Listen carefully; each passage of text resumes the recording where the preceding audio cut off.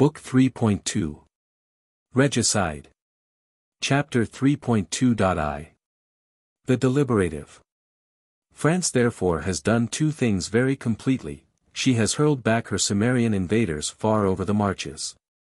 And likewise she has shattered her own internal social constitution, even to the minutest fibre of it, into wreck and dissolution. Utterly it is all altered, from king down to parish constable, all authorities, magistrates, judges, persons that bore rule, have had, on the sudden, to alter themselves, so far as needful. Or else, on the sudden, and not without violence, to be altered, a patriot executive council of ministers, with a patriot Danton in it, and then a whole nation and national convention, have taken care of that. Not a parish constable, in the furthest hamlet, who has said de par le roi, and shown loyalty, but must retire, making way for a new improved parish constable who can say de par la republic. It is a change such as history must beg her readers to imagine, undescribed. An instantaneous change of the whole body politic, the soul politic being all changed, such a change as few bodies, politic or other, can experience in this world. Say perhaps, such as poor nymph Semele's body did experience, when she would needs, with woman's humor, see her Olympian Jove as very Jove.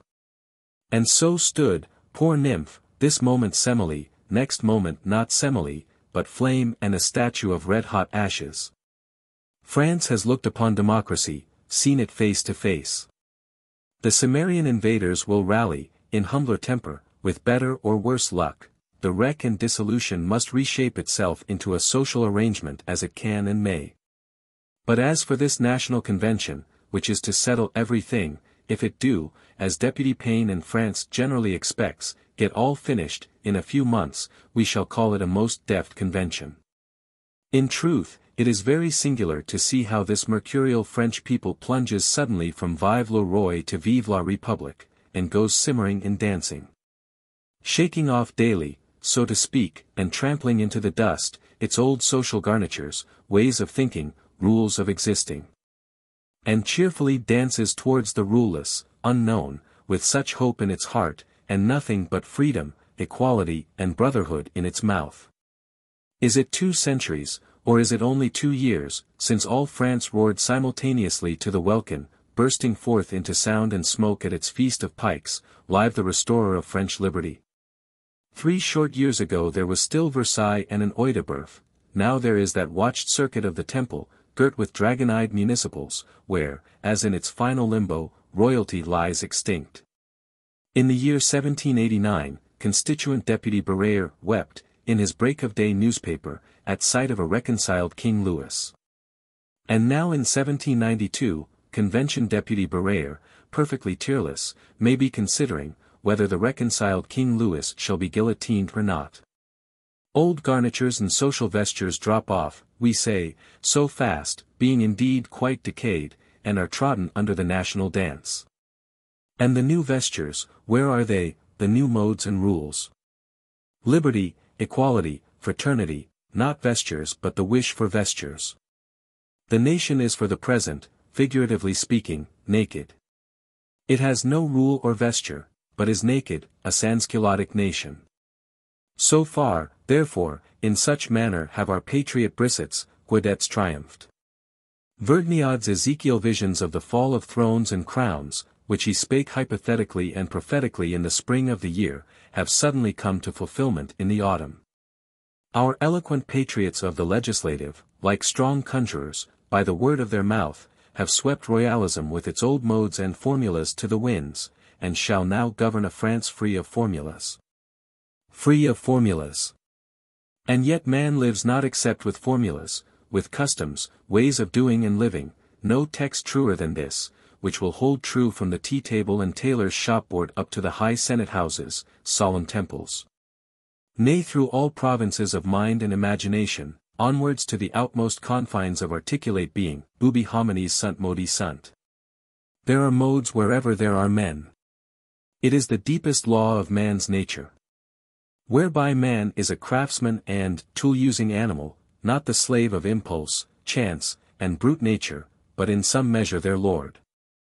Twenty-five millions of men, suddenly stripped bare of their modi, and dancing them down in that manner, are a terrible thing to govern. Eloquent patriots of the legislative, meanwhile, have precisely this problem to solve. Under the name and nickname of statesmen, hommes d'état, of moderate men, moderantins, of Brissotins, Rolandins, finally of Girondins, they shall become world famous in solving it. For the 25 millions are Gallic effervescent too. Filled both with hope of the unutterable, of universal fraternity in golden age, and with terror of the unutterable, Cimmerian Europe all rallying on us.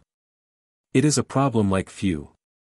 Truly, if man, as the philosophers brag, did to any extent look before and after, what, one may ask, in many cases would become of him?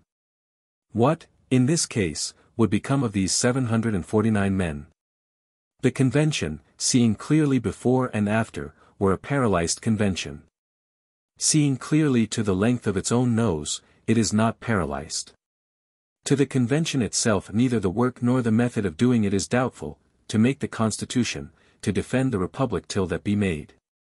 Speedily enough, accordingly, there has been a committee of the constitution got together.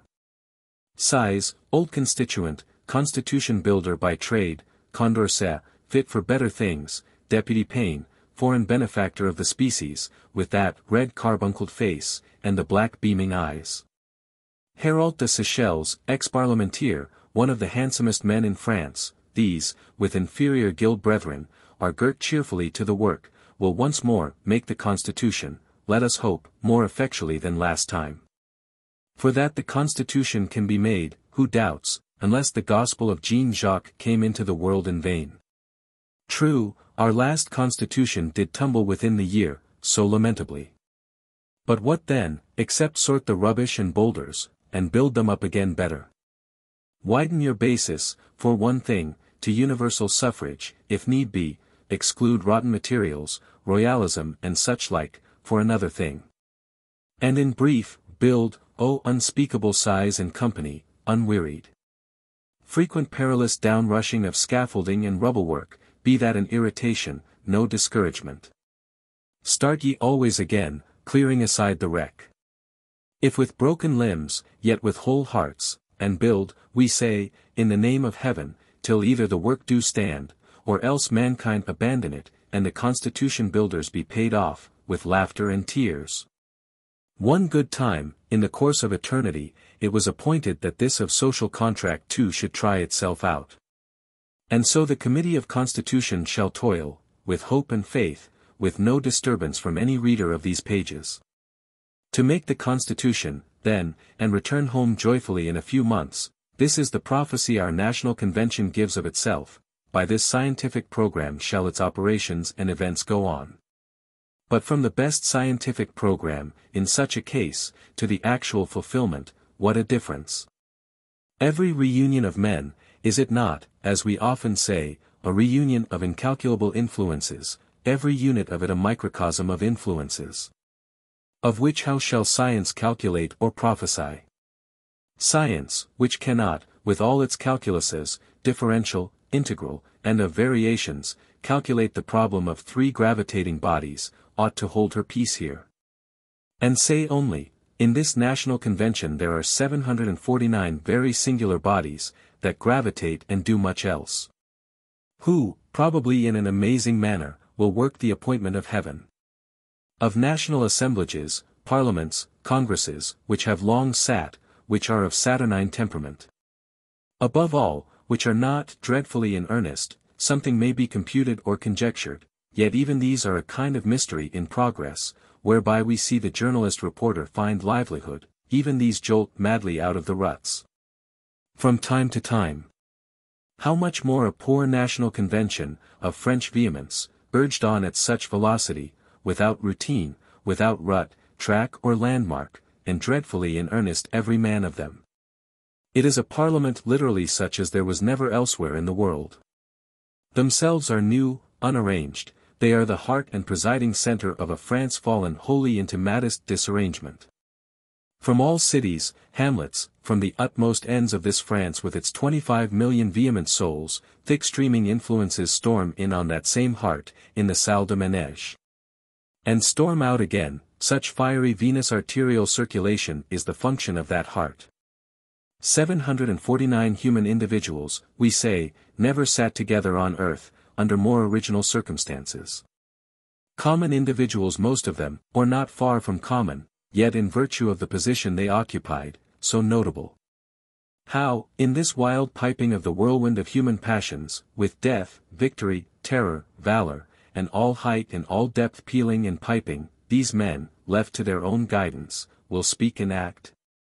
Readers know well that this French National Convention, quite contrary to its own program, became the astonishment and horror of mankind, a kind of apocalyptic convention, or black dream become real. Concerning which history seldom speaks except in the way of interjection, how it covered France with woe, delusion, and delirium, and from its bosom there went forth death on the pale horse. To hate this poor national convention is easy. To praise and love it has not been found impossible. It is, as we say, a parliament in the most original circumstances. To us, in these pages, be it as a fuliginous fiery mystery, where upper has met nether, and in such alternate glare and blackness of darkness poor bedazzled mortals know not which is upper, which is nether. But rage and plunge distractedly, as mortals, in that case, will do. A convention which has to consume itself, suicidally, and become dead ashes, with its world. Behoves us, not to enter exploratively its dim embroiled deeps. Yet to stand with unwavering eyes, looking how it welters, what notable phases and occurrences it will successively throw up. One general superficial circumstance we remark with praise, the force of politeness. To such depth has the sense of civilization penetrated man's life, no Drouet, no Legendre, in the maddest tug of war, can altogether shake it off. Debates of senates dreadfully in earnest are seldom given frankly to the world. Else perhaps they would surprise it. Did not the Grand Monarch himself once chase his Louvois with a pair of brandished tongs? But reading long volumes of these convention debates, all in a foam with furious earnestness, earnest many times to the extent of life and death, one is struck rather with the degree of continence they manifest in speech. And how in such wild ebullition, there is still a kind of polite rule struggling for mastery, and the forms of social life never altogether disappear. These men, though they menace with clenched right hands, do not clench one another by the collar. They draw no daggers, except for oratorical purposes, and this not often, profane swearing is almost unknown, though the reports are frank enough, we find only one or two oaths, oaths by Marat, reported in all. For the rest, that there is effervescence, who doubts? Effervescence enough, decrees passed by acclamation today, repealed by vociferation tomorrow, temper fitful, most rotatory changeful, always headlong. The voice of the orator is covered with rumors, a hundred honorable members rush with menaces towards the left side of the hall, president has broken three bells in succession, claps on his hat, as signal that the country is near ruined. A fiercely effervescent old Gallic assemblage, ah, how the loud sick sounds of debate, and of life, which is a debate, sink silent one after another, so loud now, and in a little while so low. Brennus, and those antique Gael captains, in their way to Rome, to Galatia, and such places, whither they were in the habit of marching in the most fiery manner, had debates as effervescent, doubt it not, though no monitor has reported them. They scolded in Celtic Welsh, those Brennuses, neither were they sansculotte, nay rather breeches, brachy, say of felt or rough leather, were the only thing they had. Being, as Livy testifies, naked down to the haunches, and, see, it is the same sort of work and of men still, now when they have got coats, and speak nasally a kind of broken Latin. But on the whole does not time envelop this present national convention, as it did those Brennuses, and ancient august senates in felt breeches? Time surely, and also eternity. Dim dusk of time, or noon which will be dusk. And then there is night, and silence, and time with all its sick noises is swallowed in the still sea. Pity thy brother, O son of Adam. The angriest frothy jargon that he utters, is it not properly the whimpering of an infant which cannot speak what ails it, but is in distress clearly, in the inwards of it. And so must squall and whimper continually, till its mother take it, and it get, to sleep. This convention is not four days old, and the melodious Melibæan stanzas that shook down royalty are still fresh in our ear, when there bursts out a new diapason, unhappily, of discord, this time. For speech has been made of a thing difficult to speak of well, the September massacres. How deal with these September massacres, with the Paris Commune that presided over them? A Paris Commune hateful terrible. Before which the poor effete legislative had to quail, and sit quiet. And now if a young omnipotent convention will not so quail and sit, what steps shall it take? Have a departmental guard in its pay, answer the Girondins, and friends of order. A guard of national volunteers, mission from all the 83 or 85 departments, for that express end, these will keep September's, tumultuous communes in a due state of submissiveness, the convention in a due state of sovereignty. So have the friends of order answered, sitting in committee, and reporting, and even a decree has been passed of the required ten hour. Nay certain departments, as the Var or Marseilles, in mere expectation and assurance of a decree, have their contingent of volunteers already on march, brave Marseillese, foremost on the 10th of August, will not be hindmost here. Fathers gave their sons a musket and twenty-five louis, says Barbaroux, and bade them march. Can anything be proper? A republic that will found itself on justice must needs investigate September massacres. A convention calling itself national, ought it not to be guarded by a national force, alas, reader, it seems so to the eye, and yet there is much to be said and argued. Thou beholdest here the small beginning of a controversy, which mere logic will not settle. Two small well springs, September, departmental guard, or rather at bottom they are but one and the same small wellspring which will swell and widen into waters of bitterness, all manner of subsidiary streams and brooks of bitterness flowing in, from this side and that. Till it become a wide river of bitterness, of rage and separation, which can subside only into the catacombs. This departmental guard, decreed by overwhelming majorities, and then repealed for peace's sake, and not to insult Paris, is again decreed more than once. Nay it is partially executed, and the very men that are to be of it are seen visibly parading the Paris streets, shouting once, being overtaken with liquor, ah bas Marat, down with Marat.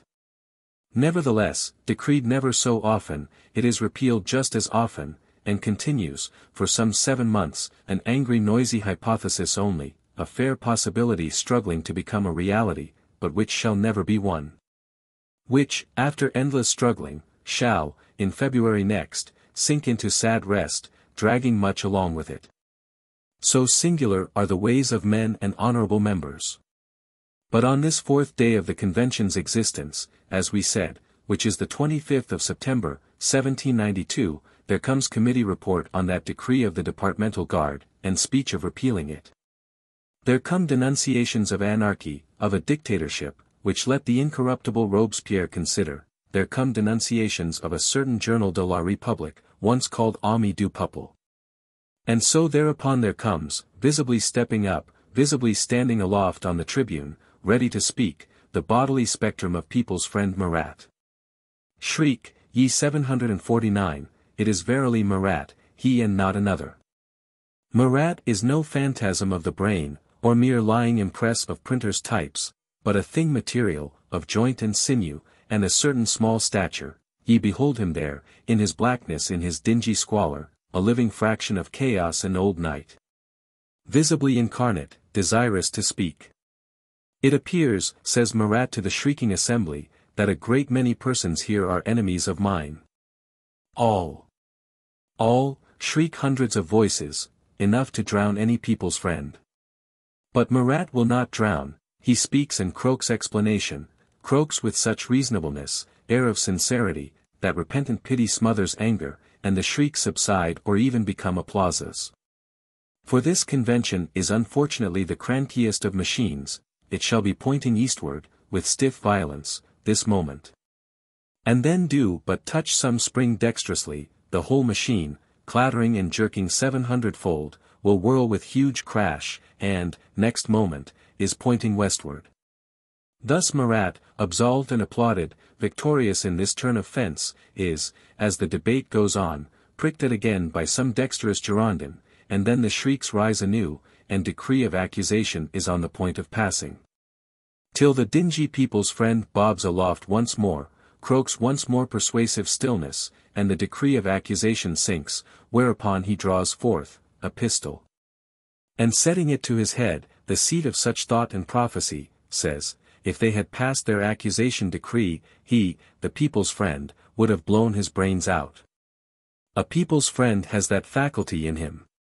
For the rest, as to this of the 260,000 aristocrat heads, Marat candidly says, C'est la mon avis, such is my opinion. Also it is not indisputable, no power on earth can prevent me from seeing into traitors, and unmasking them, by my superior originality of mind. An honorable member like this friend of the people few terrestrial parliaments have had. We observe, however, that this first onslaught by the friends of order, as sharp and prompt as it was, has failed. For neither can Robespierre, summoned out by talk of dictatorship, and greeted with the like rumor on shewing himself, be thrown into prison, into accusation, not though Barbaroux openly bear testimony against him, and sign it on paper. With such sanctified meekness does the incorruptible lift his sea-green cheek to the smiter. Lift his thin voice, and with Jesuitic dexterity plead, and prosper, asking at last, in a prosperous manner, but what witnesses has the citoyen Barbaroux to support his testimony? Moi! Cries hot Rebecqui, standing up, striking his breast with both hands, and answering, me. Nevertheless the sea-green pleads again, and makes it good, the long hurly-burly, personal merely, while so much public matter lies fallow, has ended in the order of the day. O friends of the Gironde, why will you occupy our August sessions with mere paltry personalities, while the grand nationality lies in such a state, the Gironde has touched, this day, on the foul black spot of its fair convention domain. Has trodden on it, and yet not trodden it down. Alas, it is a wellspring, as we said, this black spot, and will not tread down. Chapter 3.2.2 The Executive May we not conjecture therefore that round this grand enterprise of making the Constitution there will, as heretofore, very strange embroilments gather, and questions and interests complicate themselves. So that after a few or even several months, the convention will not have settled everything. Alas, a whole tide of questions comes rolling, boiling, growing ever wider, without end. Among which, apart from this question of September and anarchy, let us notice those, which emerge oftener than the others, and promise to become leading questions, of the armies, of the subsistences, thirdly, of the dethroned king. As to the armies, public defense must evidently be put on a proper footing, for Europe seems coalizing itself again, one is apprehensive even England will join it. Happily Dumouriez prospers in the north. Nay what if he should prove too prosperous, and become liberticide, murderer of freedom, Dumouriez prospers, through this winter season, yet not without lamentable complaints. Sleek Pache, the Swiss schoolmaster, he that sat frugal in his alley, the wonder of neighbors, has got lately, whither thinks the reader? To be minister of war. Madame Roland, struck with his sleek ways, recommended him to her husband as clerk, the sleek clerk had no need of salary, being of true patriotic temper, he would come with a bit of bread in his pocket, to save dinner in time. And, munching incidentally, do three men's work in a day, punctual, silent, frugal, the sleek Tartuffe that he was. Wherefore Roland, in the late overturn, recommended him to be war minister. And now, it would seem, he is secretly undermining Roland, playing into the hands of your hotter Jacobins in September Commune, and cannot, like strict Roland, be the veto de Coquins.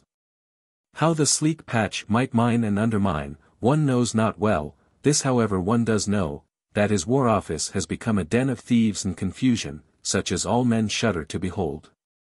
That the citizen Hassenfratz, as head clerk, sits there in bonnet rouge, in rapine, in violence, and some mathematical calculation, a most insolent, red night-capped man. That Pache munches his pocket loaf, amid head clerks and sub-clerks, and has spent all the war estimates, that furnishers scour in gigs, over all districts of France, and drive bargains, and lastly that the army gets next to no furniture. No shoes, though it is winter, no clothes, some have not even arms, in the army of the South, complains an honorable member, there are thirty thousand pairs of breeches wanting, a most scandalous want.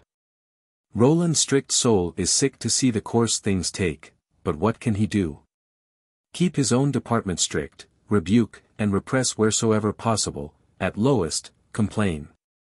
He can complain in letter after letter, to a national convention, to France, to posterity, the universe, grow ever more querulous indignant, till at last may he not grow wearisome.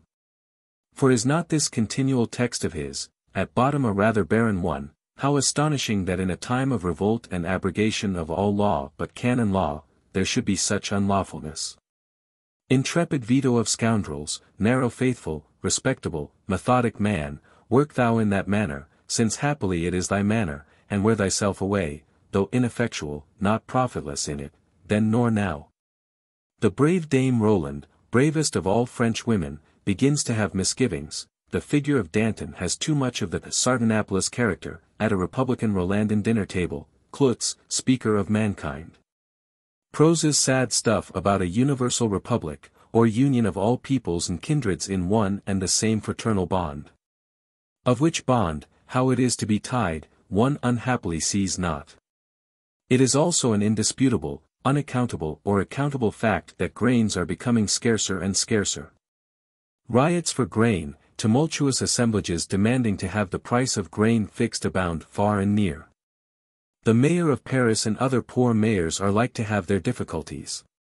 Pétion was re-elected mayor of Paris, but has declined. Being now a convention legislator. Wise surely to decline, for, besides this of grains and all the rest, there is in these times an improvised insurrectionary commune passing into an elected legal one. Getting their account settled, not without irritancy. Pétion has declined, nevertheless many do covet and canvass. After months of scrutinizing, balloting, arguing and jargoning, one Dr. Chambon gets the post of honor, who will not long keep it, but be, as we shall see, literally crushed out of it. Think also if the private Sansculotte has not his difficulties, in a time of dearth. Bread, according to the people's friend, may be some, six sous per pound, a day's wages some fifteen, and grim winter here. How the poor man continues living, and so seldom starves, by miracle. Happily, in these days, he can enlist, and have himself shot by the Austrians, in an unusually satisfactory manner, for the rights of man. But Commandant Santerre, in this so straitened condition of the flour market, and state of equality and liberty, proposes, through the newspapers, two remedies, or at least palliatives, first, that all classes of men should live. Two days of the week, on potatoes. Then second, that every man should hang his dog. Hereby, as the commandant thinks, the saving, which indeed he computes to so many sacks, would be very considerable. A cheerfuller form of inventive stupidity than Commandant Santerre's dwells in no human soul. Inventive stupidity, embedded in health, courage and good nature, much to be commended. My whole strength, he tells the convention once, is, day and night, at the service of my fellow citizens, if they find me worthless, they will dismiss me, I will return and brew beer. Or figure what correspondences a poor Roland, Minister of the Interior, must have, on this of grains alone. Free trade in grain, impossibility to fix the prices of grain. On the other hand, clamor and necessity to fix them, political economy lecturing from the Home Office, with demonstration clear as scripture, ineffectual for the empty national stomach. The mayor of Chartres, like to be eaten himself, cries to the convention, the convention sends honorable members in deputation, who endeavor to feed the multitude by miraculous spiritual methods, but cannot. The multitude, in spite of all eloquence, come bellowing round, will have the grain prices fixed, and at a moderate elevation, or else, the honorable deputies hanged on the spot. The honorable deputies, reporting this business, admit that, on the edge of horrid death, they did fix, or affect to fix the price of grain, for which, be it also noted, the convention, a convention that will not be trifled with. Sees good to reprimand them. But as to the origin of these grain riots, is it not most probably your secret royalists again? Glimpses of priests were discernible in this of Chartres, to the eye of patriotism. Or indeed may not, the root of it all lie in the temple prison, in the heart of a perjured king, well as we guard him? Unhappy perjured king! And so there shall be bakers' queues, by and by, more sharp-tempered than ever, on every baker's door rabbit an iron ring, and coil of rope. Whereon, with firm grip, on this side and that, we form our queue, but mischievous deceitful persons cut the rope, and our queue becomes a revelment, wherefore the coil must be made of iron chain. Also there shall be prices of grain well fixed. But then no grain purchasable by them, bread not to be had except by ticket from the mayor, few ounces per mouth daily, after long swaying, with firm grip, on the chain of the queue. And hunger shall stalk direful. And wrath and suspicion, wedded to the preternatural pitch, shall stalk, as those other preternatural shapes of gods in their wrathfulness, were discerned stalking, in glare and gloom of that fire ocean, when Troy town fell. Chapter 3.2.3 Discrowned. But the question more pressing than all on the legislator, as yet, is this third, what shall be done with King Louis? King Louis, now king and majesty to his own family alone, in their own prison apartment alone, has been Louis Capet and the traitor Veto with the rest of France. Shut in his circuit of the temple, he has heard and seen the loud whirl of things. Yells of September massacres, Brunswick war thunders dying off in disaster and discomfiture, he passive, a spectator merely, waiting whither it would please to whirl with him. From the neighboring windows, the curious, not without pity, might see him walk daily, at a certain hour, in the temple garden, with his queen, sister and two children, all that now belongs to him in this earth. Quietly he walks and waits. For he is not of lively feelings, and is of a devout heart. The wearied irresolute has, at least, no need of resolving now. His daily meals, lessons to his son, daily walk in the garden, daily game at ombre or draughts, fill up the day, the morrow will provide for itself. The morrow indeed, and yet how?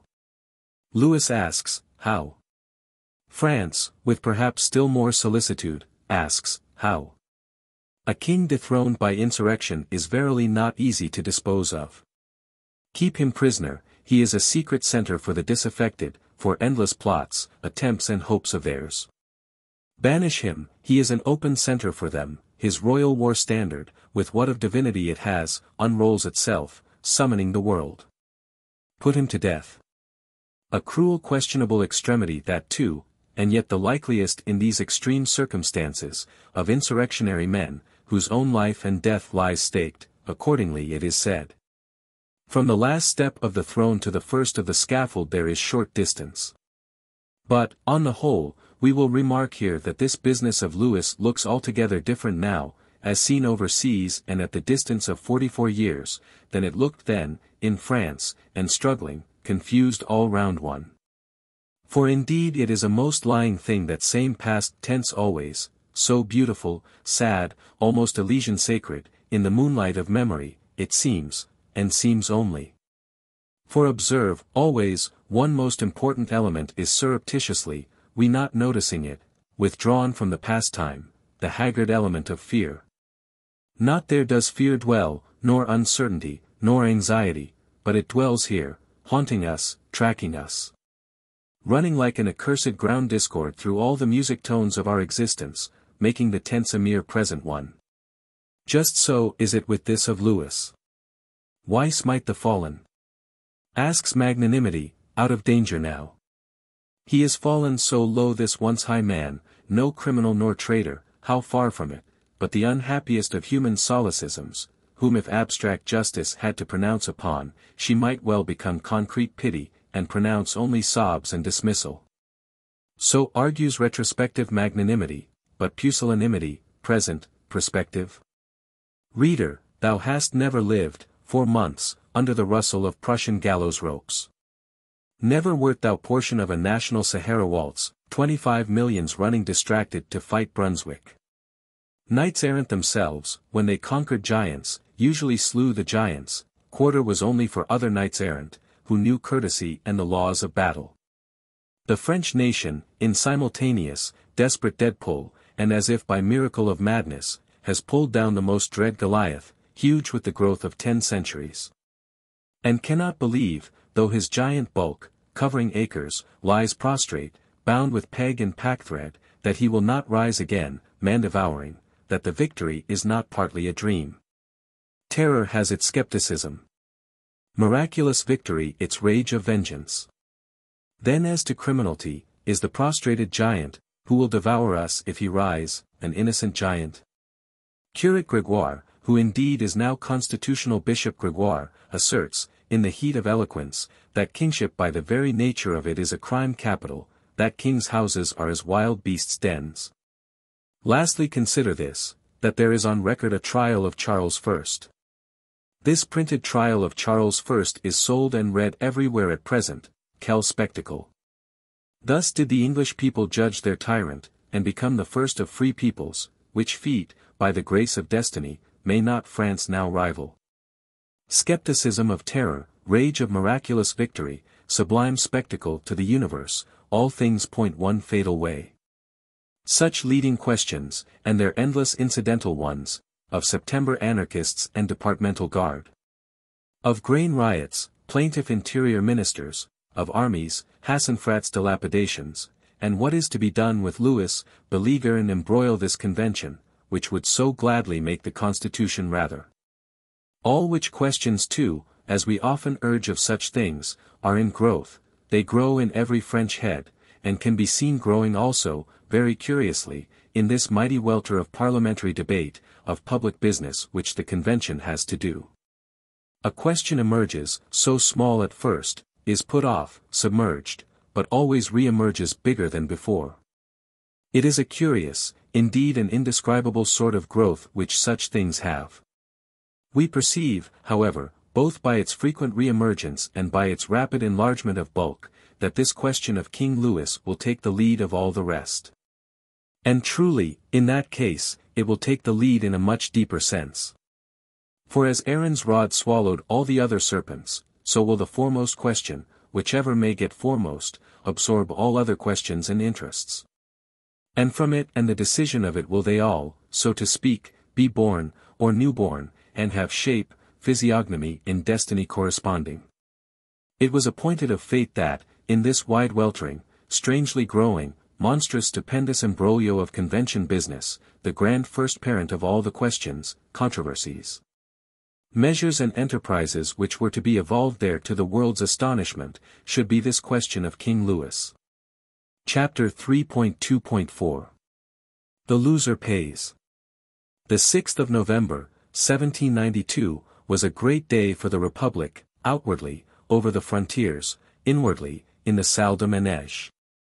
Outwardly, for Dumouriez, overrunning the Netherlands, did, on that day, come in contact with Saxe-Teschen and the Austrians, Dumouriez wide-winged, they wide-winged, at and around the village of Jemappes, near Mons.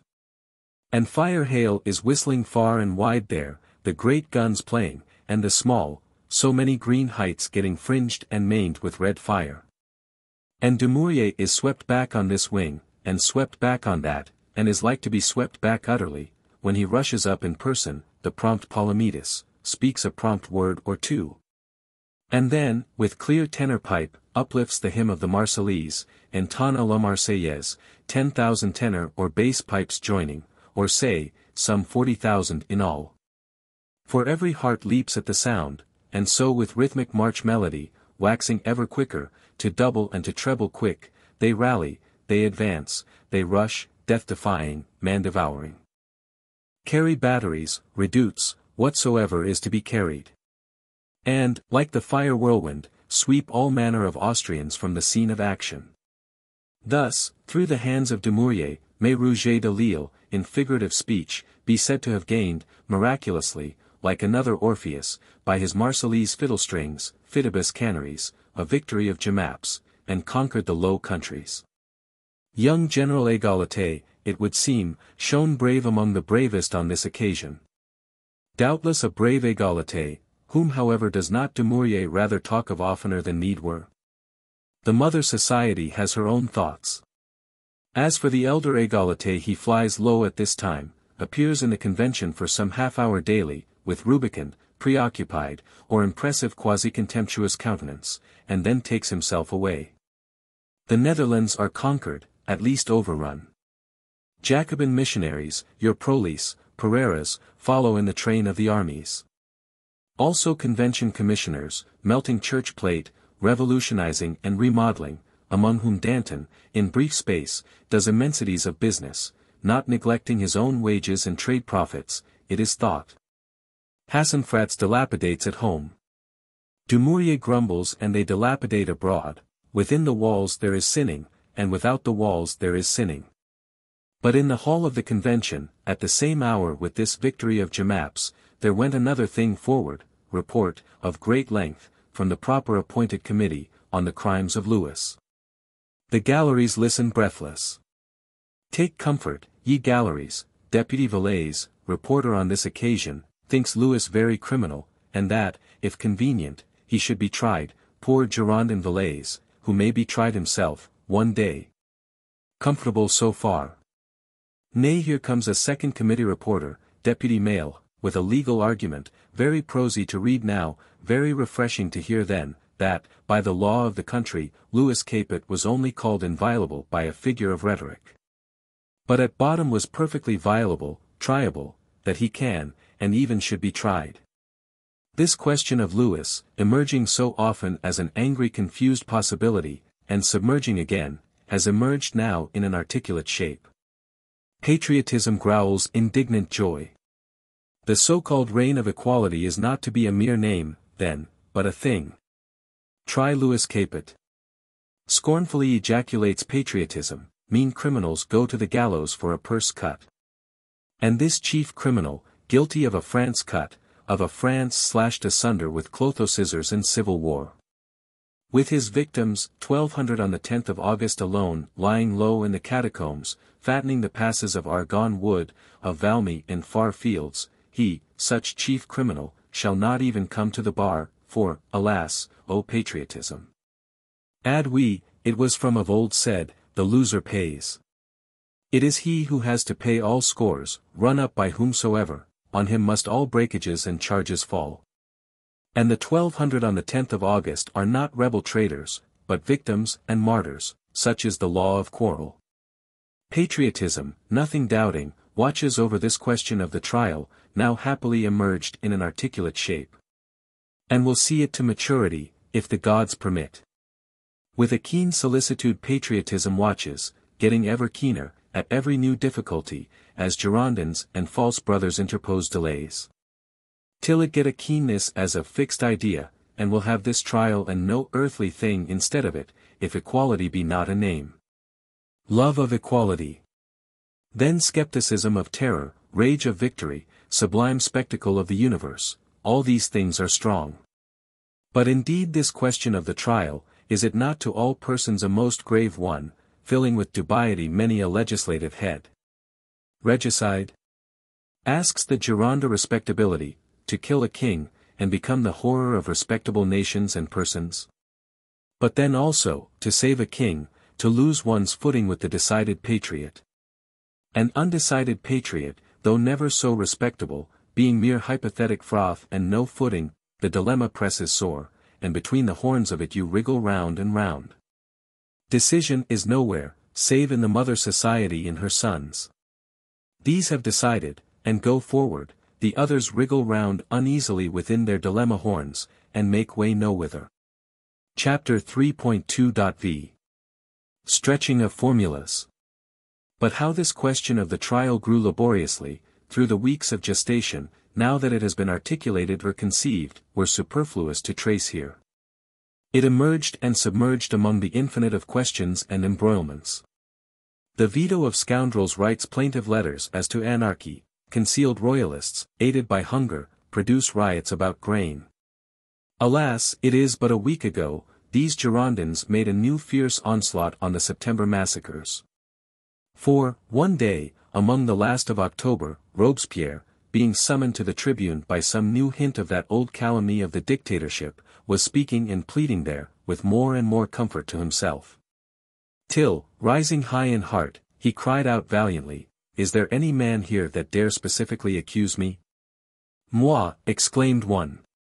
Pause of deep silence, a lean angry little figure, with broad bald brow, strode swiftly towards the tribune, taking papers from its pocket, I accuse thee, Robespierre, I, Jean-Baptiste Louvet. The sea green became tallow green. Shrinking to a corner of the tribune, Danton cried, Speak, Robespierre, there are many good citizens that listen, but the tongue refused its office. And so Louvet, with a shrill tone, read and recited crime after crime, dictatorial temper, exclusive popularity, bullying at elections, mob retinue, September massacres. Till all the convention shrieked again, and had almost indicted the incorruptible there on the spot. Never did the incorruptible run such a risk. Louvet, to his dying day, will regret that the Gironde did not take a bolder attitude, and extinguish him there and then. Not so, however, the incorruptible, about to be indicted in this sudden manner, could not be refused a week of delay. That week, he is not idle, nor is the Mother Society idle, fierce tremulous for her chosen son. He is ready at the day with his written speech, smooth as a Jesuit doctor's, and convinces some. And now? Why, now lazy Vergniaud does not rise with Demosthenic thunder, poor Louvet, unprepared, can do little or nothing, Barrère proposes that these comparatively despicable personalities be dismissed by order of the day. Order of the day it accordingly is. Barbaroux cannot even get a hearing, not though he rush down to the bar, and demand to be heard there as a petitioner. The convention, eager for public business, with that first articulate emergence of the trial just coming on, dismisses these comparative misers and despicabilities, splenetic Louvet must digest his spleen, regretfully for ever, Robespierre. Dear to patriotism, is dearer for the dangers he has run. This is the second grand attempt by our Girondin friends of order, to extinguish that black spot in their domain, and we see they have made it far blacker and wider than before. Anarchy, September massacre, it is a thing that lies hideous in the general imagination, very detestable to the undecided patriot, of respectability, a thing to be harped on as often as need is. Harp on it, denounce it, trample it, ye Girondin patriots, and yet behold, the black spot will not trample down, it will only, as we say, trample blacker and wider, fools, it is no black spot of the surface, but a wellspring of the deep. Consider rightly, it is the apex of the everlasting abyss, this black spot, looking up as water through thin ice, say, as the region of nether darkness through your thin film of Gironde regulation and respectability. Trample it not, lest the film break, and then. The truth is, if our Gironde friends had an understanding of it, where were French patriotism, with all its eloquence, at this moment, had not that same great nether deep, of bedlam, fanaticism and popular wrath and madness. Risen unfathomable on the 10th of August. French patriotism were an eloquent reminiscence, swinging on Prussian gibbets. Nay, where, in few months, were it still, should the same great nether deep subside. Nay, as readers of newspapers pretend to recollect, this hatefulness of the September massacre is itself partly an afterthought, readers of newspapers can quote Gorsas and various Brissotins approving of the September massacre. At the time it happened. And calling it a salutary vengeance. So that the real grief, after all, were not so much righteous horror, as grief that one's own power was departing. Unhappy Girondins. In the Jacobin society, therefore, the decided patriot complains that here are men who with their private ambitions and animosities, will ruin liberty, equality, and brotherhood, all three, they check the spirit of patriotism. Throw stumbling blocks in its way. And instead of pushing on, all shoulders at the wheel, will stand idle there, spitefully clamoring what foul ruts there are, what rude jolts we give. To which the Jacobin society answers with angry roar. With angry shriek, for there are citoyens too, thick crowded in the galleries here. Citoyens who bring their seam with them, or their knitting needles, and shriek or knit as the case needs, famed tricoteuses, patriot knitters. Mère Duchesne, or the like Deborah and mother of the faubourgs, giving the keynote. It is a changed Jacobin society, and is still changing. Where Mother Duchess now sits, authentic duchesses have sat. High rouge dames went once in jewels and spangles, now, instead of jewels, you may take the knitting needles and leave the rouge, the rouge will gradually give place to natural brown, clean washed or even unwashed. And Demoiselle Théroigne herself gets scandalously fustigated. Strange enough, it is the same tribune raised in mid-air, where a high Mirabeau, a high Barnave and aristocrat Lameths once thundered, whom gradually your Brissots, Guadets, Vergniauds, a hotter style of patriots in bonnet rouge, did displace. Red heat, as one may say, superseding light. And now your Brissots in turn, and Brissotins, Rolandins, Girondins, are becoming supernumerary, must desert the sittings, or be expelled, the light of the mighty mother is burning not red but blue. Provincial daughter societies loudly disapprove these things, loudly demand the swift reinstatement of such eloquent Girondins, the swift erasure of Marat, radiation de Marat. The mother society, so far as natural reason can predict, seems ruining herself. Nevertheless she has, at all crises, seemed so, she has a preternatural life in her, and will not ruin. But, in a fortnight more, this great question of the trial, while the FIT committee is assiduously but silently working on it, receives an unexpected stimulus. Our readers remember poor Louis's turn for smith work, how, in old happier days, a certain Sieur Gamain of Versailles was wont to come over, and instruct him in lock-making, often scolding him, they say for his numbness. By whom, nevertheless, the royal apprentice had learned something of that craft. Hapless apprentice, perfidious master smith. For now, on this 20th of November, 1792, dingy Smith Gamain comes over to the Paris municipality, over to Minister Roland, with hints that he, Smith Gamain, knows a thing.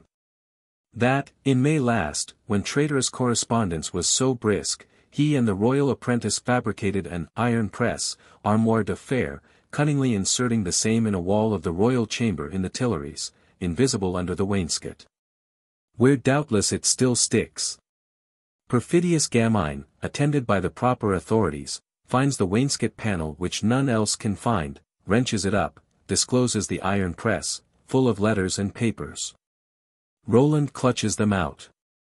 Conveys them over in towels to the fit assiduous committee, which sits hard by. In towels, we say, and without notarial inventory, an oversight on the part of Roland. Here, however, are letters enough, which disclose to a demonstration the correspondence of a traitorous self-preserving court, and this not with traitors only, but even with patriots, so-called. Barnave's treason, of correspondence with the Queen, and friendly advice to her, ever since that Varennes business, is hereby manifest, how happy that we have him, this Barnave, lying safe in the prison of Grenoble, since September last. For he had long been suspect. Talleyrand's treason, many a man's treason, if not manifest hereby, is next to it. Mirabeau's treason, wherefore his bust in the hall of the convention, is veiled with gauze, till we ascertain. Alas, it is too ascertainable. His bust in the hall of the Jacobins, denounced by Robespierre from the tribune in mid-air, is not veiled, it is instantly broken to sherds, a patriot mounting swiftly with a ladder, and shivering it down on the floor, it and others, amid shouts. Such is their recompense and amount of wages, at this date, on the principle of supply and demand. Smith Gamain, inadequately recompensed for the present, comes, some fifteen months after, with a humble petition. Setting forth that no sooner was that important iron press finished off by him, than, as he now bethinks himself, Louis gave him a large glass of wine. Which large glass of wine did produce in the stomach of Sieur Gamain the terriblest effects, evidently tending towards death, and was then brought up by an emetic, but has, notwithstanding, entirely ruined the constitution of Sieur Gamain. So that he cannot work for his family, as he now bethinks himself. The recompense of which is, pension of twelve hundred francs, and, honorable mention. So different is the ratio of demand and supply at different times. Thus, amid obstructions and stimulating furtherances, has the question of the trial to grow, emerging and submerging, fostered by solicitous patriotism. Of the orations that were spoken on it, of the painfully devised forms of process for managing it, the law arguments to prove it lawful, and all the infinite floods of juridical and other ingenuity and oratory. Be no syllable reported in this history. Lawyer ingenuity is good, but what can it profit here? If the truth must be spoken, O august senators, the only law in this case is, vae victis, the loser pays. Seldom did Robespierre say a wiser word than the hint he gave to that effect, in his oration, that it was needless to speak of law, that here, if never elsewhere, our right was might. An oration admired almost to ecstasy by the Jacobin patriot, who shall say that Robespierre is not a thoroughgoing man, bold in logic at least. To the like effect, or still more plainly, spake young Saint Just, the black-haired, mild-toned youth. Danton is on mission, in the Netherlands, during this preliminary work. The rest, far as one reads, welter amid law of nations, social contract, juristics, syllogistics, to us barren as the east wind. In fact, what can be more unprofitable than the sight of 749 ingenious men, struggling with their whole force and industry, for a long course of weeks? To do at bottom this, to stretch out the old formula and law phraseology, so that it may cover the new, contradictory, entirely uncoverable thing? Whereby the poor formula does but crack, and one's honesty along with it. The thing that is palpably hot, burning, wilt thou prove it, by syllogism, to be a freezing mixture. This of stretching out formulas till they crack is, especially in times of swift change, one of the sorrowfulest tasks poor humanity has. Chapter 3.2.vi At the Bar Meanwhile, in a space of some five weeks, we have got to another emerging of the trial, and a more practical one than ever. On Tuesday, 11th of December, the King's trial has emerged, very decidedly, into the streets of Paris. In the shape of that green carriage of Mayor Chambon, within which sits the King himself, with attendants, on his way to the Convention Hall. Attended, in that green carriage, by Mayors Chambon, Procureurs Chaumette and outside of it by Commandant Santerre, with cannon, cavalry and double row of infantry, all sections under arms, strong patrols scouring all streets. So fares he, slowly through the dull drizzling weather, and about two o'clock we behold him, in walnut-colored greatcoat, redingote noisette, descending through the Place Vendôme, towards that salle de. To be indicted, and judicially interrogated. The mysterious temple circuit has given up its secret, which now, in this walnut-colored coat, men behold with eyes. The same bodily Louis who was once Louis the Desired, fares there, hapless king, he is getting now towards port, his deplorable farings and voyagings draw to a close. What duty remains to him henceforth, that of placidly enduring, he is fit to do.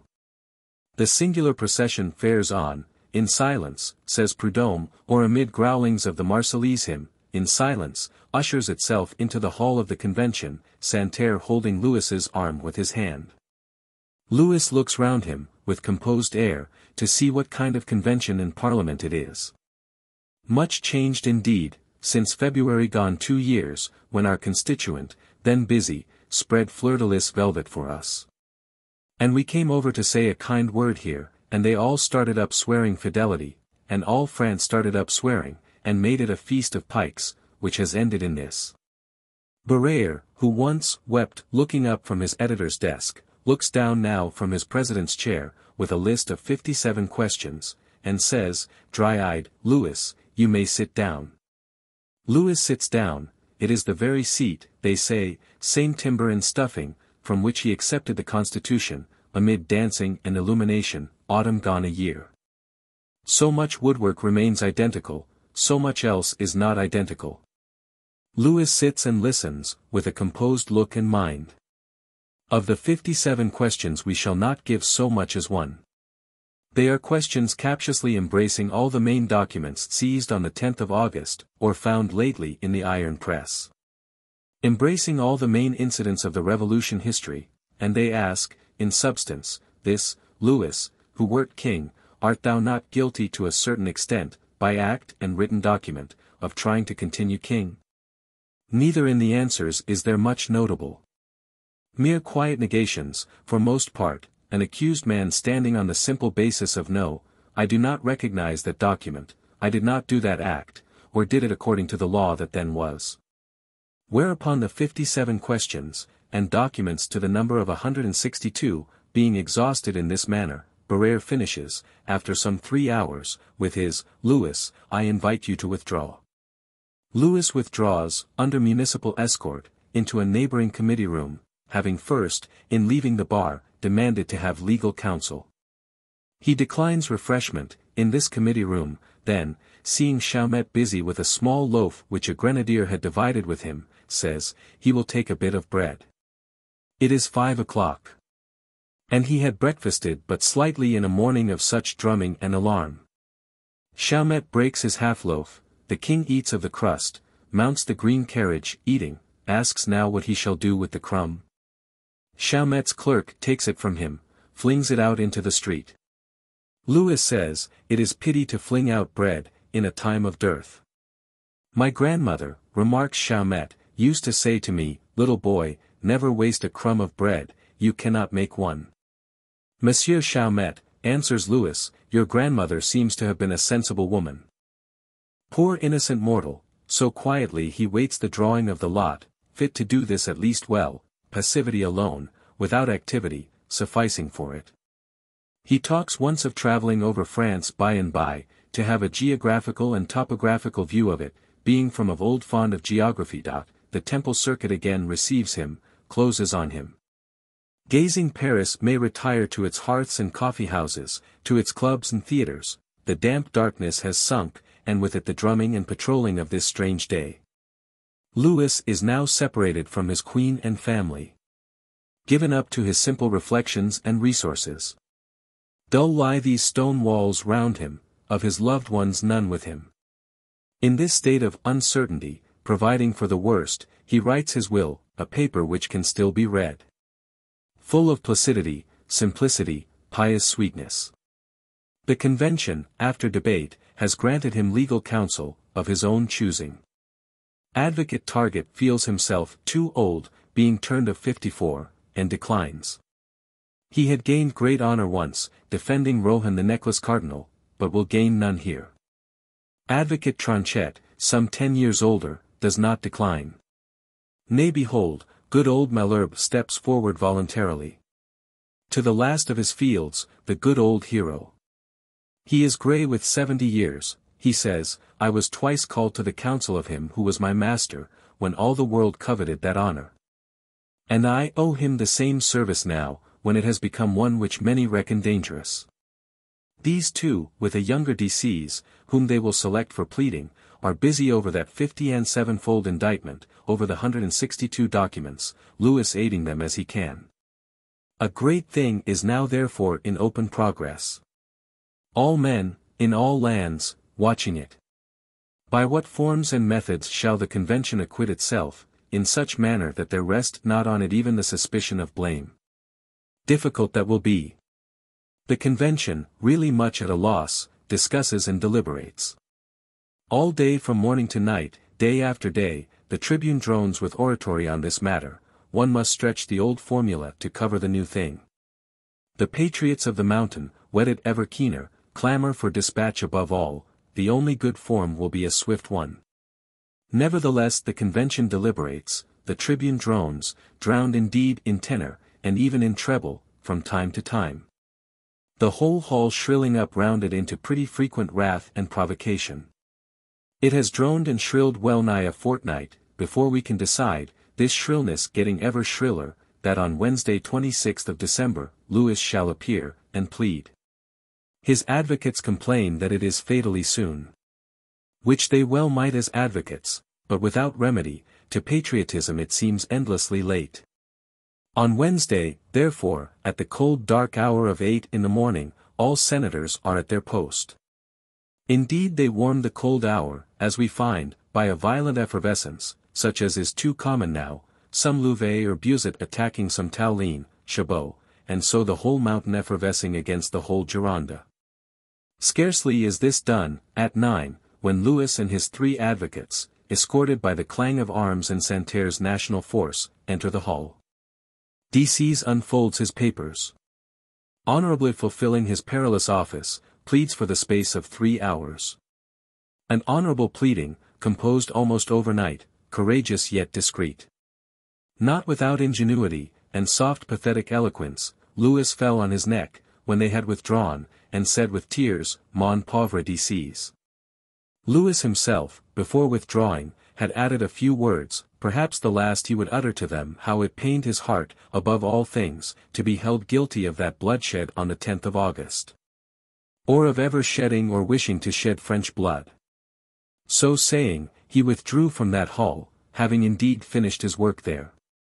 Many are the strange errands he has had thither, but this strange one is the last. And now, why will the convention loiter? Here is the indictment and evidence, here is the pleading, does not the rest follow of itself? The mountain, and patriotism in general, clamors still louder for dispatch. For permanent session, till the task be done.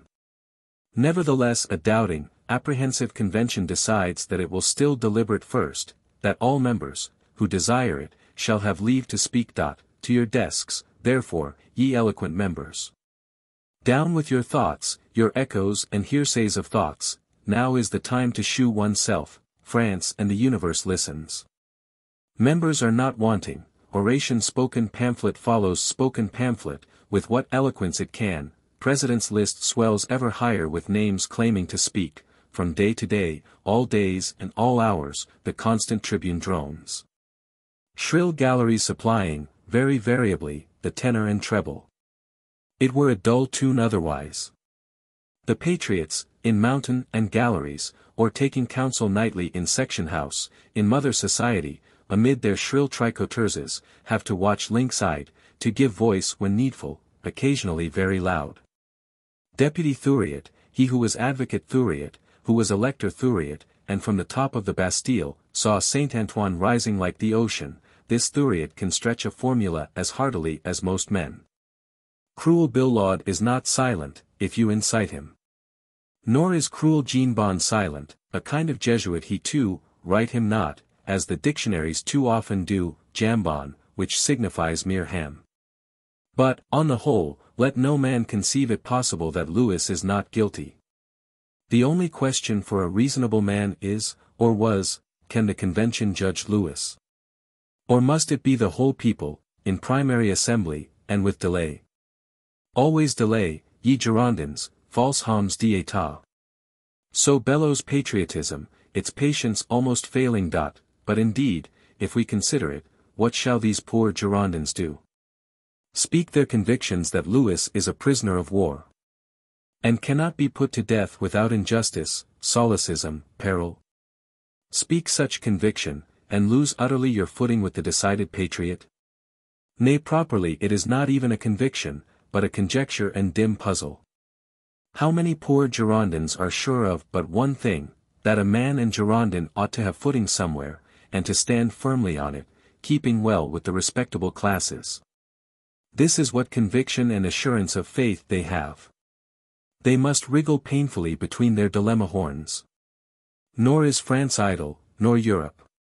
It is a heart this convention, as we said, which sends out influences, and receives them. A king's execution, call it martyrdom, call it punishment, were an influence. Two notable influences this convention has already sent forth, over all nations, much to its own detriment. On the 19th of November, it emitted a decree, and has since confirmed and unfolded the details of it. That any nation which might see good to shake off the fetters of despotism was thereby, so to speak, the sister of France, and should have help and countenance. A decree much noised of by diplomatists, editors, international lawyers. Such a decree as no living fetter of despotism, nor person in authority anywhere, can approve of. It was Deputy Chambon the Girondin who propounded this decree, at bottom perhaps as a flourish of rhetoric. The second influence we speak of had a still poorer origin, in the restless loud rattling slightly furnished head of one Jacob Dupont from the Loire country. The convention is speculating on a plan of national education, Deputy Dupont in his speech says, I am free to avow, M. Le President, that I for my part am an atheist, thinking the world might like to know that. The French world received it without commentary, or with no audible commentary, so loud was France otherwise. The foreign world received it with confutation, with horror and astonishment, a most miserable influence this. And now if to these two were added a third influence, and sent pulsing abroad over all the earth, that of regicide? Foreign courts interfere in this trial of Louis, Spain, England, not to be listened to. Though they come, as it were, at least Spain comes, with the olive branch in one hand, and the sword without scabbard in the other. But at home too, from out of this circumambient Paris and France, what influences come thick pulsing. Petitions flow in, pleading for equal justice, in a reign of so-called equality. The living patriot pleads, O ye national deputies, do not the dead patriots plead? The twelve hundred that lie in cold obstruction, do not they plead? And petition, in death's dumb show, from their narrow house there, more eloquently than speech? Crippled patriots hop on crutches round the salle de manège, demanding justice. The wounded of the 10th of August, the widows and orphans of the killed petition in a body. And hop and defile, eloquently mute, through the hall, one wounded patriot, unable to hop, is borne on his bed thither, and passes shoulder high, in the horizontal posture. The convention tribune, which has paused at such sight, commences again, droning mere juristic oratory. But out of doors Paris is piping ever higher.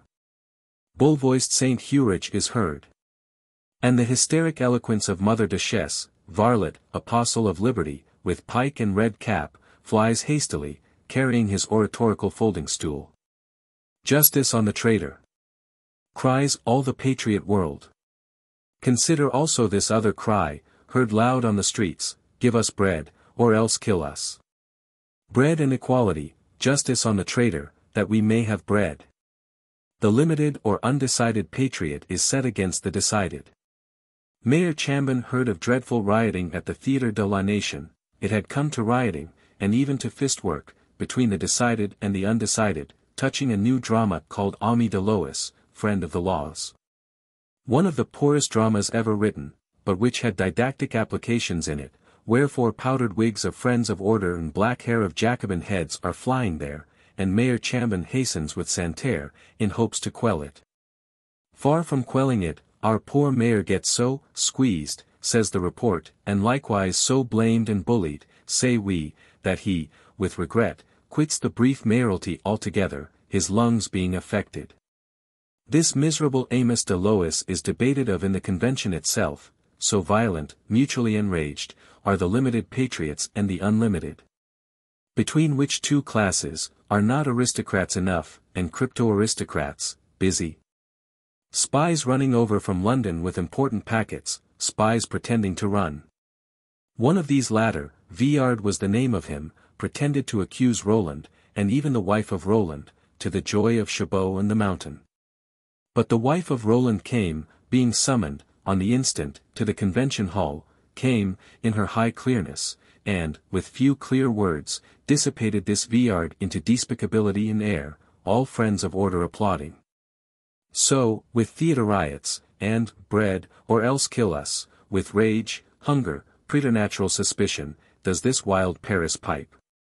Roland grows ever more querulous, in his messages and letters, rising almost to the hysterical pitch. Marat, whom no power on earth can prevent seeing into traitors and Rolands, takes to bed for three days. Almost dead, the invaluable people's friend, with heartbreak, with fever and headache, oh, Peuple babillard, si tu savais agir, people of babblers, if thou couldst but act. To crown all, Victorious Dumouriez, in these New Year's days, is arrived in Paris, one fears, for no good. He pretends to be complaining of Minister Pache, and Hassenfratz's dilapidations. To be concerting measures for the spring campaign, one finds him much in the company of the Girondins. Plotting with them against Jacobinism, against equality, and the punishment of Louis. We have letters of his to the convention itself. Will he act the old Lafayette part, this new victorious general? Let him withdraw again, not undenounced. And still, in the convention tribune, it drones continually, mere juristic eloquence, and hypothesis without action. And there are still fifties on the president's list. Nay these Gironda presidents give their own party preference, we suspect they play foul with the list, men of the mountain cannot be heard. And still it drones, all through December into January and a new year, and there is no end. Paris pipes round it, multitudinous, ever higher, to the note of the whirlwind. Paris will bring cannon from St. Denis.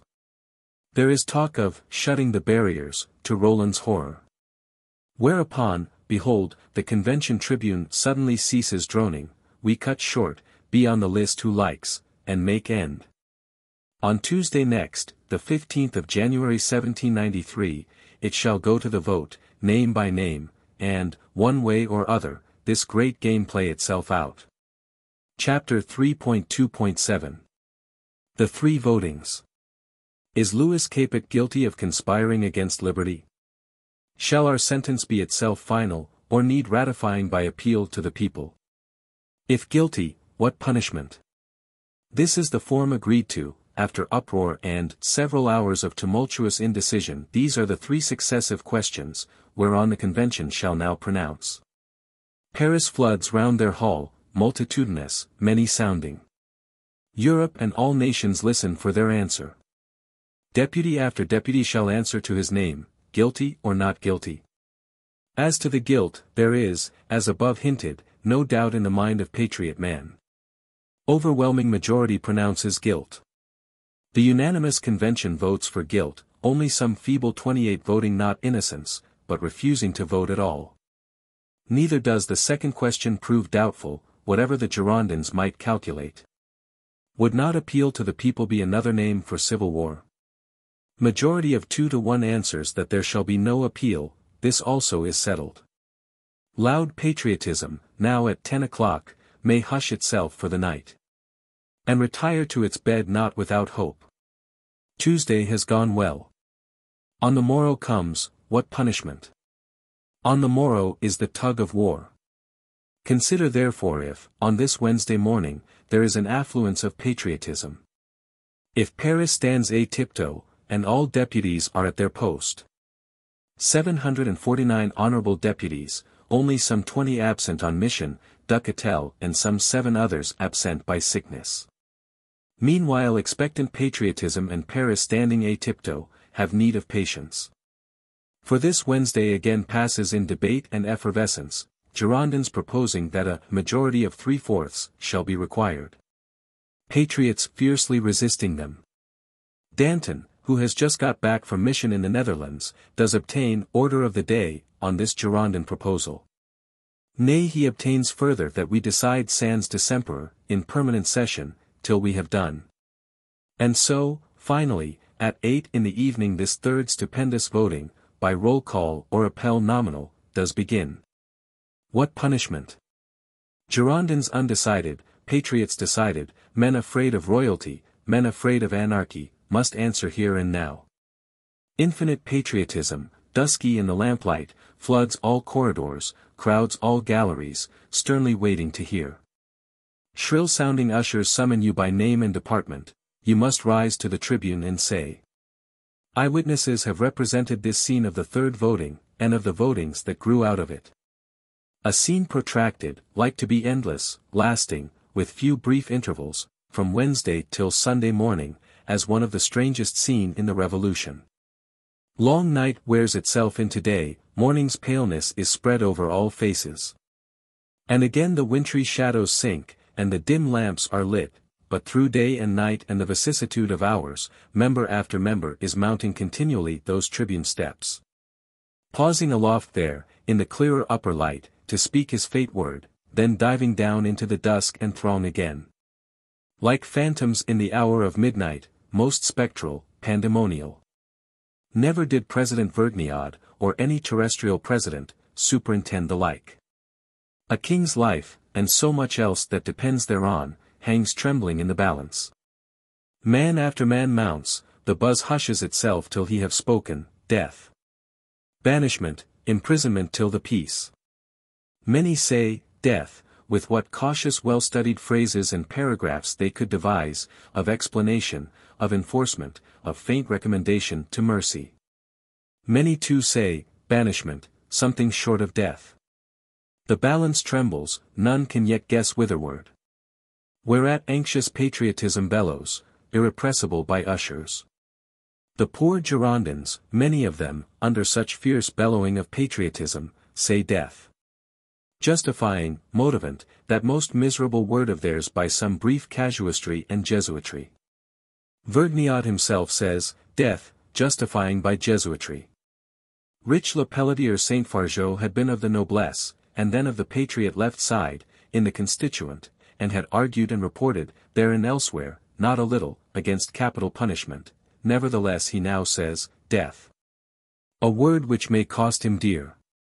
Manuel did surely rank with the decided in August last, but he has been sinking and backsliding ever since September, and the scenes of September.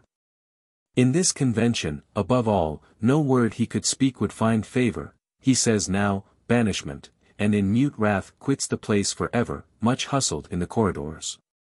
Philippe Égalité votes in his soul and conscience, death, at the sound of which, and of whom, even patriotism shakes its head, and there runs a groan and shudder through this hall of doom. Robespierre's vote cannot be doubtful, his speech is long. Men see the figure of shrill Sieyes ascend, hardly pausing, passing merely, this figure says, La Mort sans phrase, death without phrases, and fares onward and downward. Most spectral, pandemonial. And yet if the reader fancy it of a funereal, sorrowful or even grave character, he is far mistaken. The ushers in the mountain quarter, says Mercier, had become as box openers at the opera.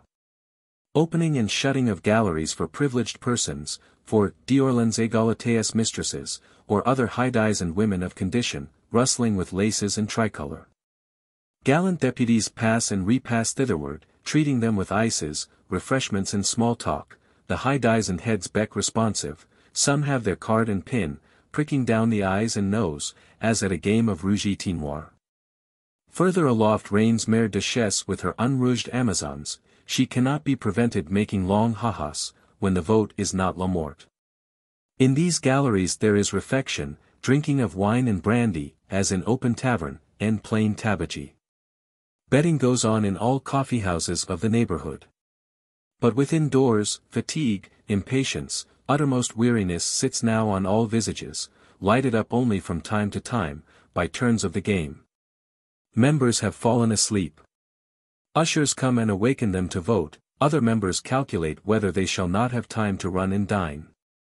Figures rise, like phantoms, pale in the dusky lamplight, utter from this tribune, only one word, death. Tout est optique, says Mercier, the world is all an optical shadow. Deep in the Thursday night, when the voting is done, and secretaries are summing it up, sick Duchâtel, more spectral than another, comes borne on a chair, wrapped in blankets, in nightgown and nightcap. To vote for mercy, one vote it is thought may turn the scale. Ah no. In profoundest silence, President Vergniaud, with a voice full of sorrow, has to say, I declare, in the name of the convention, that the punishment it pronounces on Louis Capet is that of death. Death by a small majority of 53. Nay, if we deduct from the one side, and add to the other, a certain 26, who said death but coupled some faintest ineffectual surmise of mercy with it, the majority will be but one. Death is the sentence, but its execution. It is not executed yet. Scarcely is the vote declared when Louis's three advocates enter, with protest in his name, with demand for delay, for appeal to the people. For this do Desèze and Tronchet plead, with brief eloquence, brave old Malherbe pleads for it with eloquent want of eloquence, in broken sentences, in embarrassment and sobs. That brave time-honored face, with its grey strength, its broad sagacity and honesty, is mastered with emotion, melts into dumb tears. They reject the appeal to the people, that having been already settled. But as to the delay, what they call sursis, it shall be considered, shall be voted for tomorrow, at present we adjourn. Whereupon patriotism hisses from the mountain, but a tyrannical majority has so decided, and adjourns. There is still this fourth vote then, growls indignant patriotism, this vote, and who knows what other votes, and adjournments of voting, and the whole matter still hovering hypothetical. And at every new vote those Jesuit Girondins, even they who voted for death, would so fain find a loophole. Patriotism must watch and rage. Tyrannical adjournments there have been. One, and now another at midnight on plea of fatigue, all Friday wasted in hesitation and higgling, in recounting of the votes, which are found correct as they stood. Patriotism bays fiercer than ever. Patriotism, by long watching, has become red-eyed, almost rabid. Delay, yes or no, men do vote it finally, all Saturday, all day and night. Men's nerves are worn out, men's hearts are desperate, now it shall end. Vergniaud, spite of the baying, ventures to say yes, delay, though he had voted death. Philippe Égalité says, in his soul and conscience, no. The next member mounting, since Philippe says no, I for my part say yes, moi je dis oui. The balance still trembles. Till finally, at three o'clock on Sunday morning, we have, no delay, by a majority of 70, death within four and twenty hours. Garat Minister of Justice has to go to the temple, with this stern message, he ejaculates repeatedly, quelle commission affreuse, what a frightful function. Louis begs for a confessor, for yet three days of life, to prepare himself to die. The confessor is granted, the three days and all respite are refused. There is no deliverance, then. Thick stone walls answer, none, has King Louis no friends? Men of action, of courage grown desperate, in this his extreme need? King Louis's friends are feeble and far. Not even a voice in the coffeehouses rises for him. At Méot the restaurateurs no Captain Dampmartin now dines, or sees death doing whiskerandos on furlough exhibit daggers of improved structure. Méot's gallant royalists on furlough are far across the marches, they are wandering distracted over the world, or their bones lie whitening Argonne wood. Only some weak priests leave pamphlets on all the born stones, this night, calling for a rescue, calling for the pious women to rise, or are taken distributing pamphlets, and sent to prison. Nay there is one death doer, of the ancient Méot sort, who, with effort, has done even less and worse, slain a deputy, and set all the patriotism of Paris on edge. It was five on Saturday evening when Lepelletier St. Fargeau, having given his vote, no delay, ran over to Février's in the Palais Royal to snatch a morsel of dinner. He had dined, and was paying. A thick-set man, with black hair and blue beard, in a loose kind of frock, stepped up to him. It was, as Février and the bystanders bethought them, one Paris of the old King's Guard. Are you Lepelletier? asks he. Dot, yes. You voted in the King's business? I voted death. Scélérat, take that. Cries Paris, flashing out a sabre from under his frock, and plunging it deep in Lepelletier's side. Février clutches him, but he breaks off, is gone. The voter Lepelletier lies dead, he has expired in great pain, at one in the morning. Two hours before that vote of no delay was fully summed up. Guardsman Paris is flying over France, cannot be taken, will be found some months after, self-shot in a remote inn. Robespierre sees reason to think that Prince d'Artois himself is privately in town, that the convention will be butchered in the lump. Patriotism sounds mere wail and vengeance, Santerre doubles and trebles all his patrols. Pity is lost in rage and fear, the convention has refused the three days of life and all respite. Chapter 3.2.8 Place de la Revolution To this conclusion, then, hast thou come, O hapless Louis. The son of sixty kings is to die on the scaffold by form of law. Under sixty kings this same form of law, form of society, has been fashioning itself together, these thousand years, and has become, one way and other, a most strange machine. Surely, if needful, it is also frightful this machine, dead, blind, not what it should be, which, with swift stroke, or by cold slow torture, has wasted the lives and souls of innumerable men. And behold now a king himself, or say rather kinghood in his person, is to expire here in cruel tortures, like a Phalaris shut in the belly of his own red-heated brazen bull. It is ever so. And thou shouldst know it, O haughty tyrannous man, injustice breeds injustice, curses and falsehoods do verily, return always home, wide as they may wander. Innocent Louis bears the sins of many generations, he too experiences that man's tribunal is not in this earth, that if he had no higher one, it were not well with him.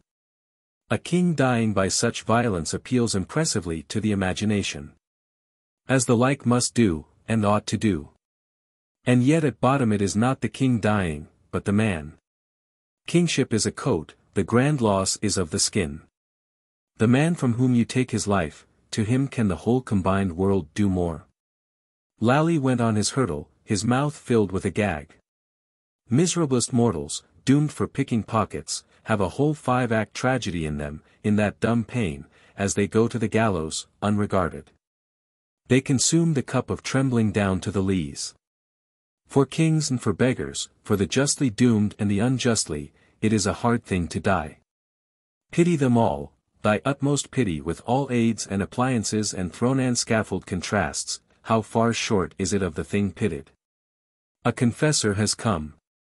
Abbe Edgeworth, of Irish extraction, whom the king knew by good report, has come promptly on this solemn mission. Leave the earth alone, then, thou hapless king, it with its malice will go its way, thou also canst go thine. A hard scene yet remains, the parting with our loved ones. Kind hearts, environed in the same grim peril with us, to be left here. Let the reader look with the eyes of Valet Clery, through these glass doors, where also the municipality watches. And see the cruelest of scenes.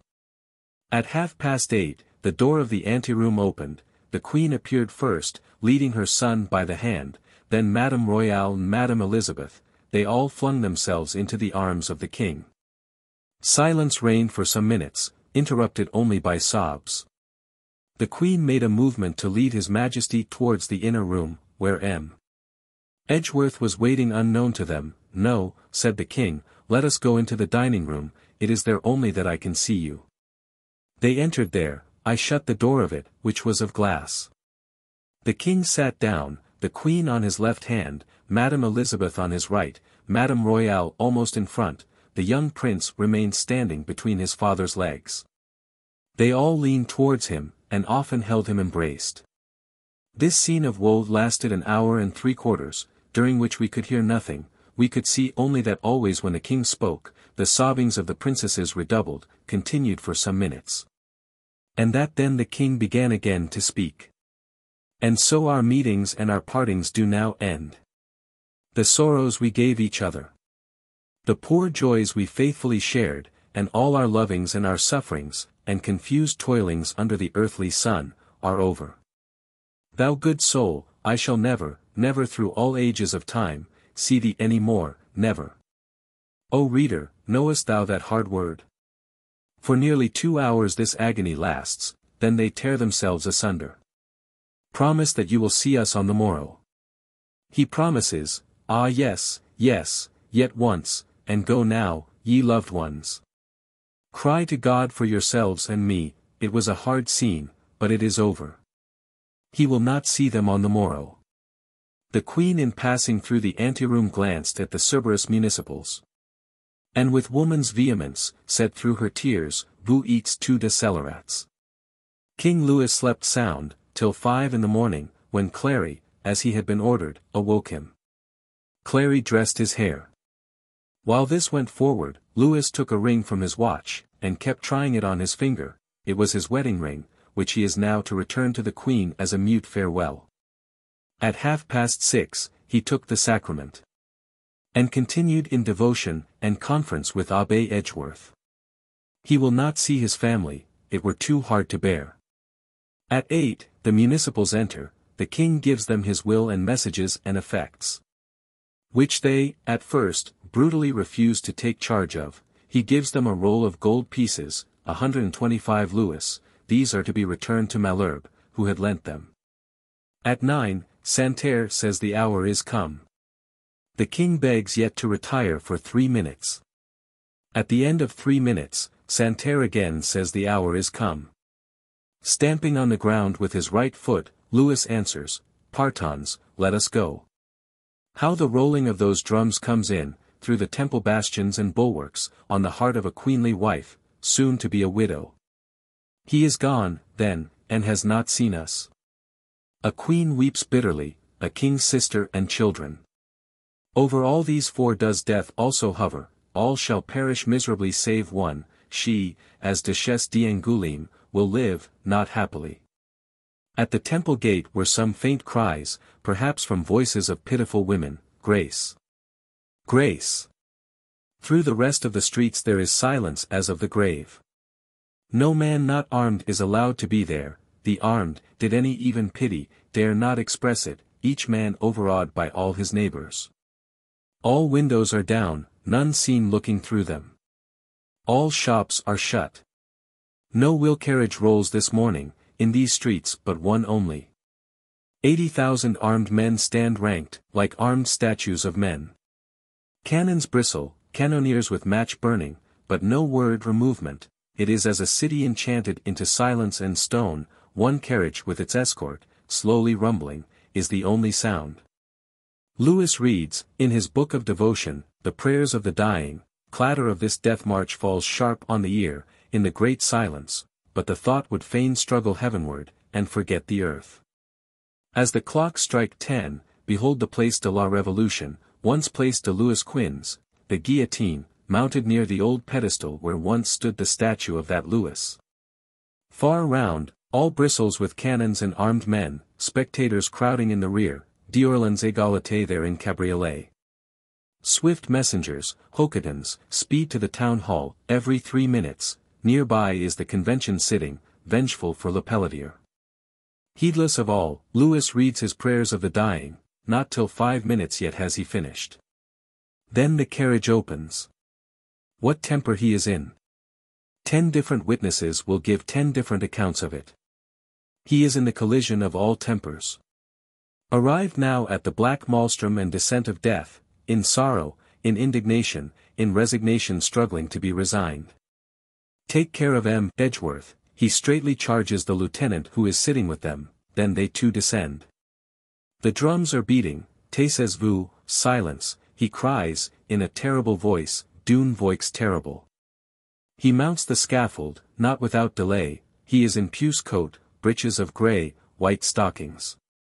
He strips off the coat stands disclosed in a sleeve waistcoat of white flannel. The executioners approach to bind him, he spurns, resists, Abbe Edgeworth has to remind him how the Saviour, in whom men trust, submitted to be bound. His hands are tied, his head bare. The fatal moment is come. He advances to the edge of the scaffold, his face very red, and says, Frenchman, I die innocent, it is from the scaffold and near appearing before God that I tell you so. I pardon my enemies. I desire that France, a general on horseback, Santerre or another, prances out with uplifted hand, tambours. The drums drown the voice. Executioners do your duty. The executioners, desperate lest themselves be murdered, for Santerre in his armed ranks will strike, if they do not, seize the hapless Louis, six of them desperate, him singly desperate, struggling there, and bind him to their plank. Abbe Edgeworth, stooping, bespeaks him, son of St. Louis, ascend to heaven. The axe clanks down, a king's life is shorn away. It is Monday the 21st of January, 1793. He was aged 38 years 4 months and 28 days. Executioner Samson shoes the head, fierce shout of Vive la Republique rises, and swells, caps raised on bayonets, hats waving, students of the College of Four Nations take it up, on the far quays, fling it over Paris. Orleans drives off in his cabriolet, the town hall councillors rub their hands, saying, It is done, it is done. There is dipping of handkerchiefs, of pike points in the blood. Headsman Samson, though he afterwards denied it, sells locks of the hair, fractions of the puce coat are long after worn in rings. And so, in some half hour it is done, and the multitude has all departed. Pastry cooks, coffee sellers, milkmen sing out their trivial quotidian cries, the world wags on, as if this were a common day. In the coffeehouses that evening, says Prudhomme, Patriot shook hands with Patriot in a more cordial manner than usual. Not till some days after, according to Mercier, did public men see what a grave thing it was. A grave thing it indisputably is, and will have consequences. On the morrow morning, Roland, so long steeped to the lips in disgust and chagrin, sends in his demission. His accounts lie already, correct and black on white to the uttermost farthing, these he wants but to have audited, that he might retire to remote obscurity to the country and his books. They will never be audited those accounts. He will never get retired thither. It was on Tuesday that Roland demit. On Thursday comes Le Pelletier Saint Fargeau's funeral, and passage to the pantheon of great men. Notable as the wild pageant of a winter day. The body is borne aloft, half bare, the winding sheet disclosing the death wound, saber and bloody clothes parade themselves, a lugubrious music wailing harsh naeniae. Oak crowns shower down from windows. President Vergniaud walks there, with convention, with Jacobin society, and all patriots of every color, all mourning brother-like. Notable also for another thing, this burial of Le Pelletier, it was the last act these men ever did with concert. All parties and figures of opinion, that agitate this distracted France and its convention, now stand, as it were, face to face, and dagger to dagger, the king's life, round which they all struck and battled, being hurled down. Dumouriez, conquering Holland, growls ominous discontent, at the head of armies. Men say Dumouriez will have a king, that young d'Orléans Égalité shall be his king. Deputy Fauchet, in the Journal des Amis, curses his day, more bitterly than Job did. Invokes the poniards of regicides, of Arras vipers, or Robespierres, of Pluto Dantons, of horrid butchers Legendre and simulacra d'Herbois, to send him swiftly to another world than theirs. This is Te Deum Fauchet, of the Bastille victory, of the Circle Social. Sharp was the death hail rattling round one's flag of truce, on that Bastille day, but it was soft to such wreckage of high hope as this. One's new golden era going down in leaden dross, and sulphurous black of the everlasting darkness. At home this killing of a king has divided all friends, and abroad it has united all enemies. Fraternity of peoples, revolutionary propagandism. Atheism, regicide, total destruction of social order in this world. All kings, and lovers of kings, and haters of anarchy, rank in coalition, as in a war for life. England signifies to citizen Chauvelin, the ambassador, or rather ambassador's cloak, that he must quit the country in eight days. Ambassador's cloak and ambassador, Chauvelin and Talleyrand, depart accordingly. Talleyrand, implicated in that iron press of the Tuileries, thinks it safest to make for America. England has cast out the embassy, England declares war, being shocked principally, it would seem, at the condition of the river Scheldt. Spain declares war, being shocked principally at some other thing, which doubtless the manifesto indicates. Nay we find it was not England that declared war first, or Spain first, but that France herself declared war first on both of them. A point of immense parliamentary and journalistic interest in those days, but which has become of no interest whatever in these. They all declare war. The sword is drawn, the scabbard thrown away. It is even as Danton said, in one of his all too gigantic figures, the coalized kings threaten us, we hurl at their feet, as gauge of battle, the head of a king. Book 3.3 The Girondins Chapter 3.3.I Cause and Effect This huge insurrectionary movement, which we liken to a breaking out of Tophet and the abyss, has swept away royalty, aristocracy, and a king's life. The question is, what will it next do, how will it henceforth shape itself? Settle down into a reign of law and liberty, according as the habits, persuasions and endeavors of the educated, moneyed, respectable class prescribe? That is to say, the volcanic lava flood, bursting up in the manner described, will explode and flow according to Girondin formula and pre-established rule of philosophy? If so, for our Girondin friends it will be well. Meanwhile were not the prophecy rather that as no external force, royal or other, now remains which could control this movement, the movement will follow a course of its own, probably a very original one. Further, that whatsoever man or men can best interpret the inward tendencies it has, and give them voice and activity, will obtain the lead of it. For the rest, that is a thing without order, a thing proceeding from beyond and beneath the region of order, it must work and welter, not as a regularity but as a chaos, destructive and self-destructive. Always till something that has order arise, strong enough to bind it into subjection again. Which something, we may further conjecture, will not be a formula, with philosophical propositions and forensic eloquence. But a reality, probably with a sword in its hand. As for the Girondin formula, of a respectable republic for the middle classes, all manner of aristocracies being now sufficiently demolished, there seems little reason to expect that the business will stop there. Liberty, equality, fraternity, these are the words, enunciative and prophetic. Republic for the respectable washed middle classes, how can that be the fulfillment thereof? Hunger and nakedness, and nightmare oppression lying heavy on 25 million hearts. This, not the wounded vanities or contradicted philosophies of philosophical advocates, rich shopkeepers, rural noblesse, was the prime mover in the French Revolution, as the like will be in all such revolutions, in all countries. Feudal fleur-de-lis had become an insupportably bad marching banner, and needed to be torn and trampled, but money-bag of mammon, for that, in these times, is what the respectable republic for the middle classes will signify, is a still worse. While it lasts. Properly, indeed, it is the worst and basest of all banners, and symbols of dominion among men, and indeed is possible only in a time of general atheism, and unbelief in anything save in brute force and sensualism. Pride of birth, pride of office, any known kind of pride being a degree better than purse pride. Freedom, equality, brotherhood, not in the money bag, but far elsewhere, will sansculottism seek these things. We say therefore that an insurrectionary France, loose of control from without, destitute of supreme order from within, will form one of the most tumultuous activities ever seen on this earth, such as no Girondin formula can regulate. An immeasurable force, made up of forces manifold, heterogeneous, compatible and incompatible. In plainer words, this France must needs split into parties, each of which seeking to make itself good, contradiction, exasperation will arise.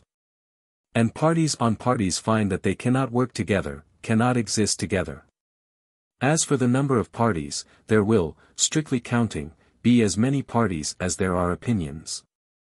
According to which rule, in this national convention itself, to say nothing of France generally, the number of parties ought to be 749, for every unit entertains his opinion.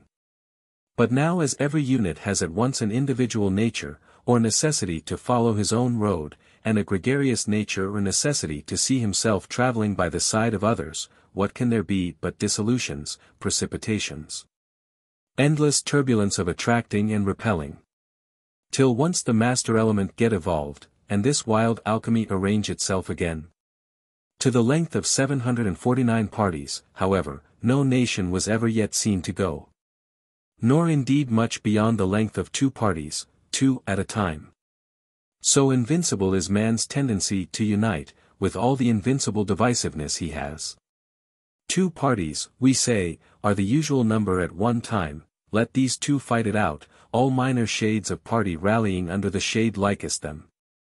When the one has fought down the other, then it, in its turn, may divide, self-destructive, and so the process continue, as far as needful. This is the way of revolutions, which spring up as the French one has done. When the so-called bonds of society snap asunder, and all laws that are not laws of nature become naught and formulas merely. But quitting these somewhat abstract considerations, let history note this concrete reality which the streets of Paris exhibit, on Monday the 25th of February, 1793. Long before daylight that morning, these streets are noisy and angry.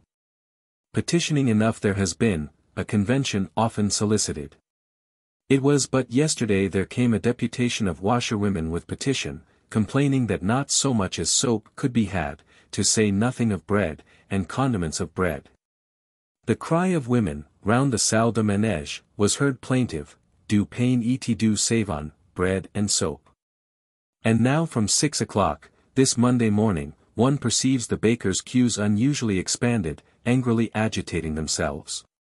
Not the baker alone, but two section commissioners to help him, manage with difficulty the daily distribution of loaves. Soft-spoken assiduous, in the early candlelight, are baker and commissioners, and yet the pale chill February sunrise discloses an unpromising scene. Indignant female patriots, partly supplied with bread, rush now to the shops, declaring that they will have groceries. Groceries enough, sugar barrels rolled forth into the street, patriot citoyens weighing it out at a just rate of 11 pence a pound. Likewise coffee chests, soap chests, nay cinnamon and cloves chests, with aquavitae in other forms of alcohol, at a just rate, which some do not pay, the pale-faced grocer silently wringing his hands. What help? The distributive citoyens are of violent speech and gesture, their long Eumenides hair hanging out of curl, nay in their girdles pistols are seen sticking, some, it is even said, have beards, male patriots in petticoats and mob cap. Thus, in the streets of Lombards, in the street of Five Diamonds, street of Pulleys, in most streets of Paris does it effervesce, the livelong day.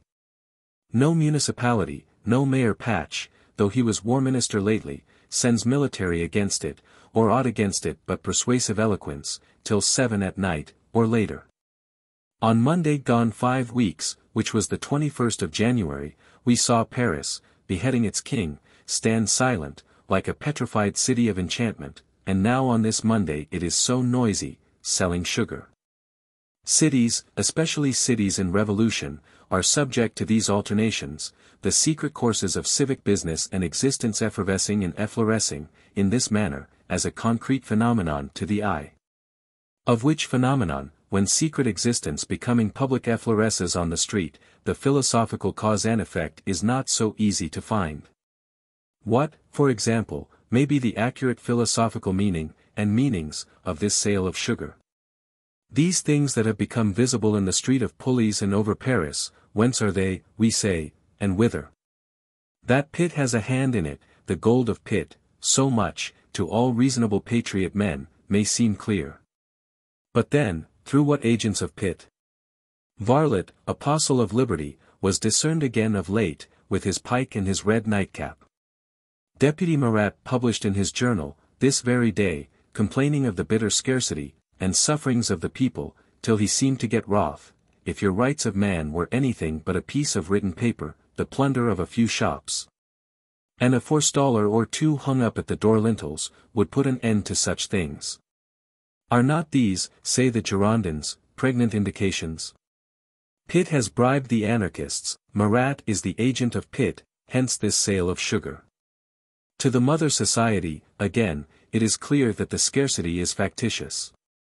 Is the work of Girondins, and such like, a set of men sold partly to Pitt, sold wholly to their own ambitions, and hard-hearted pedantries, who will not fix the grain prices, but prate pedantically of free trade wishing to starve Paris into violence, and embroil it with the departments, hence this sale of sugar. And, alas, if to these two notabilities, of a phenomenon and such theories of a phenomenon, we add this third notability, that the French nation has believed, for several years now, in the possibility, nay certainty in near advent. Of a universal millennium, or reign of freedom, equality, fraternity, wherein man should be the brother of man, and sorrow and sin flee away. Not bread to eat, nor soap to wash with, and the reign of perfect felicity ready to arrive, do always since the Bastille fell. How did our hearts burn within us, at that feast of pikes, when brother flung himself on brother's bosom. And in sunny jubilee, twenty-five millions burst forth into sound and cannon smoke. Bright was our hope then, as sunlight, red angry is our hope grown now, as consuming fire. But, O heavens, what enchantment is it, or devilish legerdemain, of such effect, that perfect felicity, always within arm's length, could never be laid hold of, but only in her stead controversy and scarcity. This set of traitors after that set. Tremble, ye traitors, dread a people which calls itself patient, long-suffering, but which cannot always submit to have its pocket picked, in this way, of a millennium. Yes, reader, here is a miracle. Out of that putrescent rubbish of skepticism, sensualism, sentimentalism, hollow Machiavellism, such a faith has verily risen, flaming in the heart of a people.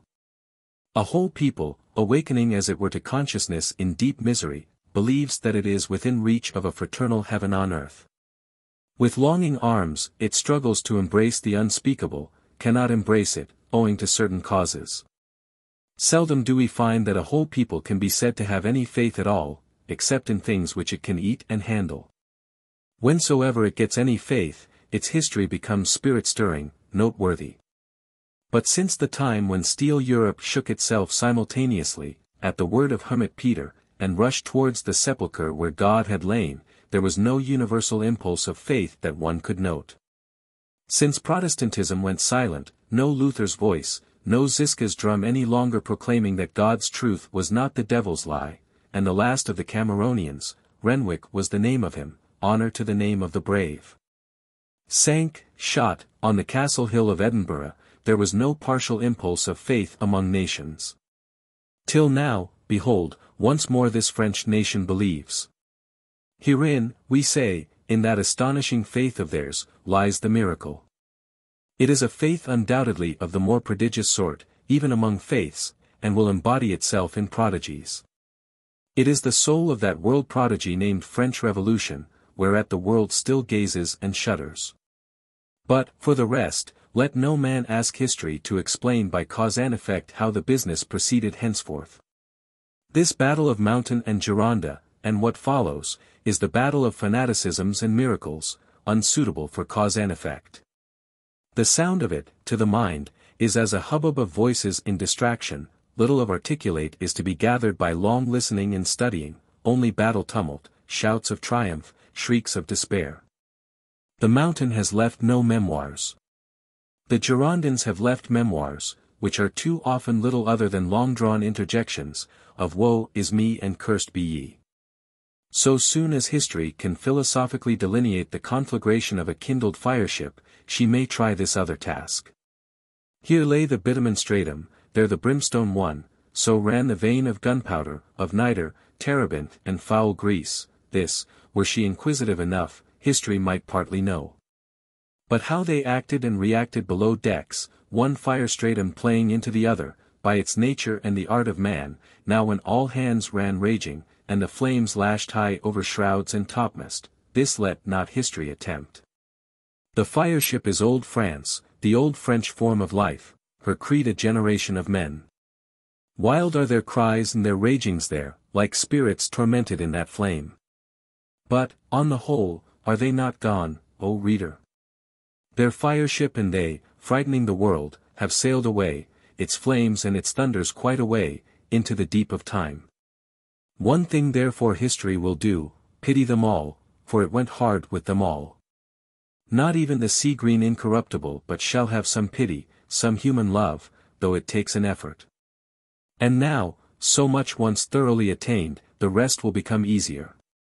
To the eye of equal brotherly pity, innumerable perversions dissipate themselves, exaggerations and execrations fall off, of their own accord. Standing wistfully on the safe shore, we will look, and see, what is of interest to us, what is adapted to us. Chapter 3.3.2 Culottic and Sansculottic Gironde and Mountain are now in full quarrel. Their mutual rage, says Toulongeon, is growing a pale rage.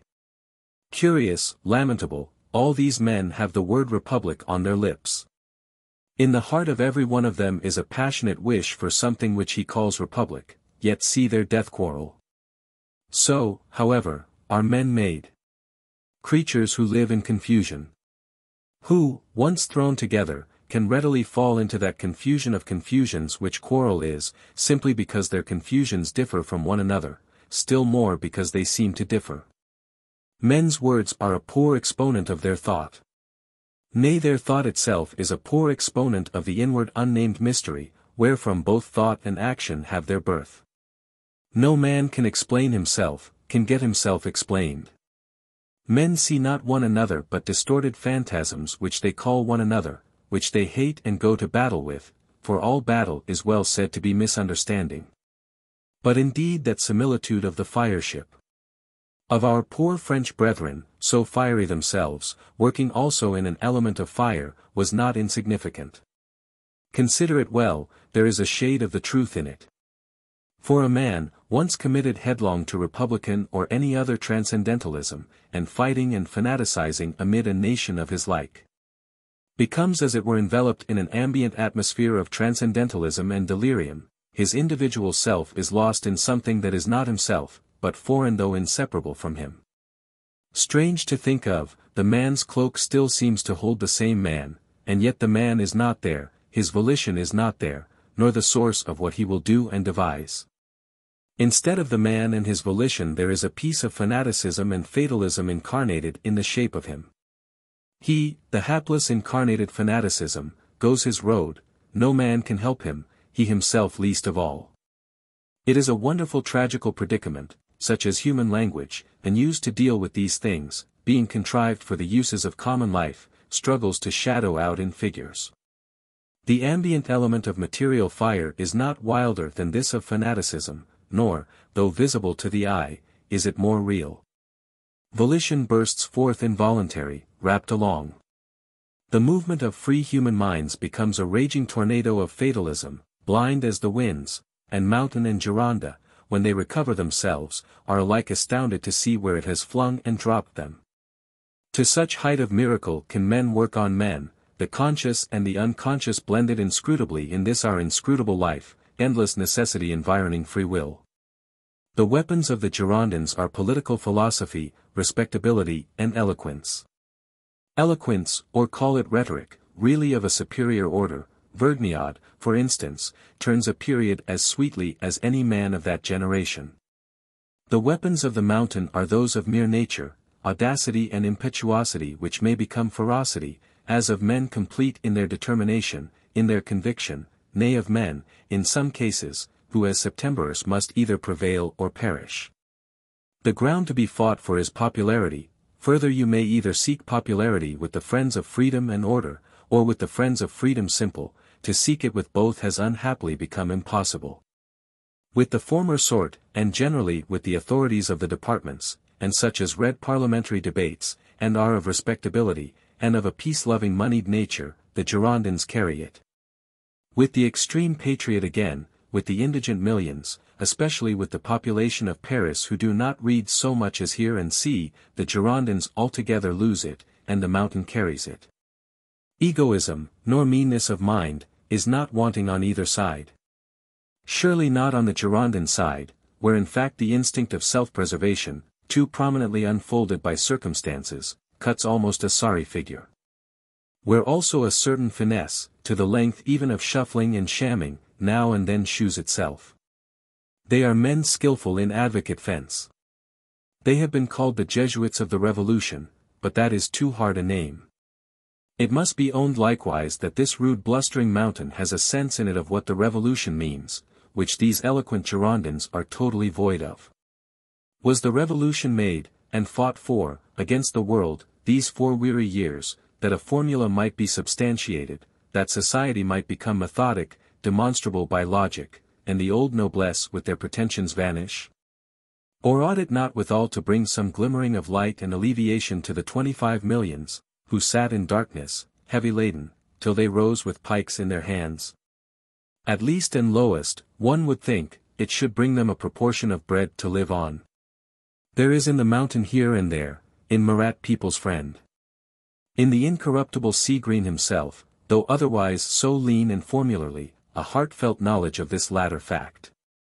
Without which knowledge all other knowledge here is not, and the choicest forensic eloquence is as sounding brass and a tinkling cymbal.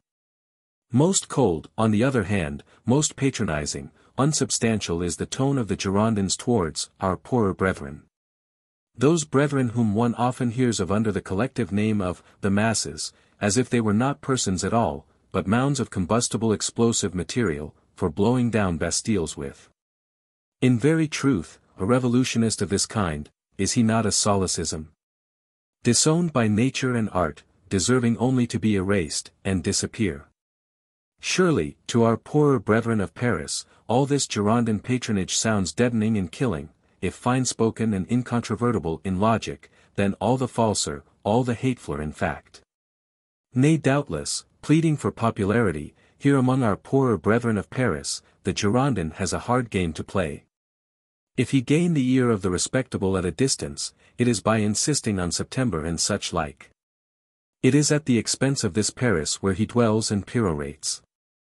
Hard to perorate in such an auditory. Wherefore the question arises, could we not get ourselves out of this Paris? Twice or oftener such an attempt is made. If not we ourselves, thinks Guadet, then at least our Suppléans might do it. For every deputy has his suppliant or substitute, who will take his place if need be, might not these assemble, say at Bourges, which is a quiet episcopal town, in quiet Berry, forty good leagues off. In that case, what profit were it for the Paris Sansculottery to insult us, our Suppléans sitting quiet in Bourges, to whom we could run? Nay even the primary electoral assemblies, thinks Guadet, might be reconvoked, and a new convention got, with new orders from the sovereign people. And right glad were Lyons, were Bordeaux, Rouen, Marseilles, as yet provincial towns, to welcome us in their turn, and become a sort of capital towns, and teach these Parisians reason. Fond schemes, which all misgo. If decreed, in heat of eloquent logic, today, they are repealed, by clamour, and passionate wider considerations, on the morrow. Will you, O Girondins, parcel us into separate republics, then, like the Swiss, like your Americans. So that there be no metropolis or indivisible French nation any more. Your departmental guard seem to point that way. Federal Republic. Federalist. Men and knitting women repeat Federalist, with or without much dictionary meaning. But go on repeating it, as is usual in such cases, till the meaning of it becomes almost magical, fit to designate all mystery of iniquity, and Federalist has grown a word of exorcism and apage Satanas. But furthermore, consider what poisoning of public opinion, in the departments, by these Brissot, Gorsas, Caritat Condorcet newspapers. And then also what counter-poisoning, still feller in quality, by a Père Duchesne of Hébert, brutalist newspaper yet published on earth, by a Rougiff of Guffroy, by the incendiary leaves of Marat. More than once, on complaint given and effervescence rising, it is decreed that a man cannot both be legislator and editor, that he shall choose between the one function and the other. But this too, which indeed could help little, is revoked or eluded, remains a pious wish mainly. Meanwhile, as the sad fruit of such strife, behold, O ye national representatives, how between the friends of law and the friends of freedom everywhere, mere heats and jealousies have arisen, fevering the whole republic. Department, provincial town is set against metropolis, rich against poor, Culottic against Sansculottic, man against man. From the southern cities come addresses of an almost inculpatory character, for Paris has long suffered newspaper calumny. Bordeaux demands a reign of law and respectability, meaning Girondinism, with emphasis. With emphasis Marseilles demands the like. Nay from Marseilles there come two addresses, one Girondin, one Jacobin Sansculottic. Hot Rebecqui, sick of this convention work, has given place to his substitute, and gone home, where also, with such jarrings, there is work to be sick of. Lyons, a place of capitalists and aristocrats, is in still worse state, almost in revolt. Chalier the Jacobin town councillor has got, too literally, to daggers drawn with Nièvre-Chol the moderate Moderantin mayor, one of your moderate, perhaps aristocrat, royalist or federalist mayors. Chalier, who pilgrimed to Paris, to behold Marat and the mountain, has verily kindled himself at their sacred urn, for on the 6th of February last, history or rumor has seen him haranguing his Lyons Jacobins in a quite transcendental manner. With a drawn dagger in his hand.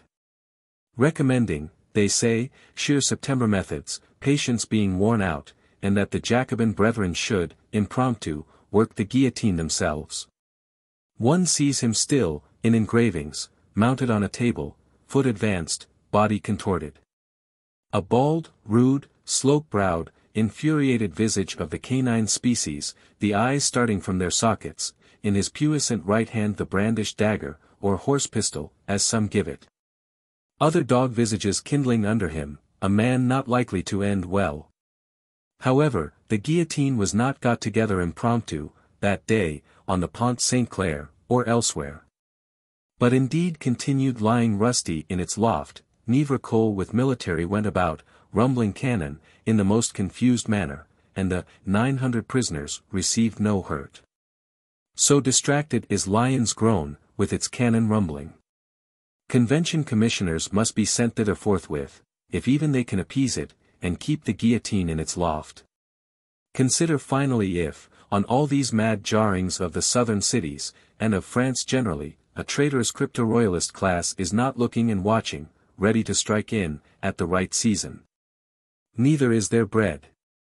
Neither is there soap, see the patriot women selling out sugar, at a just rate of 22 sous per pound. Citizen representatives, it were verily well that your quarrels finished, and the reign of perfect felicity began. Chapter 3.3.3 Growing Shrill On the whole, one cannot say that the Girondins are wanting to themselves, so far as goodwill might go. They prick assiduously into the sore places of the mountain, from principle, and also from Jesuitism. Besides September, of which there is now little to be made except effervescence, we discern two sore places where the mountain often suffers, Marat and Orleans Égalité. Squalid Marat, for his own sake and for the mountains, is assaulted ever and anon, held up to France, as a squalid bloodthirsty portent, inciting to the pillage of shops, of whom let the mountain have the credit. The mountain murmurs, ill at ease, this maximum of patriotism, how shall they either own him or disown him? As for Marat personally, he, with his fixed idea, remains invulnerable to such things, nay the people's friend is very evidently rising in importance, as his befriended people rises. No shrieks now, when he goes to speak. Occasional applauses rather, furtherance which breeds confidence. The day when the Girondins proposed to decree him accused, décréter d'accusation, as they phrase it, for that February paragraph, of hanging up a forestaller or two at the door lintels, Marat proposes to have them decreed insane. And, descending the tribune steps, is heard to articulate these most unsenatorial ejaculations, les cochons, les imbéciles, pigs, idiots. Oftentimes he croaks harsh sarcasm, having really a rough rasping tongue, and a very deep fund of contempt for fine outsides. And once or twice, he even laughs, nay, explodes into laughter, rire aux éclats, at the gentilities and superfine airs of these Girondin men of statesmanship, with their pedantries, plausibilities, pusillanimities, these two years, says he. You have been whining about attacks, and plots, and danger from Paris. And you have not a scratch to shew for yourselves. Danton gruffly rebukes him, from time to time, a maximum of patriotism, whom one can neither own nor disown.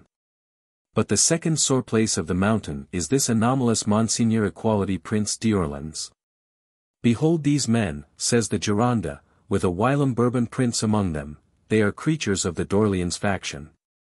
They will have Philippe made king, one king no sooner guillotined than another made in his stead. Girondins have moved, Buzot moved long ago, from principle and also from Jesuitism, that the whole race of Bourbons should be marched forth from the soil of France, this Prince Égalité to bring up the rear. Motions which might produce some effect on the public, which the mountain, ill at ease, knows not what to do with.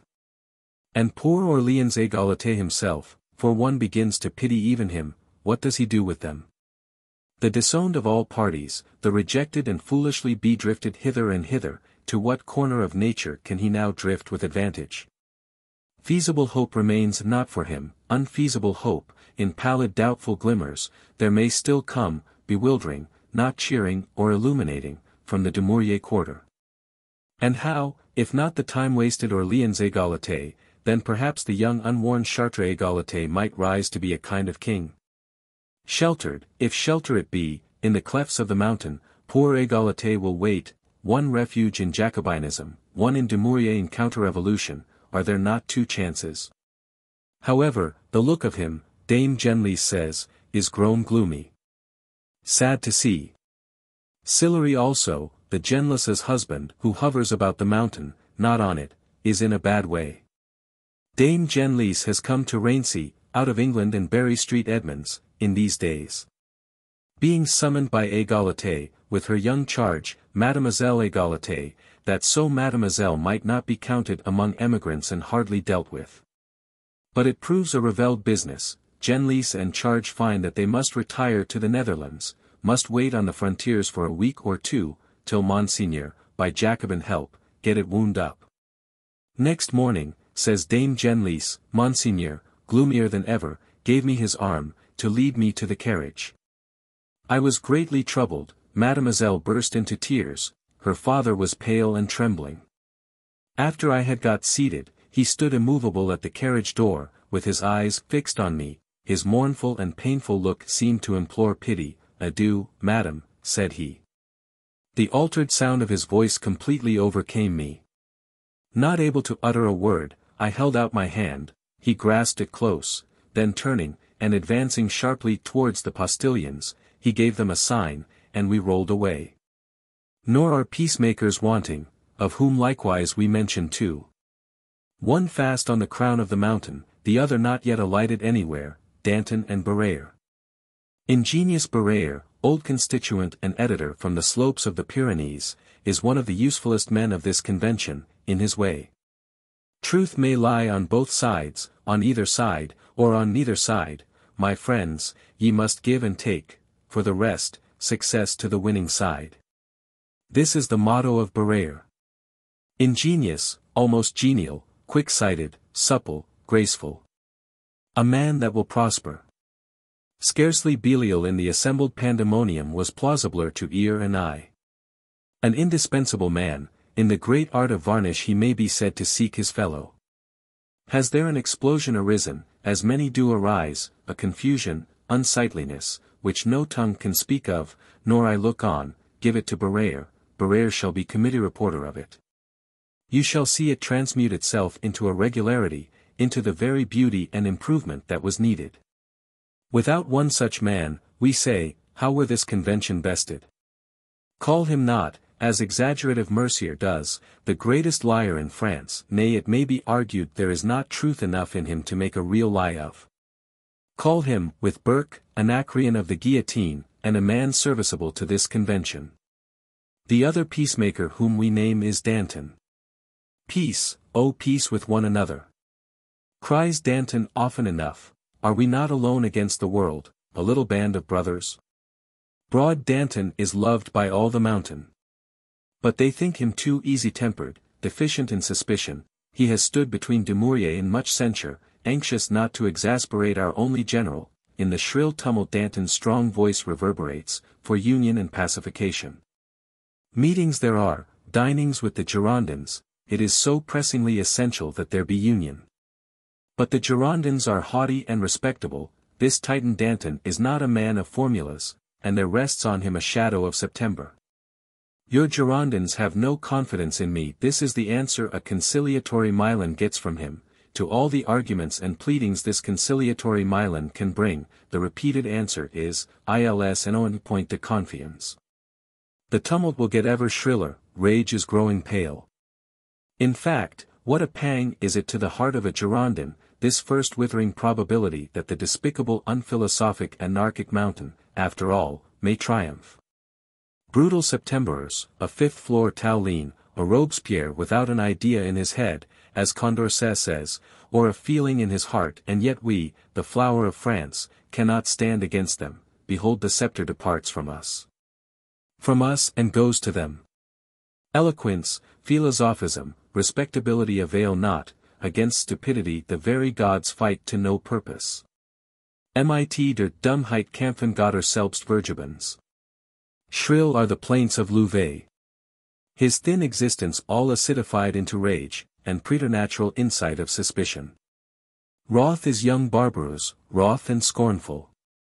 Silent, like a queen with the aspic on her bosom, sits the wife of Roland. Roland's accounts never yet got audited, his name become a byword. Such is the fortune of war, especially of revolution. The great gulf of Tophet, and 10th of August, opened itself at the magic of your eloquent voice. And lo now, it will not close at your voice. It is a dangerous thing such magic. The magicians Famulus got hold of the forbidden book, and summoned a goblin, Plaît-il, what is your will? said the goblin. The famulus, somewhat struck, bade him fetch water, the swift goblin fetched it, pail in each hand, but lo, would not cease fetching it. Desperate, the famulus shrieks at him, smites at him, cuts him in two, lo, two goblin water carriers ply. And the house will be swum away in Deucalion deluges. Chapter 3.3.4 Fatherland in Danger Or rather we will say, this senatorial war might have lasted long. And party tugging and throttling with party might have suppressed and smothered one another, in the ordinary bloodless parliamentary way, on one condition, that France had been at least able to exist, all the while. But this sovereign people has a digestive faculty, and cannot do without bread. Also we are at war, and must have victory, at war with Europe, with fate and famine, and behold, in the spring of the year, all victory deserts us. Dumouriez had his outpost stretched as far as Aix-la-Chapelle, and the beautifulest plan for pouncing on Holland, by stratagem, flat-bottomed boats and rapid intrepidity, wherein too he had prospered so far, but unhappily could prosper no further. Aix-la-Chapelle is lost, Maestricht will not surrender to mere smoke and noise, the flat-bottomed boats must launch themselves again, and return the way they came. Steady now, ye rapidly intrepid men, retreat with firmness, Parthian-like. Alas, were it General Miranda's fault, were it the War Minister's fault, or were it Dumouriez's own fault and that of fortune, enough, there is nothing for it but retreat, well if it be not even flight. For already terror-stricken cohorts and stragglers pour off, not waiting for order, flow disastrous, as many as ten thousand of them, without halt till they see France again. Nay worse, Dumouriez himself is perhaps secretly turning traitor. Very sharp is the tone in which he writes to our committees. Commissioners and Jacobin pillagers have done such incalculable mischief, Hassenfratz sends neither cartridges nor clothing, shoes we have, deceptively, sold with wood and pasteboard. Nothing in short is right. Danton and Lacroix, when it was they that were commissioners, would needs join Belgium to France, of which Dumouriez might have made the prettiest little duchy for his own secret behoof. With all these things the general is wroth, and writes to us in a sharp tone. Who knows what this hot little general is meditating? Dumouriez Duke of Belgium or Brabant. And say, Égalité the younger king of France, there were an end for our revolution, Committee of Defense gazes, and shakes its head, who except Danton, defective in suspicion, could still struggle to be of hope. And General Custine is rolling back from the Rhine country, conquered Mentz will be reconquered, the Prussians gathering round to bombard it with shot and shell. Mentz may resist, Commissioner Merlin, the Thionviller, making sallies, at the head of the besieged, resist to the death, but not longer than that. How sad a reverse for Mentz. Brave Forster, Brave Lux planted liberty trees, amid ça-ira music, in the snow slush of last winter, there, and made Jacobin societies. And got the territory incorporated with France, they came hither to Paris, as deputies or delegates, and have their eighteen francs a day, but see, before once the liberty tree is got rightly in leaf, Mentz is changing into an explosive crater. Vomiting fire, bevomited with fire. Neither of these men shall again see Mentz, they have come hither only to die. Forster has been round the globe, he saw Cook perish under Oahy clubs, but like this Paris he has yet seen or suffered nothing. Poverty escorts him, from home there can nothing come, except Job's news, the 18 daily francs, which we hear as deputy or delegate with difficulty touch, are in paper assignats, and sink fast in value. Poverty, disappointment, inaction, obloquy, the brave heart slowly breaking. Such is Forster's lot. For the rest, Demoiselle Théroigne smiles on you in the soirees, a beautiful brown-locked face, of an exalted temper. And contrives to keep her carriage. Prussian Trenck, the poor subterranean baron, jargons and jangles in an unmelodious manner. Thomas Paine's face is red pustuled, but the eyes uncommonly bright. Convention deputies ask you to dinner, very courteous, and, we all play at plum sack. It is the explosion and new creation of a world, says Forster, and the actors in it, such small mean objects, buzzing round one like a handful of flies. Likewise there is war with Spain. Spain will advance through the gorges of the Pyrenees, rustling with Bourbon banners, jingling with artillery and menace. And England has donned the red coat. And marches, with Royal Highness of York, whom some once spake of inviting to be our king. Change that humour now, and ever more changing, till no hatefuller thing walk this earth than a denizen of that tyrannous island. And Pitt be declared and decreed, with effervescence, l'ennemi du genre humain, the enemy of mankind, and, very singular to say, you make an order that no soldier of liberty give quarter to an Englishman. Which order however, the soldier of liberty does but partially obey. We will take no prisoners then, say the soldiers of liberty, they shall all be, deserters, that we take. It is a frantic order, and attended with inconvenience. For surely, if you give no quarter, the plain issue is that you will get none, and so the business become as broad as it was long. Our recruitment of 300,000 men, which was the decreed force for this year, is like to have work enough laid to its hand. So many enemies come wending on, penetrating through throats of mountains, steering over the salt sea. Towards all points of our territory, rattling chains at us. Nay worst of all, there is an enemy within our own territory itself. In the early days of March, the Nantes postbags do not arrive. There arrive only instead of them conjecture, apprehension, bodeful wind of rumor. The bodefullest proves true. Those fanatic peoples of La Vendée will no longer keep under, their fire of insurrection, heretofore dissipated with difficulty, blazes out anew, after the king's death, as a wide conflagration, not riot, but civil war. Your Cathelineaus, your Stofflets, Charrettes, are other men than was thought, behold how their peasants, in mere russet and hodden, with their rude arms, rude array, with their fanatic Gaelic frenzy and wild yelling battle cry of God and the King. Dash at us like a dark whirlwind. And blow the best disciplined nationals we can get into panic and sauve-qui-peut. Field after field is theirs, one sees not where it will end. Commandant Santerre may be sent thither, but with non-effect. He might as well have returned and brewed beer. It has become peremptorily necessary that a national convention cease arguing, and begin acting. Yield one party of you to the other, and do it swiftly. No theoretic outlook is here, but the close certainty of ruin, the very day that is passing over must be provided for. It was Friday the 8th of March when this Job's post from Dumouriez, thickly preceded and escorted by so many other Job's posts, reached the National Convention. Blank enough are most faces. Little will it avail whether our Septemberers be punished or go unpunished, if Pitt and Coburg are coming in, with one punishment for us all.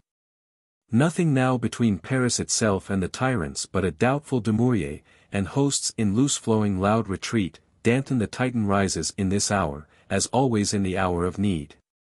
Great is his voice, reverberating from the domes, citizen representatives, shall we not, in such crisis of fate, lay aside discords? Reputation, oh what is the reputation of this man or of that? Que mon nom soit flétri, que la France soit libre, let my name be blighted, let France be free. It is necessary now again that France rise, in swift vengeance, with her million right hands, with her heart as of one man. Instantaneous recruitment in Paris, let every section of Paris furnish its thousands, every section of France. 96 commissioners of us, two for each section of the 48, they must go forthwith, and tell Paris what the country needs of her. Let 80 more of us be sent, post-haste, over France.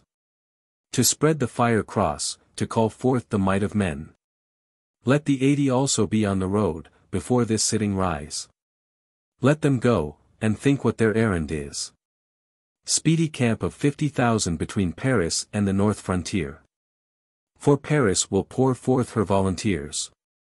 Shoulder to shoulder, one strong universal death-defiant rising and rushing, we shall hurl back these sons of night yet again, and France, in spite of the world, be free. So sounds the Titan's voice, into all section houses. Into all French hearts.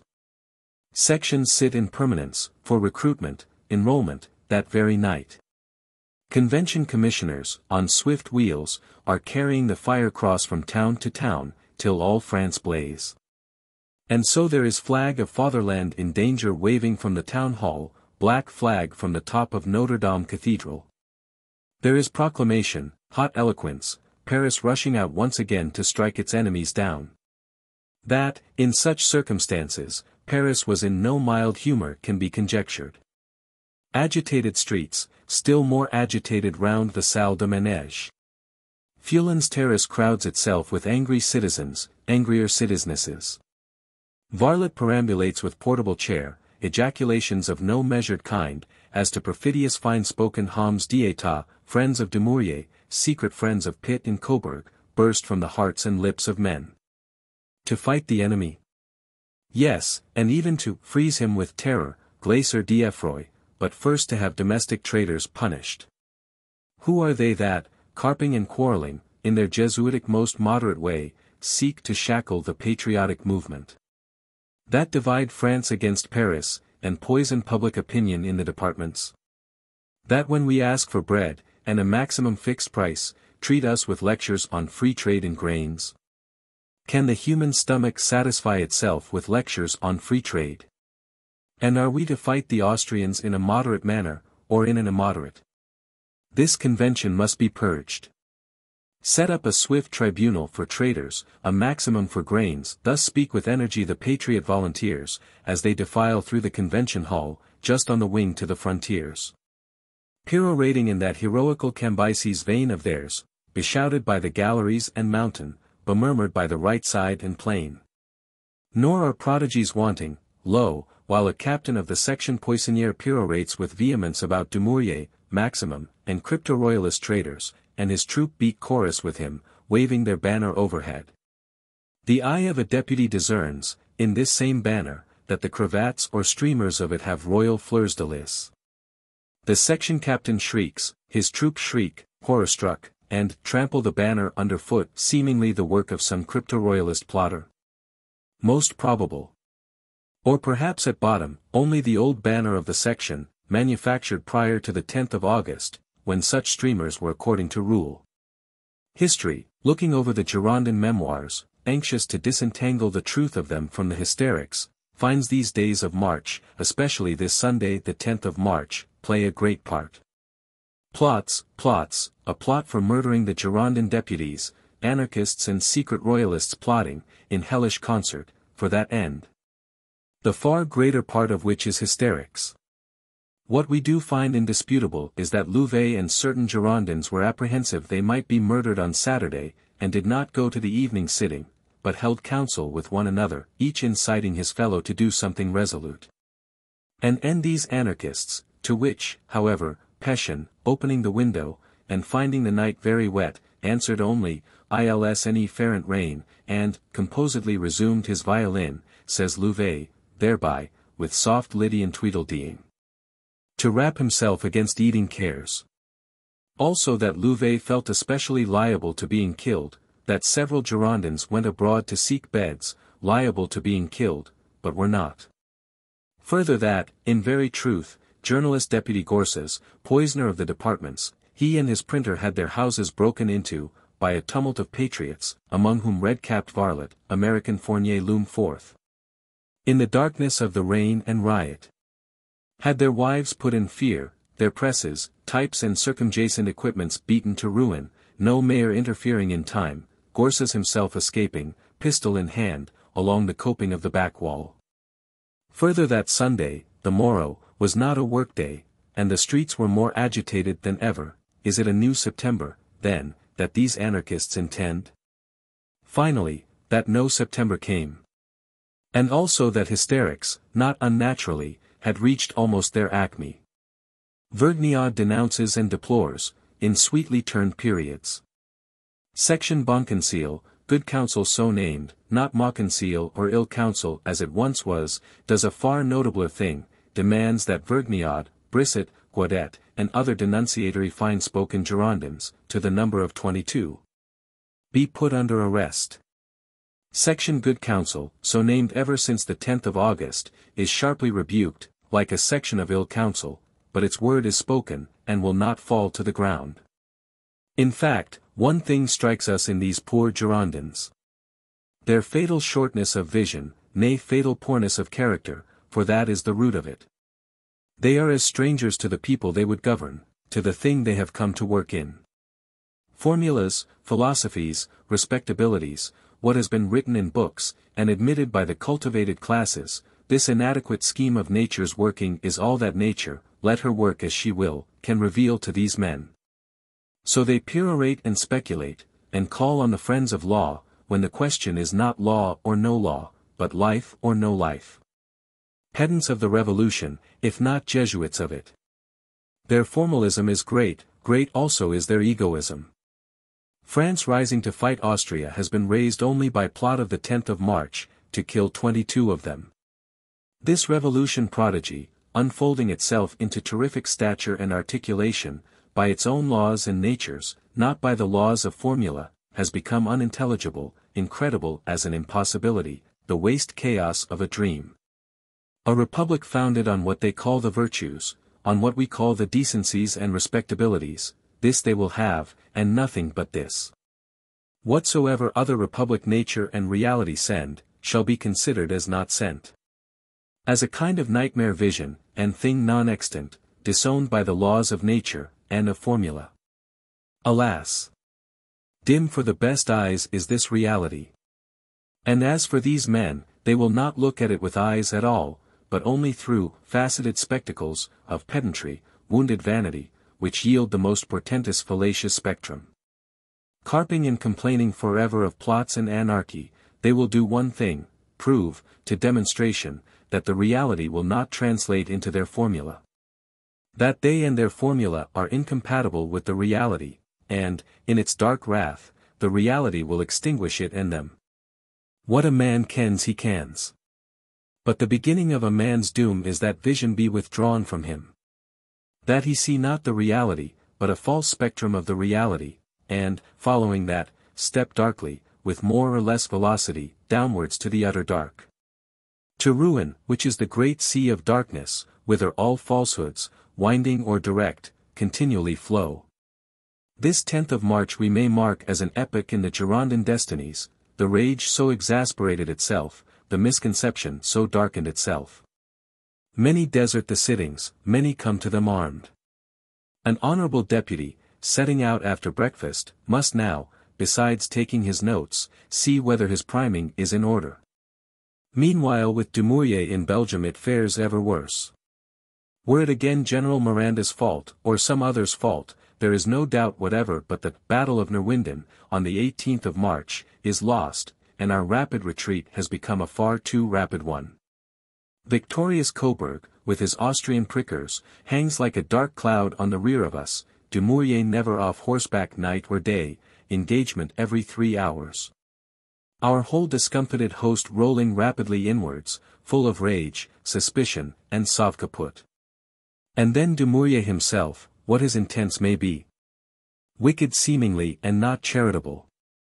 His dispatches to committee openly denounce a factious convention, for the woes it has brought on France and him.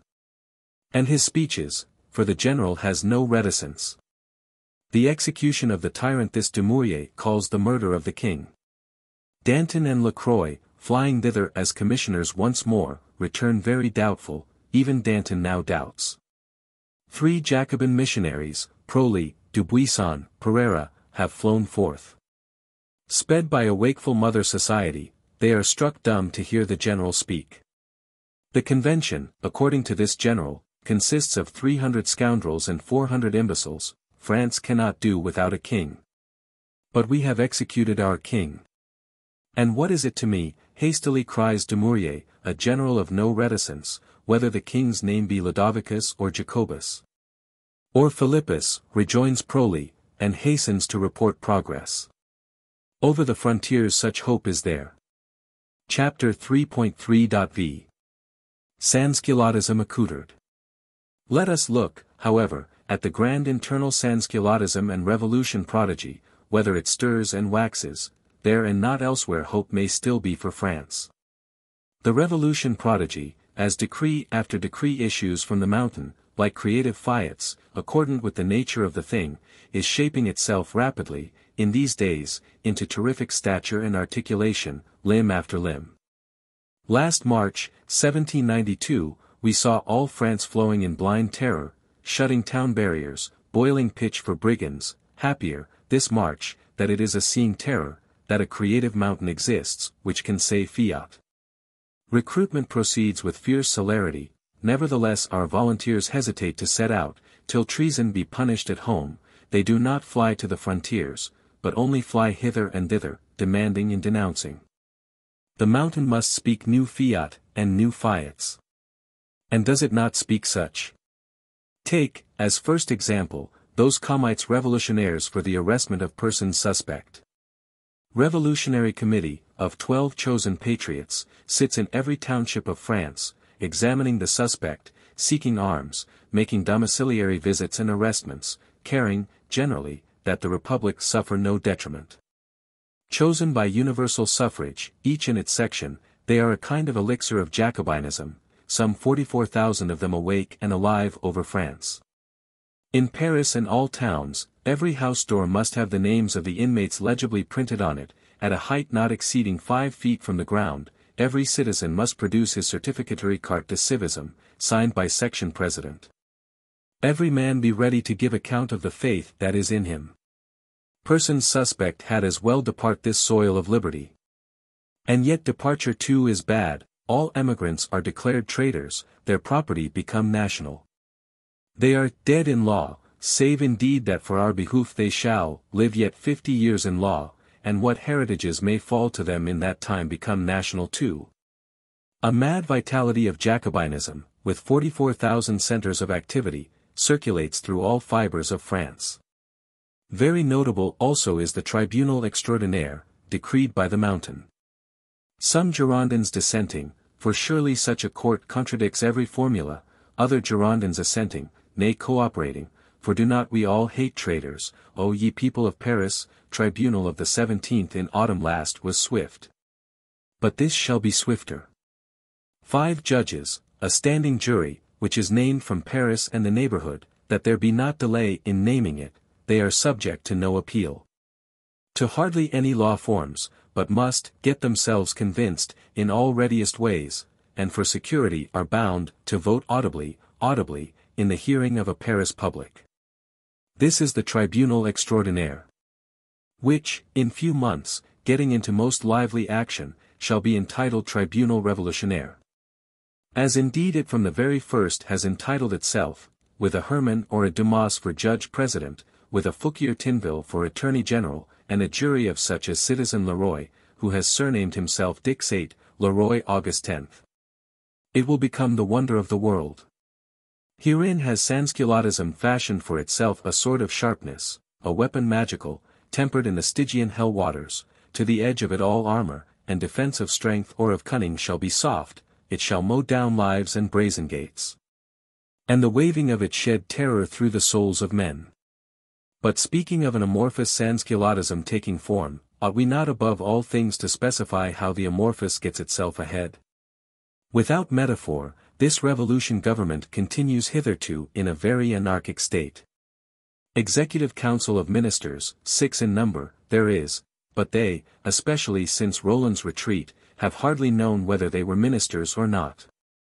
Convention committees sit supreme over them, but then each committee as supreme as the others, Committee of 21, of Defense, of General Surety, simultaneous or successive, for specific purposes.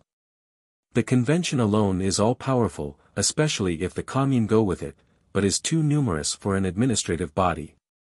Wherefore, in this perilous quick-whirling condition of the Republic, before the end of March, we obtain our small comite de salut public, as it were, for miscellaneous accidental purposes, requiring dispatch.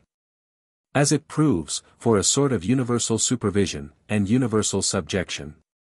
They are to report weekly, these new committee men, but to deliberate in secret.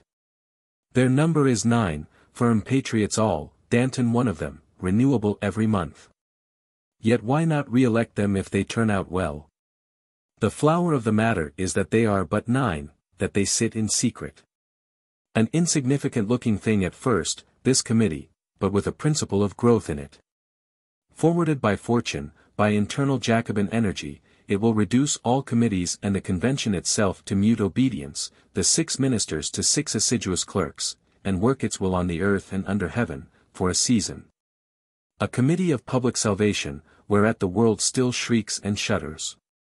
If we call that revolutionary tribunal a sword, which Sansculottism has provided for itself, then let us call the law of the maximum, a provender scrip, or haversack, wherein better or worse some ration of bread may be found. It is true, political economy, Girondin free trade, and all law of supply and demand, are hereby hurled topsy-turvy, but what help? Patriotism must live, the cupidity of farmers seems to have no bowels. Wherefore this law of the maximum, fixing the highest price of grains, is, with infinite effort, got past. And shall gradually extend itself into a maximum for all manner of comestibles and commodities, with such scrambling and topsy-turvying as may be fancied. For now, if, for example, the farmer will not sell, the farmer shall be forced to sell. An accurate account of what grain he has shall be delivered in to the constituted authorities, let him see that he say not too much. For in that case, his rents, taxes and contributions will rise proportionally, let him see that he say not too little. For, on or before a set day, we shall suppose in April, less than one-third of this declared quantity, must remain in his barns, more than two-thirds of it must have been thrashed and sold. One can denounce him, and raise penalties. By such inextricable overturning of all commercial relation will Sansculottism keep life in, since not otherwise. On the whole, as Camille Desmoulins says once, while the Sansculottes fight, the messieurs must pay. So there come impots progressives, ascending taxes, which consume, with fast increasing voracity, and superfluous revenue of men, beyond fifty pounds a year you are not exempt, rising into the hundred you bleed freely. Into the thousands and tens of thousands, you bleed gushing. Also there come requisitions, there comes, forced loan of a milliard, some fifty million sterling, which of course they that have must lend.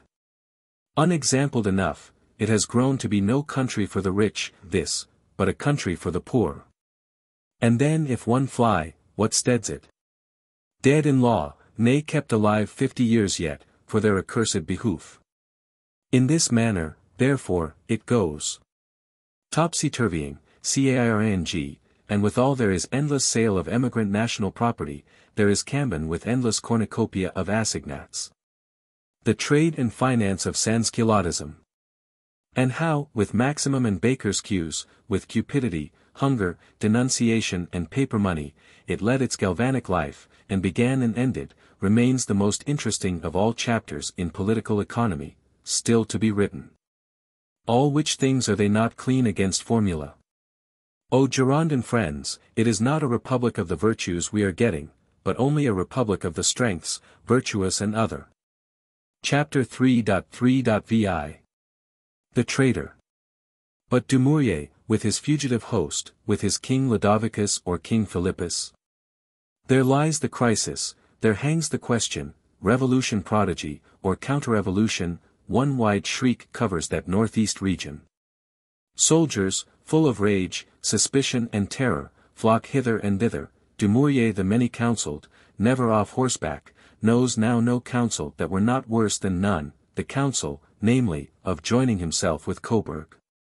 Marching to Paris, extinguishing Jacobinism, and, with some new King Ludovicus or King Philippus, wresting the constitution of 1791. Is wisdom quitting Dumouriez, the herald of fortune quitting him? Principle, faith political or other, beyond a certain faith of mess rooms, and honor of an officer, had him not to quit. At any rate, his quarters in the burgh of Saint Amand, his headquarters in the village of Saint-Amand-des-Boues, a short way off, have become a bedlam. National representatives, Jacobin missionaries are riding and running, of the three towns, Lille, Valenciennes or even Condé, which Dumouriez wanted to snatch for himself, not one can be snatched, your captain is admitted. But the town gate is closed on him, and then the prison gate, and his men wander about the ramparts.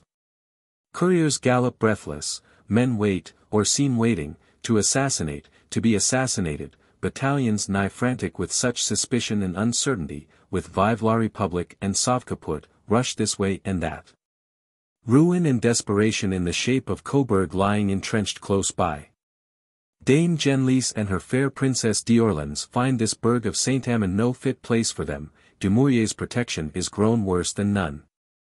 Tough Genlis one of the toughest women, a woman, as it were, with nine lives in her, whom nothing will beat, she packs her bandboxes, clear for flight in a private manner. Her beloved princess she will, leave here, with the Prince Chartres Égalité her brother. In the cold grey of the April morning, we find her accordingly established in her hired vehicle, on the street of Saint-Amand. Postilions just cracking their whips to go, when behold the young princely brother, struggling hitherward, hastily calling, bearing the princess in his arms. Hastily he has clutched the poor young lady up, in her very nightgown, nothing saved of her goods except the watch from the pillow, with brotherly despair he flings her in, among the bandboxes, into Genlis's chaise. Into Genlis's arms, leave her not, in the name of mercy and heaven. A shrill scene, but a brief one, the postilions crack and go. Ah, whither?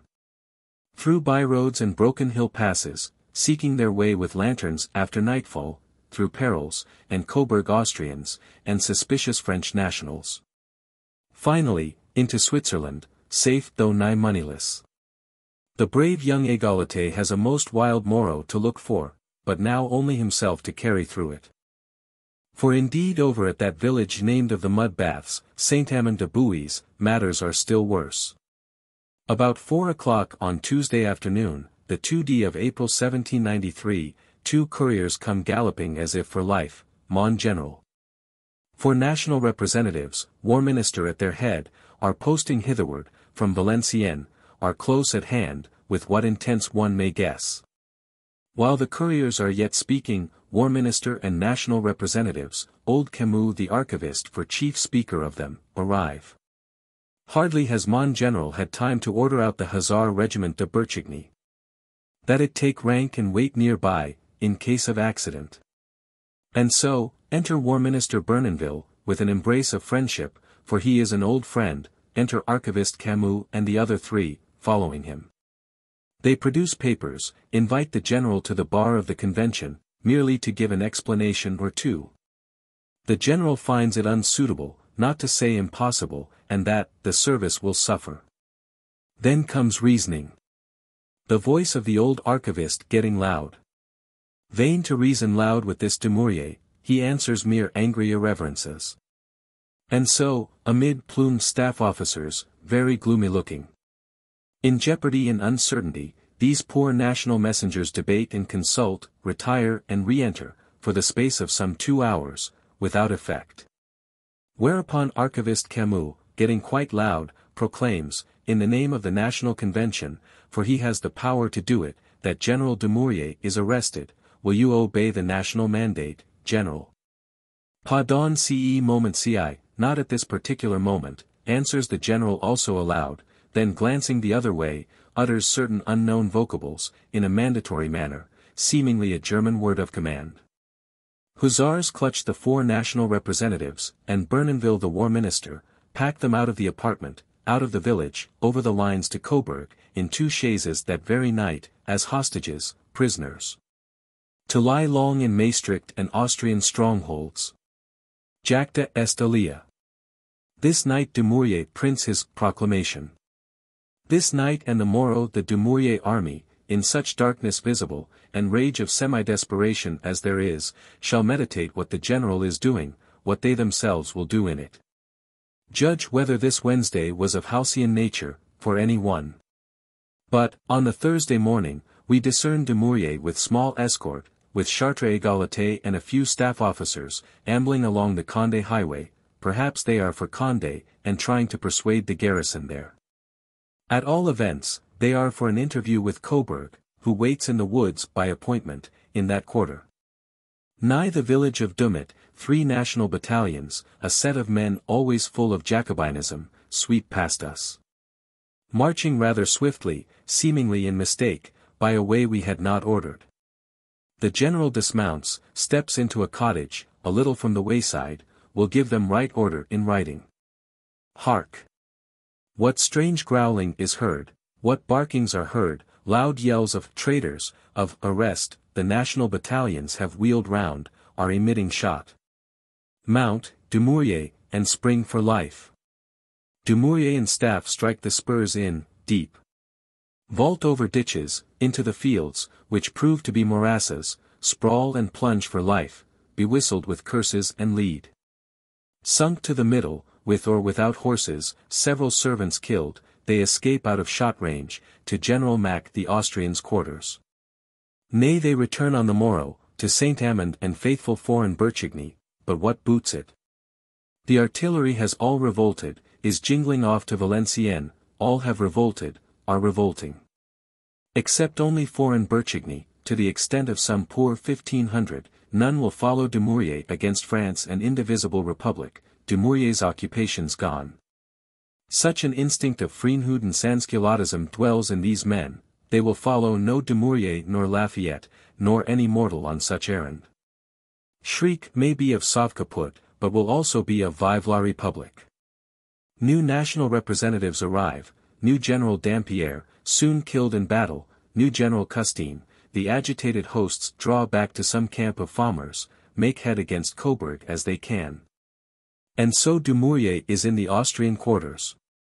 His drama ended, in this rather sorry manner. A most shifty, wiry man, one of heaven's Swiss that wanted only work. Fifty years of unnoticed toil and valor, one year of toil and valor, not unnoticed, but seen of all countries and centuries. Then thirty other years again unnoticed, of memoir writing, English pension, scheming and projecting to no purpose, adieu thou Swiss of heaven, worthy to have been something else. His staff go different ways. Brave young Égalité reaches Switzerland and a Genlis cottage, with a strong crabstick in his hand, a strong heart in his body, his princedom in now reduced to that. Égalité the father sat playing whist, in his Palais Égalité, at Paris, on the sixth day of this same month of April, when a catchpole entered, Citoyen Égalité is wanted at the Convention Committee. Examination, requiring arrestment finally requiring imprisonment, transference to Marseilles and the castle of If. Orleansdom has sunk in the black waters, Palais Égalité, which was Palais Royal, is like to become Palais National. Chapter 3.3.7 In Fight Our Republic, by paper decree, may be one and indivisible, but what profits it while these things are? Federalists in the Senate, renegados in the army, traitors everywhere. France, all in desperate recruitment since the 10th of March, does not fly to the frontier, but only flies hither and thither. This defection of contemptuous diplomatic Dumouriez falls heavy on the fine-spoken high-sniffing Hommes d'Etat, whom he consorted with, forms a second epoch in their destinies. Or perhaps more strictly we might say, the second Girondin epoch, though little noticed then, began on the day when, in reference to this defection, the Girondins broke with Danton. It was the first day of April. Dumouriez had not yet plunged across the morasses to Coburg, but was evidently meaning to do it, and our commissioners were off to arrest him. When what does the Girondin Lasource see good to do, but rise, and Jesuitically question and insinuate at great length, whether a main accomplice of Dumouriez had not probably been, Danton. Gironde grins sardonic assent, Mountain holds its breath. The figure of Danton, Levasseur says, while this speech went on, was noteworthy.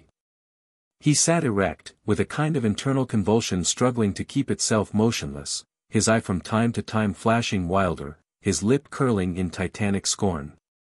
Lasource, in a fine-spoken attorney manner, proceeds, there is this probability to his mind, and there is that, probabilities which press painfully on him, which cast the patriotism of Danton under a painful shade. Which painful shade he, Lasource, will hope that Danton may find it not impossible to dispel. Les Scélérats, cries Danton, starting up, with clenched right hand, Lasource having done, and descends from the mountain, like a lava flood. His answer not unready. Lasource' probabilities fly like idle dust, but leave a result behind them. Ye were right, friends of the mountain, begins Danton, and I was wrong, there is no peace possible with these men.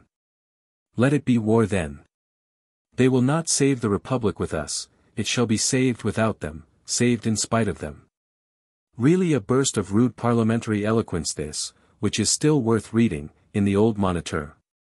With fire words the exasperated rude Titan rives and smites these Girondins, at every hit the glad mountain utters chorus, Marat, like a musical bis, repeating the last phrase. Lasource's probabilities are gone, but Danton's pledge of battle remains lying. A third epoch, or scene in the Girondin drama, or rather it is but the completion of this second epoch, we reckon from the day when the patience of virtuous Pétion finally boiled over. And the Girondins, so to speak, took up this battle pledge of Danton's and decreed Marat accused. It was the eleventh of the same month of April, on some effervescence rising, such as often rose. And President had covered himself, mere bedlam now ruling, and Mountain and Gironde were rushing on one another with clenched right hands, and even with pistols in them, when, behold, the Girondin Duperret drew a sword. Shriek of horror rose, instantly quenching all other effervescence, at sight of the clear murderous steel, whereupon Duperret returned it to the leather again. Confessing that he did indeed draw it, being instigated by a kind of sacred madness, Saint Furor, and pistols held at him. But that if he parricidally had chanced to scratch the outmost skin of national representation with it, he too carried pistols, and would have blown his brains out on the spot. But now in such posture of affairs, virtuous Pétion rose, next morning, to lament these effervescences, this endless anarchy invading the legislative sanctuary itself. And here, being growled at and howled at by the mountain, his patience, long tried, did, as we say, boil over, and he spake vehemently, in high key, with foam on his lips. Whence, says Marat, I concluded he had got la rage, the rabidity, or dog madness. Rabidity smites others rabid, so there rises new foam-lipped demand to have anarchists extinguished, and specially to have Marat put under accusation. Send a representative to the Revolutionary Tribunal. Violate the inviolability of a representative. Have a care, O friends. This poor Marat has faults enough, but against liberty or equality, what fault? That he has loved and fought for it, not wisely but too well. In dungeons and cellars, in pinching poverty, under anathema of men, even so, in such fight, has he grown so dingy, bleared, even so has his head become a stylites one. Him you will fling to your sword of sharpness, while Coburg and Pitt advance on us, fire-spitting. The mountain is loud, the Gironde is loud and deaf, all lips are foamy.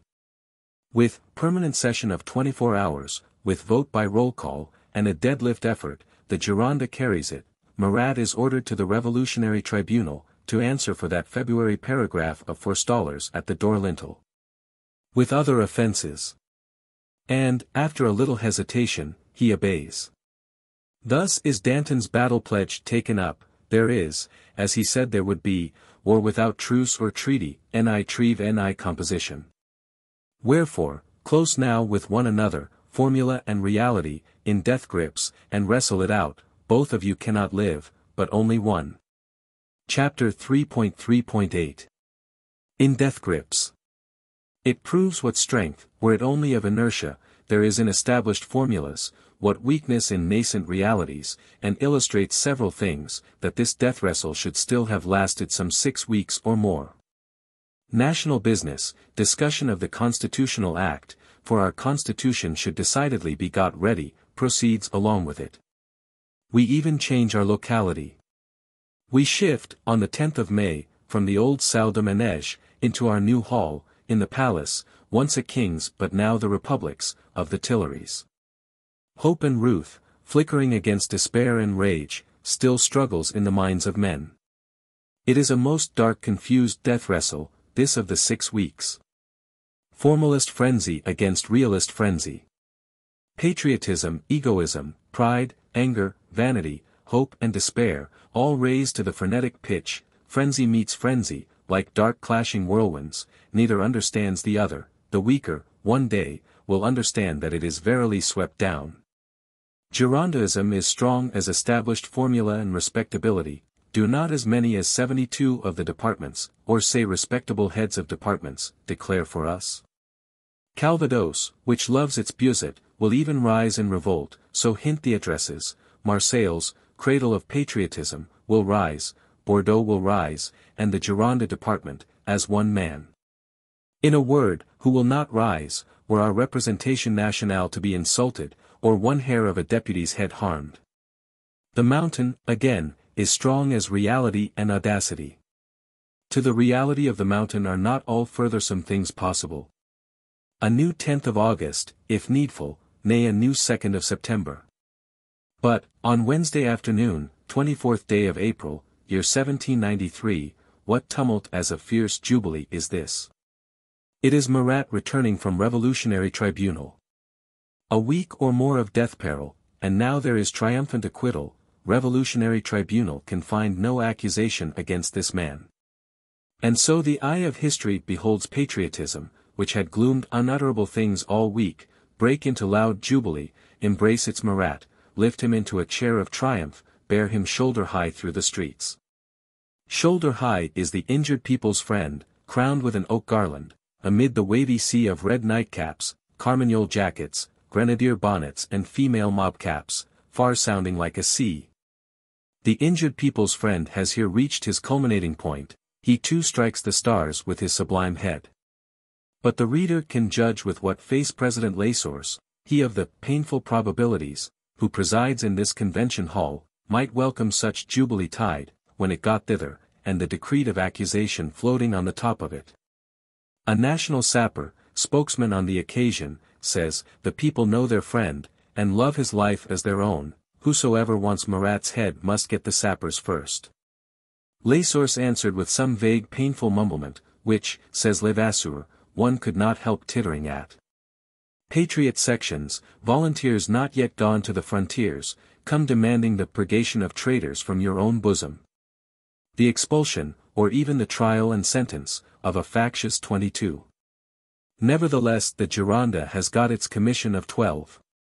A commission specially appointed for investigating these troubles of the legislative sanctuary, let sansculottism say what it will, law shall triumph. Old Constituent Rabaut Saint-Étienne presides over this commission, it is the last plank whereon a wrecked republic may perhaps still save herself.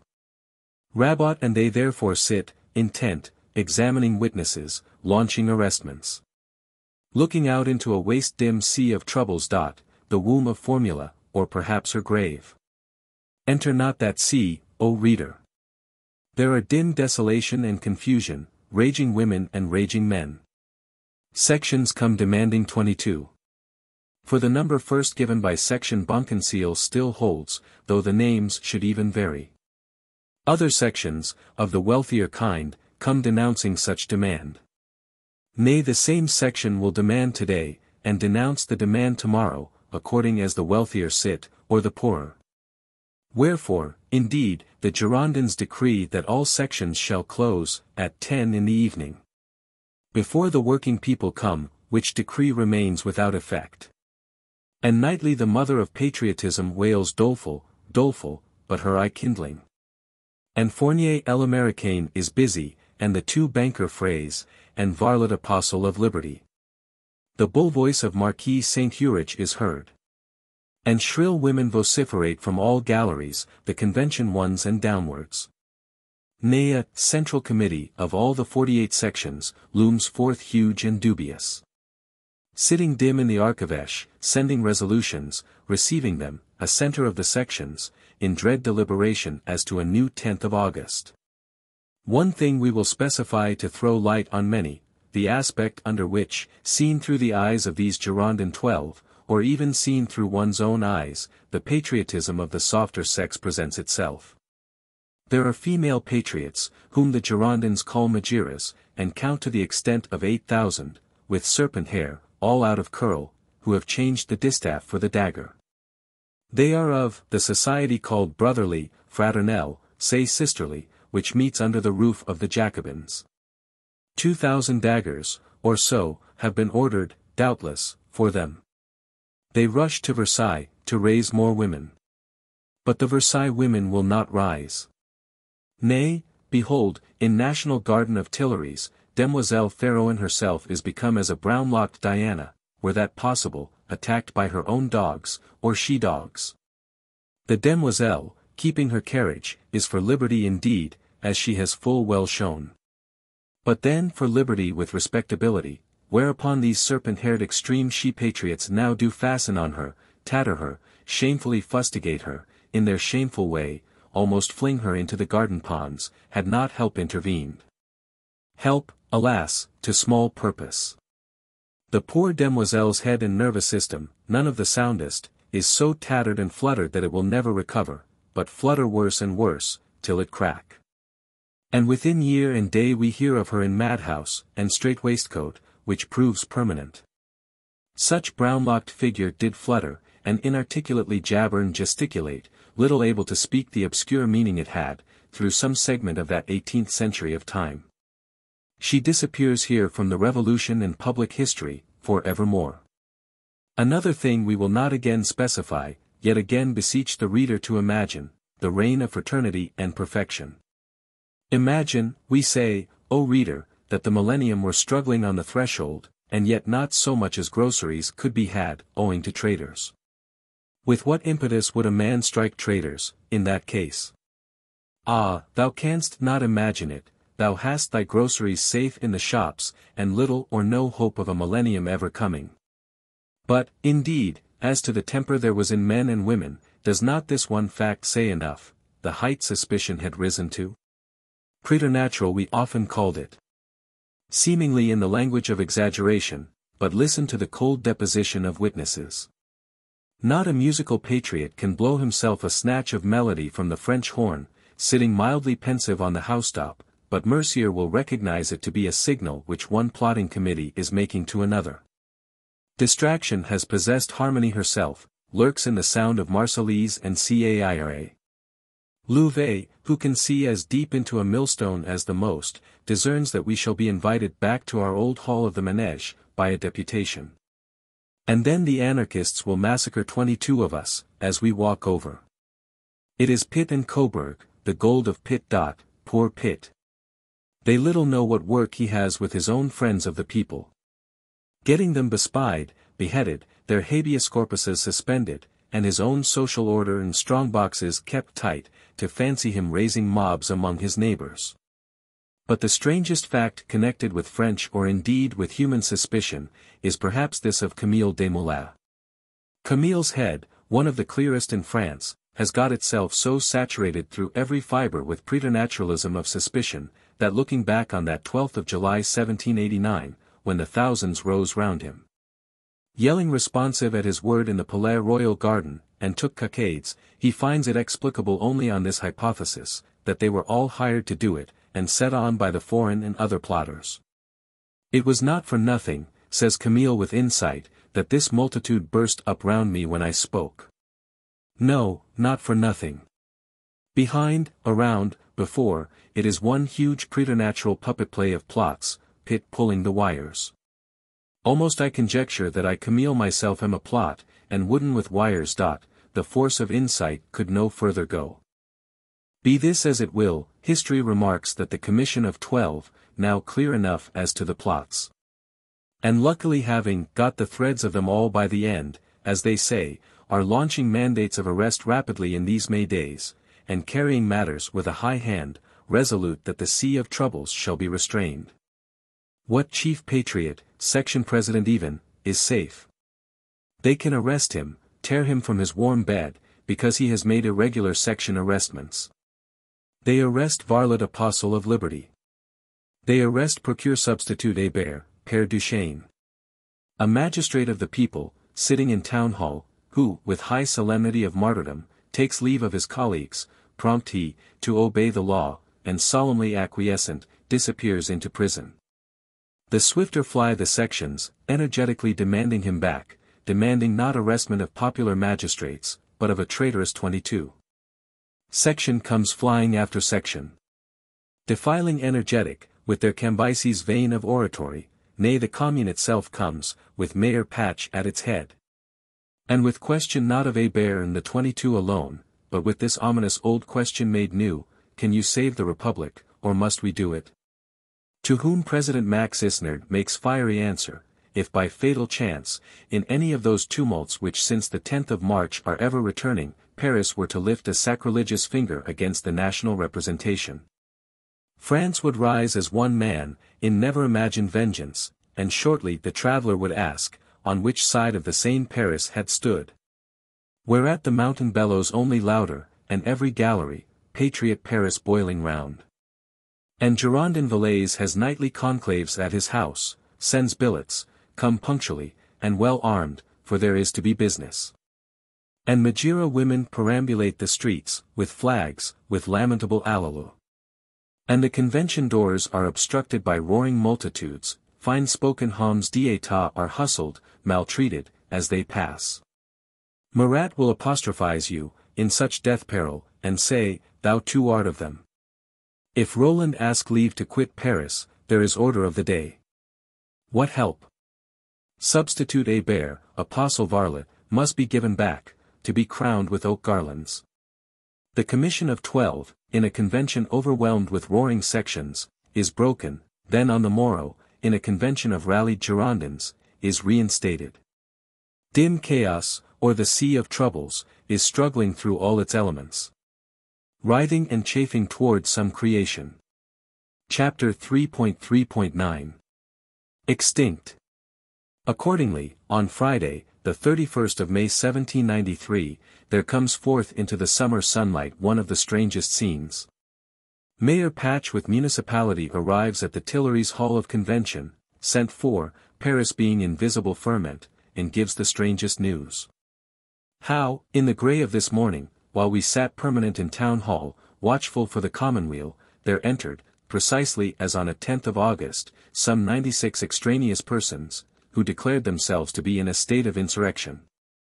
To be plenipotentiary commissioners from the 48 sections, sections, or members of the sovereign people, all in a state of insurrection, and further that we, in the name of said sovereign in insurrection, were dismissed from office. How we thereupon laid off our sashes, and withdrew into the adjacent Saloon of Liberty. How in a moment or two, we were called back, and reinstated, the sovereign pleasing to think us still worthy of confidence. Whereby, having taken new oath of office, we on a sudden find ourselves insurrectionary magistrates, with extraneous committee of 96 sitting by us. And the citoyenne Henriot, one whom some accuse of Septemberism, is made generalissimo of the National Guard. And, since six o'clock, the tocsins ring and the drums beat, under which peculiar circumstances, what would an August National Convention please to direct us to do? Yes, there is the question. Break the insurrectionary authorities, answers some with vehemence. Vergniaud at least will have, the national representatives all die at their post, this is sworn to, with ready loud acclaim. But as to breaking the insurrectionary authorities, alas, while we yet debate, what sound is that? Sound of the alarm cannon on the Pont Neuf, which it is death by the law to fire without order from us. It does boom off there, nevertheless. Sending a sound through all hearts. And the tocsins discourse stern music, and Henriot with his armed force has enveloped us. And section succeeds section, the livelong day. Demanding with Cambyses oratory, with the rattle of muskets, that traitors, twenty-two or more, be punished, that the commission of twelve be irrecoverably broken. The heart of the Gironde dies within it. Distant are the seventy-two respectable departments, this fiery municipality is near. Barrere is for a middle course, granting something. The commission of twelve declares that, not waiting to be broken, it hereby breaks itself, and is no more. Fain would reporter Rabaut speak his and its last words, but he is bellowed off. Too happy that the twenty-two are still left unviolated. Vergniaud, carrying the laws of refinement to a great length, moves, to the amazement of some, that, the sections of Paris have deserved well of their country. Whereupon, at a late hour of the evening, the deserving sections retire to their respective places of abode. Barrere shall report on it. With busy quill and brain he sits, secluded, for him no sleep tonight. Friday the last of May has ended in this manner. The sections have deserved well, but ought they not to deserve better? Faction and Girondism is struck down for the moment, and consents to be a nullity. But will it not, at another favorabler moment rise, still feller, and the Republic have to be saved in spite of it? So reasons patriotism, still permanent, so reasons the figure of Marat, visible in the dim section world, on the morrow. To the conviction of men, and so at eventide of Saturday, when Barrere had just got it all varnished in the course of the day, and his report was setting off in the evening mailbags, Tocsin peels out again. General is beating. Armed men taking station in the Place Vendôme and elsewhere for the night, supplied with provisions and liquor. There under the summer stars will they wait, this night, what is to be seen and to be done, Henriot and Town Hall giving due signal. The convention, at sound of General, hastens back to its hall, but to the number only of a hundred, and does little business, puts off business till the morrow. The Girondins do not stir out thither, the Girondins are abroad seeking beds. Poor Rabaut, on the morrow morning, returning to his post, with Louvet and some others, through streets all in ferment, wrings his hands, ejaculating, Illa Suprema dies. It has become Sunday, the second day of June, year 1793, by the old style. By the new style, year one of liberty, equality, fraternity. We have got to the last scene of all, that ends this history of the Girondin senatorship. It seems doubtful whether any terrestrial convention had ever met in such circumstances as this national one now does. Tocsin is peeling, barriers shut, all Paris is on the gaze, or under arms. As many as a hundred thousand under arms they count, national force, and the armed volunteers, who should have flown to the frontiers and La Vendée, but would not, treason being unpunished, and only flew hither and thither. So many, steady under arms, environ the national Tuileries and garden. There are horse, foot, artillery, sappers with beards, the artillery one can see with their camp furnaces in this national garden, heating bullets red, and their match is lighted. Henriot in plumes rides, amid a plumed staff, all posts and issues are safe, reserves lie out, as far as the wood of Boulogne, the choicest patriots nearest the scene. One other circumstance we will note, that a careful municipality, liberal of camp furnaces, has not forgotten provision carts. No member of the sovereign need now go home to dinner, but can keep rank, plentiful victual circulating unsought. Does not this people understand insurrection? Ye, not uninventive, Gualches. Therefore let a national representation, mandatories of the sovereign, take thought of it. Expulsion of your twenty-two, and your commission of twelve, we stand here till it be done. Deputation after deputation, in ever stronger language, comes with that message. Barrere proposes a middle course, will not perhaps the inculpated deputies consent to withdraw voluntarily, to make a generous demission, and self-sacrifice for the sake of one's country? Isnard, repentant of that search on which riverbank Paris stood, declares himself ready to demit. Ready also is Te Deum Fauchet, bold Dussaulx of the Bastille, Vieux radoteur, old dotard, as Marat calls him, is still readier. On the contrary, Lanjuinais the Breton declares that there is one man who never will demit voluntarily, but will protest to the uttermost, while a voice is left him. And he accordingly goes on protesting, amid rage and clangor. Legendre crying at last, Lanjuinais come down from the tribune, or I will fling thee down, O-U-J-E-T-E jetta N-B-A-S. For matters are come to extremity. Nay they do clutch hold of Lanjuinais certain zealous mountain men. But cannot fling him down, for he cramps himself on the railing, and his clothes get torn. Brave senator, worthy of pity. Neither will Barbaroux demit, he has sworn to die at his post, and will keep that oath. Whereupon the galleries all rise with explosion, brandishing weapons, some of them, and rush out saying, Allons, then, we must save our country. Such a session is this of Sunday the 2nd of June. Churches fill, over Christian Europe, and then empty themselves, but this convention empties not, the while, a day of shrieking contention, of agony, humiliation and tearing of coat skirts, illa suprema dies. Round stand Henriot and his hundred thousand, copiously refreshed from tray and basket, nay he is, distributing five francs a piece, we Girondins saw it with our eyes, five francs to keep them in heart. And distraction of armed riot encumbers our borders, jangles at our bar, we are prisoners in our own hall, Bishop Gregoire could not get out for a Besoin actual without four gendarmes to wait on him. What is the character of a national representative become?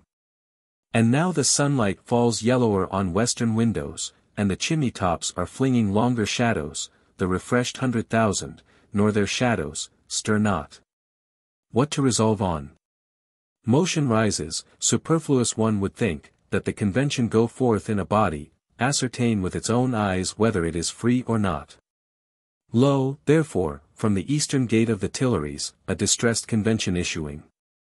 Handsome Hérault Séchelles at their head, he with hat on, in sign of public calamity, the rest bareheaded, towards the gate of the Carrousel, wondrous to see, towards Henriot and his plumed staff. In the name of the National Convention, make way. Not an inch of the way does Henriot make, I receive no orders, till the sovereign, yours and mine, has been obeyed. The convention presses on, Henriot prances back, with his staff, some fifteen paces, to arms. Cannoneers to your guns. Flashes out his puissant sword, as the staff all do, and the hussars all do. Cannoneers brandish the lit match, infantry present arms, alas, in the level way, as if for firing. Hatted Hérault leads his distressed flock, through their pinfold of artilleries again, across the garden, to the gate on the opposite side. Here is Feuillant's terrace, alas, there is our old salle de manège. But neither at this gate of the Pont Tournant is there egress. Try the other, and the other, no egress. We wander disconsolate through armed ranks, who indeed salute with live the Republic, but also with die the Gironde. Other such sight, in the year one of liberty, the westering sun never saw. And now behold Marat meets us. For he lagged in this suppliant procession of ours, he has got some hundred elect patriots at his heels, he orders us in the sovereign's name to return to our place, and do as we are bidden and bound. The convention returns. Does not the convention, says Couthon with a singular power of face, see that it is free? None but friends round it. The convention, overflowing with friends and armed sectioners, proceeds to vote as bidden. Many will not vote, but remain silent, some one or two protest, in words, the mountain has a clear unanimity. Commission of twelve, and the denounced twenty-two, to whom we add ex-ministers Clavier and Lebrun, these, with some slight extempore alterations, this or that orator proposing, but Marat disposing, are voted to be under arrestment in their own houses.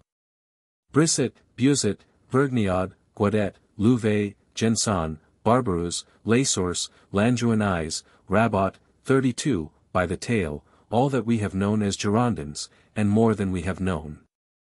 They, under the safeguard of the French people.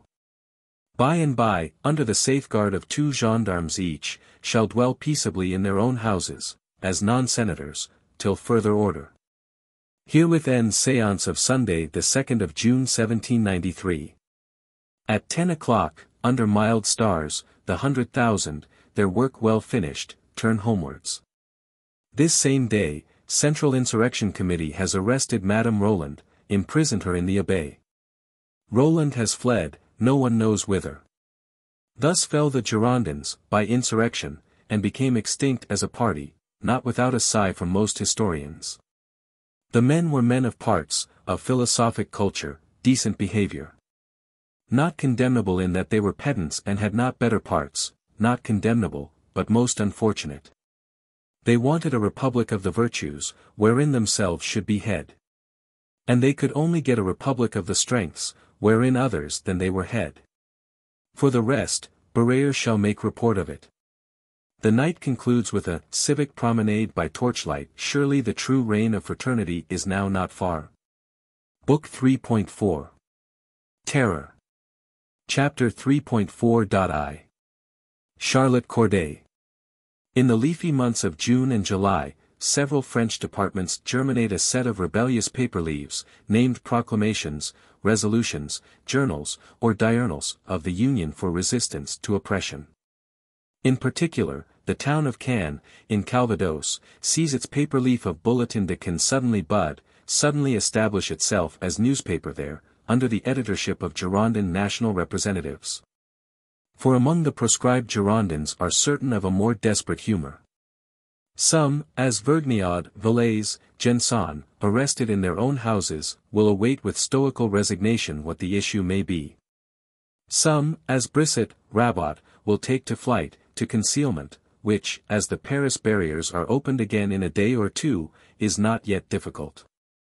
But others there are who will rush, with Buzot, to Calvados. Or far over France, to Lyons, Toulon, Nantes and elsewhither, and then rendezvous at Caen, to awaken as with war trumpet the respectable departments, and strike down an anarchic mountain faction, at least not yield without a stroke at it. Of this latter temper we count some score or more, of the arrested, and of the not yet arrested, a Buzot, a Barbaroux, Louvet, Guadet, Petion, who have escaped from arrestment in their own homes. A Salles, a Pythagorean Valady, a Duchâtel, the Duchâtel that came in blanket and nightcap to vote for the life of Louis, who have escaped from danger and likelihood of arrestment.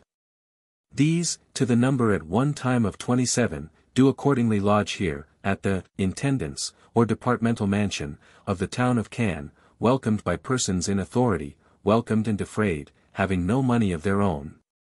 And the Bulletin de Caen comes forth, with the most animating paragraphs, how the Bordeaux department, the Lyons department, this department after the other is declaring itself. 60, or say 69, or 72 respectable departments either declaring, or ready to declare. Nay Marseilles, it seems, will march on Paris by itself, if need be. So has Marseilles town said, that she will march. But on the other hand, that Montelimart town has said, no thoroughfare, and means even to bury herself under her own stone and mortar first, of this be no mention in Bulletin of Caen. Such animating paragraphs we read in this newspaper. And fervors, and eloquent sarcasm, tirades against the mountain, frame pen of Deputy Salles, which resemble, say friends, Pascal's provincials. What is more to the purpose, these Girondins have got a general-in-chief, one Wimpfen, formerly under Dumouriez, also a secondary questionable General Puisaye, and others, and are doing their best to raise a force for war. National Volunteers, whosoever is of right heart, gather in, ye National Volunteers, friends of liberty, from our Calvados townships, from the Eure, from Brittany, from far and near, forward to Paris, and extinguish anarchy. Thus at Caen, in the early July days, there is a drumming and parading, a perorating and consulting, staff and army, council, club of Carabots, anti-Jacobin friends of freedom, to denounce atrocious Marat. With all which, and the editing of bulletins, a national representative has his hands full. At Canada's most animated, and, as one hopes, more or less animated in the 72 departments that adhere to us. And in a France begirt with Cimmerian invading coalitions, and torn with an internal La Vendée, this is the conclusion we have arrived at, to put down anarchy by civil war. Durum et durum, the proverb says, non facient murum. La Vendée burns, Santerre can do nothing there, he may return home and brew beer. Cimmerian bombshells fly all along the north. That siege of Mentz is become famed. Lovers of the picturesque, as Goethe will testify, washed country people of both sexes, stroll thither on Sundays, to see the artillery work and counterwork, you only duck a little while the shot whizzes past. Condé is capitulating to the Austrians, Royal Highness of York, these several weeks, fiercely batters Valenciennes. For, alas, our fortified camp of Famars was stormed, General Dampierre was killed. General Custine was blamed, and indeed is now come to Paris to give explanations. Against all which the mountain and atrocious Marat must even make head as they can. They, anarchic convention as they are, publish decrees, expostulatory, explanatory, yet not without severity, they ray forth commissioners, singly or in pairs, the olive branch in one hand, yet the sword in the other. Commissioners come even to Caen, but without effect. Mathematical Romme, and Prieur named of the Côte d'Or, venturing thither, with their olive and sword, are packed into prison, there may Romme lie, under lock and key, for fifty days. And meditate his new calendar, if he please. Cimmeria and Civil War. Never was Republic one and indivisible at a lower ebb. Amid which dim ferment of Caen and the world, history specially notices one thing, in the lobby of the Mansion de l'Intendance, where busy deputies are coming and going, a young lady with an aged valet. Taking grave graceful leave of Deputy Barbaroux. She is of stately Norman figure, in her twenty-fifth year, of beautiful still countenance, her name is Charlotte Corday, heretofore styled d'Armans, while nobility still was. Barbaroux has given her a note to Deputy Duperret, him who once drew his sword in the effervescence. Apparently she will to Paris on some errand. She was a Republican before the Revolution, and never wanted energy. A completeness, a decision is in this fair female figure, by energy she means the spirit that will prompt one to sacrifice himself for his country. What if she, this fair young Charlotte, had emerged from her secluded stillness, suddenly like a star, cruel lovely, with half angelic, half demonic splendor. To gleam for a moment, and in a moment be extinguished, to be held in memory, so bright complete was she, through long centuries. Quitting Cimmerian coalitions without, and the dim simmering twenty-five millions within, history will look fixedly at this one fair apparition of a Charlotte Corday. We'll note whither Charlotte moves, how the little life burns forth so radiant, then vanishes swallowed of the night. With Barbaroux's note of introduction, and slight stock of luggage, we see Charlotte, on Tuesday the 9th of July, seated in the condiligence, with a place for Paris. None takes farewell of her, wishes her good journey, her father will find a line left, signifying that she is gone to England, that he must pardon her and forget her. The drowsy diligence lumbers along. Amid drowsy talk of politics, and praise of the mountain, in which she mingles not, all night, all day, and again all night. On Thursday, not long before none, we are at the bridge of Neuilly. Here is Paris with her thousand black domes, the goal and purpose of thy journey. Arrived at the Inn de la Providence in the Rue de Vieux Augustins, Charlotte demands a room, hastens to bed, sleeps all afternoon and night, till the morrow morning. On the morrow morning, she delivers her note to Duperret. It relates to certain family papers which are in the Minister of the Interior's hand, which a nun at Caen, an old convent friend of Charlotte's, has need of. Which Duperret shall assist her in getting, this then was Charlotte's errand to Paris. She has finished this, in the course of Friday, yet says nothing of returning. She has seen and silently investigated several things. The convention, in bodily reality, she has seen, what the mountain is like. The living physiognomy of Marat she could not see, he is sick at present, and confined to home.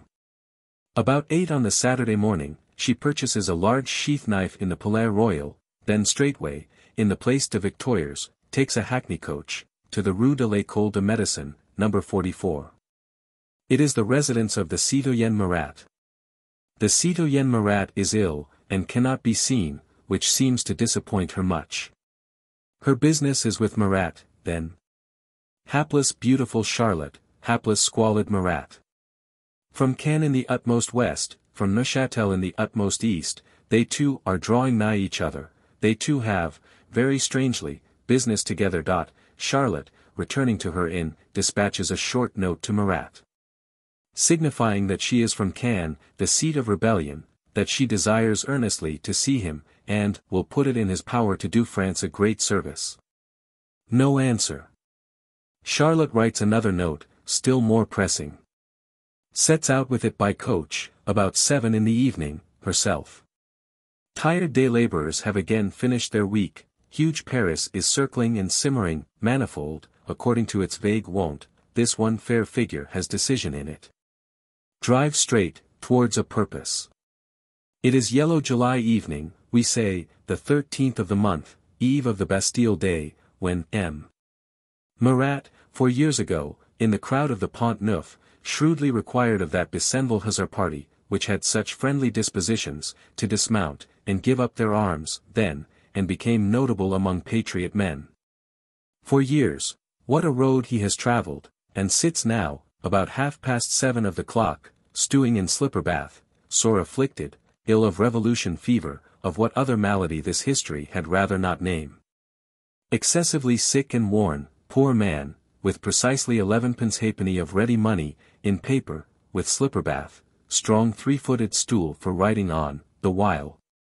And the squalid, washerwoman, one may call her, that is his civic establishment in Medical School Street, thither and not elsewhither has his road led him. Not to the reign of brotherhood and perfect felicity, yet surely on the way towards that. Hark, a rap again. A musical woman's voice, refusing to be rejected, it is the citoyenne who would do France a service. Marat, recognizing from within, cries, admit her. Charlotte Corday is admitted. Citoyenne Marat, I am from Caen the seat of rebellion, and wish to speak with you. Be seated, mon enfant. Now what are the traitors doing at Caen? What deputies are at Caen? Charlotte names some deputies. Their heads shall fall within a fortnight, croaks the eager people's friend, clutching his tablets to write, Barbaroux, Pétion, writes he with bare shrunk arm, turning aside in the bath, Pétion and Louvet. And, Charlotte has drawn her knife from the sheath. Plunges it, with one sure stroke, into the writer's heart. Ah moi, chère amie, help, dear. No more could the death-choked say or shriek. The helpful washerwoman running in, there is no friend of the people, or friend of the washerwoman, left. But his life with a groan gushes out, indignant, to the shades below. And so Marat people's friend is ended, the lone stylites has got hurled down suddenly from his pillar, whitherward he that made him does know. Patriot Paris may sound triple and tenfold, in dole and wail, re-echoed by Patriot France. And the convention, Chabot pale with terror declaring that they are to be all assassinated, may decree him Pantheon honors, public funeral, Mirabeau's dust making way for him. And Jacobin societies, in lamentable oratory, summing up his character, parallel him to one, whom they think it honor to call, the good Sansculotte, whom we name not here.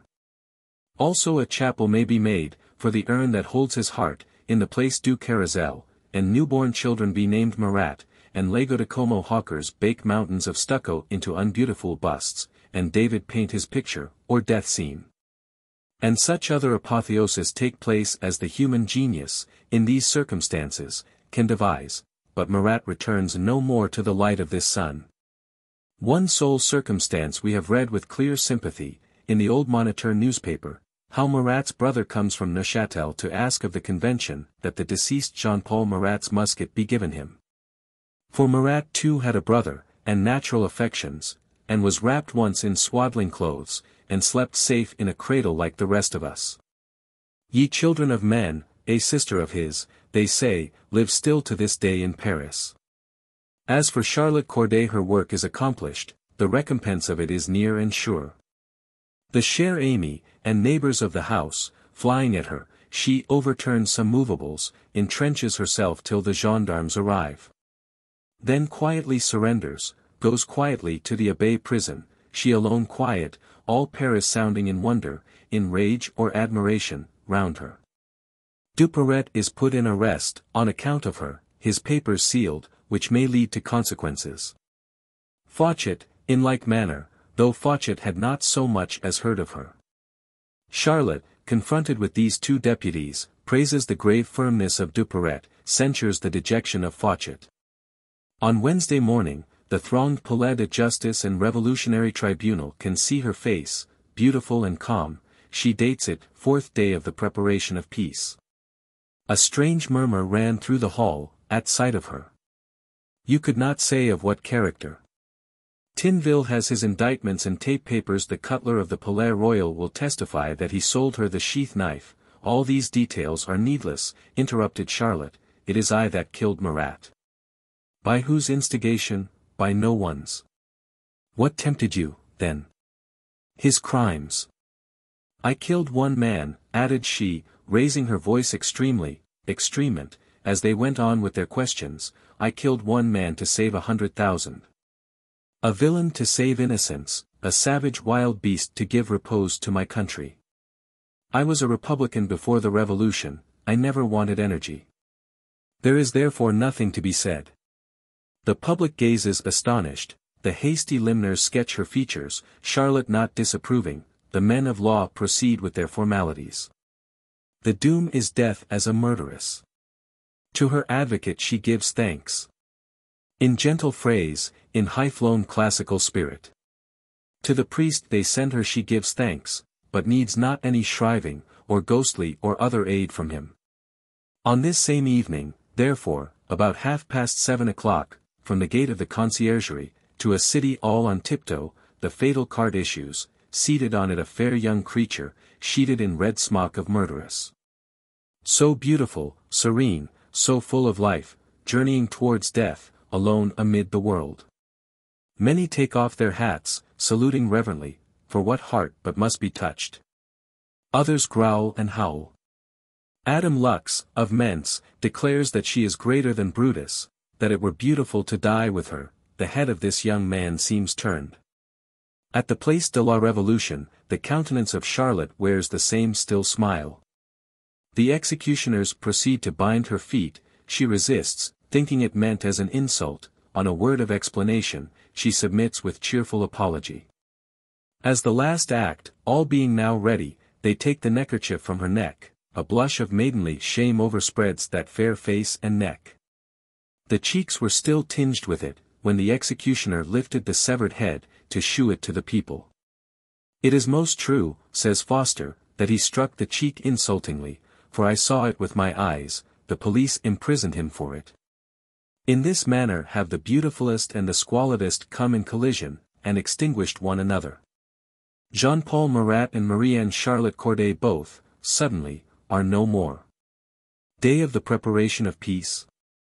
Alas, how were peace possible or preparable, while, for example, the hearts of lovely maidens, in their convent stillness, are dreaming not of love paradises, and the light of life, but of cadre sacrifices, and death well earned.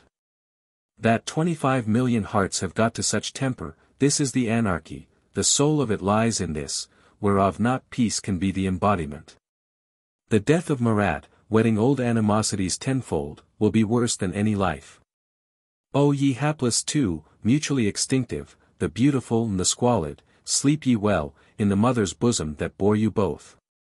This was the history of Charlotte Corday, most definite, most complete, angelic demonic, like a star. Adam Lux goes home, half delirious, to pour forth his apotheosis of her, in paper and print, to propose that she have a statue with this inscription, greater than Brutus. Friends represent his danger, Lux is reckless. Thinks it were beautiful to die with her. Chapter 3.4.2 In Civil War but during these same hours, another guillotine is at work, on another, Charlotte, for the Girondins, dies at Paris today. Chalier, by the Girondins, dies at Lyons tomorrow. From rumbling of cannon along the streets of that city, it has come to firing of them, to rabid fighting, Nevers and the Girondins triumph. Behind whom there is, as everywhere, a royalist faction waiting to strike in. Trouble enough at Lyons, and the dominant party carrying it with a high hand. For indeed, the whole South is astir, incarcerating Jacobins. Arming for Girondins, wherefore we have got a Congress of Lyons, also a Revolutionary Tribunal of Lyons, and anarchists shall tremble. So Chalier was soon found guilty, of Jacobinism, of murderous plot, address with drawn dagger on the 6th of February last. And, on the morrow, he also travels his final road, along the streets of Lyons, by the side of an ecclesiastic, with whom he seems to speak earnestly, the axe now glittering high. He could weep, in old years, this man, and fall on his knees on the pavement, blessing heaven at sight of federation programs or like, then he pilgrimed to Paris, to worship Marat and the mountain, now Marat and he are both gone. We said he could not end well. Jacobinism groans inwardly, at Lyons, but dare not outwardly. Chalier, when the tribunal sentenced him, made answer, My death will cost this city dear. Montelimart town is not buried under its ruins. Yet Marseilles is actually marching, under order of a Lyons Congress, is incarcerating patriots, the very royalists now shewing face. Against which a general Cartaux fights, though in small force. And with him an artillery major, of the name of, Napoleon Bonaparte. This Napoleon, to prove that the Marseillese have no chance ultimately, not only fights but writes, publishes his Supper of Beaucaire, a dialogue which has become curious. Unfortunate cities, with their actions and their reactions. Violence to be paid with violence in geometrical ratio, royalism and anarchism both striking in, the final net amount of which geometrical series, what man shall sum. The bar of iron has never yet floated in Marseille's harbour, but the body of Rebecqui was found floating, self-drowned there. Hot Rebecqui seeing how confusion deepened, and respectability grew poisoned with royalism, felt that there was no refuge for a republican but death. Rebecqui disappeared, no one knew whither. Till, one morning, they found the empty case or body of him risen to the top, tumbling on the salt waves, and perceived that Rebecqui had withdrawn forever. Toulon likewise is incarcerating patriots, sending delegates to Congress. Intriguing, in case of necessity, with the Royalists and English. Montpellier, Bordeaux, Nantes, all France, that is not under the swoop of Austria and Cimmeria, seems rushing into madness, and suicidal ruin. The mountain labors. Like a volcano in a burning volcanic land. Convention committees, of surety, of salvation, are busy night and day, convention commissioners whirl on all highways, bearing olive branch and sword, or now perhaps sword only. Chaumette and municipals come daily to the Tuileries demanding a constitution, it is some weeks now since he resolved, in town hall, that a deputation should go every day and demand a constitution, till one were got. Whereby suicidal France might rally and pacify itself, a thing inexpressibly desirable. This then is the fruit your anti-anarchic Girondins have got from that levying of war in Calvados? This fruit, we may say, and no other whatsoever. For indeed, before either Charlotte's or Chaliers' head had fallen, the Calvados war itself had, as it were, vanished, dreamlike, in a shriek. With 72 departments on one side, one might have hoped better things. But it turns out that respectabilities, though they will vote, will not fight.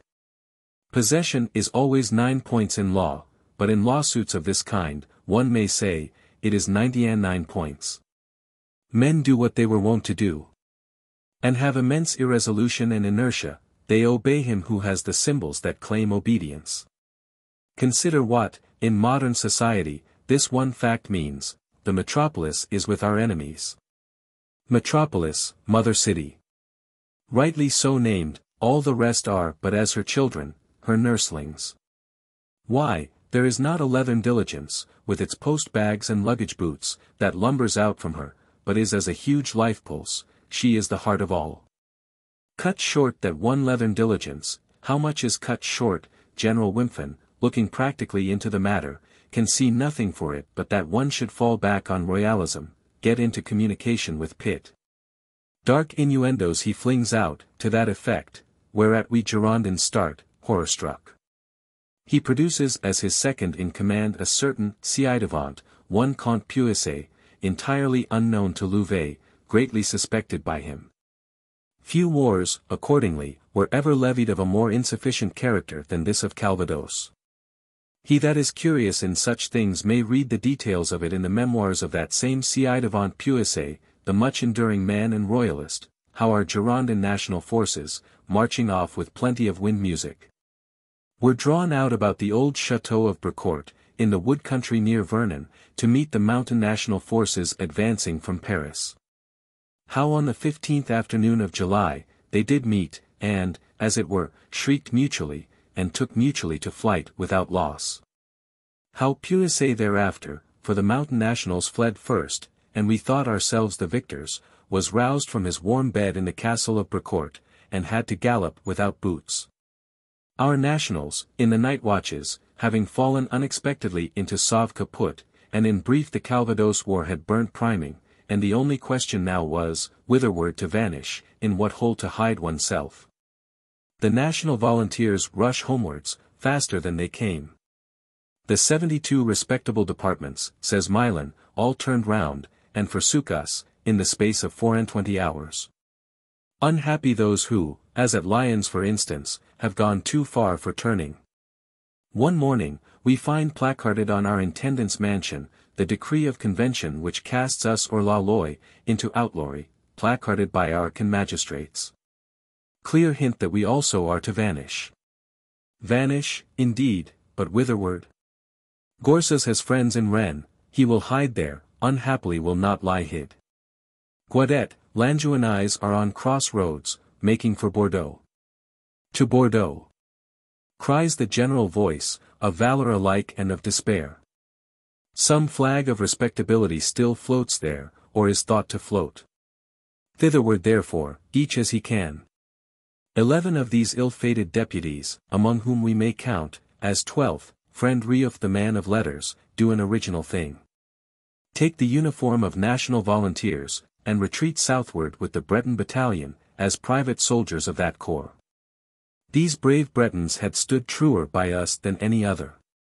Nevertheless, at the end of a day or two, they also do now get dubious, self-divided, we must part from them, and, with some half-dozen as convoy or guide, retreat by ourselves, a solitary marching detachment, through waste regions of the West. Chapter 3.4.3 Retreat of the Eleven It is one of the notablest retreats, this of the Eleven, that history presents, the handful of forlorn legislators retreating there, continually, with shouldered firelock and well-filled cartridge box, in the yellow autumn. Long hundreds of miles between them and Bordeaux, the country all getting hostile, suspicious of the truth, simmering and buzzing on all sides, more and more. Louvet has preserved the itinerary of it, a piece worth all the rest he ever wrote. O virtuous Pétion, with thy early white head, O brave young Barbaroux, has it come to this? Weary ways, worn shoes, light purse, encompassed with perils as with a sea. Revolutionary committees are in every township, of Jacobin temper.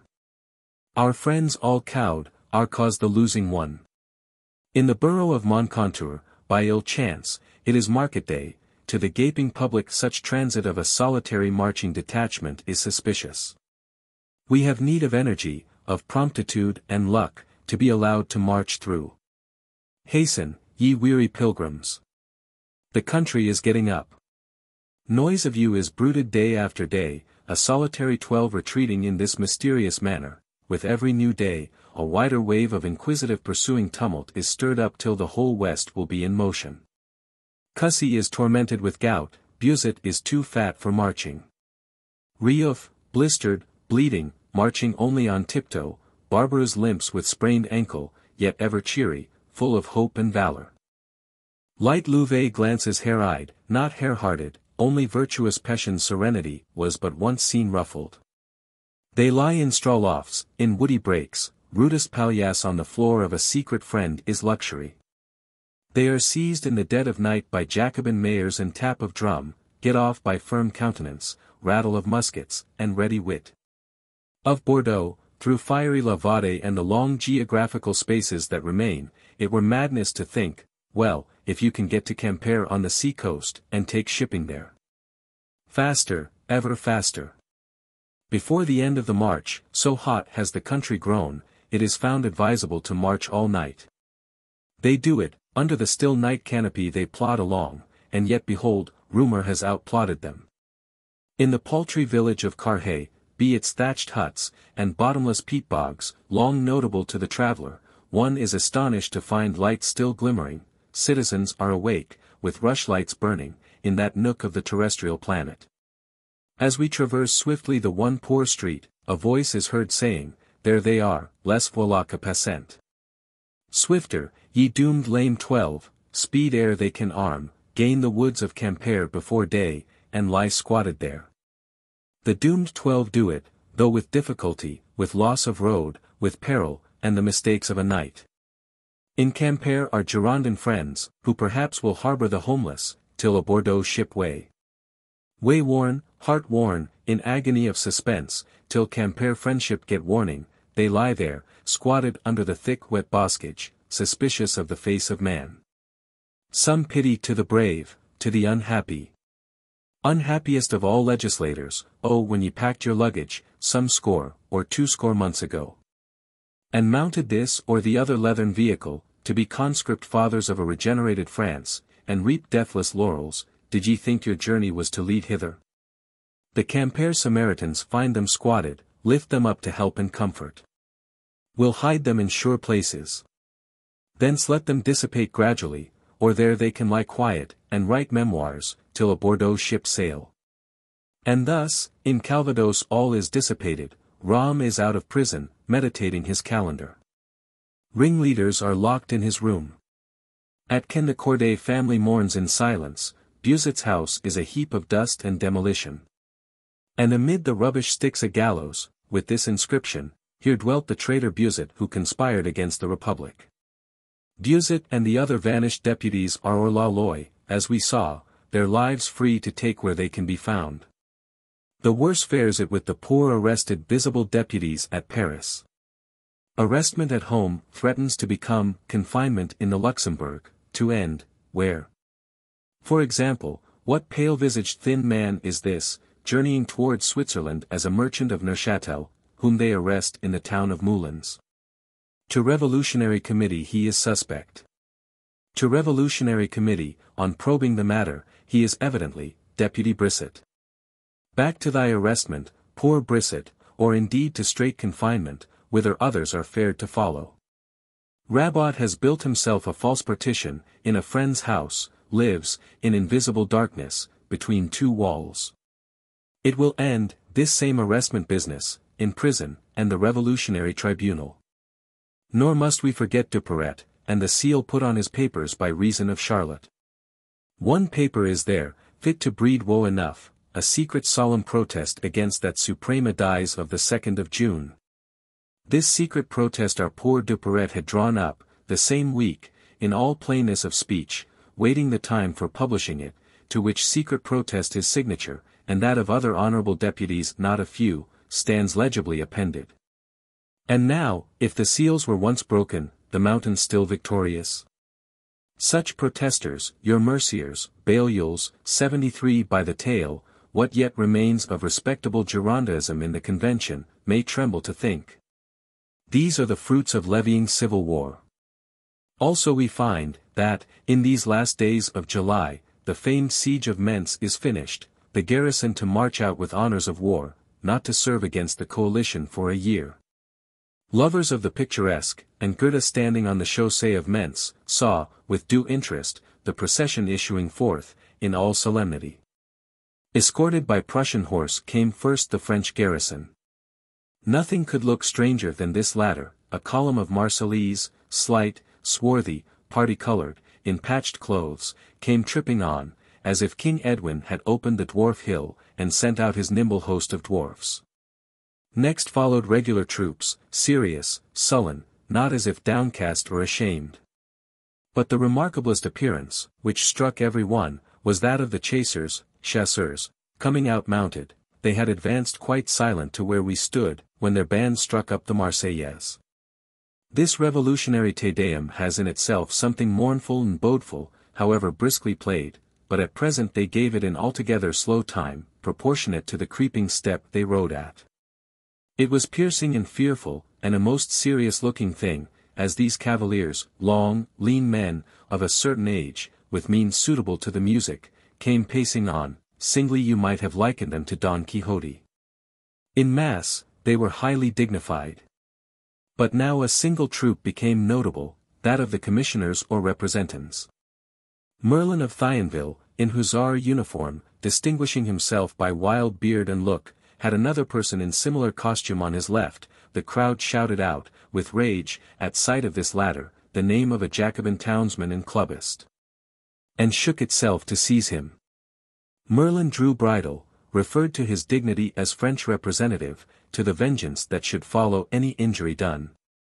He would advise everyone to compose himself, for this was not the last time they would see him here. Thus rode Merlin, threatening in defeat. But what now shall stem that tide of Prussians setting in through the open northeast?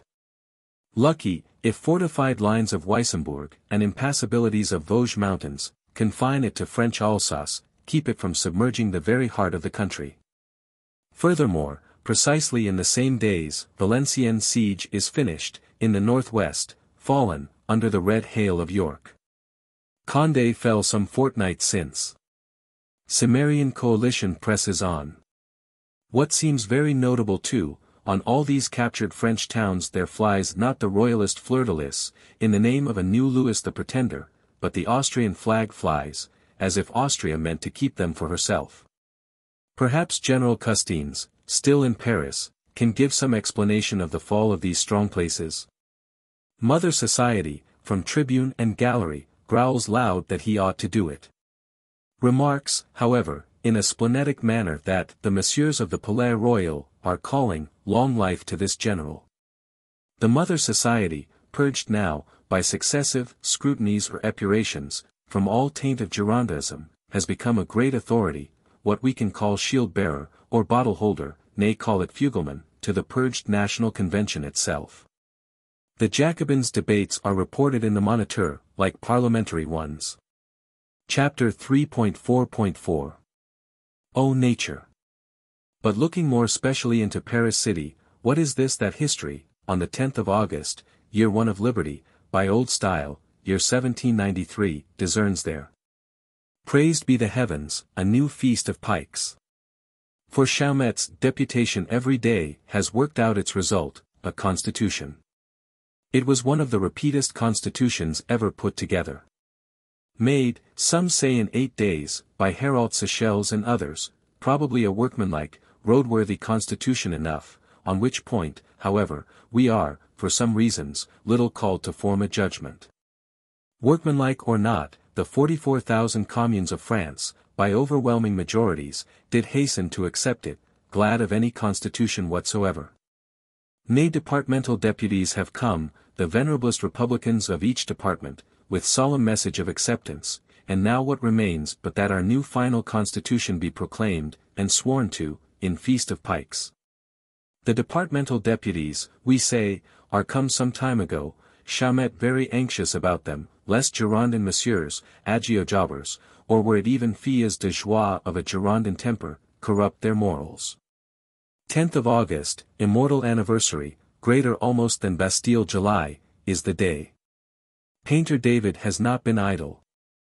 Thanks to David and the French genius, there steps forth into the sunlight, this day, a scenic phantasmagory unexampled, whereof history, so occupied with real phantasmagories, will say but little. For one thing, history can notice with satisfaction, on the ruins of the Bastille, a statue of nature, gigantic, spouting water from her two mamelles. Not a dream this, but a fact, palpable visible. There she spouts, great nature. Dim, before daybreak. But as the coming sun ruddies the east, come countless multitudes, regulated and unregulated, come departmental deputies, come mother society and daughters, comes national convention, led on by handsome Hérault. Soft wind music breathing note of expectation. Lo, as great soul scatters his first fire handful, tipping the hills and chimney heads with gold, Hérault is at great nature's feet, she is plaster of Paris merely. Hérault lifts, in an iron saucer, water spouted from the sacred breasts, drinks of it, with an eloquent pagan prayer, beginning, O nature. And all the departmental deputies drink, each with what best suitable ejaculation or prophetic utterance is in him, amid breathings, which become blasts, of wind music. And the roar of artillery and human throats, finishing well the first act of this solemnity. Next are processionings along the boulevards, deputies or officials bound together by long indivisible tricolor ribband. General, members of the sovereign, walking pell-mell, with pikes, with hammers, with the tools and emblems of their crafts, among which we notice a plough, and ancient Baucis and Philemon seated on it, drawn by their children. Many-voiced harmony and dissonance filling the air. Through triumphal arches enough, at the basis of the first of which, we descry, whom thinkest thou, the heroines of the insurrection of women. Strong dames of the market, they sit there, Théroigne too ill to attend, one fears, with oak branches, tricolor bedizenment, firm seated on their cannons. To whom handsome Hérault, making pause of admiration, addresses soothing eloquence. Whereupon they rise and fall into the march. And now mark, in the Place de la Révolution, what other august statue may this be, veiled in canvas, which swiftly we shear off by pulley and cord? The Statue of Liberty. She too is of plaster, hoping to become of metal, stands where a tyrant Louis Quinze once stood. Three thousand birds, are let loose, into the whole world, with labels round their neck, we are free, imitate us. Holocaust of royalist and ci-devant trumpery, such as one could still gather, is burnt, pontifical eloquence must be uttered, by handsome Hérault and pagan orisons offered up. And then forward across the river, where is new enormous statuary. Enormous plaster mountain, Hercules Peuple, with uplifted all-conquering club, many-headed dragon of Girondin federalism rising from fetid marsh, needing new eloquence from Hérault. To say nothing of Champ de Mars, and Fatherland's altar there. With urn of slain defenders, carpenter's level of the law, and such exploding, gesticulating and perorating, that Hérault's lips must be growing white and his tongue cleaving to the roof of his mouth. Towards six o'clock let the wearied president, let Paris patriotism generally sit down to what repast, and social repasts, can be had, and with flowing tankard or light mantling glass, usher in this new and newest era. In fact, is not Romme's new calendar getting ready? On all housetops flicker little tricolor flags, their flagstaff a pike and liberty cap. On all house walls, for no patriot, not suspect, will be behind another, there stand printed these words, Republic one and indivisible, liberty, equality, fraternity, or death. As to the new calendar, we may say here rather than elsewhere that speculative men have long been struck with the inequalities and incongruities of the old calendar, that a new one has long been as good as determined on. Maréchal the atheist, almost ten years ago, proposed a new calendar, free at least from superstition, this the Paris municipality would now adopt, in defect of a better. At all events, let us have either this of Maréchal's or a better, the new era being come. Petitions, more than once, have been sent to that effect. And indeed, for a year past, all public bodies, journalists, and patriots in general, have dated first year of the Republic. It is a subject not without difficulties. But the convention has taken it up, and Romme, as we say, has been meditating it. Not Maréchal's new calendar, but a better new one of Romme's and our own. Romme, aided by a Monge, a Lagrange and others, furnishes mathematics. Fabre d'Eglantine furnishes poetic nomenclature, and so, on the 5th of October, 1793, after trouble enough, they bring forth this new republican calendar of theirs, in a complete state, and by law, get it put in action. For equal seasons, 12 equal months of 30 days each, this makes 360 days, and 5 odd days remain to be disposed of. The 5 odd days we will make festivals, and name the 5 Sansculottides, or days without breeches. Festival of Genius, Festival of Labor, of Actions, of Rewards, of Opinion, these are the 5 Sansculottides. Whereby the great circle, or year, is made complete, solely every fourth year, whilom called leap year, we introduce a sixth Sansculottide, and name it Festival of the Revolution. Now as to the day of commencement, which offers difficulties, is it not one of the luckiest coincidences that the Republic herself commenced on the 21st of September, close on the vernal equinox? Vernal equinox, at midnight for the meridian of Paris, in the year whilom Christian 1792, from that moment shall the new era reckon itself to begin. Vendemiaire, Brumaire, Frimaire. Or as one might say, in mixed English, Vintagerius, Vogarius, Frosterius, these are our three autumn months. Nivôse, Pluviôse, Ventôse, or say Snowus, Rainus, Windus, make our winter season. Germinal, Floreal, Prairial, or Buddal, Floweral, Meadowal, are our spring season. Messidor, Thermidor, Fructidor, that is to say, dor being Greek for gift, Reapidor, Heatidor, Fruitidor, are Republican summer. These twelve, in a singular manner, divide the Republican year. Then as to minuter subdivisions, let us venture at once on a bold stroke, adopt your decimal subdivision, and instead of world-old week, or say a night, make it a ten-night or decade. Not without results. There are three decades, then, in each of the months, which is very regular, and the decady, or tenth day, shall always be, the day of rest. And the Christian Sabbath, in that case, shall shift for itself. This, in brief, in this new calendar of Romme and the Convention, calculated for the meridian of Paris, and Gospel of Jean-Jacques, not one of the least afflicting occurrences for the actual British reader of French history. Confusing the soul with Messiders, Meadowalls, till at last, in self-defense, one is forced to construct some ground scheme, or rule of commutation from new style to old style, and have it lying by him. Such ground scheme, almost worn out in our service, but still legible and printable, we shall now, in a note, present to the reader. For the Romme calendar, in so many newspapers, memoirs, public acts, has stamped itself deep into that section of time, a new era that lasts some twelve years and odd is not to be despised. Let the reader, therefore, with such ground scheme, help himself, where needful, out of new style into old style, called also, slave style, style esclave, whereof we, in these pages, shall as much as possible use the latter only. Thus with new Feast of Pikes, and new era or new calendar, did France accept her new constitution, the most democratic constitution ever committed to paper. How it will work in practice. Patriot deputations from time to time solicit fruition of it. That it be set a going. Always, however, this seems questionable, for the moment, unsuitable.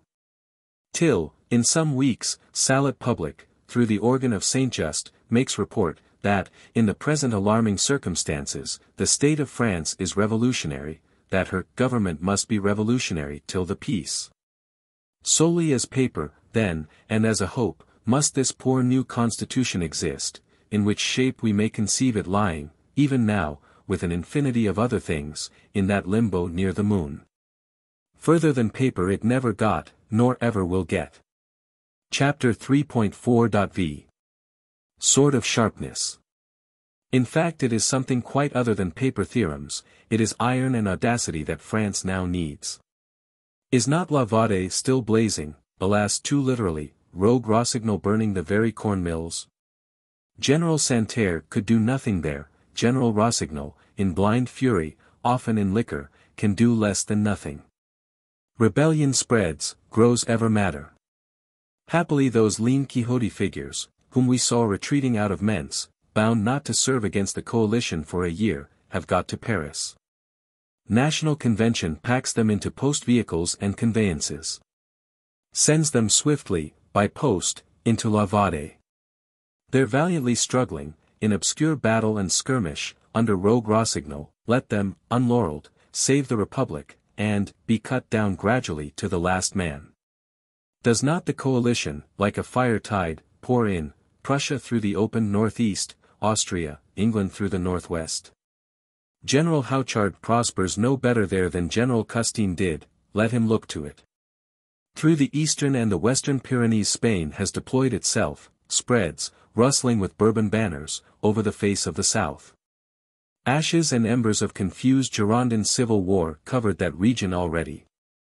Marseilles is damped down, not quenched, to be quenched in blood. Toulon, terror-struck, too far gone for turning, has flung itself, ye righteous powers, into the hands of the English. On Toulon arsenal there flies a flag, nay not even the fleur-de-lis of a Louis pretender, there flies that accursed St. George's cross of the English and admiralhood. What remnants of seacraft, arsenals, roperies, war navy France had, has given itself to these enemies of human nature, enemies du genre humain. Beleaguer it, bombard it, ye commissioners Barras, Freron, Robespierre Jr. Thou General Carteaux, General Dugommier, above all, thou remarkable artillery major, Napoleon Bonaparte. Hood is fortifying himself, victualling himself, means, apparently, to make a new Gibraltar of it. But lo, in the autumn night, late night, among the last of August, what sudden red sun blaze is this that has risen over Lyons City, with a noise to deafen the world? It is the powder tower of Lyons, nay the arsenal with four powder towers, which has caught fire in the bombardment, and sprung into the air, carrying 117 houses after it. With a light, one fancies, as of the noon sun. With a roar second only to the last trumpet. All living sleepers far and wide it has awakened. What a sight was that, which the eye of history saw, in the sudden nocturnal sunblaze. The roofs of hapless Lyons, and all its domes and steeples made momentarily clear. Rhone and Saône streams flashing suddenly visible, and height and hollow, hamlet and smooth stubblefield, and all the region round. Heights, alas, all scarped and counterscarped, into trenches, curtains, redoubts, blue artillerymen, little powder devilkins, plying their hell trade there, through the not ambrosial night. Let the darkness cover it again, for it pains the eye. Of a truth, Chalier's death is costing this city dear. Convention commissioners, Lyons congresses have come and gone, and action there was and reaction, bad ever growing worse. Till it has come to this, Commissioner du Bois-Crancé, with 70,000 men, and all the artillery of several provinces, bombarding Lyons day and night. Worse things still are in store. Famine is in Lyons, and ruin, and fire. Desperate are the sallies of the besieged, brave Précy, their national colonel and commandant, doing what is in man, desperate but ineffectual. Provisions cut off, nothing entering our city but shot and shells. The arsenal has roared aloft. The very hospital will be battered down, and the sick buried alive. A black flag hung on this latter noble edifice, appealing to the pity of the besiegers, for though maddened, were they not still our brethren? In their blind wrath, they took it for a flag of defiance, and aimed thitherward the more. Bad is growing ever worse here, and how will the worst stop, till it have grown worst of all? Commissioner Du Bois will listen to no pleading, to no speech, save this only, we surrender at discretion.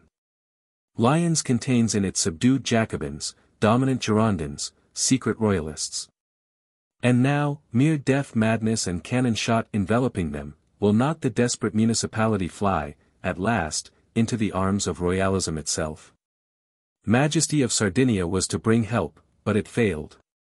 Emigrant Audichamp, in name of the two pretender royal highnesses, is coming through Switzerland with help, coming, not yet come, Précy hoists the fleur-de-lis. At sight of which, all true Girondins sorrowfully fling down their arms, let our tricolour brethren storm us, then, and slay us in their wrath, with you we conquer not. The famishing women and children are sent forth, deaf Du Bois sends them back. Reigns in mere fire and madness. Our redoubts of cotton bags, are taken, retaken, Précy under his fleur-de-lis is valiant as despair. What will become of Lyons? It is a siege of seventy days. Or see, in these same weeks, far in the western waters, breasting through the Bay of Biscay, a greasy dingy little merchant ship, with Scotch skipper. Under hatches whereof sit, disconsolate, the last forlorn nucleus of Girondism, the deputies from Quimper. Several have dissipated themselves, whithersoever they could. Poor Rio fell into the talons of Revolutionary Committee, and Paris prison. The rest sit here under hatches, Reverend Pétion with his grey hair, angry Buzot, suspicious Louvet, brave young Barbaroux, and others. They have escaped from Quimper, in this sad craft, are now tacking and struggling. In danger from the waves, in danger from the English, in still worse danger from the French, banished by heaven and earth to the greasy belly of this Scotch skipper's merchant vessel, unfruitful Atlantic raving round. They are for Bordeaux, if peradventure hope yet linger there. Enter not Bordeaux, O friends. Bloody convention representatives, Tallien and such like, with their edicts, with their guillotine, have arrived there. Respectability is driven underground, Jacobinism lords it on high. From that Rio landing place, or beak of Ams, as it were, pale death, waving his revolutionary sword of sharpness, waves you elsewhither. On one side or the other of that Bec d'Ambès, the Scotch skipper with difficulty moors, a dexterous greasy man, with difficulty lands his Girondins, who, after reconnoitering, must rapidly burrow in the earth. And so, in subterranean ways, in friends' back closets, in cellars, barn lofts, in caves of Saint Emilion and Libourne, stave off cruel death. Unhappiest of all senators.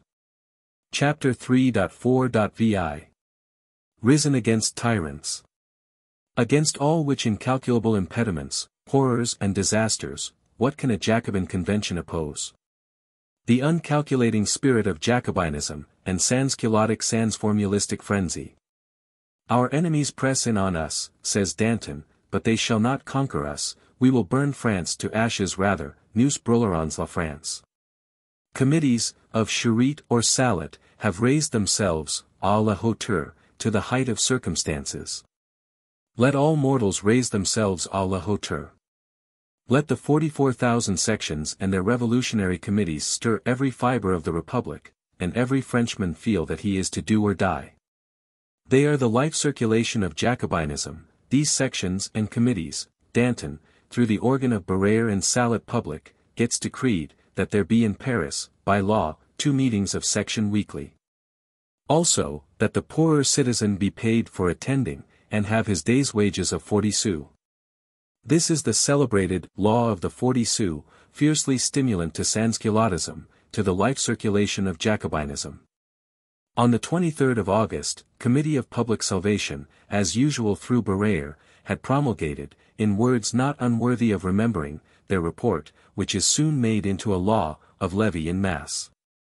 All France, and whatsoever it contains of men or resources, is put under requisition, says Barrère, really in Tyrtaean words, the best we know of his. The Republic is one vast besieged city. 250 forges shall, in these days, be set up in the Luxembourg garden, and round the outer wall of the Tuileries, to make gun barrels, in sight of earth and heaven. From all hamlets, towards their departmental town. From all their departmental towns, towards the appointed camp and seat of war, the sons of freedom shall march, their banner is to bear, le peuple français débat contre les tyrans, the French people risen against tyrants. The young men shall go to the battle, it is their task to conquer, the married men shall forge arms, transport baggage and artillery, provide subsistence, the women shall work at soldiers' clothes, make tents, serve in the hospitals. The children shall scrape old linen into surgeon's lint, the aged men shall have themselves carried into public places, and there, by their words, excite the courage of the young, preach hatred to kings and unity to the republic. Tyrtaean words, which tingle through all French hearts. In this humor, then, since no other serves, will France rush against its enemies.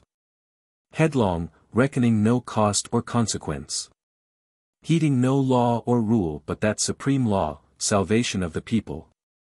The weapons are all the iron that is in France, the strength is that of all the men, women and children that are in France. There, in their 250 shed smithies, in garden of Luxembourg or Tuileries, let them forge gun barrels, in sight of heaven and earth. Nor with heroic daring against the foreign foe, can black vengeance against the domestic be wanting. Life circulation of the revolutionary committees being quickened by that law of the forty sous, Deputy Merlin, not the Thionviller, whom we saw ride out of Mentz, but Merlin of Douai, named subsequently Merlin Suspect, comes, about a week after. With his world-famous law of the suspect, ordering all sections, by their committees, instantly to arrest all persons suspect. And explaining withal who the arrestable and suspect specially are. Are suspect, says he, all who by their actions, by their connections, speakings, writings have, in short become suspect. Ney Chaumette, illuminating the matter still further, in his municipal placards and proclamations, will bring it about that you may almost recognize a suspect on the streets, and clutch him there, off to committee, and prison. Watch well your words, watch well your looks, if suspect of nothing else, you may grow, as came to be a saying, suspect of being suspect. For are we not in a state of revolution? No frightfuler law ever ruled in a nation of men. All prisons and houses of arrest in French land are getting crowded to the ridge tile, 44,000 committees, like as many companies of reapers or gleaners, gleaning France, are gathering their harvest and storing it in these houses. Harvest of aristocrat tares. Nay, lest the 44,000, each on its own harvest field, prove insufficient, we are to have an ambulant, revolutionary army, 6,000 strong, under right captains, this shall perambulate the country at large. And strike in wherever it finds such harvest work slack. So have municipality and mother society petitioned, so has convention decreed. Let aristocrats, federalists, messieurs vanish, and all men tremble, the soil of liberty shall be purged, with a vengeance. Neither hitherto has the revolutionary tribunal been keeping holyday. Blancheland, for losing Saint Domingo. Conspirators of Orleans, for assassinating, for assaulting the sacred deputy Leonard Bourdon, these with many nameless, to whom life was sweet, have died. Daily the great guillotine has its due. Like a black spectre, daily at eventide, glides the death tumbrel through the variegated throng of things. The variegated street shudders at it, for the moment, next moment forgets it, the aristocrats. They were guilty against the Republic. Their death, were it only that their goods are confiscated, will be useful to the Republic, vive la Republique. In the last days of August, fell a notabler head, General Custines. Custine was accused of harshness, of unskillfulness, perfidiousness. Accused of many things, found guilty, we may say, of one thing, unsuccessfulness. Hearing his unexpected sentence, Custine fell down before the crucifix, silent for the space of two hours, he fared, with moist eyes and a book of prayer, towards the Place de la Revolution, glanced upwards at the clear suspended axe. Then mounted swiftly aloft, swiftly was struck away from the lists of the living. He had fought in America, he was a proud, brave man, and his fortune led him hither. On the second of this same month, at three in the morning, a vehicle rolled off, with closed blinds, from the temple to the conciergerie. Within it were two municipals, and Marie Antoinette, once Queen of France. There in that conciergerie, in ignominious dreary cell, she, cut off from children, kindred, friend and hope, sits long weeks, expecting when the end will be. The guillotine, we find, gets always a quicker motion, as other things are quickening. The guillotine, by its speed of going, will give index of the general velocity of the Republic. The clanking of its huge axe, rising and falling there, in horrid systole diastole, is portion of the whole enormous life movement and pulsation of the sansculottic system. Orleans conspirators and assaulters had to die, in spite of much weeping and entreating, so sacred is the person of a deputy. Yet the sacred can become desecrated, your very deputy is not greater than the guillotine. Poor deputy journalist Gorsas, we saw him hide at Rennes, when the Calvados war burnt priming. He stole afterwards, in August, to Paris, lurked several weeks about the Palais ci-devant Royal, was seen there, one day. Was clutched, identified, and without ceremony, being already out of the law, was sent to the Place de la Revolution. He died, recommending his wife and children to the pity of the Republic. It is the ninth day of October 1793. Gorsas is the first deputy that dies on the scaffold, he will not be the last. Ex-Mayor Bailly is in prison, ex-Procureur Manuel. Brissot and our poor arrested Girondins have become incarcerated indicted Girondins. Universal Jacobinism clamoring for their punishment. Duperret's seals are broken. Those 73 secret protesters, suddenly one day, are reported upon, are decreed accused. The convention doors being, previously shut, that none implicated might escape. They were marched, in a very rough manner, to prison that evening. Happy those of them who chanced to be absent. Condorcet has vanished into darkness. Perhaps, like Rabaut, sits between two walls, in the house of a friend. Chapter 3.4.7 Marie Antoinette On Monday the 14th of October, 1793, a cause is pending in the Palais de Justice, in the new revolutionary court, such as these old stone walls never witnessed, the trial of Marie Antoinette. The once brightest of queens, now tarnished, defaced, forsaken, stands here at Fouquier Tinville's judgment bar, answering for her life. The indictment was delivered her last night. To such changes of human fortune what words are adequate? Silence alone is adequate. There are few printed things one meets with, of such tragic almost ghastly significance as those bald pages of the Bulletin du Tribunal Révolutionnaire, which bear title, Trial of the Widow Capet. Dim, dim, as if in disastrous eclipse, like the pale kingdoms of Dis. Plutonic judges, Plutonic Tinville, encircled, nine times, with Styx and Lethe, with fire Phlegethon and Cocytus named of lamentation. The very witnesses summoned are like ghosts, exculpatory, inculpatory, they themselves are all hovering over death and doom, they are known, in our imagination, as the prey of the guillotine. Tall ci Count d'Estaing, anxious to shew himself patriot, cannot escape, nor Bailly, who, when asked if he knows the accused, answers with a reverent inclination towards her, Ah, yes, I know madam. Expatriates are here, sharply dealt with, as Procureur Manuel, ex-ministers, shorn of their splendor. We have cold aristocratic impassivity, faithful to itself even in Tartarus. Rabid stupidity, of patriot corporals, patriot washerwomen, who have much to say of plots, treasons, August 10, old insurrection of women. For all now has become a crime, in her who has lost. Marie Antoinette, in this her utter abandonment and hour of extreme need, is not wanting to herself, the imperial woman. Her look, they say, as that hideous indictment was reading, continued calm. She was sometimes observed moving her fingers, as when one plays on the piano. You discern, not without interest, across that dim revolutionary bulletin itself, how she bears herself queen-like. Her answers are prompt, clear, often of laconic brevity, resolution, which has grown contemptuous without ceasing to be dignified, veils itself in calm words. You persist then in denial. My plan is not denial, it is the truth I have said, and I persist in that. Scandalous Hébert has borne his testimony as to many things, as to one thing, concerning Marie Antoinette and her little son, wherewith human speech had better not further be soiled. She has answered Hébert. A juryman begs to observe that she has not answered as to this. I have not answered, she exclaims with noble emotion, because nature refuses to answer such a charge brought against a mother. I appeal to all the mothers that are here. Robespierre, when he heard of it, broke out into something almost like swearing at the brutish blockheadism of this Hébert, on whose foul head his foul lie has recoiled. At four o'clock on Wednesday morning, after two days and two nights of interrogating, jury charging, and other darkening of counsel, the result comes out, sentence of death. Have you anything to say? The accused shook her head, without speech.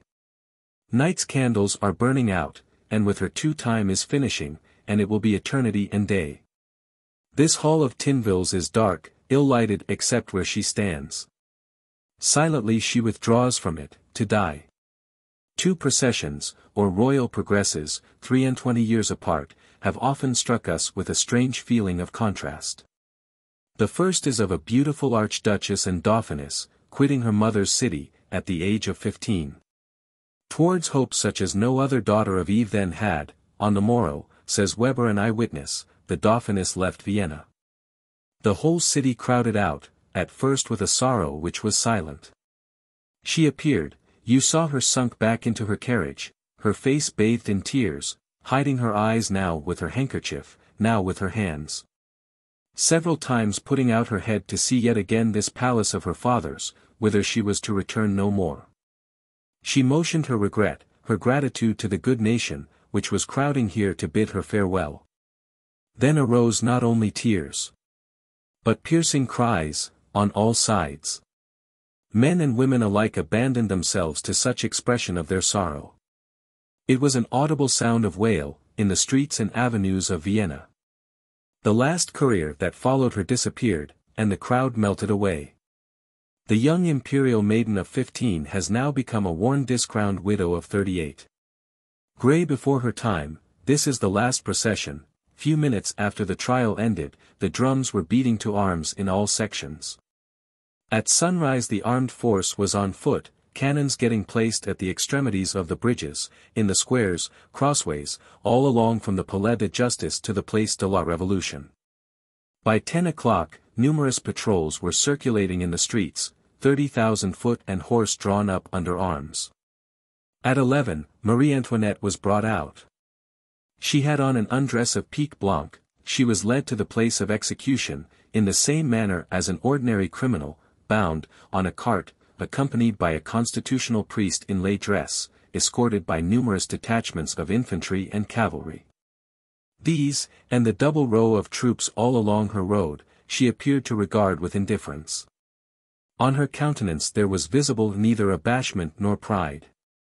To the cries of Vive la Republique and down with tyranny, which attended her all the way, she seemed to pay no heed. She spoke little to her confessor. The tricolor streamers on the housetops occupied her attention, in the streets du Roule and Saint-Honoré, she also noticed the inscriptions on the house fronts. On reaching the Place de la Révolution, her looks turned towards the Jardin National, whilom Tuileries, her face at that moment gave signs of lively emotion. She mounted the scaffold with courage enough, at a quarter past twelve, her head fell. The executioner shoot it to the people, amid universal long-continued cries of Vive la République. Chapter 3.4.8 The 22. Whom next, O Tinville? The next are of a different color, our poor arrested Girondin deputies. What of them could still be laid hold of, our Vergniaud, Brissot, Fauchet, Valazé, Gensonné.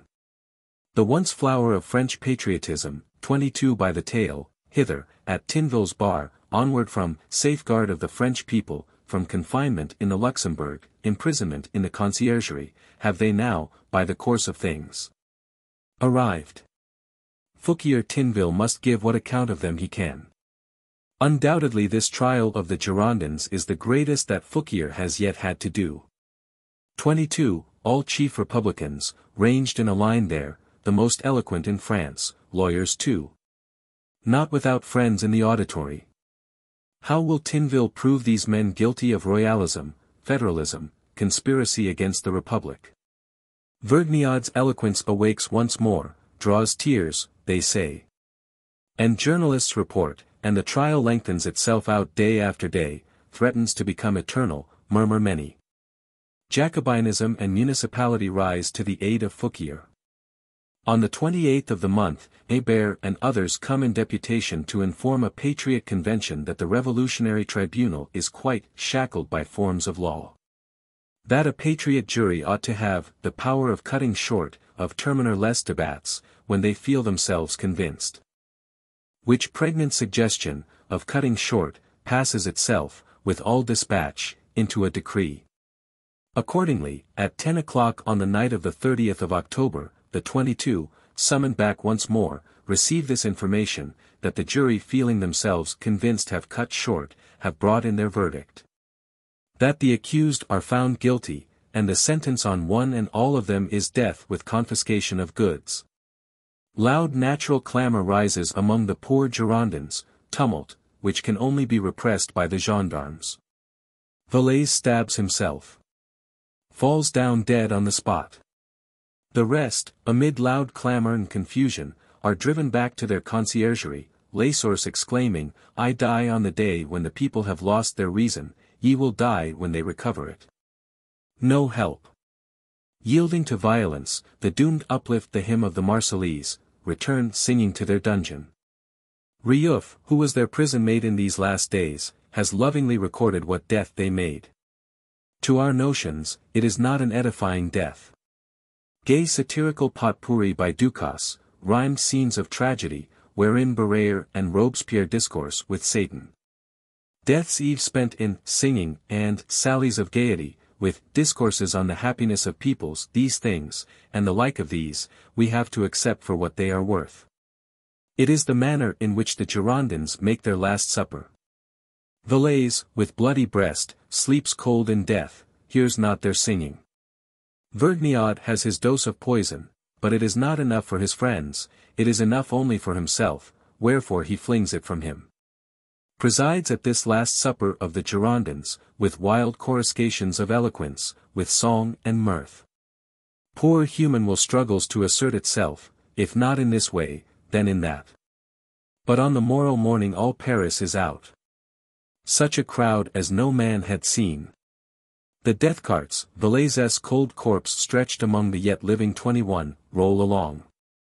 Bareheaded, hands bound, in their shirt sleeves, coat flung loosely round the neck, so fare the eloquent of France. Bemurmured, beshouted. To the shouts of Vive la République, some of them keep answering with countershouts of Vive la République. Others, as Brissot, sit sunk in silence.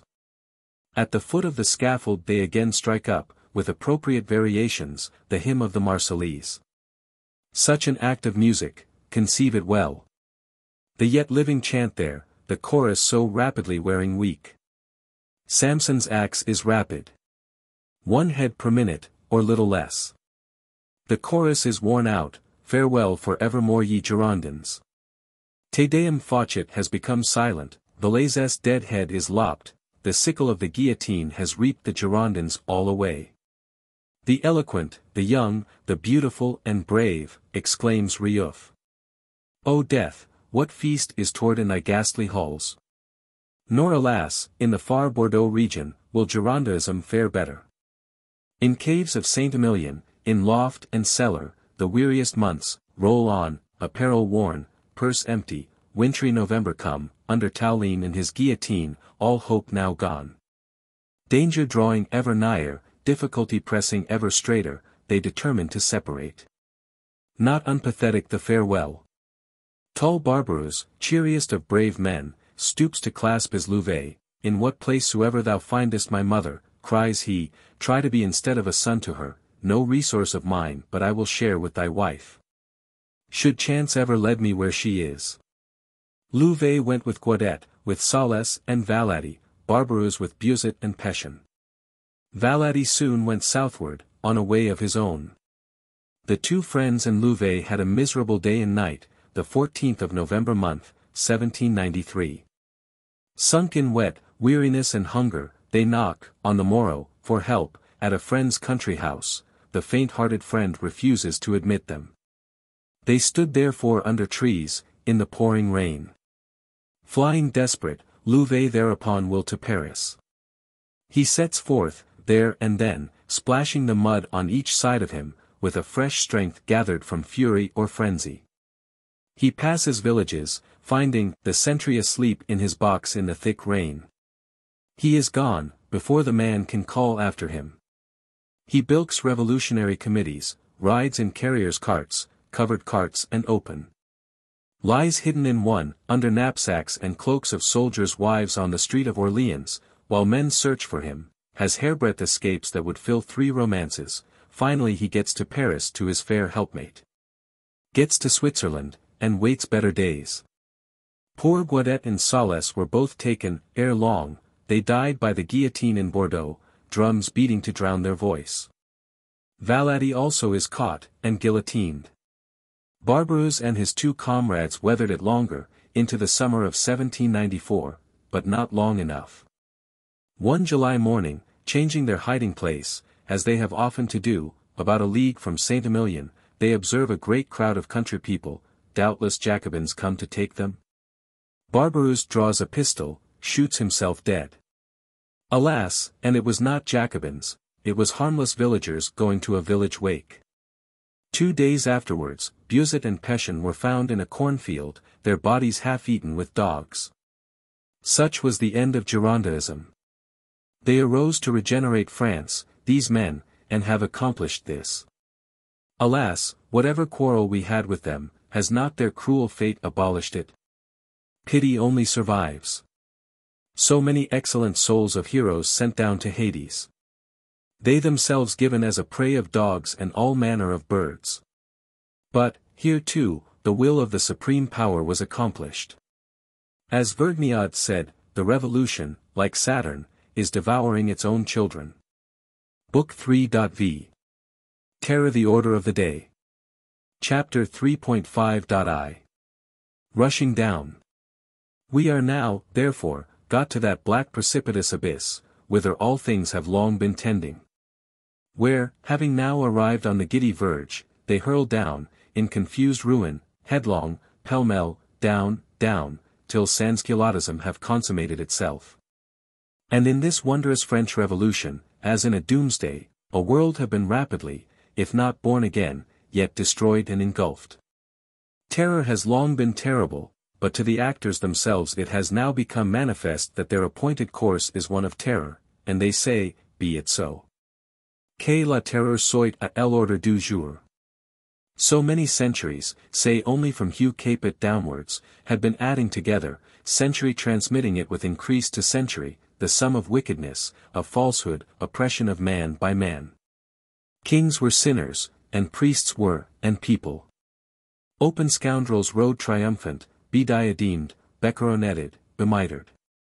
Or the still fataler species of secret scoundrels, in their fair-sounding formulas, speciosities, respectabilities, hollow within, the race of quacks was grown many as the sands of the sea. Till at length such a sum of quackery had accumulated itself as, in brief, the earth and the heavens were weary of. Slow seemed the day of settlement, coming on, all imperceptible, across the bluster and fanfaronade of courtierisms, conquering heroisms, most Christian grand monarchisms. Well-beloved pompadourisms, yet behold it was always coming. Behold it has come, suddenly, unlooked for by any man. The harvest of long centuries was ripening and whitening so rapidly of late, and now it is grown white, and is reaped rapidly, as it were, in one day. Reaped, in this reign of terror. And carried home, to Hades and the pit, unhappy sons of Adam, it is ever so, and never do they know it, nor will they know it. With cheerfully smoothed countenances, day after day, and generation after generation, they, calling cheerfully to one another, well speed ye, are at work, sowing the wind. And yet, as God lives, they shall reap the whirlwind, no other thing, we say, is possible, since God is a truth and his world is a truth. History, however, in dealing with this reign of terror, has had her own difficulties. While the phenomenon continued in its primary state, as mere horrors of the French Revolution, there was abundance to be said and shrieked with and also without profit. Heaven knows there were terrors and horrors enough, yet that was not all the phenomenon, nay, more properly, that was not the phenomenon at all, but rather was the shadow of it, the negative part of it. And now, in a new stage of the business, when history, ceasing to shriek, would try rather to include under her old forms of speech or speculation this new amazing thing. That so some accredited scientific law of nature might suffice for the unexpected product of nature, and history might get to speak of it articulately, and draw inferences and profit from it. In this new stage, history, we must say, babbles and flounders perhaps in a still painfuler manner. Take, for example, the latest form of speech we have seen propounded on the subject as adequate to it, almost in these months, by our worthy M. Roux, in his Histoire parlementaire. The latest and the strangest, that the French Revolution was a deadlift effort, after 1800 years of preparation, to realize, the Christian religion. Unity, indivisibility, brotherhood or death did indeed stand printed on all houses of the living. Also, on cemeteries, or houses of the dead, stood printed, by order of Procureur Chaumette, here is eternal sleep, but a Christian religion realized by the guillotine and death eternal, is suspect to me, as Robespierre was wont to say. M. est suspect. Alas, no, M. Roux. A gospel of brotherhood, not according to any of the four old evangelists, and calling on men to repent, and amend each his own wicked existence, that they might be saved. But a gospel rather, as we often hint, according to a new fifth evangelist Jean-Jacques, calling on men to amend each the whole world's wicked existence, and be saved by making the Constitution. A thing different and distant toto caelo, as they say, the whole breadth of the sky, and further if possible.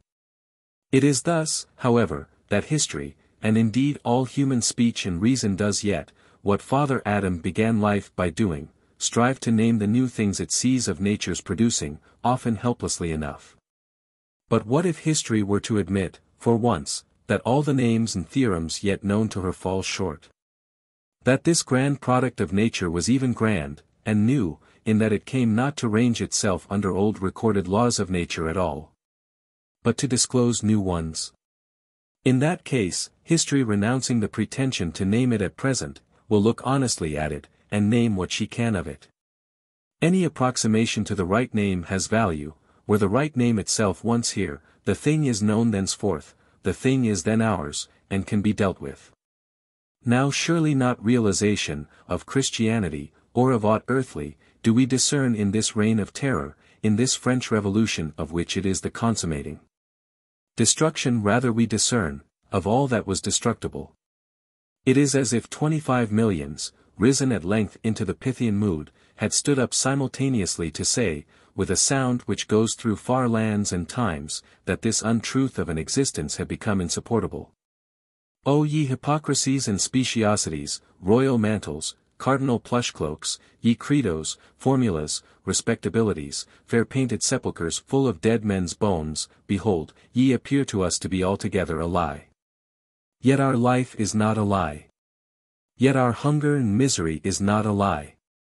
Behold we lift up, one and all, are twenty-five million right hands, and take the heavens, and the earth and also the pit of Tophet to witness, that either ye shall be abolished, or else we shall be abolished. No inconsiderable oath, truly, forming, as has been often said, the most remarkable transaction in these last thousand years.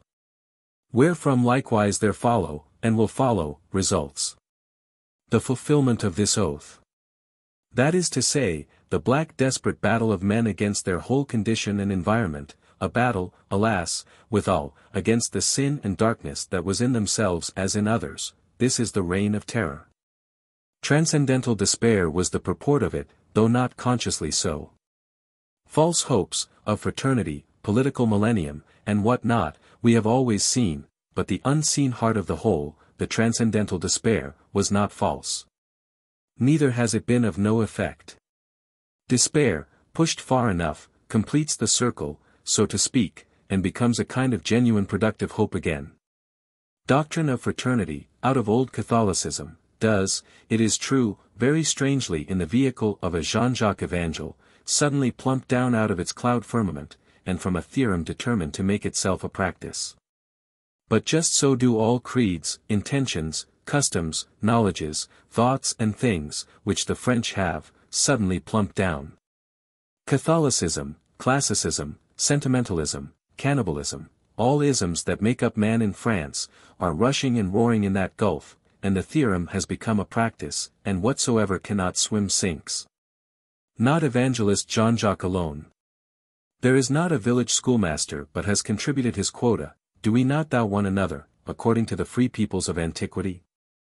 The French patriot, in red Phrygian nightcap of liberty, christens his poor little red infant Cato, censor, or else of Utica.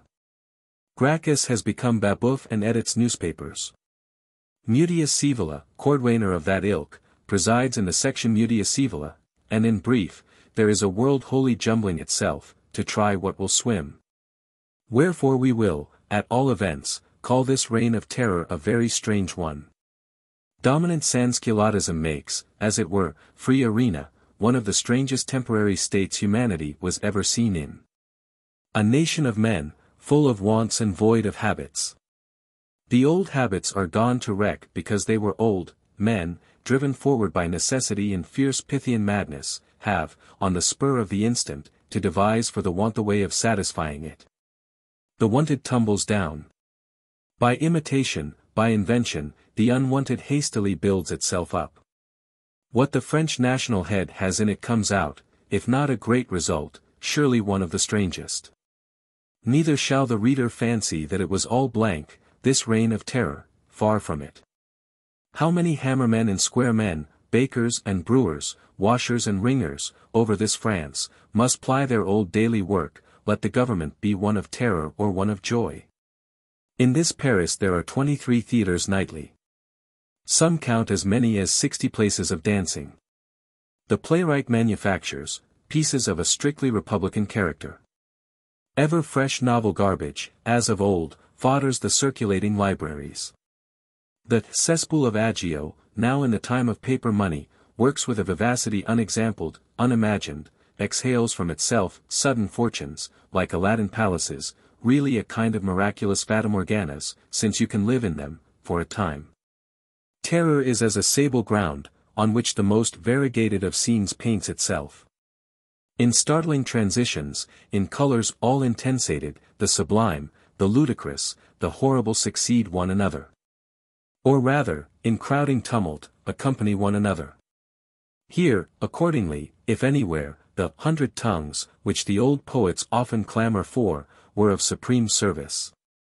In defect of any such organ on our part, let the reader stir up his own imaginative organ, let us snatch for him this or the other significant glimpse of things, in the fittest sequence we can.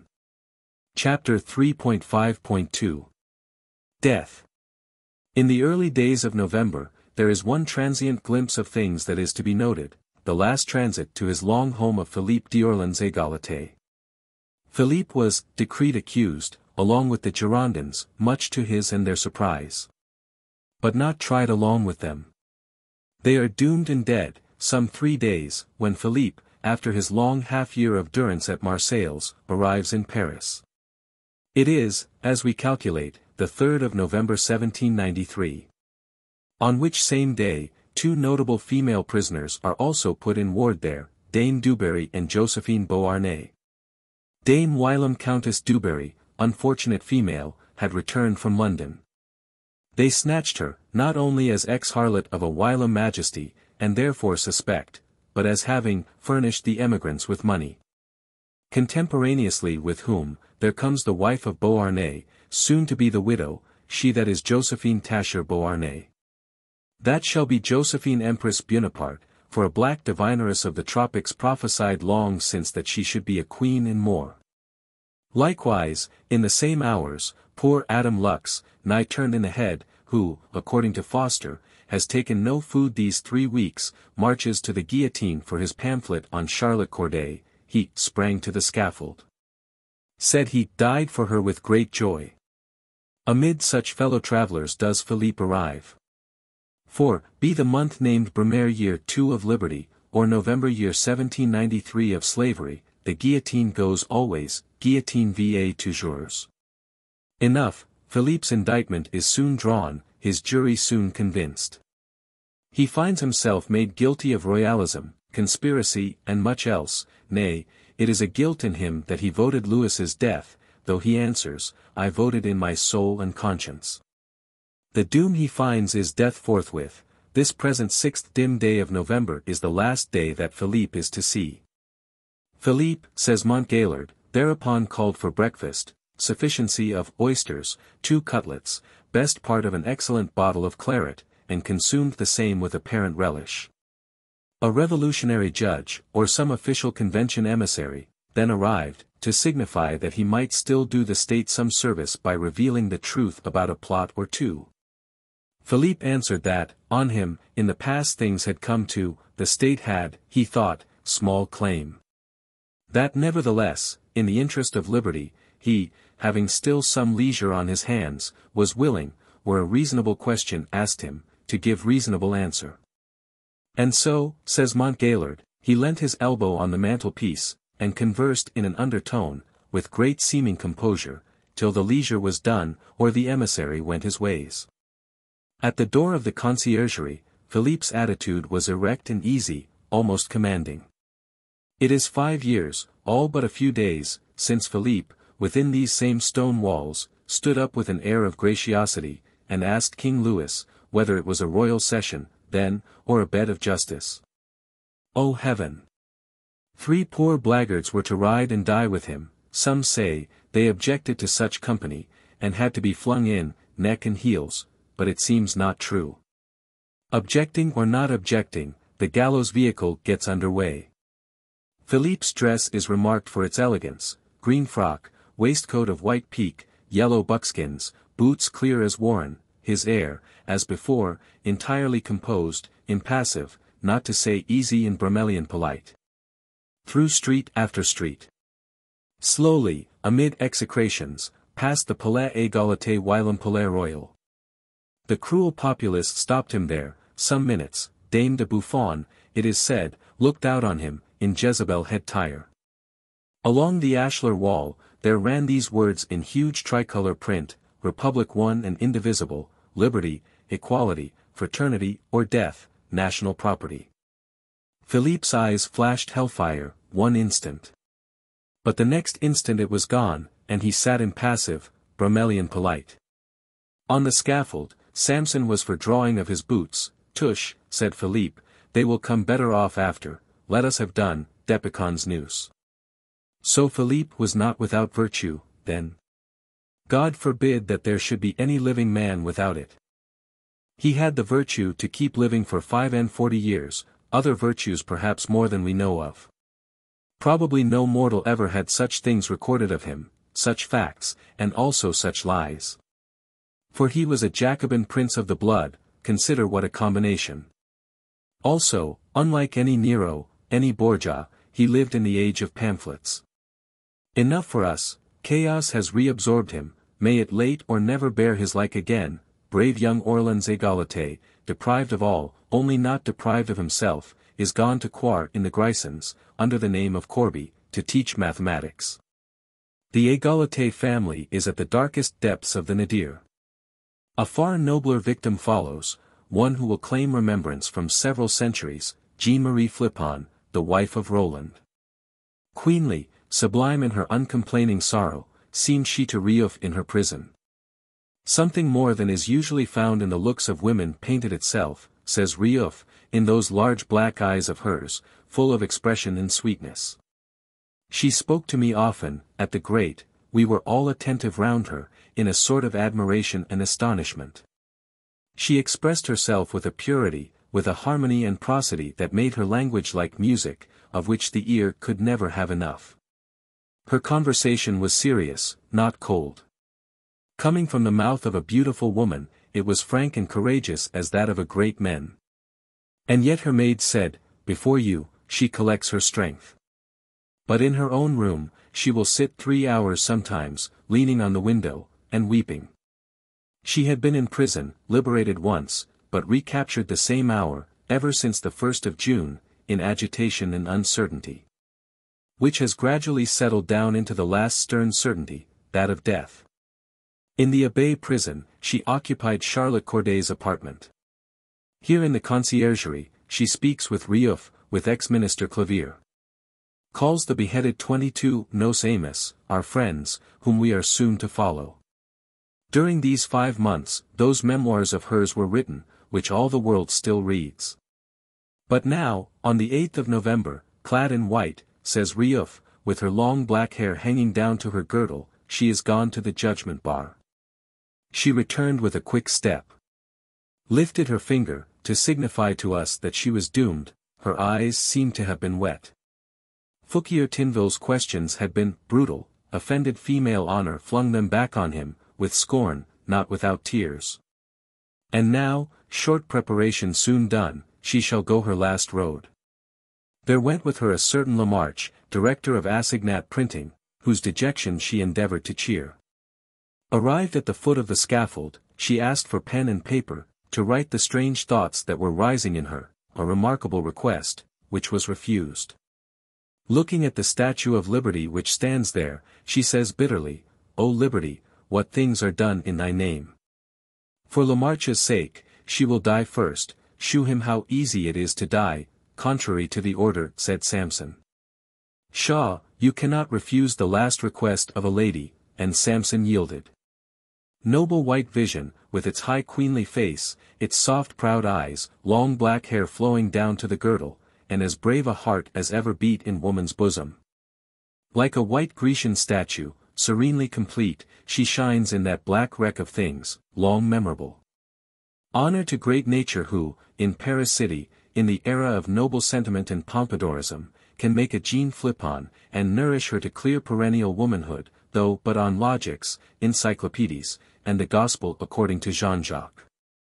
Biography will long remember that trait of asking for a pen to write the strange thoughts that were rising in her. It is as a little light beam, shedding softness, and a kind of sacredness, over all that preceded, so in her too there was an unnameable, she too was a daughter of the infinite, there were mysteries which philosophism had not dreamt of. She left long written counsels to her little girl, she said her husband would not survive her. Still crueler was the fate of poor Bailly, first national president, first mayor of Paris, doomed now for royalism, fayetism. For that red flag business of the Champ de Mars, one may say in general, for leaving his astronomy to meddle with revolution. It is the 10th of November, 1793, a cold bitter drizzling rain, as poor Bailly is led through the streets. Howling populace covering him with curses, with mud, waving over his face a burning or smoking mockery of a red flag. Silent, unpitied, sits the innocent old man. Slow faring through the sleety drizzle, they have got to the Champ de Mars, not there. Vociferates the cursing populace, such blood ought not to stain an altar of the fatherland, not there, but on that dung heap by the river side. So vociferates the cursing populace, officiality gives ear to them. The guillotine is taken down, though with hands numbed by the sleety drizzle, is carried to the river side, is there set up again, with slow numbness, pulse after pulse still counting itself out in the old man's weary heart. Four hours long. Amid curses and bitter frost rain. Bailly, thou tremblest, said one. Mon ami, it is for cold, said Bailly, c'est de froid. Crueler end had no mortal. Some days afterwards, Roland hearing the news of what happened on the 8th, embraces his kind friends at Rouen, leaves their kind house which had given him refuge, goes forth, with farewell too sad for tears. On the morrow morning, 16th of the month, some four leagues from Rouen, Paris ward, near Bourg Baudouin, in M. Normand's Avenue, there is seen sitting leant against a tree, the figure of rigorous wrinkled man, stiff now in the rigor of death. A cane sword run through his heart, and at his feet this writing, Whoever thou art that findest me lying, respect my remains, they are those of a man who consecrated all his life to being useful, and who has died as he lived, virtuous and honest. Not fear, but indignation, made me quit my retreat, on learning that my wife had been murdered. I wished not to remain longer on an earth polluted with crimes. Barnave's appearance at the Revolutionary Tribunal was of the bravest. But it could not stead him. They have sent for him from Grenoble, to pay the common smart, vain is eloquence, forensic or other, against the dumb clothoshears of Tinville. He is still but two and thirty, this Barnave, and has known such changes. Short while ago, we saw him at the top of fortune's wheel, his word a law to all patriots, and now surely he is at the bottom of the wheel, in stormful altercation with a Tinville tribunal, which is dooming him to die. And Pétion, once also of the extreme left, and named Pétion virtue, where is he? Civilly dead, in the caves of Saint-Emilion, to be devoured of dogs. And Robespierre, who rode along with him on the shoulders of the people, is in committee of Salut. Civilly alive, not to live always. So giddy swift whirls and spins this immeasurable tormentum of a revolution, wild booming, not to be followed by the eye. Barnave, on the scaffold, stamped his foot. And looking upwards was heard to ejaculate, This then is my reward? Deputy ex-procure Manuel is already gone. And Deputy Osselin, famed also in August and September, is about to go, and Rabaut, discovered treacherously between his two walls, and the brother of Rabaut national deputies not a few. And generals, the memory of General Custine cannot be defended by his son, his son is already guillotined. Custine the ex-noble was replaced by Houchard the plebeian, he too could not prosper in the north, for him too there was no mercy. He has perished in the Place de la Revolution, after attempting suicide in prison. And Generals Biron, Beauharnais, Brunet, whatsoever general prospers not, tough old Luckner, with his eyes grown rheumy. Alsatian Westerman, valiant and diligent in La Vendée, none of them can, as the psalmist sings, his soul from death deliver. How busy are the revolutionary committees, sections with their forty halfpence a day. Arrestment on arrestment falls quick, continual, followed by death. Ex-Minister Clavière has killed himself in prison. Ex-Minister Lebrun, seized in a hayloft, under the disguise of a working man, is instantly conducted to death. Nay, withal, is it not what Barrère calls, coining money on the place de la Revolution? For always the property of the guilty, if property he have, is confiscated. To avoid accidents, we even make a law that suicide shall not defraud us. That a criminal who kills himself does not the less incur forfeiture of goods. Let the guilty tremble, therefore, and the suspect, and the rich, and in a word all manner of Culottic men. Luxembourg Palace, once Monsieur's, has become a huge loathsome prison, Chantilly Palace too, once Condé's, and their landlords are at Blankenberg, on the wrong side of the Rhine. In Paris are now some twelve prisons.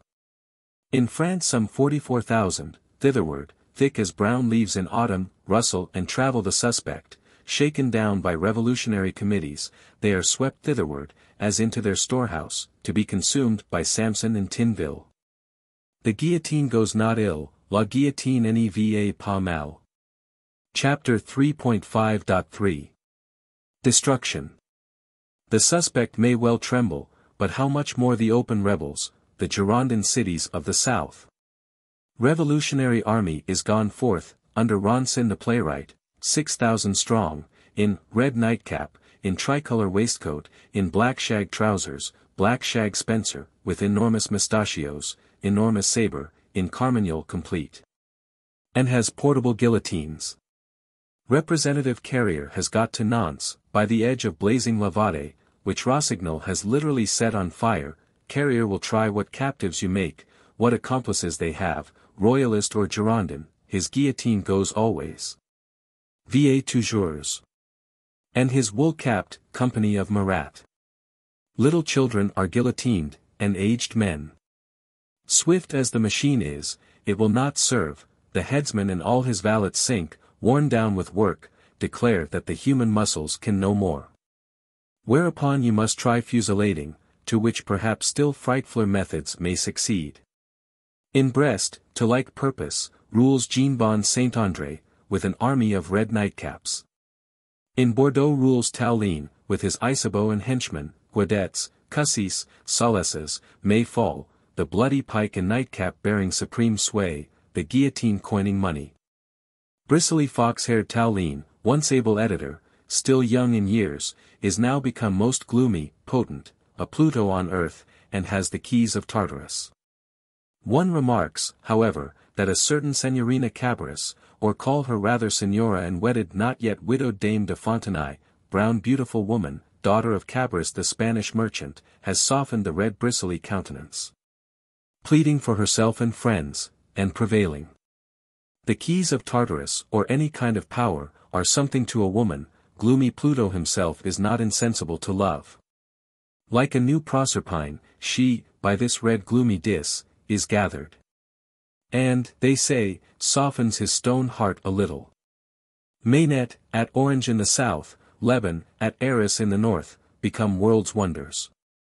Jacobin Popular Tribunal, with its national representative, perhaps where Girondin Popular Tribunal had lately been, rises here and rises there, wheresoever needed. Fouchés, Maignets, Barrases, Frerons scour the southern departments. Like reapers, with their guillotine sickle. Many are the laborers, great is the harvest. By the hundred and the thousand, men's lives are cropped, cast like brands into the burning. Marseilles is taken, and put under martial law, lo, at Marseilles, what one besmutted red-bearded coroner is this which they cut, one gross man, we mean, with copper-studded face, plenteous beard, or beard stubble, of a tile color. By Nemesis and the Fatal Sisters, it is Jourdan Coupe-tête. Him they have clutched, in these martial law districts, him too, with their national razor, their rasoir national, they sternly shave away. Lo now is Jourdan the headsman's own head. Lo as de Deshuttes and Varigny, which he sent on pikes, in the insurrection of women. No more shall he, as a copper portent, be seen gyrating through the cities of the south, no more sit judging, with pipes and brandy, in the ice tower of Avignon. The all-hiding earth has received him, the bloated tile-beard, may we never look upon his like again, Jourdan one names, the other hundreds are not named. Alas, they, like confused faggots, lie massed together for us. Counted by the cartload, and yet not an individual faggot twig of them but had a life and history, and was cut, not without pangs as when a Kaiser dies. Least of all cities can Lyons escape. Lyons, which we saw in dread sun blaze, that autumn night when the powder tower sprang aloft, was clearly verging towards a sad end. Inevitable, what could desperate valor and Précy do? Dubois-Crancé, deaf as destiny, stern as doom, capturing their redouts of cotton bags, hemming them in, ever closer, with his artillery lava?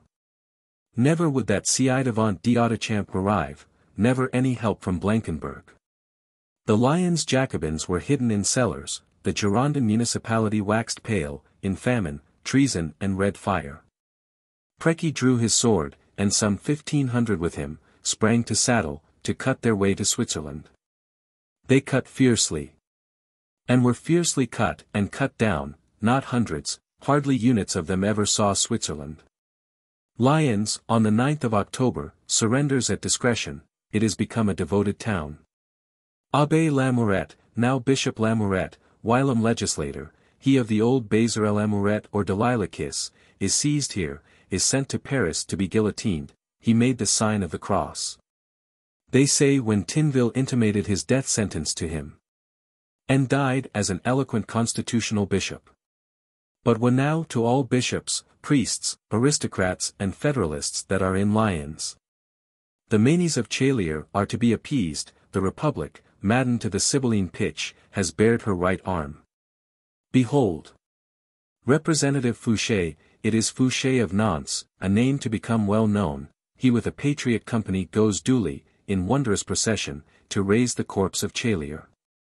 An ass, housed in priest's cloak, with a mitre on its head, and trailing the mass books, some say the very Bible, at its tail, paces through Lyon streets, escorted by multitudinous patriotism, by clangor as of the pit.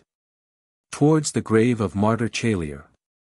The body is dug up and burnt, the ashes are collected in an urn, to be worshipped of Paris patriotism. The holy books were part of the funeral pile, their ashes are scattered to the wind. Amid cries of vengeance. Vengeance which, writes Fouché, shall be satisfied. Lyons in fact is a town to be abolished, not Lyons henceforth but, commune affranchi, township freed, the very name of it shall perish. It is to be razed, this once great city, if Jacobinism prophesy right, and a pillar to be erected on the ruins, with this inscription, Lyons rebelled against the Republic, Lyons is no more. Fouché, Couthon, Collot, convention representatives succeed one another, there is work for the hangman, work for the hammerman, not in building. The very houses of aristocrats, we say, are doomed. Paralytic Couthon, born in a chair, taps on the wall, with emblematic mallet, saying, La loi te frappe, the law strikes thee, masons, with wedge and crowbar, begin demolition. Crash of downfall, dim ruin and dust clouds fly in the winter wind. Had Lyons been of soft stuff, it had all vanished in those weeks, and the Jacobin prophecy had been fulfilled. But towns are not built of soap froth, Lyons town is built of stone. Lyons, though it rebelled against the Republic, is to this day. Neither have the Lyons Girondins all one neck, that you could dispatch it at one swoop. Revolutionary tribunal here, and military commission, guillotining, fusillading, do what they can, the kennels of the place de terreaux run red. Mangled corpses roll down the Rhone. Collot d'Herbois, they say, was once hissed on the Lyons stage, but with what sibilation, of world catcall or hoarse Tartarian trumpet, will ye hiss him now, in this his new character of convention representative, not to be repeated. Two hundred and nine men are marched forth over the river, to be shot in mass, by musket and cannon, in the promenade of the Brotteaux. It is the second of such scenes, the first was of some seventy. The corpses of the first were flung into the Rhone, but the Rhone stranded some, so these now, of the second lot, are to be buried on land. Their one long grave is dug, they stand ranked, by the loose mould ridge. The younger of them singing the Marseillaise. Jacobin National Guards give fire, but have again to give fire, and again, and to take the bayonet and the spade, for though the doomed all fall, they do not all die. And it becomes a butchery too horrible for speech. So that the very nationals, as they fire, turn away their faces. Collot, snatching the musket from one such national, and leveling it with unmoved countenance, says, it is thus a republican ought to fire. This is the second fusillade, and happily the last, it is found too hideous, even inconvenient.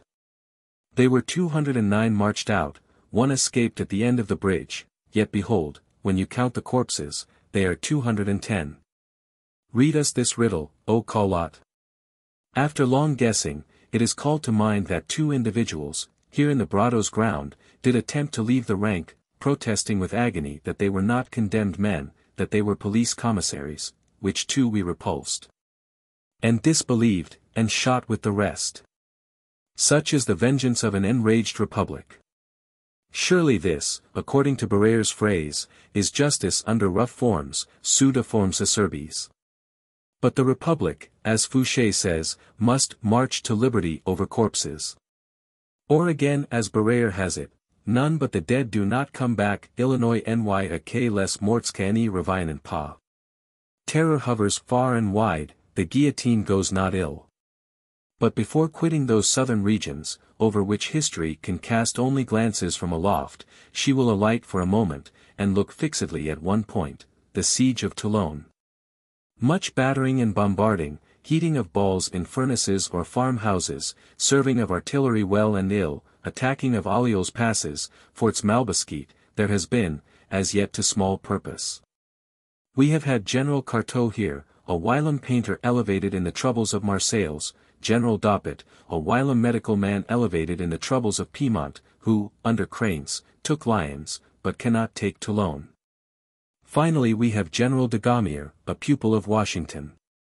Convention representatives also we have had.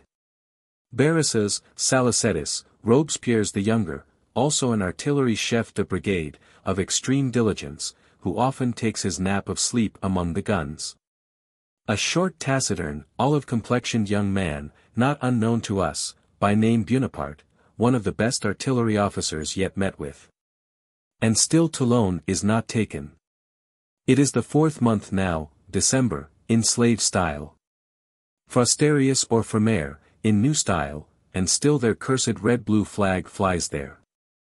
They are provisioned from the sea, they have seized all heights, felling wood, and fortifying themselves. Like the coney, they have built their nest in the rocks. Meanwhile, Frostarious is not yet become Snowous or Nivôse, when a council of war is called, instructions have just arrived from government and Salut Public. Carnot, in Salut Public, has sent us a plan of siege, on which plan General Dugommier has this criticism to make, Commissioner Salicetti has that, and criticisms and plans are very various, when that young artillery officer ventures to speak. The same whom we saw snatching sleep among the guns, who has emerged several times in this history, the name of him Napoleon Bonaparte. It is his humble opinion, for he has been gliding about with spyglasses, with thoughts, that a certain Fort l'Eguillette can be clutched, as with Lion Spring, on the sudden.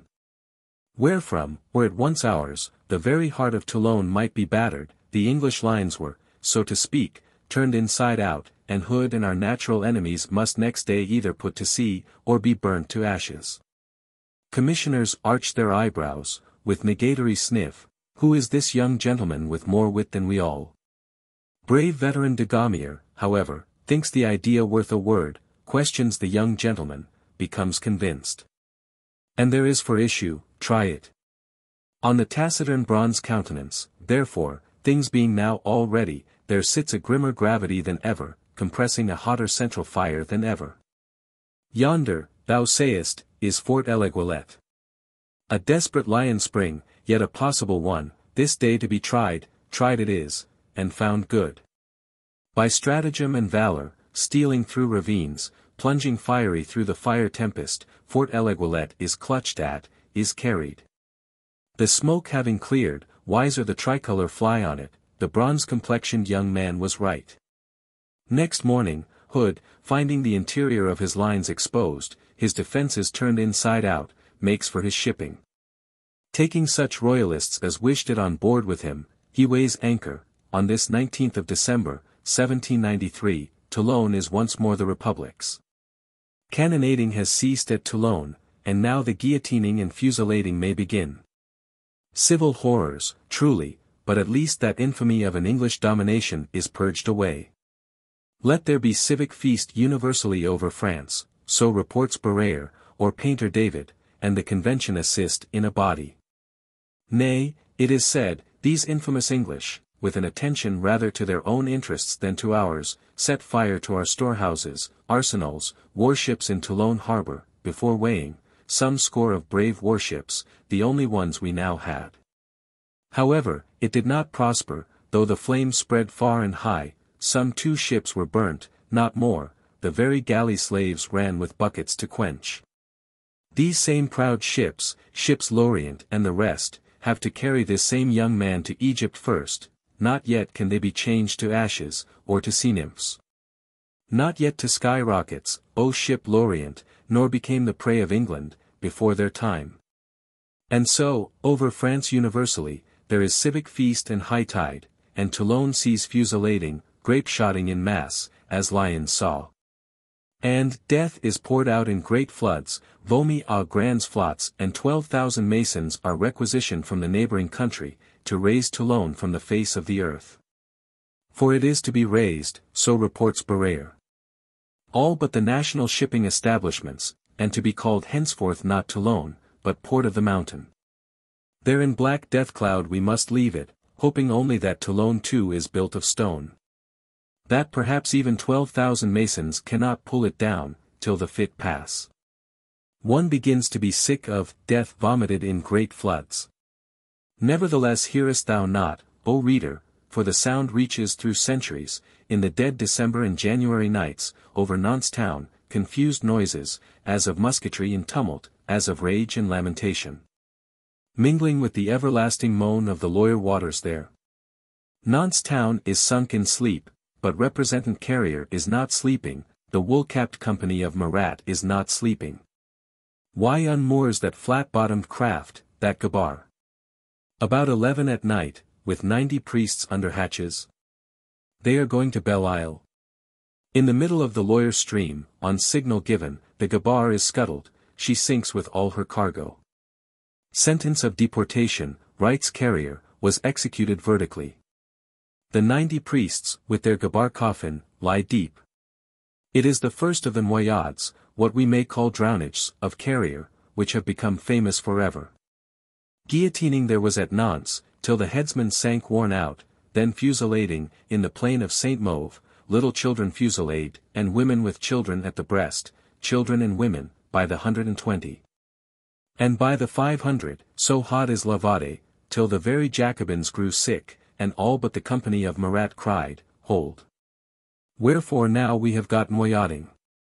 And on the twenty-fourth night of Frosterius year two, which is fourteenth of December, 1793, we have a second Noyade, consisting of a 138 persons. Or why waste a gabar, sinking it with them? Fling them out.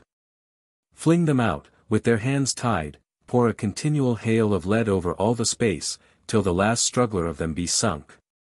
Unsound sleepers of Nantes, and the sea villages thereabouts, hear the musketry amid the night winds. Wonder what the meaning of it is. And women were in that gabar, whom the red nightcaps were stripping naked, who begged, in their agony, that their smocks might not be stripped from them.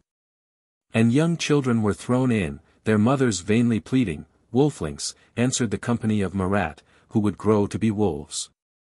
By degrees, daylight itself witnesses noyades, women and men are tied together, feet and feet, hands and hands, and flung in, this they call mariage républicain, republican marriage. Cruel is the panther of the woods, the she-bear bereaved of her whelps, but there is in man a hatred crueler than that. Dumb, out of suffering now, as pale swollen corpses, the victims tumble confusedly seaward along the Loire stream. The tide rolling them back, clouds of ravens darken the river, wolves prowl on the shoal places, Carrier writes, quell torrent revolutionnaire, what a torrent of revolution. For the man is rabid, and the time is rabid. These are the noyades of Carrier, 25 by the tale, for what is done in darkness comes to be investigated in sunlight, not to be forgotten for centuries, we will turn to another aspect of the consummation of Sansculottism. Leaving this as the blackest. But indeed men are all rabid, as the time is. Representative Lebon, at Arras, dashes his sword into the blood flowing from the guillotine, exclaims, How I like it. Mothers, they say, by his order, have to stand by while the guillotine devours their children, a band of music is stationed near, and, at the fall of every head, strikes up its Ça-ira. In the burg of Bedouin, in the Orange region, the Liberty Tree has been cut down overnight. Representative Maignet, at Orange, hears of it, burns Bedouin Berg to the last dog hutch. Guillotines the inhabitants, or drives them into the caves and hills. Republic one and indivisible. She is the newest birth of nature's waste inorganic deep, which men name Orcus, chaos, primeval night, and knows one law, that of self-preservation. Tigress nationale, meddle not with a whisker of her. Swift crushing is her stroke, look what a paw she spreads, pity has not entered her heart. Prudhomme, the dull blustering printer and able editor, as yet a Jacobin editor, will become a renegade one, and publish large volumes on these matters, crimes of the revolution, adding innumerable lies withal, as if the truth were not sufficient. We, for our part, find it more edifying to know, one good time, that this republic and national tigress is a new birth, a fact of nature among formulas, in an age of formulas. And to look, oftenest in silence, how the so genuine nature fact will demean itself among these. For the formulas are partly genuine, partly delusive, supposititious, we call them, in the language of metaphor, regulated modeled shapes. Some of which have bodies and life still in them, most of which, according to a German writer, have only emptiness, glass eyes glaring on you with a ghastly affectation of life, and in their interior unclean accumulation of beetles and spiders. But the fact, let all men observe, is a genuine and sincere one, the sincerest of facts, terrible in its sincerity, as very death. Whatsoever is equally sincere may front it and beard it, but whatsoever is not. Chapter 3.5.4 Carmagnole complete.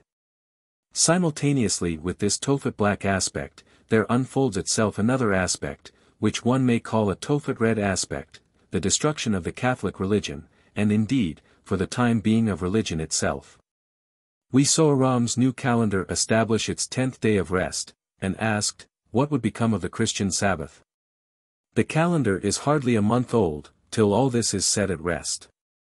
Very singular, as Mercier observes, last Corpus Christi Day 1792, the whole world, and sovereign authority itself, walked in religious gala, with a quite devout air. Butcher Legendre, supposed to be irreverent, was like to be massacred in his gig, as the thing went by. A Gallican hierarchy, and church, and church formulas seemed to flourish, a little brown-leaved or so, but not browner than of late years or decades, to flourish, far and wide, in the sympathies of an unsophisticated people. Defying philosophism, legislature, and the encyclopedia. Far and wide, alas, like a brown-leaved Vallombrosa, which waits but one whirlblast of the November wind, and in an hour stands bare. Since that Corpus Christi day, Brunswick has come, and the emigrants, and La Vendée, and eighteen months of time, to all flourishing, especially to brown-leaved flourishing, there comes, were it never so slowly, an end. On the 7th of November, a certain citoyen Parens, curate of Boissy-le-Bertrand, writes to the convention that he has all his life been preaching a lie, and is grown weary of doing it. Wherefore he will now lay down his curacy and stipend, and begs that an August convention would give him something else to live upon. Mention honorable, shall we give him? Or, reference to Committee of Finances. Hardly is this got decided, when Goose Gobel, constitutional bishop of Paris, with his chapter, with municipal and departmental escort in red nightcaps, makes his appearance, to do as Parens has done. Goose Gobel will now acknowledge no religion but liberty, therefore he doffs his priest gear, and receives the fraternal embrace. To the joy of departmental Momoro, of municipal Chaumettes and Heberts, of Vincent and the Revolutionary Army. Chaumette asks, ought there not, in these circumstances, to be among our intercalary days sans breeches, a feast of reason? Proper surely. Let atheist Maréchal, Lalande, and little atheist Naigeon rejoice. Let Clootz, speaker of mankind, present to the convention his evidences of the Mahometan religion, a work evincing the nullity of all religions, with thanks. There shall be universal republic now, thinks Clootz, and, one God only, le peuple. The French nation is of gregarious imitative nature, it needed but a fugal motion in this matter, and Goose Gobel, driven by municipality and force of circumstances, has given one. What cure will be behind him of Boissys? What bishop behind him of Paris? Bishop Gregoire, indeed, courageously declines, to the sound of, We force no one, let Gregoire consult his conscience, but Protestant and Romish by the hundred volunteer and assent. From far and near, all through November into December, till the work is accomplished, come letters of renegation, come curates who are learning to be carpenters, curates with their new wedded nuns, has not the day of reason dawned, very swiftly.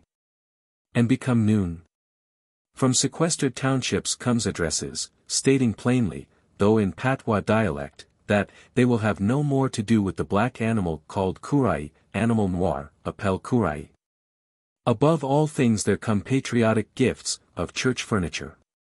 The remnant of bells, except for tocsin, descend from their belfries, into the national melting pot, to make cannon. Censers and all sacred vessels are beaten broad. Of silver, they are fit for the poverty-stricken mint, of pewter, let them become bullets to shoot the enemies of du genre humain. Dalmatics of plush make breeches for him who has none. Linen stoles will clip into shirts for the defenders of the country, old clothesmen, Jew or heathen, drive the briskest trade. Chalier's ass procession, at Lyons, was but a type of what went on, in those same days, in all towns. In all towns and townships as quick as the guillotine may go, so quick goes the axe and the wrench, sacristies, lutrins, altar rails are pulled down, the mass books torn into cartridge papers, men dance the carmagnole all night about the bonfire. All highways jingle with metallic priest tackle, beaten broad, sent to the convention, to the poverty-stricken mint. Good St. Genevieve's châsse is let down, alas, to be burst open, this time, and burnt on the place de Grève. St. Louis's shirt is burnt, might not a defender of the country have had it? At St. Denis town, no longer St. Denis but Franciade, patriotism has been down among the tombs, rummaging, the revolutionary army has taken spoil. This, accordingly, is what the streets of Paris saw.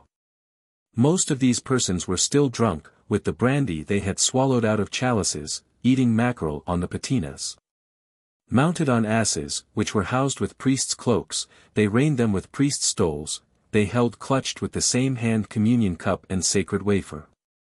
They stopped at the doors of dram shops. Held out ciboriums, and the landlord, stoop in hand, had to fill them thrice. Next came mules high laden with crosses, chandeliers, censers, holy water vessels, hyssops. Recalling to mind the priests of Cybele, whose panniers, filled with the instruments of their worship, served at once as storehouse, sacristy and temple. In such equipage did these profaners advance towards the convention. They enter there, in an immense train, ranged in two rows, all masked like mummers in fantastic sacerdotal vestments, bearing on hand barrows their heaped plunder, ciboriums, suns, candelabras, plates of gold and silver. The address we do not give. For indeed it was in strophes, sung viva voce, with all the parts, Danton glooming considerably, in his place, and demanding that there be prose and decency in future. Nevertheless the captors of such spolia opima crave, not untouched with liquor, permission to dance the carmagnole also on the spot, whereto an exhilarated convention cannot but accede. Nay, several members, continues the exaggerative Mercier, who was not there to witness, being in limbo now, as one of Duperret's 73, several members, quitting their curule chairs, took the hand of girls flaunting in priest's vestures. And danced the carmagnole along with them. Such old hallowtide have they, in this year, once named of grace, 1793. Out of which strange fall of formulas, tumbling there in confused welter, betrampled by the patriotic dance, is it not passing strange to see a new formula arise? For the human tongue is not adequate to speak what triviality run distracted there is in human nature. Black mumbo-jumbo of the woods, and most Indian wow-wows, one can understand, but this of Procure Anaxagoras whilom John Peter Chaumette? We will say only, Man is a born idol worshipper, sight worshipper, so sensuous imaginative is he, and also partakes much of the nature of the ape. For the same day, while this brave Carmagnole dance has hardly jigged itself out, there arrive procures Chaumette and municipals and departmentals, and with them the strangest freightage, a new religion. Demoiselle Candeille, of the Opera. A woman fair to look upon, when well rouged, she, borne on palanquin shoulder high, with red woolen nightcap, in azure mantle, garlanded with oak, holding in her hand the pike of the Jupiter-Peuple, sails in. Heralded by white young women girt in tricolor. Let the world consider it. This, O National Convention wonder of the universe, is our new divinity, goddess of reason, worthy, and alone worthy of revering. Nay, were it too much to ask of an august national representation that it also went with us to the ci-devant cathedral called of Notre Dame, and executed a few strophes in worship of her? President and secretaries give goddess Candeille, borne at due height round their platform, successively the fraternal kiss, whereupon she, by decree, sails to the right hand of the president and there alights. And now, after due pause and flourishes of oratory, the convention, gathering its limbs, does get under way in the required procession towards Notre Dame. Reason, again in her litter, sitting in the van of them, borne, as one judges, by men in the Roman costume, escorted by wind music, red nightcaps, and the madness of the world. And so straightway, reason taking seat on the high altar of Notre Dame, the requisite worship or quasi-worship is, say the newspapers, executed, National Convention chanting, the hymn to liberty, words by Chenier, music by Gossec. It is the first of the feasts of reason, first communion service of the new religion of Chaumette. The corresponding festival in the church of Saint Eustache, says Mercier, offered the spectacle of a great tavern. The interior of the choir represented a landscape decorated with cottages and bosquets of trees. Round the choir stood tables overloaded with bottles, with sausages, pork puddings, pastries and other meats.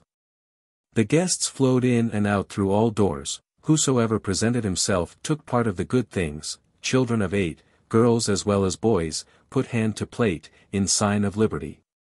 They drank also of the bottles, and their prompt intoxication created laughter.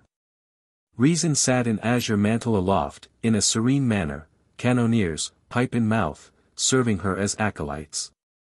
And out of doors, continues the exaggerative man, were mad multitudes dancing round the bonfire of chapel balustrades, of priests and canon stalls.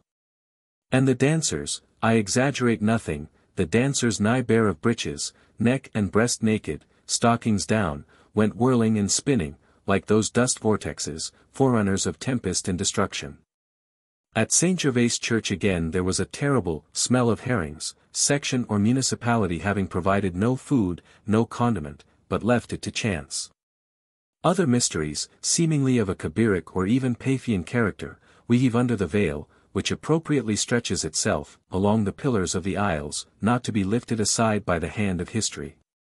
But there is one thing we should like almost better to understand than any other, what reason herself thought of it, all the while. What articulate words poor Mrs. Momoro, for example, uttered. When she had become ungoddessed again, and the bibliopolist and she sat quiet at home, at supper. For he was an earnest man, bookseller Momoro, and had notions of agrarian law. Mrs. Momoro, it is admitted, made one of the best goddesses of reason though her teeth were a little defective.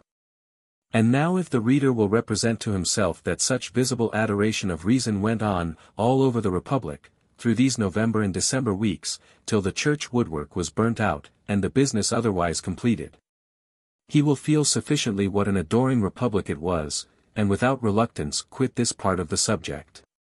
Such gifts of church spoil are chiefly the work of the army Revolutionnaire, raised, as we said, some time ago. It is an army with portable guillotine, commanded by playwright Ronsin in terrible mustachios. And even by some uncertain shadow of Usher Maillard, the old Bastille hero, leader of the Menades, September man in grey. Clerk Vincent of the War Office, one of Pache's old clerks, with a head heated by the ancient orators, had a main hand in the appointments, at least in the staff appointments. But of the marchings and retreatings of these six thousand no Xenophon exists. Nothing, but an inarticulate hum, of cursing and sooty frenzy, surviving dubious in the memory of ages. They scour the country round Paris, seeking prisoners. Raising requisitions, seeing that edicts are executed, that the farmers have thrashed sufficiently, lowering church bells or metallic virgins. Detachments shoot forth dim, towards remote parts of France. Nay new provincial revolutionary armies rise dim, here and there, as Carrier's company of Marat, as Tallien's Bordeaux troop, like sympathetic clouds in an atmosphere all electric. Ronsin, they say, admitted, in candid moments, that his troops were the elixir of the rascality of the earth. One sees them drawn up in marketplaces. Travel plashed, rough-bearded, in Carmagnole complete, the first exploit is to prostrate what royal or ecclesiastical monument, crucifix or the like, there may be. To plant a cannon at the steeple, fetch down the bell without climbing for it, bell and belfry together. This, however, it is said, depends somewhat on the size of the town, if the town contains much population, and these perhaps of a dubious choleric aspect, the revolutionary army will do its work gently, by ladder and wrench. Nay perhaps will take its billet without work at all, and, refreshing itself with a little liquor and sleep, pass on to the next stage. Pipe in cheek, sabre on thigh, in Carmagnole complete. Such things have been, and may again be. Charles II sent out his Highland host over the western Scotch Whigs.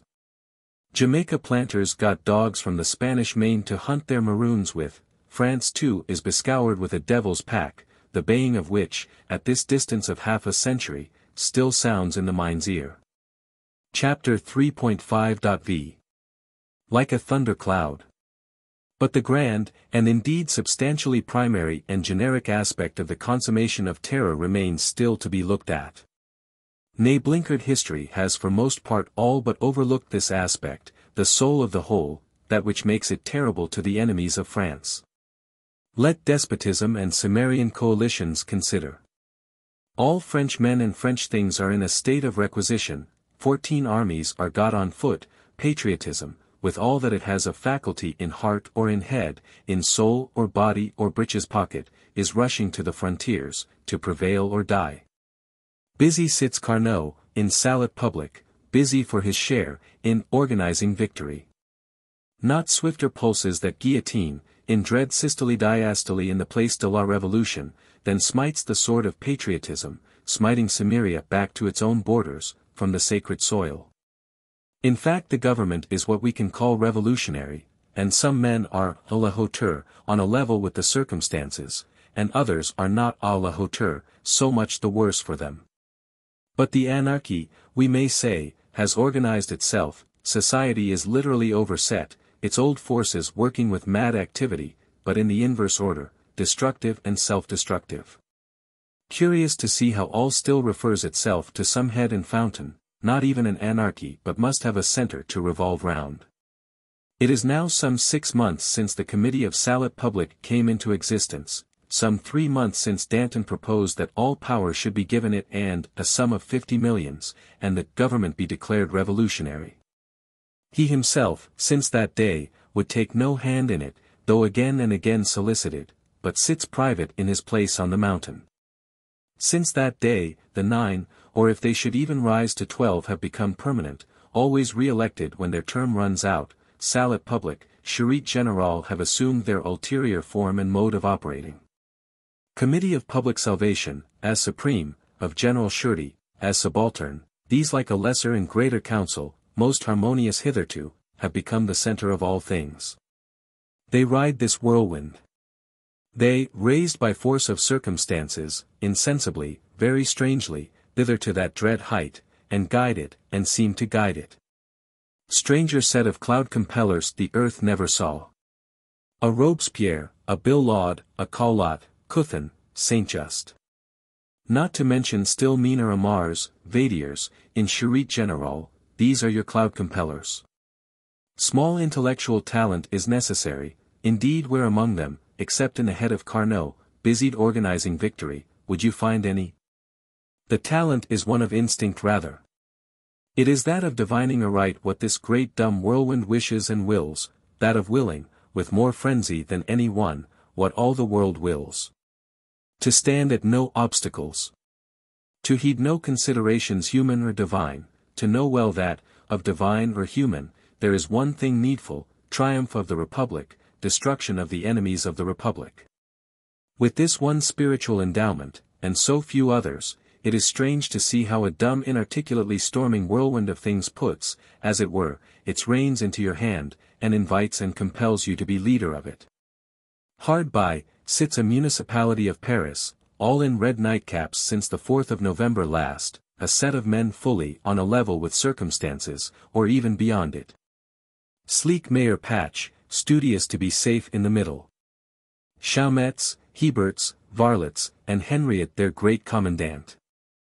Not to speak of Vincent the war clerk, of Momoros, Dobsents, and such like, all intent to have churches plundered, to have reason adored, suspects cut down, and the revolution triumph. Perhaps carrying the matter too far. Danton was heard to grumble at the civic strophes, and to recommend prose and decency. Robespierre also grumbles that in overturning superstition we did not mean to make a religion of atheism. In fact, your Chaumette and company constitute a kind of hyper-Jacobinism, or rabid faction d'enrages, which has given orthodox patriotism some umbrage, of late months. To know a suspect on the streets, what is this but bringing the law of the suspect itself into ill odor? Men half frantic, men zealous overmuch, they toil there, in their red nightcaps, restlessly, rapidly, accomplishing what of life is allotted them. And the 44,000 other townships, each with revolutionary committee, based on Jacobin daughter society, enlightened by the spirit of Jacobinism, quickened by the 40 sous a day. The French constitution spurned always at anything like two chambers, and yet behold, has it not verily got two chambers? National Convention, elected for one, mother of patriotism, self-elected, for another. Mother of Patriotism has her debates reported in the Moniteur, as important state procedures, which indisputably they are. A second chamber of legislature we call this Mother Society. If perhaps it were not rather comparable to that old Scotch body named Lords of the Articles, without whose origination, and signal given, the so-called Parliament could introduce no bill, could do no work. Robespierre himself, whose words are a law, opens his incorruptible lips copiously in the Jacobins' hall.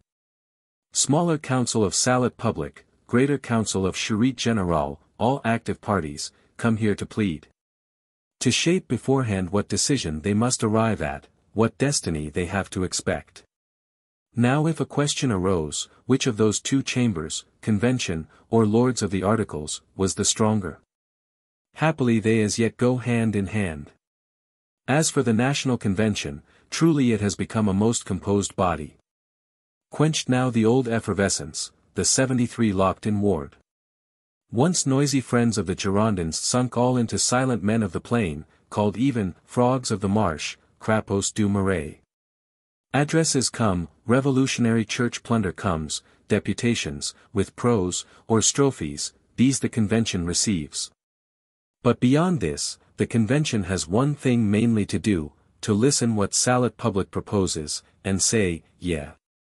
Bazire followed by Chabot, with some impetuosity, declared, one morning, that this was not the way of a free assembly. There ought to be an opposition side, a côté droit, cried Chabot, if none else will form it, I will, people say to me, you will all get guillotined in your turn, first you and Bazire, then Danton, then Robespierre himself. So spake the disfrocked, with a loud voice, next week, Bazire and he lie in the Abbaye, wending, one may fear, towards Tinville and the axe, and, people say to me, what seems to be proving true. Bazire's blood was all inflamed with revolution fever. With coffee and spasmodic dreams.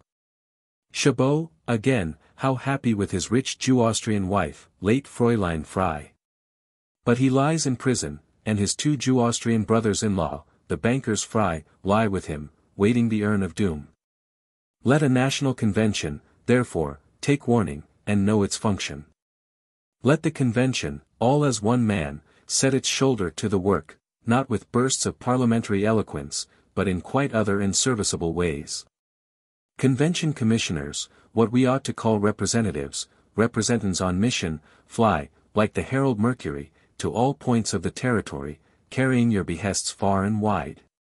In their round hat plumed with tricolor feathers, girt with flowing tricolor taffeta, in close frock, tricolor sash, sword and jack boots, these men are powerfuler than king or kaiser. They say to whomso they meet, do.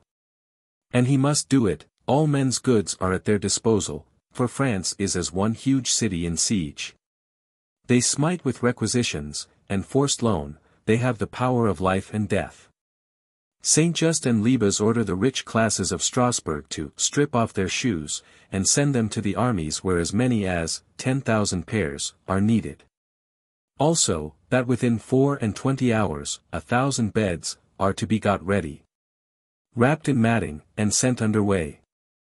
For the time presses, like swift bolts, issuing from the fuliginous Olympus of Salut public rush these men, oftenest in pairs, scatter your thunder orders over France. Make France one enormous revolutionary thundercloud. Chapter 3.5.vi Do thy duty. Accordingly alongside of these bonfires of church balustrades, and sounds of fusillading and noyading, there rise quite another sort of fires and sounds, smithy fires and proof volleys for the manufacture of arms. Cut off from Sweden and the world, the Republic must learn to make steel for itself, and, by aid of chemists, she has learnt it. Towns that knew only iron, now know steel, from their new dungeons at Chantilly, aristocrats may hear the rustle of our new steel furnace there. Do not bells transmute themselves into cannon? Iron stanchions into the white weapon, arm blanche, by sword cutlery. The wheels of Langres scream, amid their sputtering fire halo, grinding mere swords. The stithies of Charleville ring with gun-making. What say we, Charleville? 258 forges stand in the open spaces of Paris itself, 140 of them in the Esplanade of the Invalids, 54 in the Luxembourg Garden, so many forges stand. Grim smiths beating and forging at lock and barrel there. The clockmakers have come, requisitioned, to do the touch holes, the hard solder and file work. Five great barges swing at anchor on the Seine stream, loud with boring. The great press drills grating harsh thunder to the general ear and heart. And deft stockmakers do gouge and rasp. And all men bestir themselves, according to their cunning, in the language of hope, it is reckoned that a thousand finished muskets can be delivered daily. Chemists of the Republic have taught us miracles of swift tanning. The cordwainer bores and stitches, not of wood and pasteboard, or he shall answer it to Tinville. The women sew tents and coats, the children scrape surgeon's lint, the old men sit in the marketplaces, able men are on march. All men in requisition, from town to town flutters, on the heavens winds, this banner, the French people risen against tyrants. All which is well. But now arises the question, what is to be done for Saltpetre? Interrupted commerce and the English navy shut us out from Saltpetre, and without Saltpetre there is no gunpowder. Republican science again sits meditative. Discovers that saltpetre exists here and there, though in attenuated quantity, that old plaster of walls holds a sprinkling of it, that the earth of the Paris cellars holds a sprinkling of it, diffused through the common rubbish. That were these dug up and washed, saltpetre might be had. Whereupon swiftly, see. The citoyens, with upshoved bonnet rouge, or with doffed bonnet, and hair toil-wetted, digging fiercely, each in his own cellar, for saltpetre. The earth heap rises at every door, the citoyens with hod and bucket carrying it up, the citoyens, pith in every muscle, shoveling and digging, for life and saltpetre. Dig my braves, and right well speed ye. What of saltpetre is essential the Republic shall not want. Consummation of sansculottism has many aspects and tints, but the brightest tint, really of a solar or stellar brightness, is this which the armies give it. That same fervor of Jacobinism which internally fills France with hatred, suspicions, scaffolds and reason worship, does, on the frontiers, shew itself as a glorious pro patria mori. Ever since Dumouriez's defection, three convention representatives attend every general. Committee of Salut has sent them, often with this laconic order only, do thy duty, fais ton devoir. It is strange, under what impediments the fire of Jacobinism, like other such fires, will burn. These soldiers have shoes of wood and pasteboard, or go booted in hay ropes, in dead of winter. They skewer a base mat round their shoulders, and are destitute of most things. What then?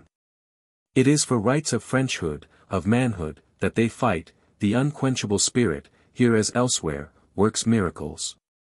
With steel and bread, says the convention representative, one may get to China. The generals go fast to the guillotine, justly and unjustly. From which what inference? This among others, that ill success is death, that in victory alone is life. To conquer or die is no theatrical palabra, in these circumstances, but a practical truth and necessity. All Girondeism, halfness, compromise is swept away. Forward, ye soldiers of the Republic, captain and man. Dash with your Gallic impetuosity, on Austria, England, Prussia, Spain, Sardinia, Pitt, Coburg, York, and the devil and the world. Behind us is but the guillotine, before us is victory, apotheosis and millennium without end. See accordingly, on all frontiers, how the sons of night, astonished after short triumph, do recoil, the sons of the Republic flying at them, with wild Ça-ira or Marseillaise AUX arms, with the temper of Cato Mountain, or demon incarnate. Which no son of night can stand. Spain, which came bursting through the Pyrenees, rustling with Bourbon banners, and went conquering here and there for a season, falters at such Cato Mountain welcome, draws itself in again. Too happy now were the Pyrenees impassable. Not only does Dugommier, conqueror of Toulon, drive Spain back, he invades Spain. General Dugommier invades it by the eastern Pyrenees, General Muller shall invade it by the western. Shall, that is the word, Committee of Salut Public has said it, Representative Cavaignac, on mission there, must see it done. Impossible. Cries Muller, infallible. Answers Cavaignac. Difficulty, impossibility, is to no purpose. The committee is deaf on that side of its head, answers Cavaignac, and intend pas de oreille law. How many wantest thou, of men, of horses, cannons? Thou shalt have them. Conquerors, conquered or hanged, forward we must. Which things also, even as the representative spake them, were done. The spring of the new year sees Spain invaded, and redoubts are carried, and passes and heights of the most scarp description. Spanish field officerism struck mute at such Cato Mountain spirit, the cannon forgetting to fire. Swept are the Pyrenees, town after town flies up, burst by terror or the petard. In the course of another year, Spain will crave peace.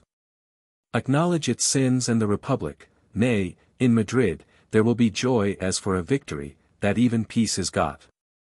Few things, we repeat, can be notabler than these convention representatives, with their power more than kingly. Nay at bottom are they not kings, able men, of a sort, chosen from the 749 French kings, with this order, do thy duty? Representative Levasseur, of small stature, by trade a mere Pacific surgeon accoucheur, has mutinies to quell, mad hosts, mad at the doom of Custine, bellowing far and wide. He alone amid them, the one small representative, small, but as hard as flint, which also carries fire in it. So too, at Hondschooten, far in the afternoon, he declares that the battle is not lost, that it must be gained. And fights, himself, with his own obstetric hand, horse shot under him, or say on foot, up to the haunches in tide water cutting staccato and passato there, in defiance of water, earth, air and fire, the choleric little representative that he was. Whereby, as natural, Royal Highness of York had to withdraw, occasionally at full gallop. Like to be swallowed by the tide, and his siege of Dunkirk became a dream, realizing only much loss of beautiful siege artillery and of brave lives. General Houchard, it would appear, stood behind a hedge on this Hondschooten occasion. Wherefore they have since guillotined him. A new General Jourdan, late Sergeant Jourdan, commands in his stead, he, in long-winded battles of Wattignies, murderous artillery fire mingling itself with sound of revolutionary battle hymns, forces Austria behind the Sambre again. Has hopes of purging the soil of liberty. With hard wrestling, with artillerying and ça-ira-ing, it shall be done. In the course of a new summer, Valenciennes will see itself beleaguered, Condé beleaguered. Whatsoever is yet in the hands of Austria beleaguered and bombarded, nay, by convention decree, we even summon them all either to surrender in 24 hours, or else be put to the sword. A high saying, which, though it remains unfulfilled, may shew what spirit one is of. Representative Drouet, as an old dragoon, could fight by a kind of second nature, but he was unlucky. Him, in a night foray at Maubeuge, the Austrians took alive, in October last. They stripped him almost naked, he says, making a shoe of him, as king-taker of Varennes. They flung him into carts. Sent him far into the interior of Cimmeria, to a fortress called Spitzberg, on the Danube River, and left him there, at an elevation of perhaps a hundred and fifty feet, to his own bitter reflections. Reflections, and also devices. For the indomitable old dragoon constructs wing machinery, of paper kite, saws window bars, determines to fly down. He will seize a boat, will follow the river's course, land somewhere in Crim Tartary, in the Black Sea or Constantinople region, a la Sinbad.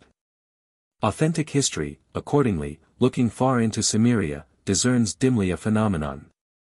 In the dead night watches, the Spitzberg sentry is near fainting with terror, is it a huge vague portent descending through the night air? It is a huge national representative old dragoon, descending by paper kite. Too rapidly, alas. For Drouet had taken with him a small provision store, twenty pounds weight or thereby, which proved accelerative, so he fell, fracturing his leg. And lay there, moaning, till day dawned, till you could discern clearly that he was not a portent but a representative. Or see Saint Just, in the lines of Weissenburg, though physically of a timid apprehensive nature, how he charges with his Alsatian peasants armed hastily, for the nonce, the solemn face of him blazing into flame. His black hair and tricolor hat taffeta flowing in the breeze, these are lines of Weissenburg were indeed forced, and Prussia and the emigrants rolled through, but we reforced the lines of Weissenburg. And Prussia and the emigrants rolled back again still faster, hurled with bayonet charges and fiery ça-ira-ing. ci devant Sergeant Pichegru, ci devant Sergeant Hoche, risen now to be generals, have done wonders here. Tall Pichegru was meant for the church, was teacher of mathematics once, in Brienne school, his remarkablest pupil there was the boy Napoleon Bonaparte. He then, not in the sweetest humor, enlisted exchanging ferula for musket. And had got the length of the halberd, beyond which nothing could be hoped, when the Bastille barriers falling made passage for him, and he is here. Hoche bore a hand at the literal overturn of the Bastille. He was, as we saw, a sergeant of the Gardes Françaises, spending his pay in rushlights and cheap editions of books. How the mountains are burst, and many an Enceladus is disimprisoned, and captains founding on four parchments of nobility, are blown with their parchments across the Rhine, into lunar limbo. What high feats of arms, therefore, were done in these fourteen armies, and how, for love of liberty and hope of promotion, low-born valor cut its desperate way to generalship. And, from the central Carnot in Salut Public to the outmost drummer on the frontiers, men strove for their republic, let readers fancy. The snows of winter, the flowers of summer continue to be stained with warlike blood. Gaelic impetuosity mounts ever higher with victory, spirit of Jacobinism weds itself to national vanity, the soldiers of the Republic are becoming, as we prophesied, very sons of fire. Barefooted, barebacked, but with bread and iron you can get to China.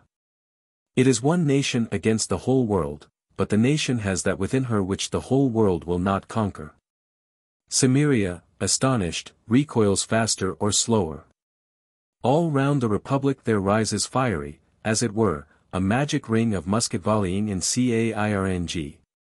Majesty of Prussia, as Majesty of Spain, will by and by acknowledge his sins and the republic, and make a peace of Bâle.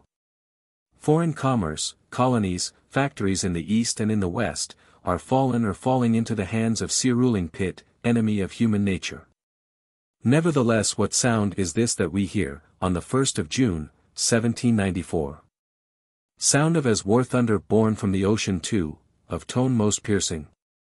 War thunder from off the Brest waters, Villaret Joyeuse and English Howe, after long maneuvering have ranked themselves there, and are belching fire. The enemies of human nature are on their own element, cannot be conquered, cannot be kept from conquering. Twelve hours of raging cannonade, sun now sinking westward through the battle smoke, six French ships taken, the battle lost. What ships whoever can still sail, making off? But how is it, then, with that Vengeur ship, she neither strikes nor makes off? She is lamed, she cannot make off, strike she will not. Fire rakes her fore and aft, from victorious enemies. The Vengeur is sinking. Strong are ye, tyrants of the sea, yet we also, are we weak? Lo! All flags, streamers, jacks, every rag of tricolor that will yet run on rope, fly rustling aloft, the whole crew crowds to the upper deck. And, with universal soul-maddening yell, shouts Vive la Republique, sinking, sinking. She staggers, she lurches, her last drunk whirl. Ocean yawns abysmal, down rushes the Vengeur, carrying Vive la Republique along with her, unconquerable, into eternity. Let foreign despots think of that. There is an unconquerable in man, when he stands on his rights of man, let despots and slaves and all people know this, and only them that stand on the wrongs of man tremble to know it. So has history written, nothing doubting, of the sunk Vengeur. Reader. Mendez Pinto, Munchausen, Cagliostro, Psalmanazar have been great, but they are not the greatest. O Barrère, Barrère, Anacreon of the guillotine. Must inquisitive pictorial history, in a new edition, ask again, how is it with the Vengeur, in this its glorious suicidal sinking, and, with resentful brush, dash a bend sinister of contumelious lampblack through thee and it. Alas, alas! The Vengeur, after fighting bravely, did sink altogether as other ships do, her captain and above two hundred of her crew escaping gladly in British boats. And this same enormous inspiring feat, and rumor, of sound most piercing, turns out to be an enormous inspiring non-entity, extant nowhere save, as falsehood, in the brain of Barrère. Actually so. Founded, like the world itself, on nothing. Proved by convention report, by solemn convention decree and decrees, and wooden model of the Vengeur, believed, bewept, besung by the whole French people to this hour, it may be regarded as Barrère's masterpiece. The largest, most inspiring piece of blague manufactured, for some centuries, by any man or nation. As such, and not otherwise, be it henceforth memorable. Chapter 3.5.7 Flame Picture In this manner, mad blazing with flame of all imaginable tints, from the red of Tophet to the stellar bright, blazes off this consummation of sansculottism. But the hundredth part of the things that were done, and the thousandth part of the things that were projected and decreed to be done, would tire the tongue of history. Statue of the Peuple Souverain, high as Strasbourg steeple. Which shall fling its shadow from the Pont Neuf over Jardin National and Convention Hall, enormous, in painter David's head. With other the like enormous statues not a few, realized in paper decree. For, indeed, the Statue of Liberty herself is still but plaster in the Place de la Revolution. Then equalization of weights and measures, with decimal division, institutions, of music and of much else, institute in general. School of Arts, School of Mars, Élèves de la Patrie, normal schools, amid such gun boring, burning, saltpetre digging, and miraculous improvements in tannery. What, for example, is this that engineer Chappe is doing, in the Park of Vincennes? In the Park of Vincennes, and onwards, they say, in the Park of Le Pelletier Saint Fargeau the assassinated deputy, and still onwards to the heights of Ecouen and further, he has scaffolding set up, has posts driven in. Wooden arms with elbow joints are jerking and fugling in the air, in the most rapid mysterious manner. Citoyens ran up suspicious. Yes, oh citoyens, we are signaling, it is a device this, worthy of the Republic. A thing for what we will call far writing without the aid of postbags, in Greek, it shall be named telegraph. Dot, telegraph sacré. Answers citoyenism, for writing to traitors, to Austria, and tears it down. Chappe had to escape, and get a new legislative decree. Nevertheless he has accomplished it, the indefatigable Chappe, this is far writer, with its wooden arms and elbow joints, can intelligibly signal.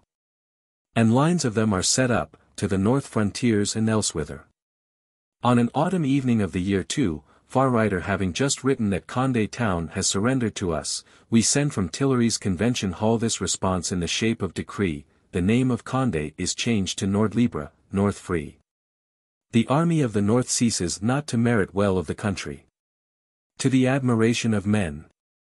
For lo, in some half hour, while the convention yet debates, there arrives this new answer, I inform thee, J.E. Thénardier, citizen president, that the decree of convention, ordering change of the name Condé into North Free. And the other declaring that the army of the North ceases not to merit well of the country, are transmitted and acknowledged by telegraph. I have instructed my officer at Lille to forward them to North Free by express signed, Chappe.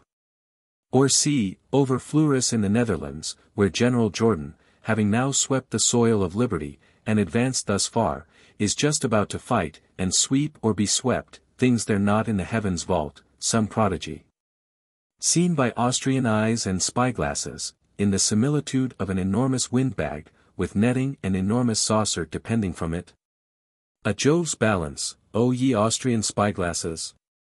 One saucer hole of a Jove's balance, your poor Austrian scale having kicked itself quite aloft, out of sight. By heaven, answer the spyglasses, it is a Montgolfier, a balloon, and they are making signals. Austrian cannon battery barks at this Montgolfier, harmless as dog at the moon, the Montgolfier makes its signals, detects what Austrian ambuscade there may be, and descends at its ease. What will not these devils incarnate contrive? On the whole, is it not, O reader, one of the strangest flame pictures that ever painted itself, flaming off there, on its ground of guillotine black? And the nightly theatres are twenty-three. And the salons de danse are sixty, full of mere égalité, fraternité, and carmagnole. And section committee rooms are forty-eight, redolent of tobacco and brandy, vigorous with twenty pence a day, coercing the suspect. And the houses of arrest are twelve for Paris alone, crowded and even crammed. And at all turns, you need your certificate of civism, be it for going out, or for coming in, nay without it you cannot, for money, get your daily ounces of bread. Dusky red-capped bakers' queues, wagging themselves, not in silence. For we still live by maximum, in all things, weighted on by these two, scarcity and confusion. The faces of men are darkened with suspicion, with suspecting, or being suspect. The streets lie unswept, the ways unmended. Law has shut her books, speaks little, save impromptu, through the throat of Tinville. Crimes go unpunished, not crimes against the revolution. The number of foundling children, as some compute, is doubled.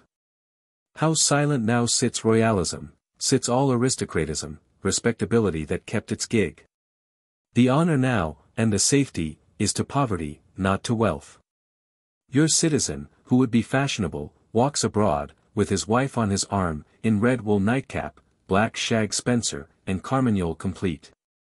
Aristocratism crouches low, in what shelter is still left, submitting to all requisitions, vexations. Too happy to escape with life.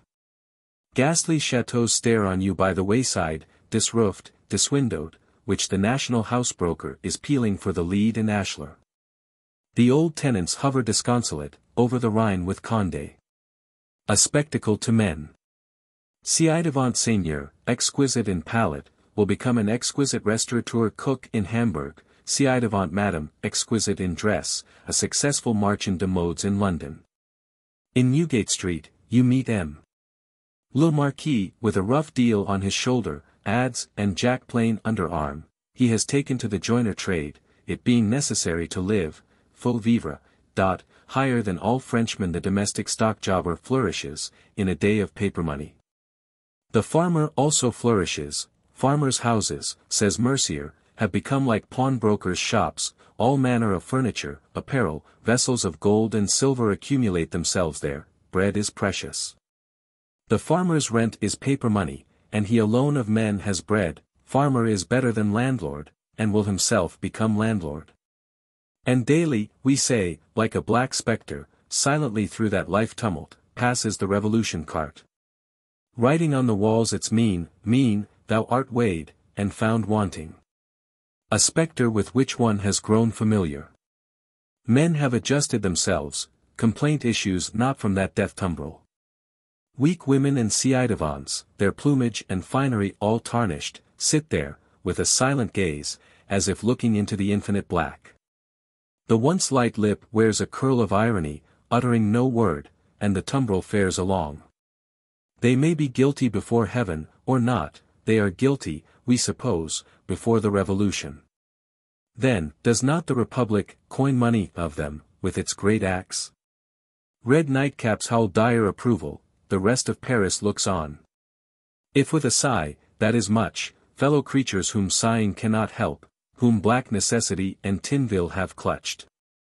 One other thing, or rather two other things, we will still mention, and no more, the blonde perukes, the tannery at Meudon. Great talk is of these perukes blondes, O reader, they are made from the heads of guillotined women. The locks of a duchess, in this way, may come to cover the scalp of a cordwainer, her blonde German Frankism his black Gaelic pole, if it be bald. Or they may be worn affectionately, as relics, rendering one suspect. Citizens use them, not without mockery, of a rather cannibal sort. Still deeper into one's heart goes that tannery at Meudon, not mentioned among the other miracles of tanning. At Meudon, says Montgaillard with considerable calmness, there was a tannery of human skins, such of the guillotined as seemed worth flaying, of which perfectly good wash leather was made for breeches, and other uses. The skin of the men, he remarks, was superior in toughness, consistence, and quality to chamois, that of women was good for almost nothing, being so soft in texture. History looking back over cannibalism, through Purchas's pilgrims and all early and late records, will perhaps find no terrestrial cannibalism of a sort on the whole so detestable. It is a manufactured, soft-feeling, quietly elegant sort. A sort perfide. Alas then, is man's civilization only a rapage, through which the savage nature of him can still burst, infernal as ever? Nature still makes him, and has an infernal in her as well as a celestial. Book 3.vi. Thermidor. Chapter 3.6.i. The gods are athirst. What then is this thing, called La Revolution, which, like an angel of death, hangs over France, noyading, fusillading, fighting, gun-boring, tanning human skins? La Revolution is but so many alphabetic letters, a thing nowhere to be laid hands on, to be clapped under lock and key, where is it? What is it? It is the madness that dwells in the hearts of men. In this man it is, and in that man. As a rage or as a terror, it is in all men. Invisible, impalpable, and yet no black Azrael, with wings spread over half a continent, with sword sweeping from sea to sea, could be a truer reality. To explain, what is called explaining, the march of this revolutionary government, be no task of ours. Men cannot explain it. A paralytic Couthon, asking in the Jacobins, What hast thou done to be hanged if the counter-revolution should arrive? A sombre Saint Just, not yet six and twenty, declaring that, for revolutionists there is no rest but in the tomb, a sea-green Robespierre converted into vinegar and gall. Much more an Amar and Vadier, a Collot and Billaud, to inquire what thoughts, predetermination or provision, might be in the head of these men. Record of their thought remains not, death and darkness have swept it out utterly. Nay if we even had their thought, all they could have articulately spoken to us, how insignificant a fraction were that of the thing which realized itself, which decreed itself, on signal given by them. As has been said more than once, this revolutionary government is not a self-conscious but a blind fatal one. Each man, enveloped in his ambient atmosphere of revolutionary fanatic madness, rushes on, impelled and impelling. And has become a blind brute force, no rest for him but in the grave. Darkness and the mystery of horrid cruelty cover it for us, in history, as they did in nature. The chaotic thunder cloud, with its pitchy black, and its tumult of dazzling jagged fire, in a world all electric, thou wilt not undertake to shew how that comported itself, what the secrets of its dark womb were. From what sources, with what specialties, the lightning it held did, in confused brightness of terror, strike forth, destructive and self-destructive, till it ended. Like a blackness naturally of Erebus, which by will of Providence had for once mounted itself into dominion and the azure, is not this properly the nature of Sansculottism consummating itself? Of which Erebus blackness be it enough to discern that this and the other dazzling firebolt, dazzling fire torrent, does by small volition and great necessity, verily issue, in such and such succession. Destructive so and so, self-destructive so and so, till it end. Royalism is extinct, sunk, as they say, in the mud of the Loire, republicanism dominates without and within, what, therefore, on the 15th day of March, 1794, is this? Arrestment, sudden really as a bolt out of the blue, has hit strange victims, Hébert Père Duchesne, Bibliopolist Momoro, Clerk Vincent, General Ronsin. High Cordelier patriots, red-capped magistrates of Paris, worshippers of reason, commanders of revolutionary army. Eight short days ago, their Cordelier Club was loud, and louder than ever, with patriot denunciations. Hébert Père Duchesne had held his tongue in his heart these two months, at sight of moderates, crypto-aristocrats, Camille's, Scélérats in the convention itself, but could not do it any longer. Would, if other remedy were not, invoke the sacred right of insurrection. So spake Hébert in Cordelier session, with vivats, till the roofs rang again. Eight short days ago, and now already. They rub their eyes, it is no dream. They find themselves in the Luxembourg. Goose Gobel too, and they that burnt churches. Chaumette himself, potent procureur, agent national as they now call it, who could recognize the suspect by the very face of them, he lingers but three days. On the third day he too is hurled in. Most chop fallen, blue, enters the national agent this limbo whither he has sent so many.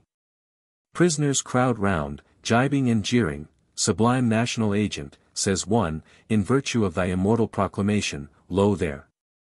I am suspect, thou art suspect, he is suspect, we are suspect, ye are suspect, they are suspect. The meaning of these things. Meaning. It is a plot, plot of the most extensive ramifications, which, however, Barrère holds the threads of. Such church-burning and scandalous masquerades of atheism, fit to make the revolution odious, where indeed could they originate but in the gold of Pitt? Pitt indubitably, as preternatural insight will teach one, did hire this faction of enrages, to play their fantastic tricks, to roar in their Cordeliers Club about moderatism, to print their Père Duchesne, worship sky-blue reason in red nightcap rob all altars, and bring the spoil to us. Still more indubitable, visible to the mere bodily sight, is this, that the Cordeliers Club sits pale, with anger and terror, and has veiled the rights of man, without effect.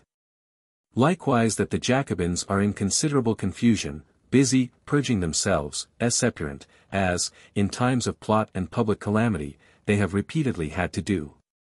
Not even Camille Desmoulins but has given offence, nay there have risen murmurs against Danton himself, though he bellowed them down, and Robespierre finished the matter by embracing him in the tribune. Whom shall the Republic and a jealous mother society trust? In these times of temptation, of preternatural insight. For there are factions of the stranger, the l'Étranger, factions of moderates, of enraged. All manner of factions, we walk in a world of plots, strings, universally spread, of deadly gins and fall traps, baited by the gold of Pitt.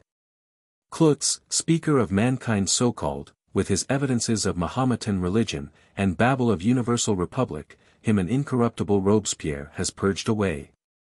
Baron Clootz, and Paine rebellious Needleman lie, these two months, in the Luxembourg, limbs of the faction de l'Étranger. Representative Philippeaux is purged out, he came back from La Vendée with an ill report in his mouth against rogue Rossignol, and our method of warfare there. Recant it, O Philippeaux, we entreat thee. Philippeaux will not recant. And is purged out. Representative Fabre d'Eglantine, famed nomenclator of Romme's calendar, is purged out, nay, is cast into the Luxembourg, accused of legislative swindling in regard to monies of the India Company. There with his chabots, bazires, guilty of the like, let Fabre wait his destiny. And Westermann friend of Danton, he who led the Marseillaise on the 10th of August, and fought well in La Vendée, but spoke not well of rogue Rossignol, is purged out. Lucky, if he too go not to the Luxembourg. And your Prolys, Guzmans, of the faction of the stranger, they have gone, Pereira, though he fled is gone, taken in the disguise of a tavern cook. I am suspect, thou art suspect, he is suspect. The great heart of Danton is weary of it. Danton is gone to native Arcis, for a little breathing time of peace, away, black arachne webs, thou world of fury, terror, and suspicion. Welcome, thou everlasting mother, with thy spring greenness, thy kind household loves and memories, true art thou, were all else untrue. The great Titan walks silent, by the banks of the murmuring Aube, in young native haunts that knew him when a boy, wonders what the end of these things may be. But strangest of all, Camille Desmoulins is purged out. Couthon gave as a test in regard to Jacobin purgation the question, What hast thou done to be hanged if counter-revolution should arrive? Yet Camille, who could so well answer this question, is purged out. The truth is, Camille, early in December last, began publishing a new journal, or series of pamphlets, entitled The Vieux Cordelier, Old Cordelier. Camille, not afraid at one time to embrace liberty on a heap of dead bodies, begins to ask now, whether among so many arresting and punishing committees there ought not to be a committee of mercy. Saint Just, he observes, is an extremely solemn young Republican, who carries his head as if it were a saint sacrament, adorable hostie, or divine real presence. Sharply enough, this old Cordelier, Danton and he were of the earliest primary Cordeliers, shoots his glittering war shafts into your new Cordeliers, your Heberts, Momoros, with their brawling brutalities and despicabilities, say. As the sun god, for poor Camille is a poet, shot into that python serpent sprung of mud. Whereat, as was natural, the Hebertist python did hiss and writhe amazingly, and threaten, sacred right of insurrection, and, as we saw, get cast into prison.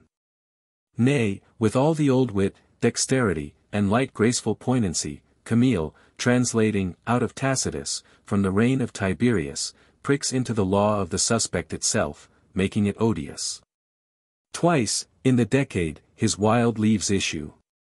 Full of wit, nay of humor, of harmonious ingenuity and insight, one of the strangest phenomenon of that dark time. And smite, in their wild sparkling way, at various monstrosities, Saint Sacrament heads, and juggernaut idols, in a rather reckless manner. To the great joy of Josephine Beauharnais, and the other five thousand and odd suspect, who fill the twelve houses of arrest, on whom a ray of hope dawns. Robespierre, at first approbatory, knew not at last what to think.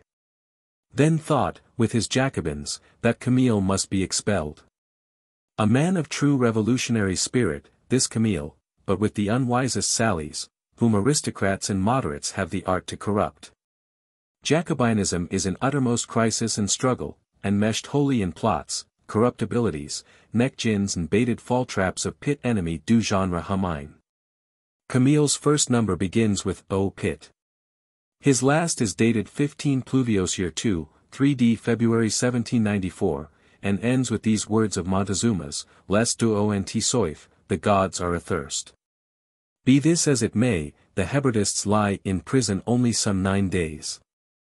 On the 24th of March, therefore, the revolution tumbrils carry through that life tumult a new cargo, Hébert, Vincent, Momoro, Ronsin, nineteen of them in all, with whom, curious enough, sits Clootz speaker of mankind. They have been massed swiftly into a lump, this miscellany of nondescripts, and travel now their last road. No help. They too must, look through the little window, they too, must sneeze into the sack, éternuer dans le sac. As they have done to others so is it done to them. Saint Guillotine, meseems, is worse than the old saints of superstition, a man-devouring saint. Clootz, still with an air of polished sarcasm, endeavors to jest, to offer cheering arguments of materialism, he requested to be executed last, in order to establish certain principles, which philosophy has not retained. General Ronsin too, he still looks forth with some air of defiance, eye of command, the rest are sunk in a stony paleness of despair. Momoro, poor bibliopolist, no agrarian law yet realized, they might as well have hanged the Evreux twenty months ago, when Girondin Buzot hindered them. Hébert Père Duchesne shall never in this world rise in sacred right of insurrection. He sits there low enough, head sunk on breast, red nightcaps shouting round him, in frightful parody of his newspaper articles, grand collar of the Père Duchesne. Thus perish they, the sack receives all their heads. Through some section of history, nineteen spectre chimeras shall flit, speaking and gibbering, till oblivion swallow them. In the course of a week, the revolutionary army itself is disbanded, the general having become spectral. This faction of rabbits, therefore, is also purged from the republican soil, here also the baited fall traps of that Pitt have been wrenched up harmless, and anew there is joy over a plot discovered. The revolution then is verily devouring its own children. All anarchy, by the nature of it, is not only destructive but self-destructive. Chapter 3.6.2 Danton, no weakness. Danton, meanwhile, has been pressingly sent for from Arcis, he must return instantly, cried Camille, cried Philippeaux and friends, who scented danger in the wind. Danger enough. A Danton, a Robespierre, chief products of a victorious revolution, are now arrived in immediate front of one another, must ascertain how they will live together, rule together. One conceives easily the deep mutual incompatibility that divided these two, with what terror of feminine hatred the poor sea-green formula looked at the monstrous colossal reality, and grew greener to behold him. The reality, again, struggling to think no ill of a chief product of the revolution, yet feeling at bottom that such chief product was little other than a chief windbag, blown large by popular air. Not a man with the heart of a man, but a poor spasmodic incorruptible pedant, with a logic formula instead of heart, of Jesuit or Methodist parson nature, full of sincere cant, incorruptibility, of virulence, poltroonery, barren as the east wind. Two such chief products are too much for one revolution. Friends, trembling at the results of a quarrel on their part, brought them to meet.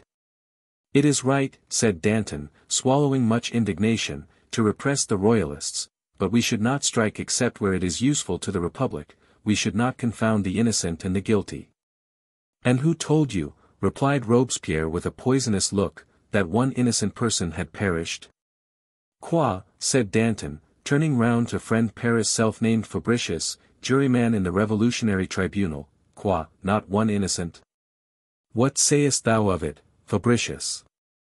Friends, Westermann, this Paris and others urged him to shew himself, to ascend the tribune and act. The man Danton was not prone to shew himself, to act, or uproar for his own safety. A man of careless, large, hoping nature, a large nature that could rest, he would sit whole hours, they say, hearing Camille talk, and liked nothing so well. Friends urged him to fly, his wife urged him, whither fly? Answered he, if freed France cast me out, there are only dungeons for me elsewhere. One carries not his country with him at the sole of his shoe. The man Danton sat still. Not even the arrestment of friend Hérault, a member of Salut, yet arrested by Salut, can rouse Danton. On the night of the 30th of March, juryman Paris came rushing in. Haste looking through his eyes, a clerk of the Salut committee had told him Danton's warrant was made out, he is to be arrested this very night. Entreaties there are and trepidation, of poor wife, of Paris and friends, Danton sat silent for a while. Then answered, Ils n'oseraient, they dare not, and would take no measures. Murmuring, they dare not, he goes to sleep as usual. And yet, on the morrow morning, strange rumor spreads over Paris city, Danton, Camille, Philippeaux, Lacroix have been arrested overnight. It is verily so, the corridors of the Luxembourg were all crowded, prisoners crowding forth to see this giant of the revolution among them. Messrs, said Danton politely, I hoped soon to have got you all out of this, but here I am myself. And one sees not where it will end. Rumor may spread over Paris, the convention clusters itself into groups, wide-eyed, whispering, Danton arrested. Who then is safe? Legendre, mounting the tribune, utters, at his own peril, a feeble word for him, moving that he be heard at that bar before indictment, but Robespierre frowns him down, did you hear Chabot, or Bazire? Would you have two weights and measures? Legendre cowers low, Danton, like the others, must take his doom. Danton's prison thoughts were curious to have, but are not given in any quantity, indeed few such remarkable men have been left so obscure to us as this titan of the revolution. He was heard to ejaculate, this time twelvemonth, I was moving the creation of that same revolutionary tribunal. I crave pardon for it of God and man. They are all brothers Cain, Brissot would have had me guillotined as Robespierre now will. I leave the whole business in a frightful welter, gâchis epouvantable not one of them understands anything of government. Robespierre will follow me, I drag down Robespierre. Oh, it were better to be a poor fisherman than to meddle with governing of men. Camille's young beautiful wife, who had made him rich not in money alone, hovers round the Luxembourg, like a disembodied spirit, day and night. Camille's stolen letters to her still exist, stained with the mark of his tears. I carry my head like a Saint Sacrament, so Saint Just was heard to mutter, perhaps he will carry his like a Saint Denis. Unhappy Danton, thou still unhappier light Camille, once light procureur de la lanterne, ye also have arrived, then, at the bourne of creation, where, like Ulysses Poliphilus at the limit and utmost Gades of his voyage. Gazing into that dim waste beyond creation, a man does see the shade of his mother, pale, ineffectual. And days when his mother nursed and wrapped him are all too sternly contrasted with this day. Danton, Camille, Hérault, Westermann, and the others, very strangely massed up with Bazires, swindler Chabots, Fabre d'Eglantines, banker Freys, a most motley batch, Fournées, as such things will be called, stand ranked at the bar of Tinville. It is the 2D of April 1794. Danton has had but three days to lie in prison, for the time presses. What is your name? Place of abode? And the like, Fouquier asks, according to formality. My name is Danton, answers he. A name tolerably known in the Revolution, my abode will soon be annihilation, dans le néant, but I shall live in the pantheon of history. A man will endeavor to say something forcible, be it by nature or not. Hérault mentions epigrammatically that he sat in this hall, and was detested of parliamenters. Camille makes answer, My age is that of the bon sansculotte Jesus, an age fatal to revolutionists. O Camille, Camille. And yet in that divine transaction, let us say, there did lie, among other things, the fatalest reproof ever uttered here below to worldly right honorableness, the highest fact, so devout Novalis calls it, in the rights of man. Camille's real age, it would seem, is 34. Danton is one year older. Some five months ago, the trial of the 22 Girondins was the greatest that Fouquier had then done. But here is a still greater to do. A thing which tasks the whole faculty of Fouquier, which makes the very heart of him waver. For it is the voice of Danton that reverberates now from these domes, in passionate words, piercing with their wild sincerity, winged with wrath. Your best witnesses he shivers into ruin at one stroke. He demands that the committeemen themselves come as witnesses, as accusers, he will cover them with ignominy. He raises his huge stature, he shakes his huge black head, fire flashes from the eyes of him, piercing to all republican hearts, so that the very galleries, though we filled them by ticket, murmur sympathy. And are like to burst down, and raise the people, and deliver him.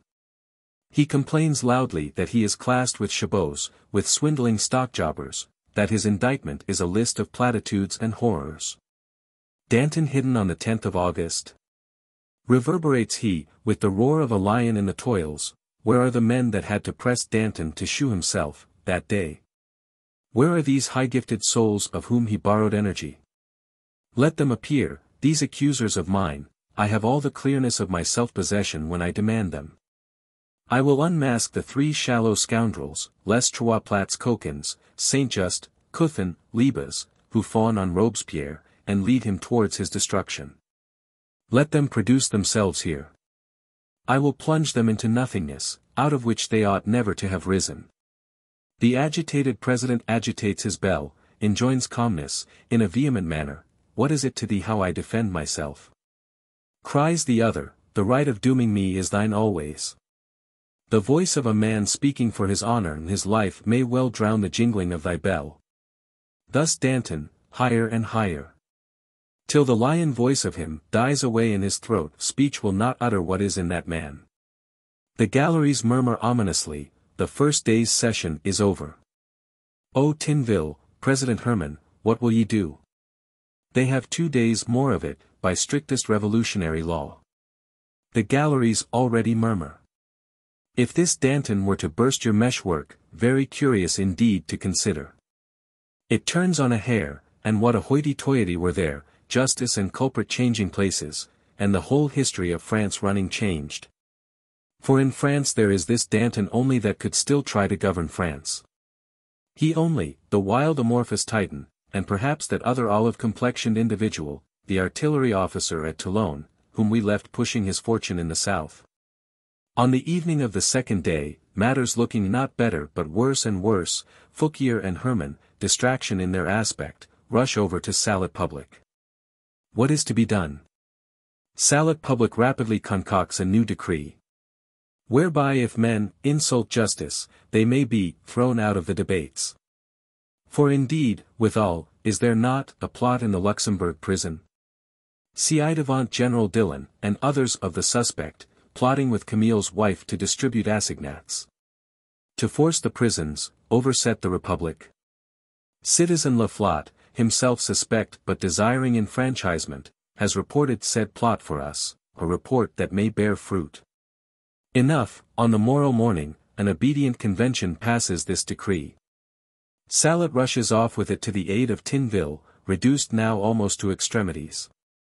And so, hors de debats, out of the debates, ye insolence. Policemen do your duty. In such manner, with a deadlift effort, Salut, Tinville Herman, Leroy Dix Dixate, and all stanch jurymen setting heart and shoulder to it, the jury becomes sufficiently instructed. Sentence is passed, is sent by an official, and torn and trampled on, death this day. It is the 5th of April, 1794. Camille's poor wife may cease hovering about this prison. Nay let her kiss her poor children, and prepare to enter it, and to follow. Danton carried a high look in the death cart.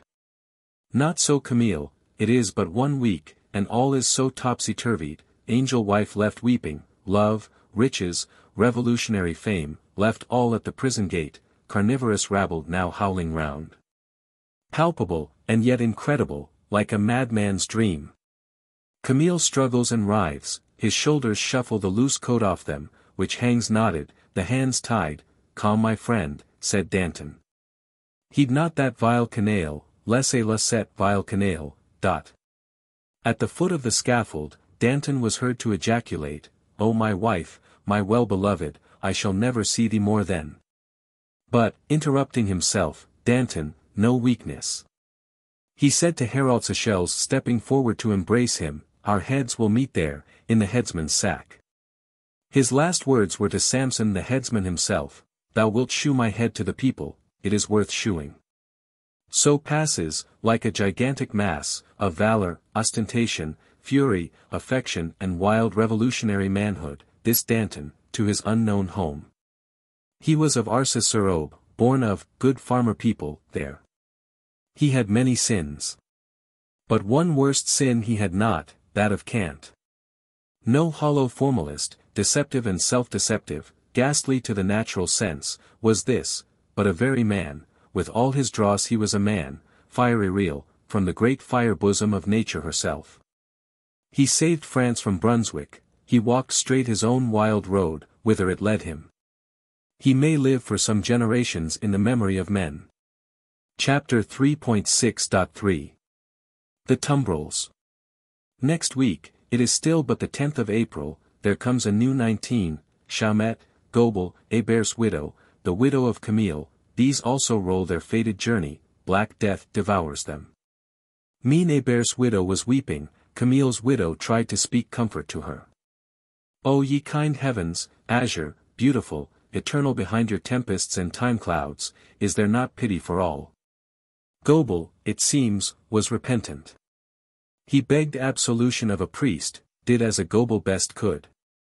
For Anaxagoras Chaumette, the sleek head now stripped of its bonnet rouge, what hope is there? Unless death were an eternal sleep. Wretched Anaxagoras, God shall judge thee, not I. Hebert, therefore, is gone, and the Hebertists, they that robbed churches, and adored blue reason in red nightcap. Great Danton, and the Dantonists, they also are gone. Down to the catacombs, they are become silent men. Let no Paris municipality, no sect or party of this hue or that, resist the will of Robespierre and Salut. Mayor Pache, not prompt enough in denouncing these Pitt's plots, may congratulate about them now. Never so heartily, it skills not. His course likewise is to the Luxembourg. We appoint one Fleuriot Lescot interim mayor in his stead, an architect from Belgium, they say, this Fleuriot, he is a man one can depend on. Our new agent national is Payan, lately juryman. Whose cynosure also is Robespierre. Thus then, we perceive, this confusedly electric Erebus cloud of revolutionary government has altered its shape somewhat.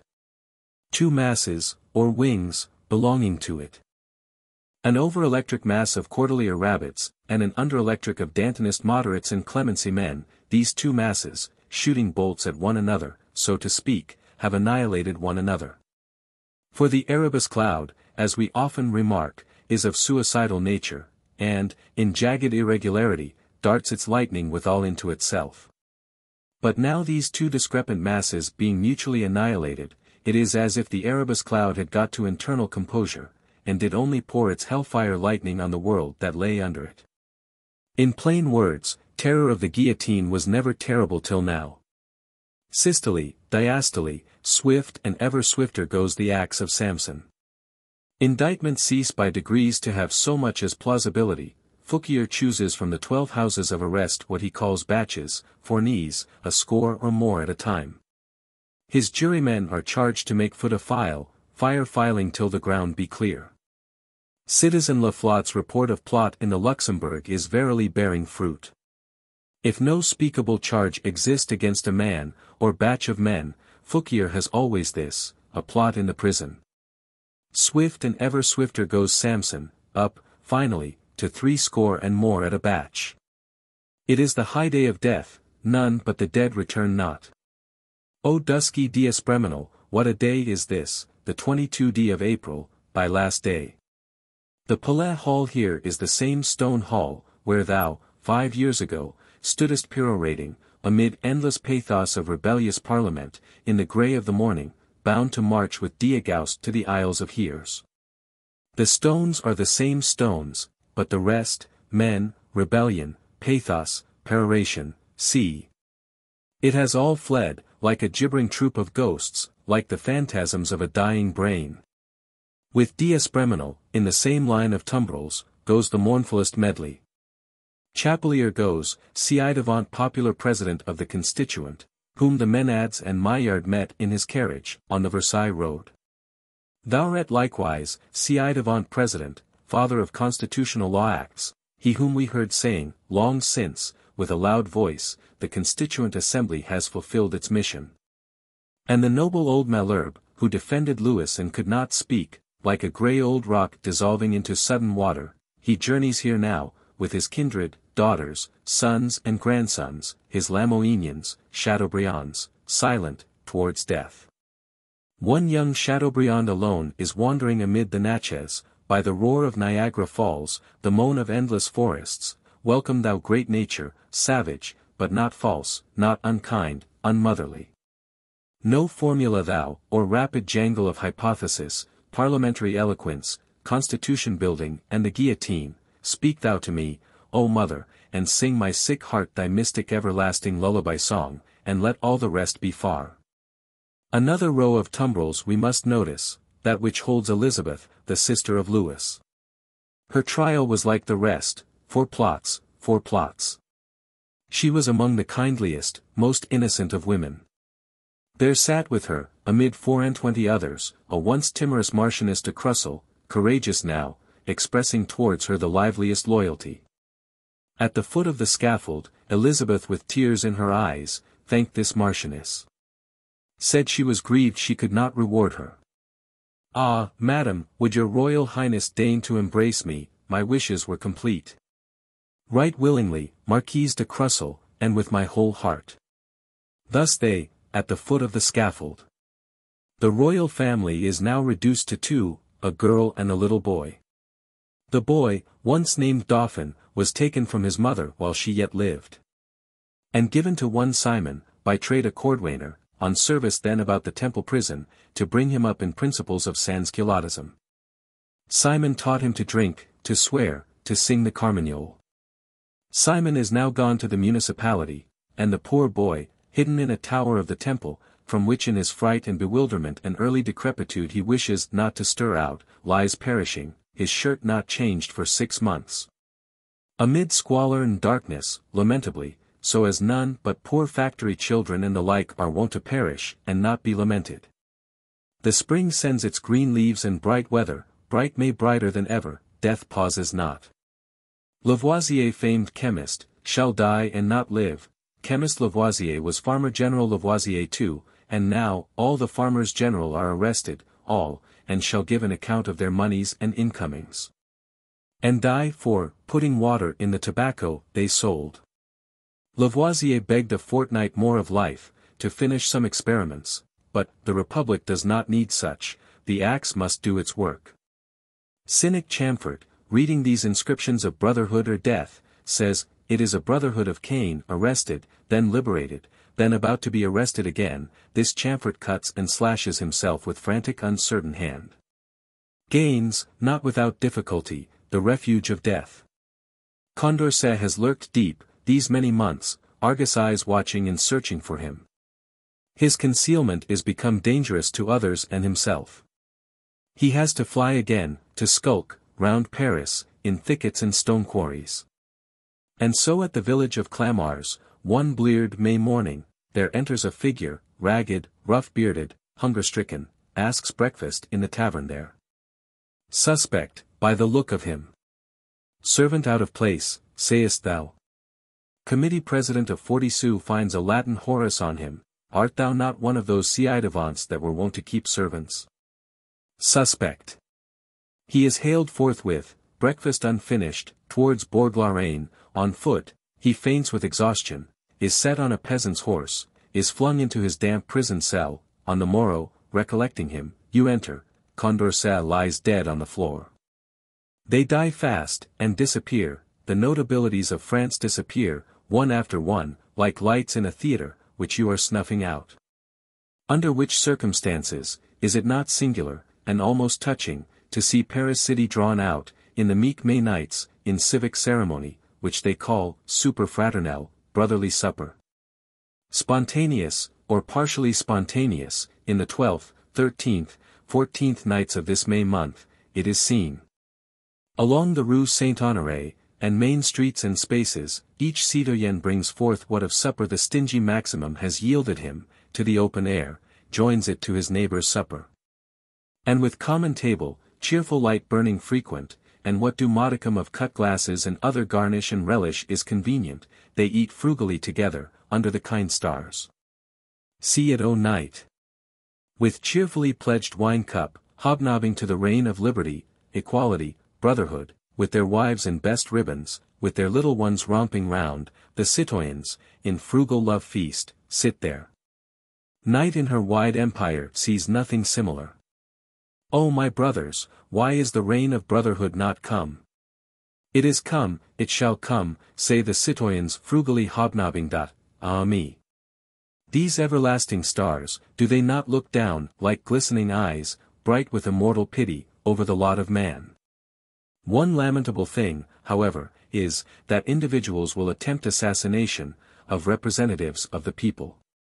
Representative Collot, member even of Salut, returning home, about one in the morning, probably touched with liquor, as he is apt to be, meets on the stairs, the cry, Scélérat, and also the snap of a pistol, which latter flashes in the pan. Disclosing to him, momentarily, a pair of truculent saucer eyes, swart grim-clenched countenance, recognizable as that of our little fellow lodger, Citoyen Amiral, formerly a clerk in the lotteries. Collot shouts murder, with lungs fit to awaken all the Rue Favart, Amiral snaps a second time, a second time flashes in the pan, then darts up into his apartment. And, after their firing, still with inadequate effect, one musket at himself and another at his captor, is clutched and locked in prison. An indignant little man this Amiral, of southern temper and complexion, of considerable muscular force.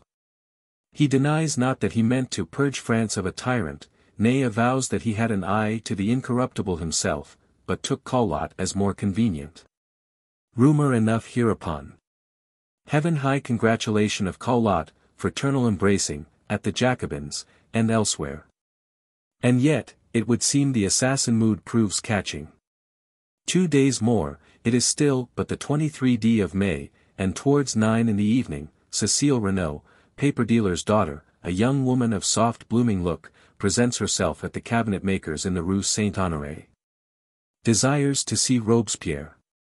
Robespierre cannot be seen, she grumbles irreverently. They lay hold of her. She has left a basket in a shop hard by, in the basket are female change of raiment and two knives.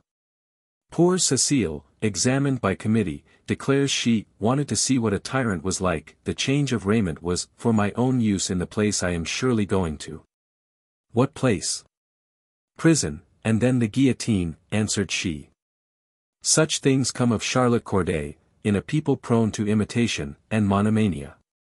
Swart choleric men try Charlotte's feat, and their pistols miss fire, soft blooming young women try it, and, only half resolute, leave their knives in a shop. O Pitt, and ye faction of the stranger, shall the Republic never have rest, but be torn continually by baited springs, by wires of explosive spring guns? Swart Amiral, fair young Cecile, and all that knew them, and many that did not know them, lie locked, waiting the scrutiny of Tinville. Chapter 3.6.4 Mumbo Jumbo But on the day they called Decady, New Sabbath, 20 Prairial, June 8 by Old Style, what thing is this going forward, in the Jardin National, Whilom Tuileries garden? All the world is there, in holydays clothes, foul linen went out with the Hébertists, nay Robespierre, for one, would never once countenance that. But went always elegant and frizzled, not without vanity even, and had his room hung round with sea-green portraits and busts. In holyday clothes, we say, are the innumerable citoyens and citoyennes, the weather is of the brightest. Cheerful expectation lights all countenances. Juryman Vilate gives breakfast to many a deputy, in his official apartment, in the pavilion ci-devant of Flora. Rejoices in the bright-looking multitudes, in the brightness of leafy June, in the auspicious Decady, or New Sabbath. This day, if it please heaven, we are to have, on improved anti-Chaumette principles, a new religion. Catholicism being burned out, and reason worship guillotined, was there not need of one? Incorruptible Robespierre, not unlike the ancients, as legislator of a free people will now also be priest and prophet.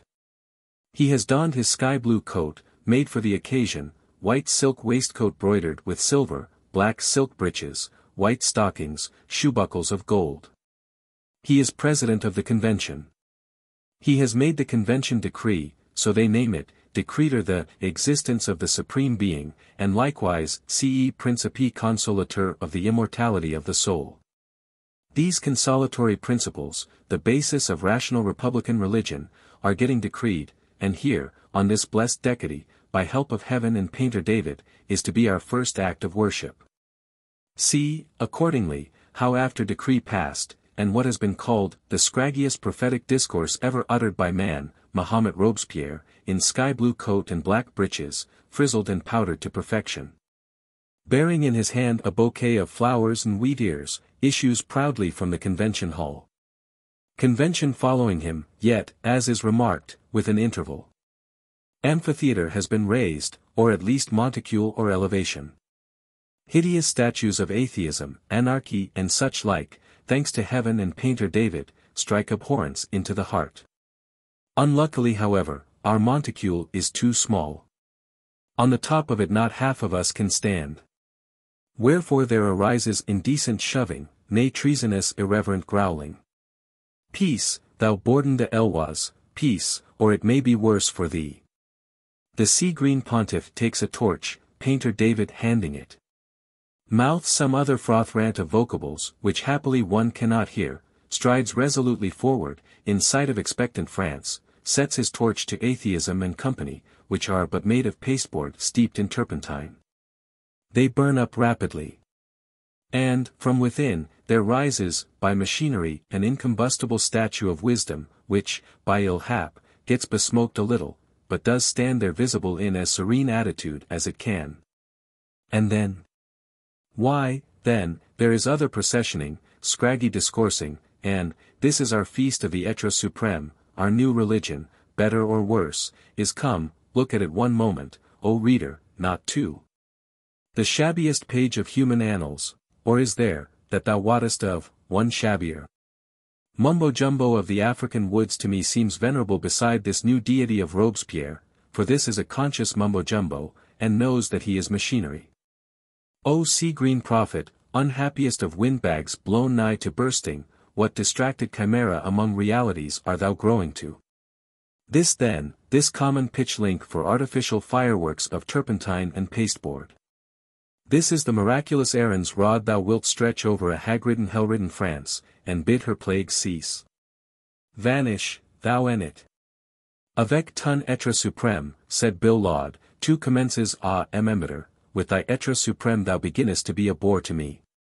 Catherine Theot, on the other hand, an ancient serving maid seventy-nine years of age, inured to prophecy in the Bastille from of old, sits, in an upper room in the Rue de Contrescarpe, poring over the Book of Revelations. With an eye to Robespierre finds that this astonishing thrice-potent Maximilian really is the man spoken of by prophets, who is to make the earth young again. With her sit devout old marchionesses, ci-devant honorable women. Among whom old constituent Dom Gerle, with his addle head, cannot be wanting. They sit there, in the Rue de Contrescarpe, in mysterious adoration, Mumbo is Mumbo, and Robespierre is his prophet. A conspicuous man this Robespierre. He has his volunteer bodyguard of Tappe-durs, let us say strike sharps, fierce patriots with ferruled sticks, and Jacobins kissing the hem of his garment. He enjoys the admiration of many, the worship of some. And is well worth the wonder of one and all. The grand question and hope, however, is, will not this feast of the Tuileries mumbo-jumbo be a sign perhaps that the guillotine is to abate? Far enough from that. Precisely on the second day after it, Couthon, one of the three shallow scoundrels, gets himself lifted into the tribune, produces a bundle of papers.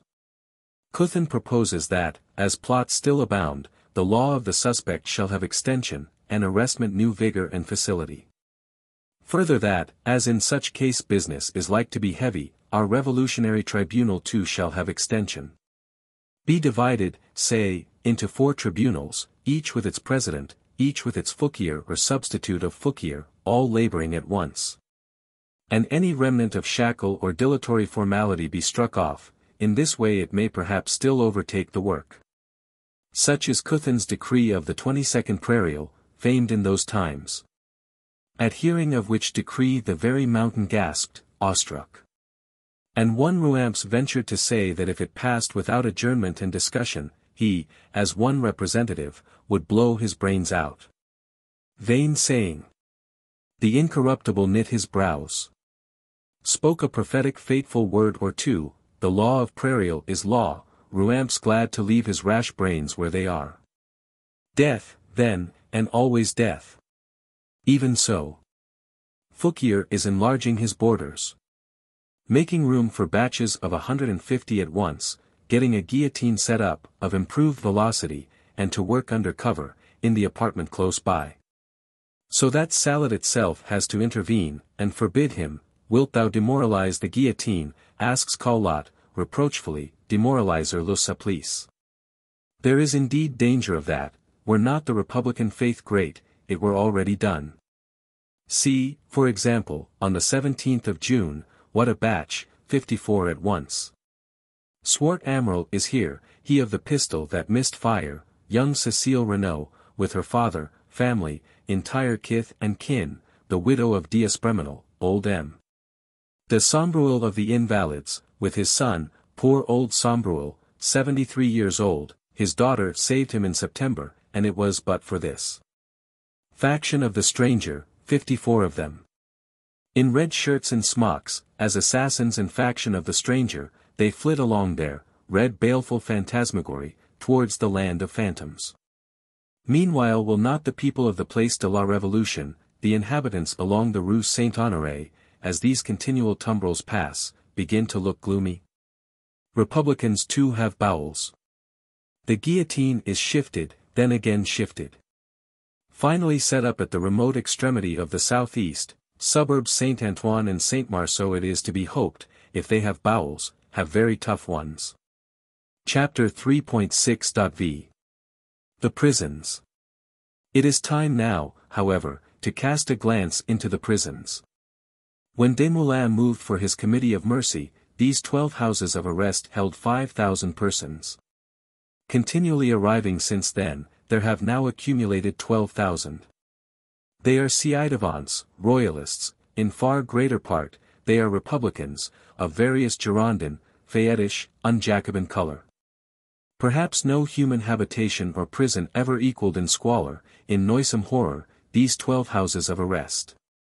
There exist records of personal experience in the memoirs sur les prisons, one of the strangest chapters in the biography of man.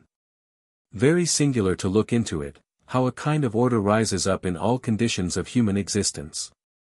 And wherever two or three are gathered together, there are formed modes of existing together, habitudes, observances, nay gracefulnesses, joys. Citoyen Coitant will explain fully how our lean dinner, of herbs and carrion, was consumed not without politeness and place dames, how Seigneur and Shoeblack, Duchess and Doll-Tearsheet, flung pell-mell into a heap. Ranked themselves according to method, at what hour the citoyens took to their needlework. And we, yielding the chairs to them, endeavored to talk gallantly in a standing posture, or even to sing and harp more or less. Jealousies, enmities are not wanting, nor flirtations, of an effective character. Alas, by degrees, even needlework must cease, plot in the prison rises, by citoyen Laflotte and preternatural suspicion. Suspicious municipality snatches from us all implements. All money in possession, of means or metal, is ruthlessly searched for, in pocket, in pillow and palliasse, and snatched away, red-capped commissaries entering every cell. Indignation, temporary desperation, at robbery of its very thimble, fills the gentle heart. Old nuns shriek shrill discord, demand to be killed forthwith. No help from shrieking. Better was that of the two shifty male citizens, eager to preserve an implement or two, were it but a pipe picker, or needle to darn hose with, determined to defend themselves, by tobacco. Swift then, as your fell red caps are heard in the corridor rummaging and slamming, the two citoyens light their pipes and begin smoking. Thick darkness envelopes them. The red nightcaps, opening the cell, breathe but one mouthful. Burst forth into chorus of barking and coughing. Qua, messers, cry the two citoyens, you don't smoke. Is the pipe disagreeable? Est-ce que vous ne fumez pas? But the red nightcaps have fled, with slight search, vous n'aimez pas la pipe? Cry the citoyens, as their door slams to again. My poor brother citoyens, oh surely, in a reign of brotherhood, you are not the two I would guillotine. Rigor grows, stiffens into horrid tyranny, plot in the prison getting ever riper. This plot in the prison, as we said, is now the stereotype formula of Tinville, against whomsoever he knows no crime, this is a ready-made crime. His judgment bar has become unspeakable, a recognized mockery. Known only as the wicked one passes through, towards death. His indictments are drawn out in blank, you insert the names after. He has his moutons, detestable traitor jackals, who report and bear witness. That they themselves may be allowed to live, for a time. His fournees, says the reproachful Collot, shall in no case exceed threescore, that is his maximum. Nightly come his tumbrils to the Luxembourg, with the fatal roll call. List of the fournee of tomorrow. Men rush towards the grate, listen, if their name be in it. One deep drawn breath, when the name is not in, we live still one day. And yet some score or scores of names were in. Quick these. They clasp their loved ones to their heart, one last time, with brief adieu, wet-eyed or dry-eyed, they mount, and are away. This night to the conciergerie, through the Palais misnamed of justice, to the guillotine tomorrow. Recklessness, defiant levity, the stoicism if not of strength yet of weakness, has possessed all hearts. Weak women and ci their locks not yet made into blonde perukes, their skins not yet tanned into breeches, are accustomed to act the guillotine by way of pastime. In fantastic mummery, with towel turbans, blanket ermine, a mock Sanhedrim of judges sits, a mock Tinville pleads, a culprit is doomed, is guillotined by the oversetting of two chairs. Sometimes we carry it farther, Tinville himself, in his turn, is doomed, and not to the guillotine alone. With blackened face, hirsute, horned, a shaggy Satan snatches him not unshrieking. Shoes him, with outstretched arm and voice, the fire that is not quenched, the worm that dies not, the monotony of hell pain, and the what hour? Answered by, it is eternity. And still the prisons fill fuller, and still the guillotine goes faster. On all high roads march flights of prisoners, wending towards Paris. Not ci-devants now, they, the noisy of them, are mown down, it is republicans now. Chained two and two they march, in exasperated moments, singing their Marseillaise. A hundred and thirty-two men of Nantes for instance, march towards Paris, in these same days, Republicans, or say even Jacobins to the marrow of the bone, but Jacobins who had not approved Noyading. Vive la Republique rises from them in all streets of towns, they rest by night, in unutterable noisome dens, crowded to choking, one or two dead on the morrow. They are wayworn, weary of heart, can only shout, Live the Republic. We, as under horrid enchantment, dying in this way for it. Some four hundred priests, of whom also there is record, ride at anchor, in the roads of the Isle of Aix, long months. Looking out on misery, vacuity, waste sands of Oleron and the ever-moaning brine. Ragged, sordid, hungry, wasted to shadows, eating their unclean ration on deck, circularly, in parties of a dozen, with finger and thumb. Beating their scandalous clothes between two stones, choked in horrible miasmata, closed under hatches, seventy of them in a berth, through night, so that the aged priest is found lying dead in the morning, in the attitude of prayer. How long, O Lord? Not forever, no.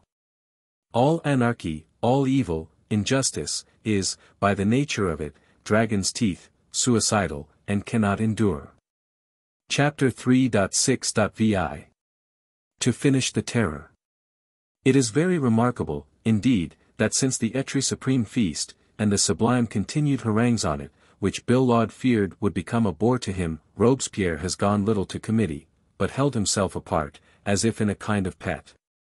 Nay they have made a report on that old Catherine Theot, and her regenerative man spoken of by the prophets, not in the best spirit. This Theot mystery they affect to regard as a plot. But have evidently introduced a vein of satire, of irreverent banter, not against the spinster alone, but obliquely against her regenerative man. Barrere's light pen was perhaps at the bottom of it, read through the solemn snuffling organs of old Vadier of the Sûreté Générale, the Theot report had its effect, wrinkling the general Republican visage into an iron grin. Ought these things to be? We note farther that among the prisoners in the twelve houses of arrest, there is one whom we have seen before. Signora Fontenay, born Cabarrus, the fair Proserpine whom Representative Tallien Pluto-like did gather at Bordeaux, not without effect on himself. Tallien is home, by recall, long since, from Bordeaux, and in the most alarming position. Vain that he sounded, louder even than ever, the note of Jacobinism, to hide past shortcomings, the Jacobins purged him out, two times has Robespierre growled at him words of omen from the convention tribune. And now his fair Cabarrus, hit by denunciation, lies arrested, suspect, in spite of all he could do, shut in horrid pinfold of death, the Senora smuggles out to her red gloomy Tallien the most pressing entreaties and conjurings, save me. Save thyself. Sayest thou not that thy own head is doomed, thou with a too fiery audacity, a Dantonist withal, against whom lie grudges? Are ye not all doomed, as in the Polyphemus cavern, the fawningest slave of you will be but eaten last. Tallien feels with a shudder that it is true. Tallien has had words of omen, Bourdon has had words, Freron is hated and Barras, each man feels his head if it yet stick on his shoulders. Meanwhile Robespierre, we still observe, goes little to convention, not at all to committee, speaks nothing except to his Jacobin House of Lords, amid his bodyguard of Tappe-durs. These forty days, for we are now far in July, he has not shewed face in committee, could only work there by his three shallow scoundrels, and the terror there was of him. The incorruptible himself sits apart. Or is seen stalking in solitary places in the fields, with an intensely meditative air, some say, with eyes red-spotted, fruit of extreme bile, the lamentablest sea-green chimera that walks the earth that July. O hapless chimera! For thou too hadst a life, and a heart of flesh, what is this the stern gods, seeming to smile all the way, have led and let thee to? Art not thou he who, few years ago, was a young advocate of promise? And gave up the Arras judgeship rather than sentence one man to die? What his thoughts might be. His plans for finishing the terror? One knows not. Dim vestiges there flit of agrarian law, a victorious sansculottism become landed proprietor.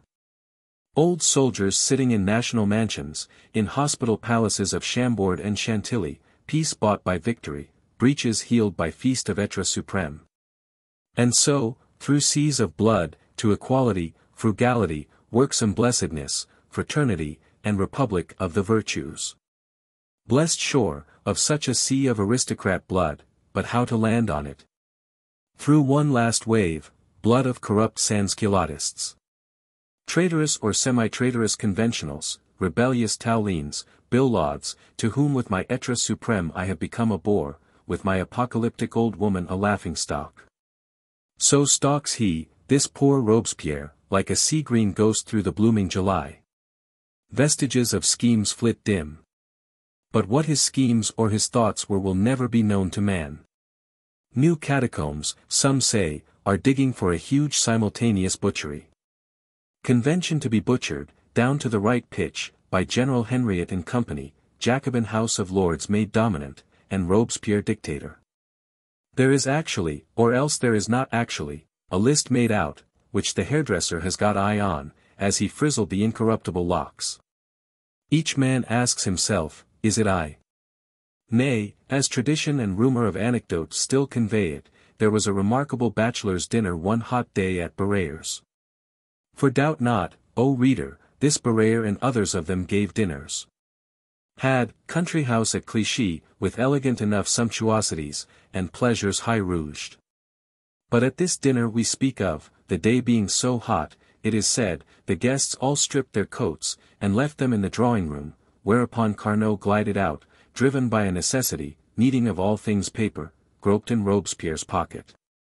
Found a list of forty, his own name among them, and tarried not at the wine-cup that day, ye must bestir yourselves, O friends, ye dull frogs of the marsh, mute ever since Girondism sank under, even ye now must croak or die.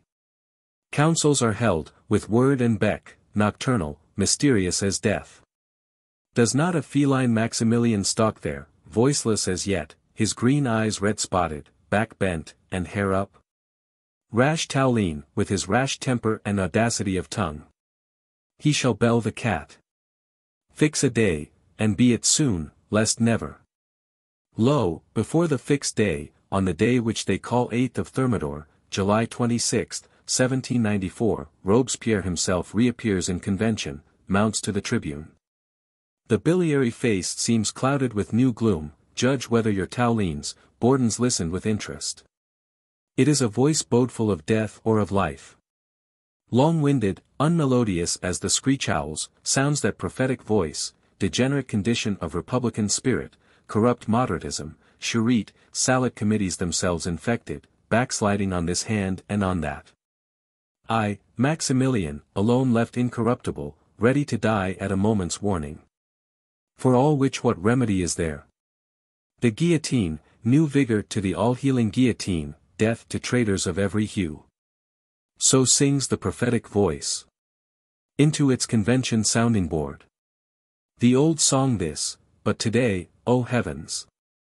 Has the sounding board ceased to act? There is not resonance in this convention, there is, so to speak, a gasp of silence, nay a certain grating of one knows not what.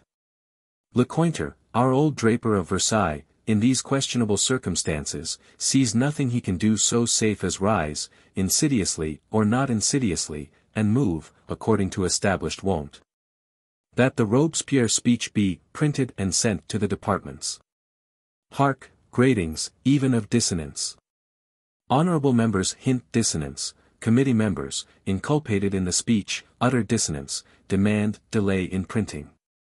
Ever higher rises the note of dissonance. Inquiry is even made by editor Freron, what has become of the liberty of opinions in this convention? The order to print and transmit, which had got passed, is rescinded.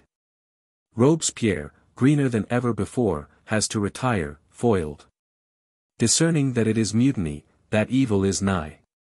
Mutiny is a thing of the fatalist nature in all enterprises whatsoever, a thing so incalculable, swift frightful, not to be dealt with in fright. But mutiny in a Robespierre convention, above all, it is like fire seen sputtering in the ship's powder room. One death-defiant plunge at it, this moment, and you may still tread it out, hesitate till next moment, ship and ship's captain, crew and cargo are shivered far, the ship's voyage has suddenly ended between sea and sky. If Robespierre can, tonight, produce his Henriot and company, and get his work done by them, he and Sansculottism may still subsist some time, if not, probably not.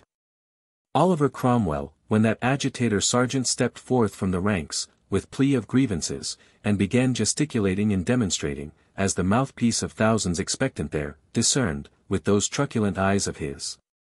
How the matter lay. Plucked a pistol from his holsters, blew agitator and agitation instantly out. Noll was a man fit for such things. Robespierre, for his part, glides over at evening to his Jacobin House of Lords. Unfolds there, instead of some adequate resolution, his woes, his uncommon virtues, incorruptibilities, then, Secondly, his rejected screech owl oration, reads this latter over again, and declares that he is ready to die at a moment's warning. Thou shalt not die. Shouts Jacobinism from its thousand throats. Robespierre, I will drink the hemlock with thee, cries painter David, Je boirai la cigue avec toi, a thing not essential to do, but which, in the fire of the moment, can be said. Our Jacobin sounding board, therefore, does act. Applauses heaven high cover the rejected oration, fire-eyed fury lights all Jacobin features, insurrection a sacred duty, the convention to be purged, sovereign people under Henriot and municipality. We will make a new June 2nd of it, to your tents, O Israel. In this key pipes Jacobinism, in sheer tumult of revolt. Let Tallien and all opposition men make off. Collot d'Herbois, though of the supreme Salut, and so lately near shot, is elbowed, bullied, is glad to escape alive. Entering committee room of Salut, all dishevelled, he finds sleek sombre Saint Just there, among the rest. Who in his sleek way asks, what is passing at the Jacobins? What is passing, repeats Collot, in the unhistrionic Cambyses vein, what is passing? Nothing but revolt and horrors are passing. Ye want our lives, ye shall not have them. Saint Just stutters at such Cambyses oratory, takes his hat to withdraw. That report he had been speaking of, report on Republican things in general we may say, which is to be read in convention on the morrow, he cannot shew it them this moment, a friend has it. He, Saint Just, will get it, and send it, where he wants home. Once home, he sends not it, but an answer that he will not send it, that they will hear it from the tribune tomorrow. Let every man, therefore, according to a well-known good advice, pray to heaven, and keep his powder dry. Paris, on the morrow, will see a thing. Swift scouts fly dim or invisible, all night, from Sûreté and Salut, from conclave to conclave. From Mother Society to Town Hall. Sleep, can it fall on the eyes of Talliens, Frerons, Collots? Puis and Henriot, Mayor Fleuriot, Judge Coffinhal, Procure Payan, Robespierre and all the Jacobins are getting ready. Chapter 3.6.7 Go down to Tallien's eyes beamed bright, on the morrow, 9th of Thermidor, about 9 o'clock, to see that the convention had actually met. Paris is in rumor, but at least we are met, in legal convention here, we have not been snatched seriatim. Treated with a pride's purge at the door. Allons, brave men of the plain, late frogs of the marsh. Cried Tallien with a squeeze of the hand, as he passed in. Saint Just's sonorous organ being now audible from the tribune, and the game of games begun. Saint Just is verily reading that report of his, green vengeance, in the shape of Robespierre, watching nigh. Behold, however, Saint Just has read but few sentences, when interruption rises, rapid crescendo. When Tallien starts to his feet, and Billaud, and this man starts and that, and Tallien, a second time, with his, citoyens, at the Jacobins last night, I trembled for the Republic. I said to myself, if the convention dare not strike the tyrant, then I myself dare, and with this I will do it, if need be, said he, whisking out a clear gleaming dagger, and brandishing it there, the steel of Brutus, as we call it. Whereat we all bellow, and brandish, impetuous acclaim. Tyranny, dictatorship. Triumvirate. And the Salut committee men accuse, and all men accuse, and uproar, and impetuously acclaim. And Saint Just is standing motionless, pale of face. Couthon ejaculating, triumvir, with a look at his paralytic legs. And Robespierre is struggling to speak, but President Thuriot is jingling the bell against him, but the hall is sounding against him like an Aeolus hall, and Robespierre is mounting the tribune steps and descending again.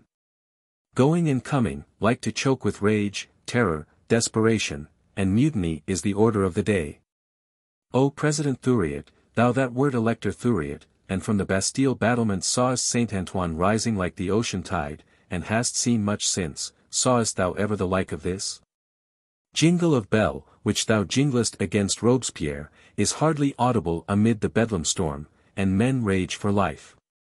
President of assassins, shrieks Robespierre, I demand speech of thee for the last time. It cannot be had. To you, O virtuous men of the plain, cries he, finding audience one moment, I appeal to you. The virtuous men of the plain sit silent as stones. And Thuriot's bell jingles, and the hall sounds like Aeolus's hall. Robespierre's frothing lips are grown blue, his tongue dry, cleaving to the roof of his mouth. The blood of Danton chokes him, cry they. Accusation. Decree of accusation. Thuriot swiftly puts that question. Accusation passes. The incorruptible Maximilian is decreed accused.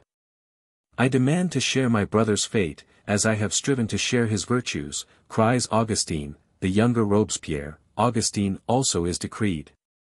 And Couthon, and Saint Just, and Lebas, they are all decreed, and packed forth, not without difficulty, the ushers almost trembling to obey. Triumvirate and company are packed forth, into Salut committee room. Their tongue cleaving to the roof of their mouth. You have but to summon the municipality, to cashier Commandant Henriot, and launch arrest at him, to regular formalities, hand Tinville his victims. It is noon, the Aeolus Hall has delivered itself. Blows now victorious, harmonious, as one irresistible wind. And so the work is finished. One thinks so, and yet it is not so. Alas, there is yet but the first act finished, three or four other acts still to come, and an uncertain catastrophe. A huge city holds in it so many confusions, 700,000 human heads, not one of which knows what its neighbor is doing, nay not what itself is doing.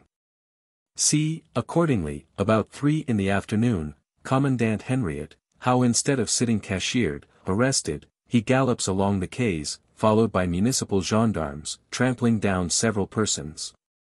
For the town hall sits deliberating, openly insurgent, barriers to be shut, no jailer to admit any prisoner this day, and Henriot is galloping towards the Tuileries, to deliver Robespierre.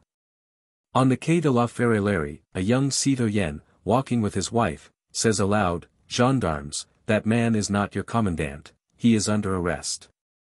The gendarmes strike down the young citoyen with the flat of their swords. Representatives themselves, as Merlin the Thionviller, who accost him, this puissant Henriot flings into guardhouses. He bursts towards the Tuileries committee room, to speak with Robespierre with difficulty, the ushers and Tuileries gendarmes, earnestly pleading and drawing sabre, seize this Henriot, get the Henriot gendarmes persuaded not to fight. Get Robespierre and company packed into hackney coaches, sent off under escort, to the Luxembourg and other prisons. This then is the end. May not an exhausted convention adjourn now, for a little repose and sustenance, at five o'clock? An exhausted convention did it, and repented it. The end was not come, only the end of the second act. Hark, while exhausted representatives sit at victuals, tocsin bursting from all steeples, drums rolling, in the summer evening, Judge Coffinhal is galloping with new gendarmes to deliver Henriot from Tuileries committee room, and does deliver him. Puissant Henriot vaults on horseback, sets to haranguing the Tuileries gendarmes, corrupts the Tuileries gendarmes too, trots off with them to town hall. Alas, and Robespierre is not in prison, the jailer shoot his municipal order, durst not on pain of his life, admit any prisoner. The Robespierre hackney coaches, in confused jangle and whirl of uncertain gendarmes, have floated safe, into the town hall. There sit Robespierre and company, embraced by municipals and Jacobins, in sacred rite of insurrection. Redacting proclamations, sounding tocsins, corresponding with sections and mother society. Is not here a pretty enough third act of a natural Greek drama, catastrophe more uncertain than ever? The hasty convention rushes together again, in the ominous nightfall, President Collot, for the chair is his, enters with long strides, paleness on his face, claps on his hat. Says with solemn tone, Citoyens, armed villains have beset the committee rooms, and got possession of them. The hour is come, to die at our post. We, answer one and all, we swear it. It is no rhodomantade, this time, but a sad fact and necessity, unless we do at our posts, we must verily die. Swift therefore, Robespierre, Henriot, the municipality, are declared rebels, put or la loi, out of law. Better still, we appoint Barras commandant of what armed force is to be had, send missionary representatives to all sections and quarters, to preach, and raise force, will die at least with harness on our back. What a distracted city! Men riding and running, reporting and hearsaying, the hour clearly in travail, child not to be named till born. The poor prisoners in the Luxembourg hear the rumor, tremble for a new September. They see men making signals to them, on skylights and roofs, apparently signals of hope, cannot in the least make out what it is. We observe however, in the eventide, as usual, the death tumbrils faring southeastward, through Saint Antoine, towards their barrier du Trône. Saint Antoine's tough bowels melt, Saint Antoine surrounds the tumbrils, says, it shall not be. O heavens, why should it? Henriot and gendarmes, scouring the streets that way, bellow, with waved sabres, that it must. Quit hope, ye poor doomed. The tumbrils move on. But in this set of tumbrils there are two other things notable, one notable person, and one want of a notable person. The notable person is Lieutenant General Loiserolles, a nobleman by birth, and by nature, laying down his life here for his son. In the prison of Saint Lazare, the night before last, hurrying to the grate to hear the death list read, he caught the name of his son. The son was asleep at the moment.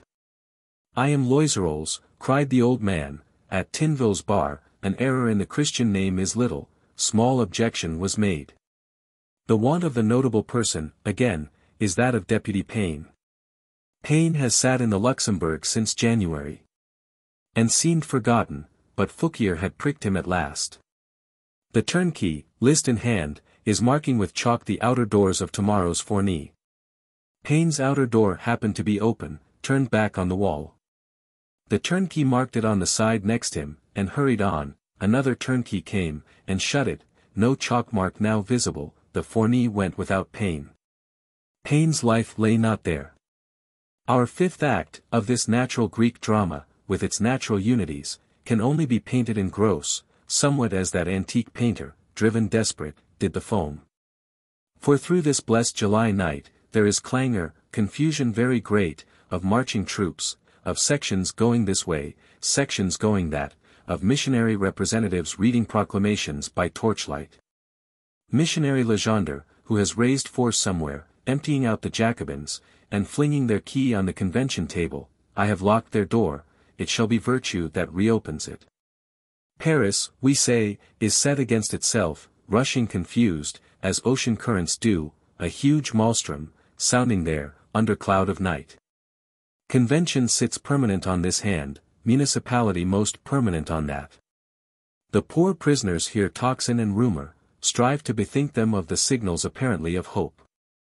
Meek continual twilight streaming up, which will be dawn and a tomorrow, silvers the northern hem of night. It wends and wends there, that meek brightness, like a silent prophecy, along the great ring dial of the heaven. So still, eternal. And on earth all is confused shadow and conflict, dissidence, tumultuous gloom and glare. And destiny as yet shakes her doubtful urn. About three in the morning, the dissident armed forces have met. Henriot's armed force stood ranked in the place de Grève, and now Barras's, which he has recruited, arrives there. And they front each other, cannon bristling against cannon. Citoyens. Cries the voice of discretion, loudly enough, before coming to bloodshed, to endless civil war, hear the convention decree read, Robespierre and all rebels out of law. Out of law. There is terror in the sound, unarmed citoyens disperse rapidly home, municipal cannoneers range themselves on the convention side, with shouting. At which shout, Henriot descends from his upper room, far gone in drink as some say. Finds his place to grieve empty, the cannon's mouth turned towards him, and, on the whole, that it is now the catastrophe. Stumbling in again, the wretched drunk sobered Henriot announces, all is lost. Miserable.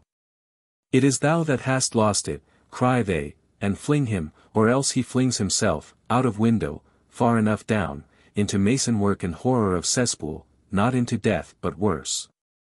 Augustine Robespierre follows him, with the like fate. Saint just called on Lebas to kill him, who would not. Couthon crept under a table, attempting to kill himself, not doing it. On entering that Sanhedrim of insurrection, we find all as good as extinct, undone, ready for seizure. Robespierre was sitting on a chair, with pistol shot blown through, not his head, but his under jaw, the suicidal hand had failed. With prompt zeal, not without trouble, we gather these wretched conspirators. Fish up even Henriot and Augustine, bleeding and foul, pack them all, rudely enough, into carts, and shall, before sunrise, have them safe under lock and key. Amid shoutings and embracings. Robespierre lay in an anteroom of the convention hall, while his prison escort was getting ready, the mangled jaw bound up rudely with bloody linen, a spectacle to men. He lies stretched on a table, a deal box his pillow. The sheath of the pistol is still clenched convulsively in his hand. Men bully him, insult him, his eyes still indicate intelligence, he speaks no word. He had on the sky blue coat he had got made for the feast of the Etre Supreme, O reader, can thy hard heart hold out against that? His trousers were nankeen, the stockings had fallen down over the ankles.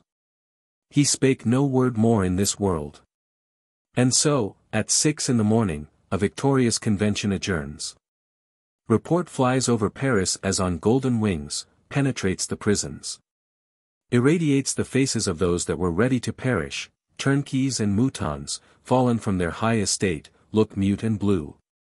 It is the 28th day of July, called 10th of Thermidor, year 1794. Fouquier had but to identify. His prisoners being already out of law. At four in the afternoon, never before were the streets of Paris seen so crowded. From the Palais de Justice to the Place de la Revolution, for thither again go the tumbrils this time, it is one dense stirring mass, all windows crammed, the very roofs and ridge tiles budding forth human curiosity, in strange gladness. The death tumbrils, with their motley batch of outlaws, some twenty-three or so, from Maximilian to Mayor Fleuriot and Simon the cordwainer, roll on. All eyes are on Robespierre's tumbril, where he, his jaw bound in dirty linen, with his half-dead brother, and half-dead Henriot, lie shattered, their seventeen hours of agony about to end. The gendarmes point their swords at him, to shew the people which is he. A woman springs on the tumbril, clutching the side of it with one hand, waving the other sibyl-like, and exclaims, The death of thee gladdens my very heart, m'enivre de joie. Robespierre opened his eyes, Scélérat, go down to hell, with the curses of all wives and mothers. At the foot of the scaffold, they stretched him on the ground till his turn came. Lifted aloft, his eyes again opened, caught the bloody axe. Samson wrenched the coat off him, wrenched the dirty linen from his jaw, the jaw fell powerless, there burst from him a cry, hideous to hear and see. Samson, thou canst not be too quick. Samson's work done, there burst forth shout on shout of applause. Shout, which prolongs itself not only over Paris, but over France, but over Europe, and down to this generation. Deservedly, and also undeservedly. O unhappiest advocate of Arras, wert thou worse than other advocates? Stricter man, according to his formula, to his credo and his cant, of probities, benevolences, pleasures of virtue, and such like, lived not in that age. A man fitted, in some luckier settled age, to have become one of those incorruptible barren pattern figures, and have had marble tablets and funeral sermons. His poor landlord, the cabinet maker in the Rue Saint-Honoré, loved him. His brother died for him. May God be merciful to him, and to us. This is end of the reign of terror, new glorious revolution named of Thermidor, of Thermidor ninth, year 2, which being interpreted into old slave style means 27th of July, 1794. Terror is ended, and death in the Place de la Revolution, where the tail of Robespierre, once executed, which Service Fouquier in large batches is swiftly managing. Book 3.7 Vendemiaire. Chapter 3.7.I. Decadent. How little did anyone suppose that here was the end not of Robespierre only, but of the revolution system itself. Least of all did the mutinying committeemen suppose it. Who had mutinied with no view whatever except to continue the national regeneration with their own heads on their shoulders. And yet so it verily was. The insignificant stone they had struck out, so insignificant anywhere else, proved to be the keystone, the whole archwork and edifice of Sansculottism began to loosen, to crack, to yawn. And tumbled, piecemeal, with considerable rapidity, plunge after plunge, till the abyss had swallowed it all, and in this upper world Sansculottism was no more. For despicable as Robespierre himself might be, the death of Robespierre was a signal at which great multitudes of men, struck dumb with terror heretofore, rose out of their hiding places, and, as it were, saw one another. How multitudinous they were! And began speaking and complaining. They are countable by the thousand and the million, who have suffered cruel wrong. Ever louder rises the plaint of such a multitude. Into a universal sound, into a universal continuous peal, of what they call public opinion. Camille had demanded a committee of mercy, and could not get it. But now the whole nation resolves itself into a committee of mercy, the nation has tried sansculottism, and is weary of it. Force of public opinion. What king or convention can withstand it? You in vain struggle, the thing that is rejected as calumnious today must pass as veracious with triumph another day, gods and men have declared that sansculottism cannot be. Sansculottism, on that ninth night of Thermidor suicidally, fractured its under jaw, and lies writhing, never to rise more. Through the next fifteenth months, it is what we may call the death agony of Sansculottism. Sansculottism, anarchy of the Jean-Jacques Evangel, having now got deep enough, is to perish in a new singular system of culotism and arrangement. For arrangement is indispensable to man. Arrangement, were it grounded only on that old primary evangel of force, with scepter in the shape of hammer. Be their method, be their order, cry all men, were it that of the drill sergeant.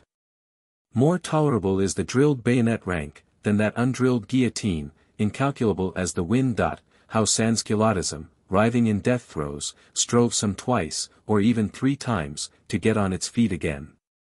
But fell always, and was flung resupine, the next instant, and finally breathed out the life of it, and stirred no more, this we are now, from a due distance, with due brevity, to glance at, and then, O reader, courage, I see land. Two of the first acts of the convention, very natural for it after this Thermidor, are to be specified here, the first is renewal of the governing committees.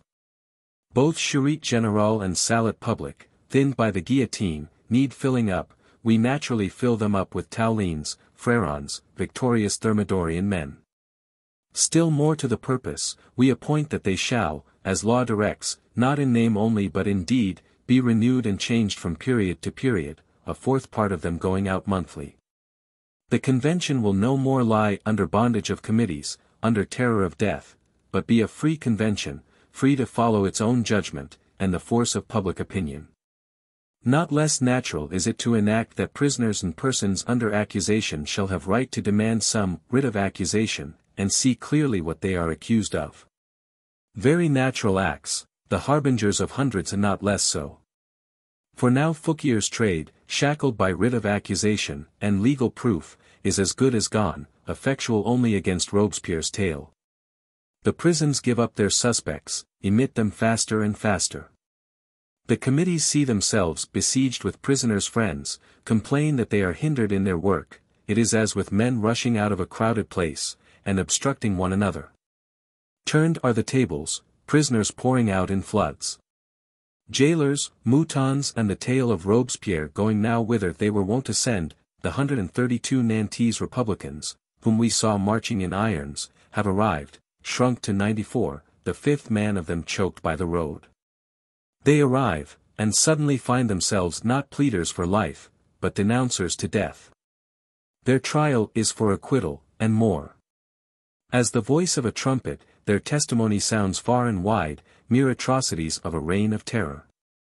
For a space of nineteen days, with all solemnity and publicity.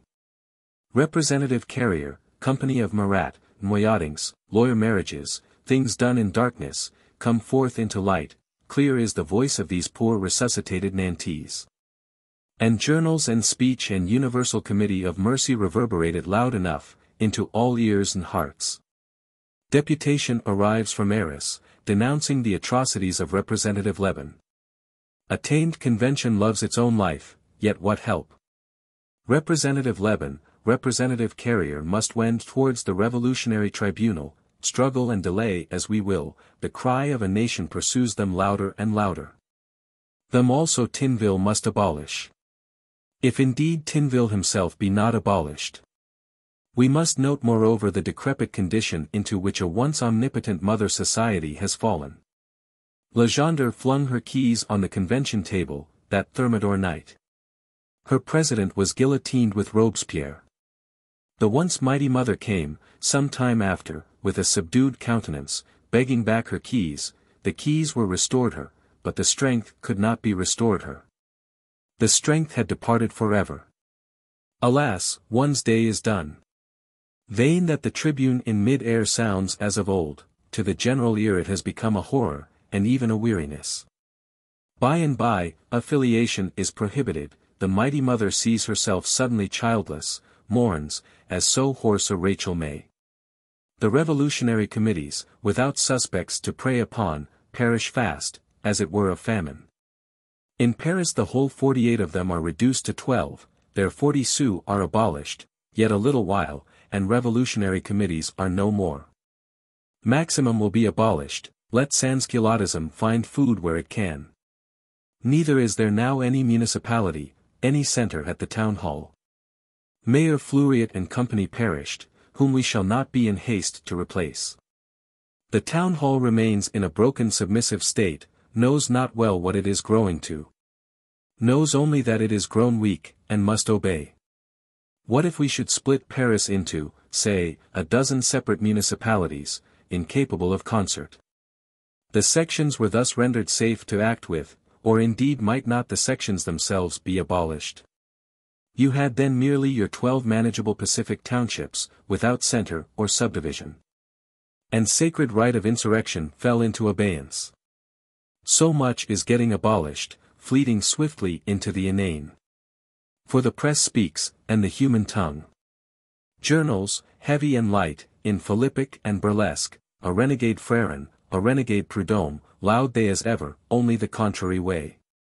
And ci-devants show themselves, almost parade themselves, resuscitated as from death sleep.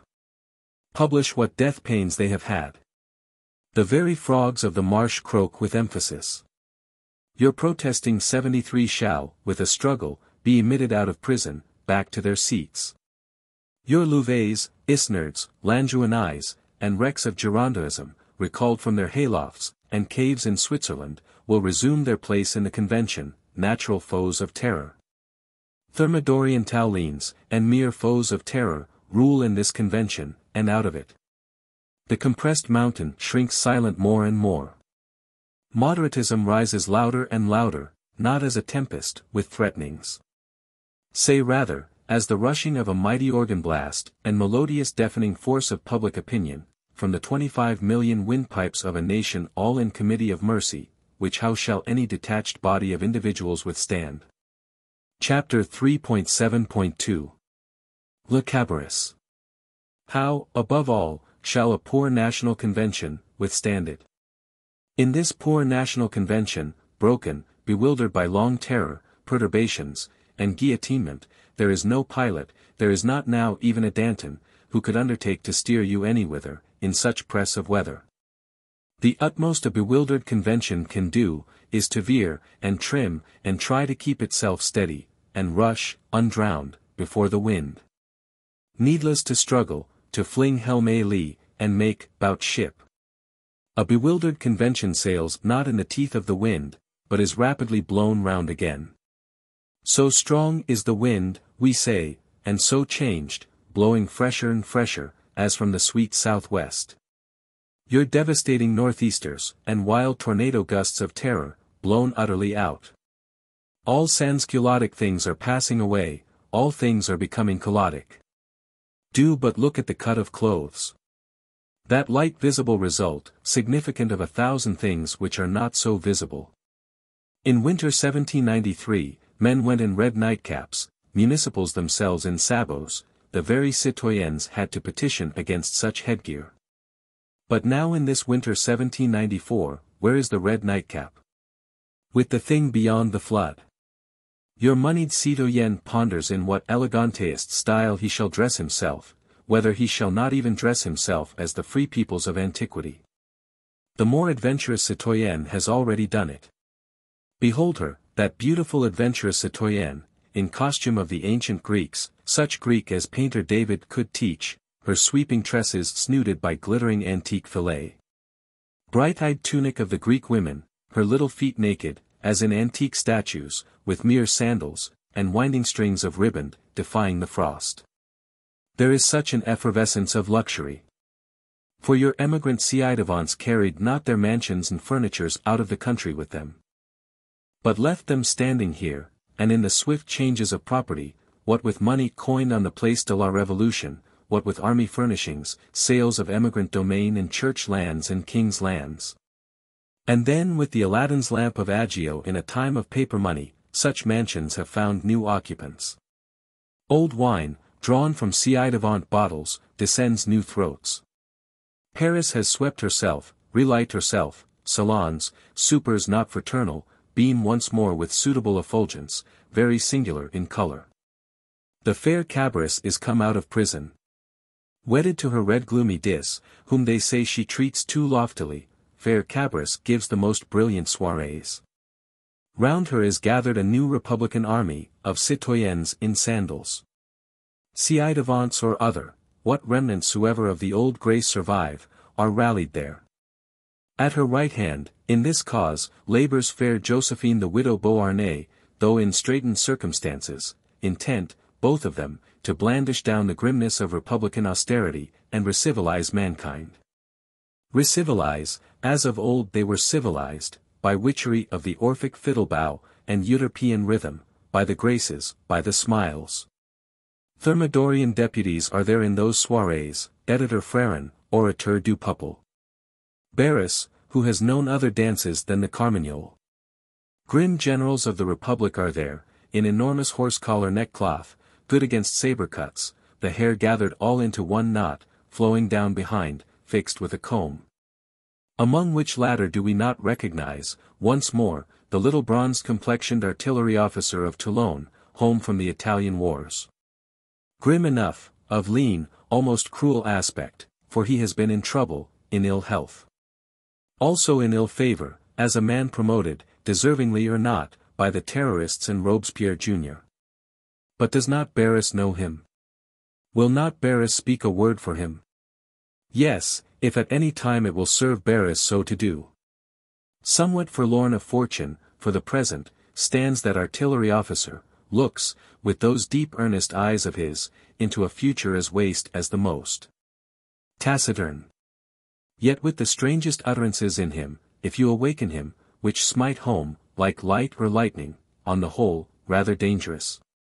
A dissociable man. Dissociable enough.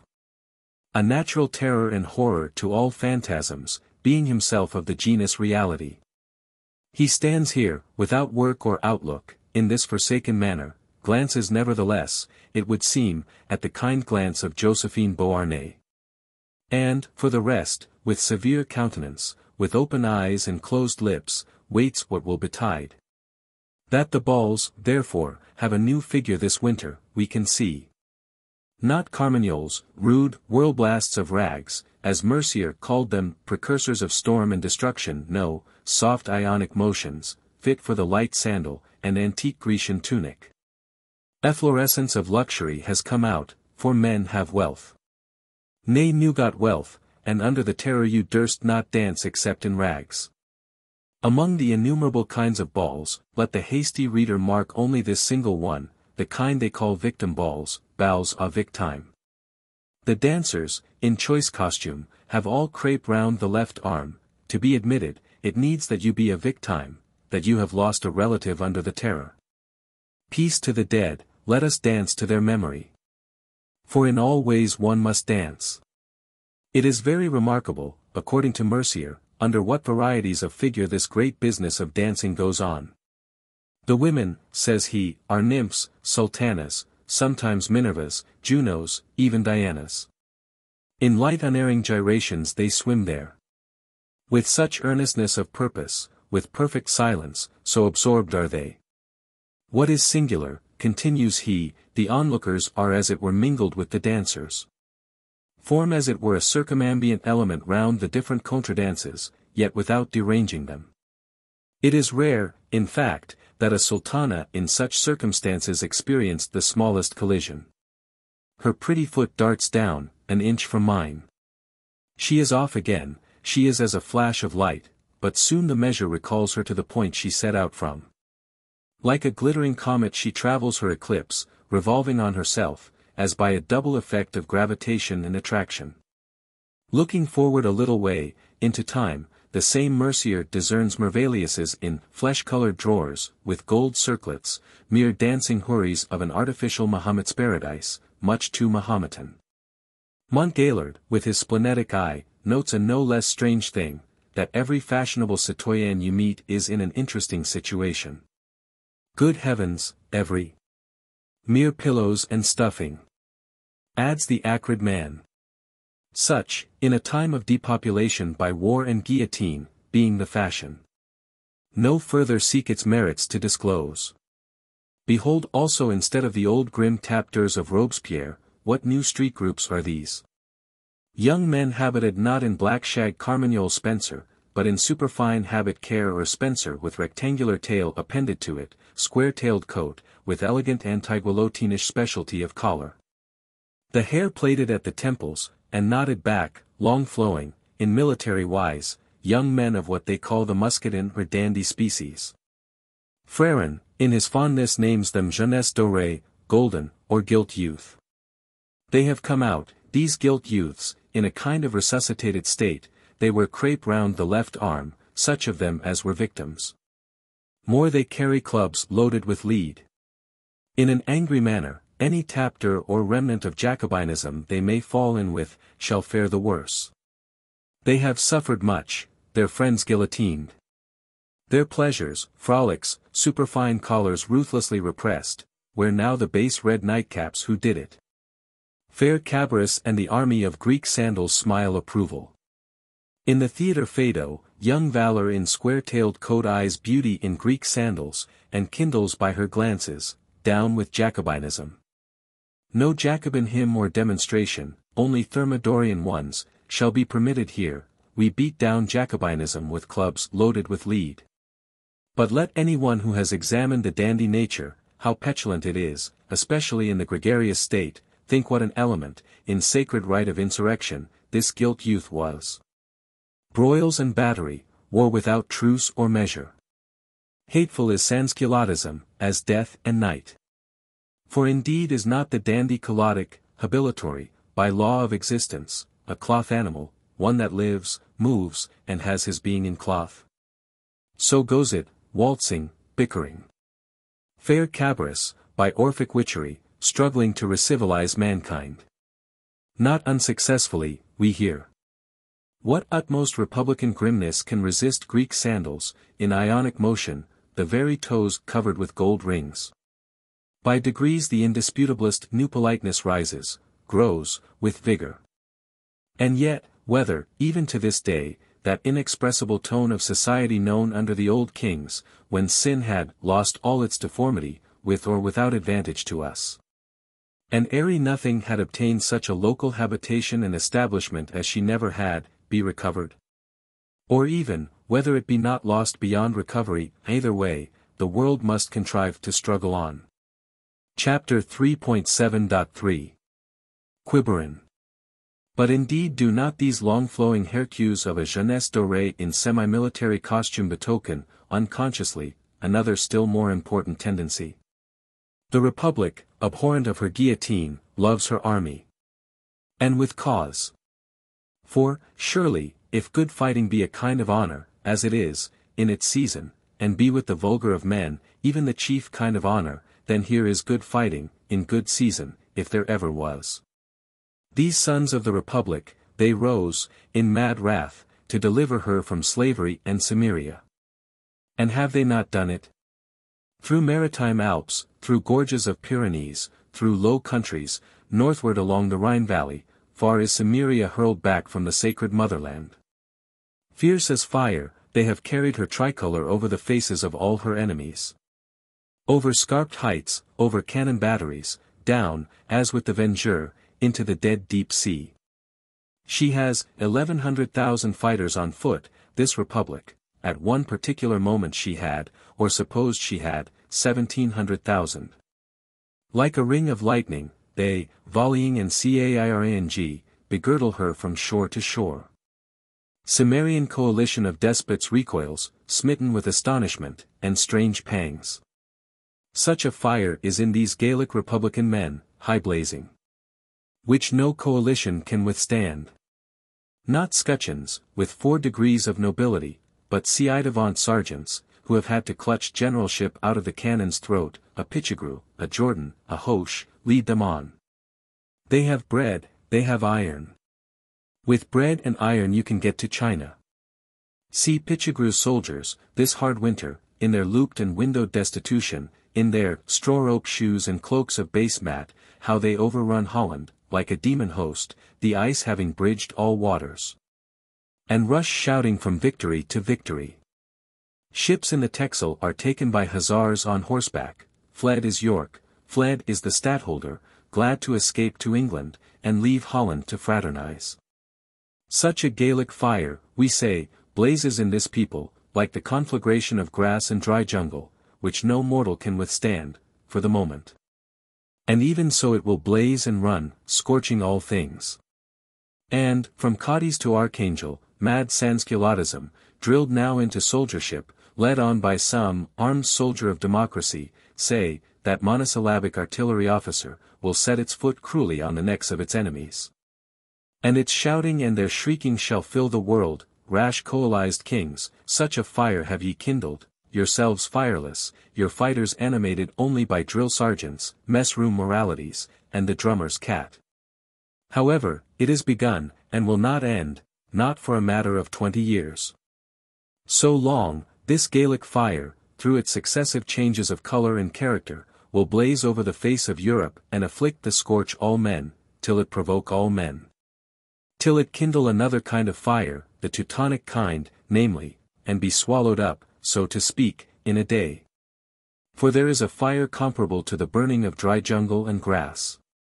Most sudden, high blazing, and another fire which we liken to the burning of coal, or even of anthracite coal, difficult to kindle, but then which nothing will put out. The ready Gaelic fire, we can remark further, and remark not in Pythagoras only, but in innumerable Voltaires, Racines, Laplaces, no less. For a man, whether he fight, or sing, or think, will remain the same unity of a man, is admirable for roasting eggs, in every conceivable sense. The Teutonic anthracite again, as we see in Luther's, Leibniz's, Shakespeare's, is preferable for smelting metals. How happy is our Europe that has both kinds. But be this as it may, the Republic is clearly triumphing. In the spring of the year Mentz town again sees itself besieged, will again change master, did not Merlin the Thionviller, with wild beard and look, say it was not for the last time they saw him there? The elector of Mentz circulates among his brother potentates this pertinent query, were it not advisable to treat of peace? Yes. Answers many an elector from the bottom of his heart. But, on the other hand, Austria hesitates. Finally refuses, being subsidied by Pitt. As to Pitt, whoever hesitate, he, suspending his habeas corpus, suspending his cash payments, stands inflexible, spite of foreign reverses. Spite of domestic obstacles, of Scotch national conventions and English friends of the people, whom he is obliged to arraign, to hang, or even to see acquitted with jubilee, a lean inflexible man. The majesty of Spain, as we predicted, makes peace. Also the majesty of Prussia, and there is a treaty of Bale. Treaty with black anarchists and regicides. Alas, what help? You cannot hang this anarchy, it is like to hang you, you must needs treat with it. Likewise, General Hoche has even succeeded in pacificating La Vendée. Rogue Rossignol and his infernal columns have vanished, by firmness and justice, by sagacity and industry, General Hoche has done it. Taking movable columns, not infernal. Girdling in the country, pardoning the submissive, cutting down the resistive, limb after limb of the revolt is brought under. La Rochejaquelein, last of our nobles, fell in battle, Stofflet himself makes terms. Georges Cadoudal is back to Brittany, among his Chouans, the frightful gangrene of La Vendée seems veritably extirpated. It has cost, as they reckon in round numbers, the lives of a hundred thousand fellow mortals. With noyadings, conflagratings by infernal column, which defy arithmetic. This is the La Vendée war.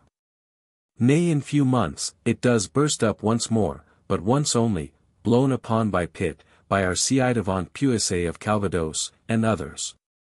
In the month of July 1795, English ships will ride in Quiberon roads. There will be debarkation of chivalrous ci-devants, of volunteer prisoners of war, eager to desert, of firearms, proclamations, clothes chests, royalists and specie. Whereupon also, on the Republican side, there will be rapid stand to arms, with ambuscade marchings by Quiberon Beach, at midnight, storming of Fort Penthièvre, war thunder mingling with the roar of the nightly main. And such a morning light as has seldom dawned, debarkation hurled back into its boats, or into the devouring billows, with wreck and wail. In one word, a ci devant Puisaye as totally ineffectual here as he was in Calvados, when he rode from Vernon Castle without boots. Again, therefore, it has cost the lives of many a brave man. Among whom the whole world laments the brave son of Sombreuil. Ill-fated family. The father and younger son went to the guillotine, the heroic daughter languishes, reduced to want, hides her woes from history, the elder son perishes here. Shot by military tribunal as an emigrant, Hoche himself cannot save him. If all wars, civil and other, are misunderstandings, what a thing must right understanding be. Chapter 3.7.4 Lion Not Dead The convention, born on the tide of fortune towards foreign victory, and driven by the strong wind of public opinion towards clemency and luxury, is rushing fast, all skill of pilotage is needed, and more than all, in such a velocity. Curious to see, how we veer and whirl, yet must ever whirl round again, and scud before the wind. If, on the one hand, we readmit the protesting 73, we, on the other hand, agree to consummate the apotheosis of Marat. Lift his body from the Cordeliers church, and transport it to the pantheon of great men, flinging out Mirabeau to make room for him. To no purpose, so strong blows public opinion. A gilt youthhood, in plaited hair tresses, tears down his busts from the Theatre Feydeau, tramples them underfoot, scatters them, with vociferation into the cesspool of Montmartre. Swept is his chapel from the Place du Carrousel. The cesspool of Montmartre will receive his very dust. Shorter godhood had no divine man. Some four months in this pantheon, temple of all the immortals, then to the cesspool, grand cloaca of Paris and the world. His busts at one time amounted to four thousand. Between temple of all the immortals and cloaca of the world, how are poor human creatures whirled? Furthermore the question arises, when will the Constitution of 93, of 1793, come into action? Considerate heads surmise, in all privacy, that the Constitution of 93 will never come into action. Let them busy themselves to get ready a better. Or, again, where now are the Jacobins?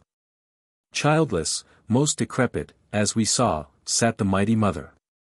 Gnashing not teeth, but empty gums, against a traitorous Thermidorian convention and the current of things. Twice were Bill Laud, Collot and company accused in convention, by a Lecointre, by a Legendre. And the second time, it was not voted calumnious. Billaud from the Jacobin Tribune says, the lion is not dead, he is only sleeping. They ask him in convention, what he means by the awakening of the lion.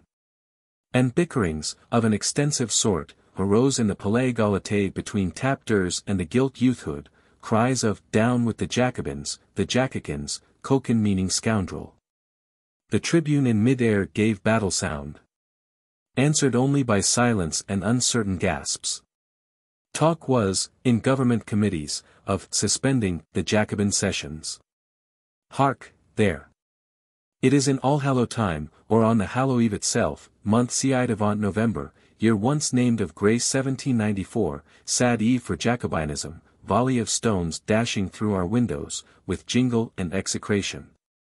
The female Jacobins, famed tricoteuses with knitting needles, take flight, are met at the doors by a gilt youthhood and mob of four thousand persons, are hooted, flouted, hustled, fustigated, in a scandalous manner, cotillons retroussés. And vanish in mere hysterics. Sally out ye male Jacobins. The male Jacobins sally out, but only to battle, disaster and confusion. So that armed authority has to intervene, and again on the morrow to intervene. And suspend the Jacobin sessions forever and a day. Gone are the Jacobins, into invisibility, in a storm of laughter and howls. Their place is made a normal school, the first of the kind seen, it then vanishes into a market of Thermidor ninth. Into a market of Saint Honoré, where is now peaceable chaffering for poultry and greens. The solemn temples, the great globe itself, the baseless fabric. Are not we such stuff, we in this world of ours, as dreams are made of? Maximum being abrogated, trade was to take its own free course. Alas, trade, shackled, topsy-turved in the way we saw, and now suddenly let go again, can for the present take no course at all, but only reel and stagger. There is, so to speak, no trade whatever for the time being. Assignats, long sinking, emitted in such quantities, sink now with an alacrity beyond parallel. Combien, said one, to a hackney coachman, what fare? Six thousand livres, answered he, some three hundred pounds sterling, in paper money. Pressure of maximum withdrawn, the things it compressed likewise withdraw. Two ounces of bread per day, in the modicum allotted, wide waving, doleful are the bakers' queues, farmers' houses are become pawnbrokers' shops. One can imagine, in these circumstances, with what humor sansculottism growled in its throat, La Cabarrus, beheld ci return dancing, the thermidor effulgence of recivilization, and balls in flesh-colored drawers. Greek tunics and sandals. Hosts of muscadins parading, with their clubs loaded with lead, and we here, cast out, abhorred, picking offals from the street, agitating in baker's queue for our two ounces of bread. Will the Jacobin lion, which they say is meeting secretly at the Archeveche, in bonnet rouge with loaded pistols, not awaken? Seemingly not. Our Collot, our Billaud, Barrere, Vadier, in these last days of March 1795, are found worthy of deportation, of banishment beyond seas, and shall, for the present, be trundled off to the castle of Ham. The lion is dead, or writhing in death throes. Behold, accordingly, on the day they call 12th of Germinal, which is also called 1st of April, not a lucky day, how lively are these streets of Paris once more. Floods of hungry women, of squalid hungry men. Ejaculating, bread, bread and the Constitution of 93. Paris has risen, once again, like the ocean tide, is flowing towards the Tuileries, for bread and a Constitution. Tuileries sentries do their best. But it serves not, the ocean tide sweeps them away, inundates the convention hall itself. Howling, bread, and the Constitution. Unhappy senators, unhappy people, there is yet, after all toils and broils, no bread, no constitution. Do pain, patent de longs discours, bread, not bursts of parliamentary eloquence, so wailed the Menads of Maillard, five years ago and more, so wail ye to this hour. The convention, with unalterable countenance, with what thought one knows not, keeps its seat in this waste howling chaos, rings its storm bell from the pavilion of unity. Section Lepelletier, old Filles St. Thomas, who are of the money-changing species, these and gilt youthhood fly to the rescue, sweep chaos forth again, with leveled bayonets. Paris is declared in a state of siege. Pichegru, conqueror of Holland, who happens to be here, is named commandant, till the disturbance end. He, in one day, so to speak, ends it. He accomplishes the transfer of Billaud, Collot and Company. Dissipating all opposition, by two cannon shots, blank cannon shots, and the terror of his name, and thereupon announcing, with a laconicism which should be imitated, representatives, your decrees are executed, lays down his commandantship. This revolt of Germinal, therefore, has passed, like a vain cry. The prisoners rest safe in Ham, waiting for ships, some 900 chief terrorists of Paris are disarmed. Sansculottism, swept forth with bayonets, has vanished, with its misery, to the bottom of Saint Antoine and Saint Marceau. Time was when Usher Maillard with Menads could alter the course of legislation, but that time is not. Legislation seems to have got bayonets, Section Lepelletier takes its firelock, not for us. We retire to our dark dens, our cry of hunger is called a plot of Pitt, the saloons glitter, the flesh-colored drawers gyrate as before. It was for the Cabarrus then, and her muscadins and money changers, that we fought. It was for balls in flesh-colored drawers that we took feudalism by the beard, and did, and dared, shedding our blood like water. Expressive silence, muse thou their praise. Chapter 3.7.v Lion sprawling its last.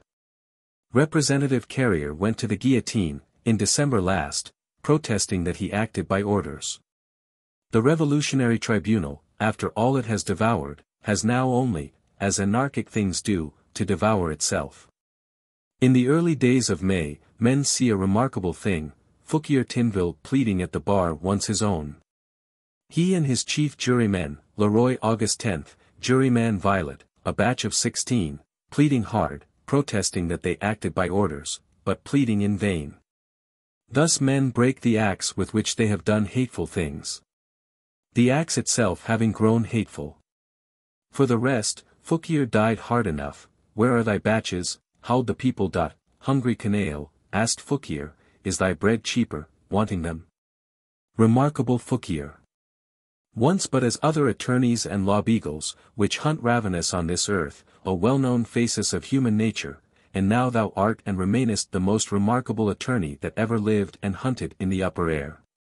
For, in this terrestrial course of time, there was to be an avatar of attorneyism, the heavens had said, let there be an incarnation, not divine, of the venatory attorney spirit which keeps its eye on the bond only, and lo, this was it. And they have attorneyed it in its turn. Vanish, then, thou rat-eyed incarnation of attorneyism, who at bottom wert but as other attorneys, and two hungry sons of Adam. Juryman Violet had striven hard for life, and published, from his prison, an ingenious book, not unknown to us, but it would not stead, he also had to vanish. And this his book of the secret causes of Thermidor, full of lies, with particles of truth in it undiscoverable otherwise, is all that remains of him. Revolutionary Tribunal has done, but vengeance has not done. Representative Lebon, after long struggling, is handed over to the ordinary law courts, and by them guillotined. Nay, at Lyons and elsewhere, resuscitated moderatism, in its vengeance, will not wait the slow process of law. But bursts into the prisons, sets fire to the prisons, burns some threescore imprisoned Jacobins to dire death, or chokes them with the smoke of straw. There go vengeful truculent, companies of Jesus, companies of the sun. Slaying Jacobinism wherever they meet with it, flinging it into the Rhone stream, which, once more, bears seaward a horrid cargo. Whereupon, at Toulon, Jacobinism rises in revolt, and is like to hang the national representatives. With such action and reaction, is not a poor national convention hard-bested? It is like the settlement of winds and waters, of seas long tornado-beaten, and goes on with jumble and with jangle. Now flung aloft, now sunk in trough of the sea, your vessel of the Republic has need of all pilotage and more. What parliament that ever sat under the moon had such a series of destinies, as this National Convention of France? It came together to make the Constitution. And instead of that, it has had to make nothing but destruction and confusion, to burn up Catholicisms, aristocratisms, to worship reason and dig saltpetre, to fight titanically with itself and with the whole world. A convention decimated by the guillotine, above the tenth man has bowed his neck to the axe. Which has seen carmagnoles danced before it, and patriotic strophes sung amid church spoils, the wounded of the tenth of August defile in hand barrows.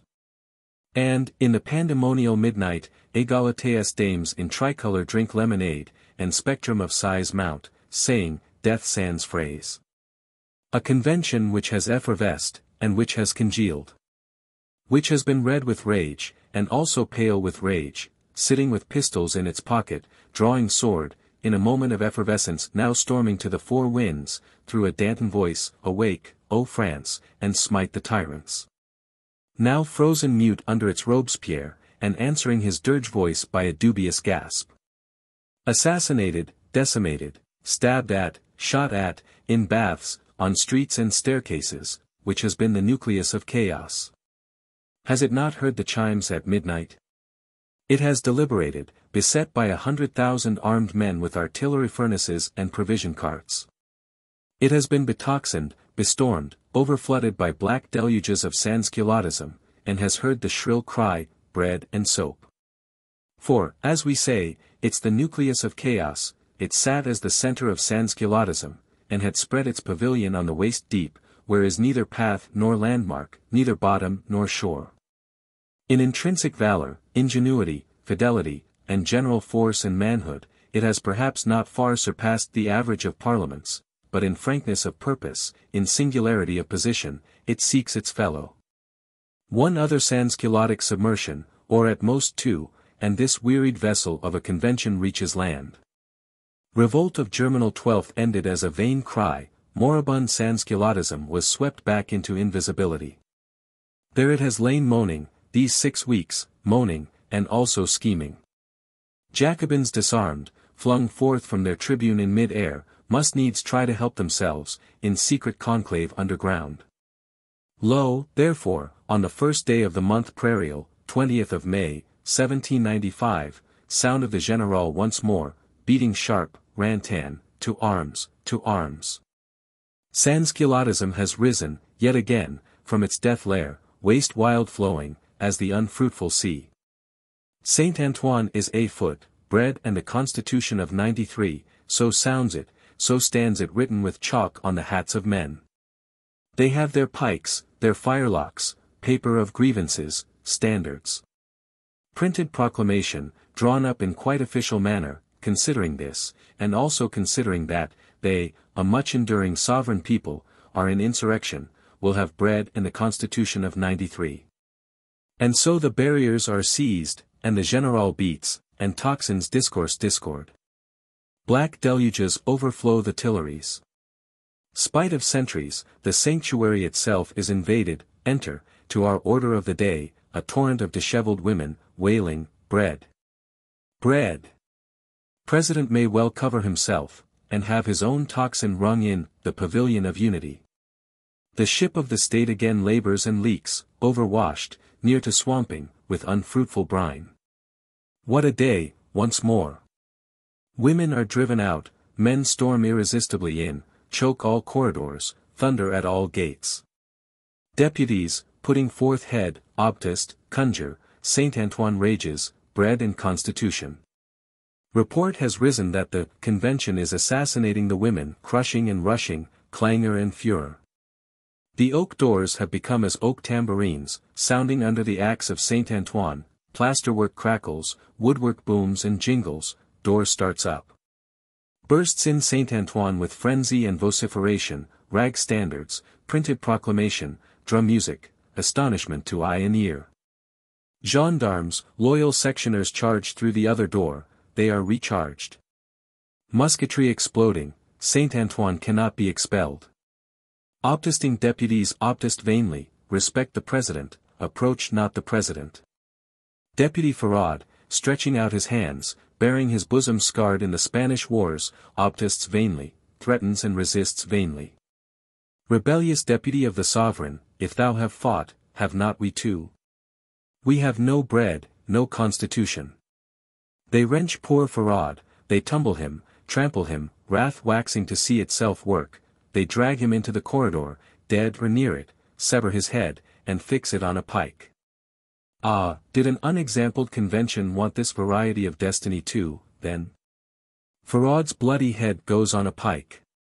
Such a game has begun, Paris and the earth may wait how it will end. And so it billows free though all corridors, within, and without, far as the eye reaches, nothing but bedlam, and the great deep broken loose. President Boissy d'Anglas sits like a rock, the rest of the convention is floated to the upper benches, sectioners and gendarmes still ranking there to form a kind of wall for them. And insurrection rages, rolls its drums. We'll read its paper of grievances, we'll have this decreed, we'll have that. Covered sits President Boissy, unyielding, like a rock in the beating of seas. They menace him, level muskets at him, he yields not. They hold up Feraud's bloody head to him, with grave stern air he bows to it, and yields not. And the paper of grievances cannot get itself read for uproar, and the drums roll, and the throats bawl. And insurrection, like sphere music, is inaudible for very noise, decree us this, decree us that. One man we discern bawling, for the space of an hour at all intervals, je demand l'arrestation de coquins et de lâches. Really one of the most comprehensive petitions ever put up, which indeed, to this hour, includes all that you can reasonably ask Constitution of the Year 1, Rottenborough, ballot box. Or other miraculous political ark of the covenant to do for you to the end of the world.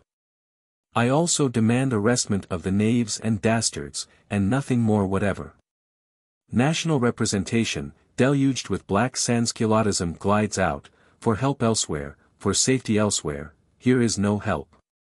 About four in the afternoon, there remain hardly more than some sixty members, mere friends, or even secret leaders, a remnant of the mountain crest, held in silence by Thermidorian thraldom. Now is the time for them. Now or never let them descend, and speak. They descend, these sixty, invited by Sansculottism, Romme of the new calendar, Ruhl of the sacred phial, Goujon, Duquesnoy, Soubrany, and the rest. Glad Sansculottism forms a ring for them. Romme takes the president's chair, they begin resolving and decreeing. Fast enough now comes decree after decree, in alternate brief strains, or strophe and antistrophe, what will cheapen bread, what will awaken the dormant lion. And at every new decree, Sansculottism shouts, decreed, decreed, and rolls its drums. Fast enough, the work of months and hours, when see, a figure enters, whom in the lamplight we recognize to be Legendre, and utters words, fit to be hissed out. And then see, section Lepelletier or other Muscadin section enters, and gilt youth, with levelled bayonets, countenances screwed to the sticking place. Tramp, tramp, with bayonets gleaming in the lamplight, what can one do, worn down with long riot, grown heartless, dark, hungry, but roll back, but rush back, and escape who can. The very windows need to be thrown up, that sansculottism may escape fast enough. Money changer sections and gilt youth sweep them forth, with steel besom, far into the depths of Saint Antoine. Triumph once more. The decrees of that sixty are not so much as rescinded, they are declared null and non-extant. Romme, Ruhl, Goujon and the ringleaders, some thirteen in all, are decreed accused. Permanent session ends at three in the morning. Sansculottism, once more flung resupine, lies sprawling, sprawling its last. Such was the first of Prairial, May 20, 1795. Second and third of Prairial, during which Sansculottism still sprawled, and unexpectedly rang its tocsin, and assembled in arms, availed Sansculottism nothing. What though with our Rommes and Ruhls, accused but not yet arrested, we make a new, true national convention, of our own, over in the East, and put the others out of law? What though we rank in arms and march? Armed force and musket in sections, some thirty thousand men, environ that old false convention, we can but bully one another, bandying nicknames, musketons, against blood drinkers, buveurs de sang. Feraud's assassin, taken with the red hand, and sentenced, and now near to guillotine and Place de Grève, is retaken, is carried back into Saint Antoine, to no purpose. Convention sectionaries and gilt youth come, according to decree, to seek him. Nay to disarm Saint Antoine. And they do disarm it, by rolling of cannon, by springing upon enemy's cannon, by military audacity, and terror of the law. Saint Antoine surrenders its arms, Santerre even advising it, anxious for life and brewhouse. Feraud's assassin flings himself from a high roof, and all is lost. Discerning which things, old Ruhl shot a pistol through his old white head, dashed his life in pieces, as he had done the sacred phial of Reims. Romme, Goujon and the others stand ranked before a swiftly appointed, swift military tribunal. Hearing the sentence, Goujon drew a knife, struck it into his breast, passed it to his neighbor Romme, and fell dead. Romme did the like. And another all but did it, Roman death rushing on there, as an electric chain, before your bailiffs could intervene. The guillotine had the rest. They were the ultimi romanorum. Bill Laud, Collot and company are now ordered to be tried for life. But are found to be already off, shipped for Sinnamary, and the hot mud of Suriname. There let Billaud surround himself with flocks of tame parrots, Collot take the yellow fever, and drinking a whole bottle of brandy, burn up his entrails. Sansculottism spraws no more. The dormant lion has become a dead one, and now, as we see, any hoof may smite him. Chapter 3.7.vi Grilled Herrings So dies Sansculottism, the body of Sansculottism, or is changed. Its ragged Pythian Carmagnole dance has transformed itself into a Pyrrhic, into a dance of cabarrus balls. Sansculottism is dead, extinguished by new isms of that kind, which were its own natural progeny. And is buried, we may say, with such deafening jubilation and disharmony of funeral knell on their part, that only after some half-century or so does one begin to learn clearly why it ever was alive. And yet a meaning lay in it, Sansculottism verily was alive, a new birth of time, nay it still lives, and is not dead, but changed. The soul of it still lives. Still works far and wide, through one bodily shape into another less amorphous, as is the way of cunning time with his new births, till, in some perfected shape, it embraced the whole circuit of the world. For the wise man may now everywhere discern that he must found on his manhood, not on the garnitures of his manhood. He who, in these epochs of our Europe, founds on garnitures, formulas, culotisms of what sort soever, is founding on old cloth and sheepskin, and cannot endure. But as for the body of sansculottism, that is dead and buried, and, one hopes, need not reappear, in primary amorphous shape, for another thousand years. It was the frightfulest thing ever born of time. One of the frightfulest. This convention, now grown anti-Jacobin, did, with an eye to justify and fortify itself, publish lists of what the reign of terror had perpetrated, lists of persons guillotined. The lists, cries splenetic Abbé Montgaillard, were not complete. They contain the names of, how many persons thinks the reader, 2,000 all but a few. There were above 4,000, cries Montgaillard, so many were guillotined, fusilladed, noyade, done to dire death, of whom 900 were women. It is a horrible sum of human lives, M. L. Abbe, some ten times as many shot rightly on a field of battle, and one might have had his glorious victory with Te Deum. It is not far from the two hundredth part of what perished in the entire Seven Years' War. By which Seven Years' War, did not the great Fritz wrench Silesia from the great Teresa? And a Pompadour, stung by epigrams, satisfy herself that she could not be an Agnes Sorel. The head of man is a strange vacant sounding shell M. L. Abbe, and studies Cocker to small purpose. But what if history, somewhere on this planet, were to hear of a nation, the third soul of whom had not for thirty weeks each year as many third-rate potatoes as would sustain him? History, in that case, feels bound to consider that starvation is starvation. That starvation from age to age presupposes much, history ventures to assert that the French sansculotte of 93, who, roused from long death sleep, could rush at once to the frontiers. And die fighting for an immortal hope and faith of deliverance for him and his, was but the second miserablest of men. The Irish sans potato, had he not senses then, nay a soul. In his frozen darkness, it was bitter for him to die famishing, bitter to see his children famish. It was bitter for him to be a beggar, a liar and a knave. Nay, if that dreary Greenland wind of benighted want, perennial from sire to son, had frozen him into a kind of torpor and numb callosity, so that he saw not, felt not, was this, for a creature with a soul in it, some assuagement. Or the cruelest wretchedness of all. Such things were, such things are, and they go on in silence peaceably, and sansculottisms follow them. History, looking back over this France through long times, back to Turgot's time for instance, when dumb drudgery staggered up to its king's palace, and in wide expanse of sallow faces, squalor and winged raggedness. Presented hieroglyphically its petition of grievances.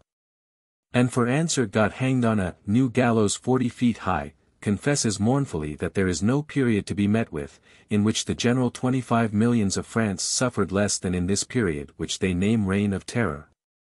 But it was not the dumb millions that suffered here, it was the speaking thousands, and hundreds, and units, who shrieked and published, and made the world ring with their wail, as they could and should, that is the grand peculiarity. The frightfulest births of time are never the loud-speaking ones, for these soon die, they are the silent ones, which can live from century to century. Anarchy, hateful as death, is abhorrent to the whole nature of man, and must itself soon die. Wherefore let all men know what of depth and of height is still revealed in man. And, with fear and wonder, with just sympathy and just antipathy, with clear eye and open heart, contemplate it and appropriate it. And draw innumerable inferences from it. This inference, for example, among the first, that if the gods of this lower world will sit on their glittering thrones, indolent as Epicurus gods, with the living chaos of ignorance and hunger weltering uncared for at their feet. And smooth parasites preaching, peace, peace, when there is no peace, then the dark chaos, it would seem, will rise. Has risen, and O heavens! Has it not tanned their skins into breeches for itself? That there be no second sansculottism in our earth for a thousand years, let us understand well what the first was, and let rich and poor of us go and do otherwise. But to our tale. The Muscadin sections greatly rejoice, Cabarrus balls gyrate, the well-nigh insoluble problem republic without anarchy, have we not solved it? Law of fraternity or death is gone, chimerical obtain who need has become practical hold who have. To anarchic republic of the poverties there has succeeded orderly republic of the luxuries, which will continue as long as it can. On the Pont-au-Change, on the place de Grève, in long sheds, Mercier, in these summer evenings, saw working men at their repast. One's allotment of daily bread has sunk to an ounce and a half. Plates containing each three grilled herrings, sprinkled with shorn onions, wetted with a little vinegar. To this add some morsel of boiled prunes, and lentils swimming in a clear sauce, at these frugal tables, the cook's gridiron hissing nearby, and the pot simmering on a fire between two stones, I have seen them ranged by the hundred. Consuming, without bread, their scant messes, far too moderate for the keenness of their appetite, and the extent of their stomach. Seine water, rushing plenteous by, will supply the deficiency. O man of toil, thy struggling and thy daring, these six long years of insurrection and tribulation, thou hast profited nothing by it, then. Thou consumest thy herring and water, in the blessed gold-red evening. Oh why was the earth so beautiful, becrimsoned with dawn and twilight, if man's dealings with man were to make it a vale of scarcity, of tears, not even soft tears. Destroying of Bastilles, discomfiting of Brunswicks, fronting of principalities and powers, of earth and Tophet, all that thou hast dared and endured, it was for a republic of the Cabarrus saloons. Patience. Thou must have patience, the end is not yet. Chapter 3.7.7 The Whiff of Grape Shot. In fact, what can be more natural, one may say inevitable, as a post-sansculotic transitionary state, than even this? Confused wreck of a republic of the poverties, which ended in reign of terror, is arranging itself into such composure as it can. Evangel of Jean-Jacques, and most other evangels, becoming incredible, what is there for it but return to the old evangel of Mammon? Contrat social is true or untrue, brotherhood is brotherhood or death. But money always will buy money's worth, in the wreck of human dubitations, this remains indubitable, that pleasure is pleasant. Aristocracy of feudal parchment has passed away with a mighty rushing. And now, by a natural course, we arrive at aristocracy of the money bag.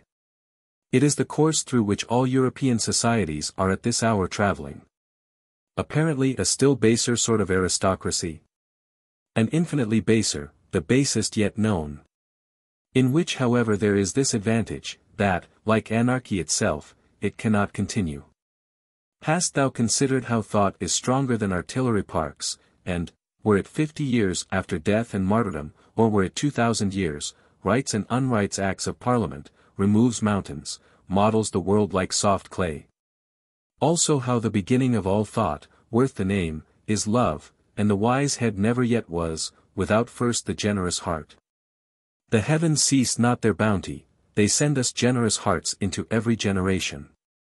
And now what generous heart can pretend to itself, or be hoodwinked into believing, that loyalty to the money bag is a noble loyalty? Mammon, cries the generous heart out of all ages and countries, is the basest of known gods, even of known devils. In him what glory is there, that ye should worship him? No glory discernible, not even terror, at best, detestability, ill-matched with despicability. Generous hearts, discerning, on this hand, widespread wretchedness, dark without and within, moistening its ounce and half of bread with tears. And on that hand, mere balls in flesh-colored drawers, an inane or foul glitter of such sort, cannot but ejaculate, cannot but announce, too much, O divine mammon, somewhat too much. The voice of these, once announcing itself, carries fiat and pereat in it, for all things here below. Meanwhile, we will hate anarchy as death, which it is, and the things worse than anarchy shall be hated more. Surely peace alone is fruitful. Anarchy is destruction, a burning up, say, of shams and insupportabilities, but which leaves vacancy behind. Know this also, that out of a world of unwise nothing but an unwisdom can be made. Arrange it, constitution build it, sift it through ballot boxes as thou wilt, it is and remains an unwisdom, the new prey of new quacks and unclean things, the latter end of it slightly better than the beginning. Who can bring a wise thing out of men unwise? Not one. And so vacancy and general abolition having come for this France, what can anarchy do more? Let there be order, were it under the soldier's sword. Let there be peace, that the bounty of the heavens be not spilt, that what of wisdom they do send us bring fruit in its season. It remains to be seen how the quellers of sansculottism were themselves quelled, and sacred right of insurrection was blown away by gunpowder, wherewith this singular eventful history called French Revolution ends. The convention, driven such a course by wild wind, wild tide, and steerage and non-steerage, these three years, has become weary of its own existence, sees all men weary of it, and wishes heartily to finish. To the last, it has to strive with contradictions, it is now getting fast ready with a constitution, yet knows no peace. Sieyes, we say, is making the constitution once more, has as good as made it. Warned by experience, the great architect alters much, admits much. Distinction of active and passive citizen, that is, money qualification for electors, nay two chambers, council of ancients, as well as, council of five hundred. To that conclusion have we come. In a like spirit, eschewing that fatal self-denying ordinance of your old constituents, we enact not only that actual convention members are re-eligible, but that two-thirds of them must be re-elected. The active citizen electors shall for this time have free choice of only one-third of their National Assembly.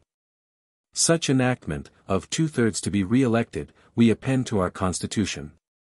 We submit our Constitution to the townships of France, and say, accept both, or reject both.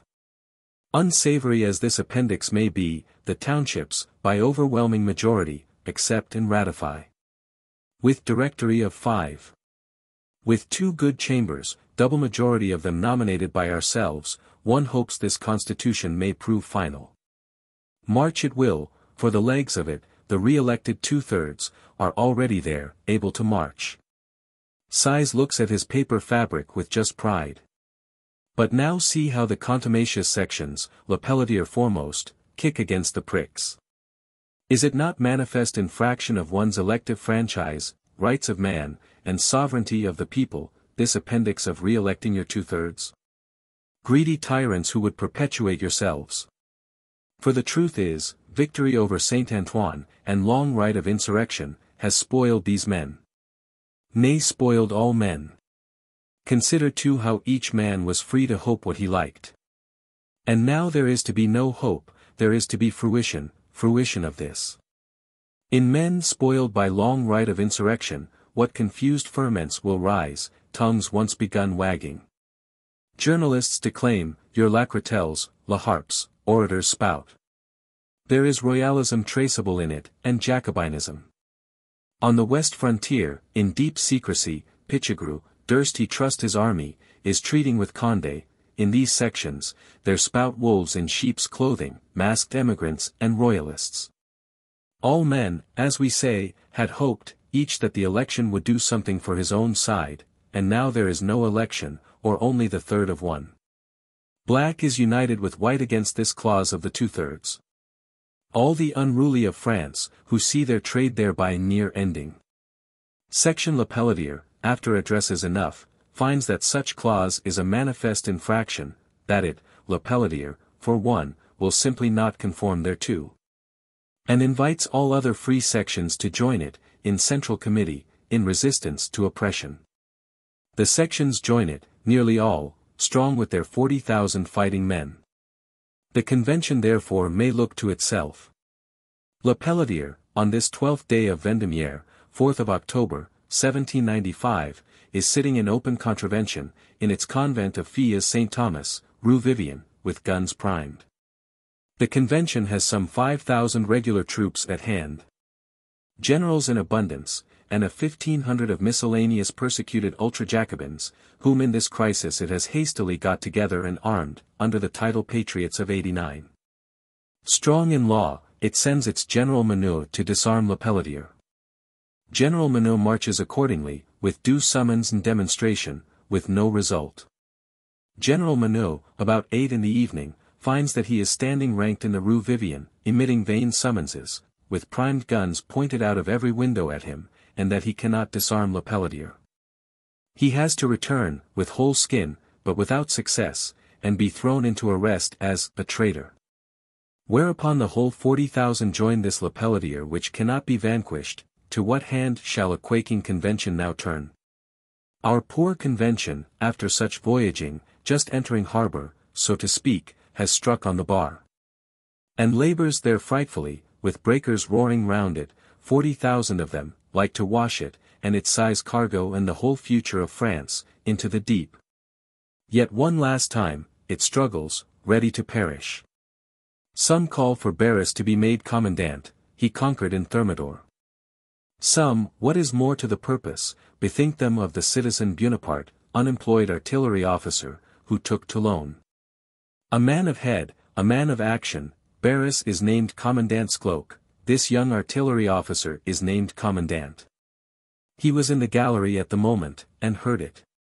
He withdrew, some half hour, to consider with himself, after a half hour of grim compressed considering, to be or not to be, he answers yeah.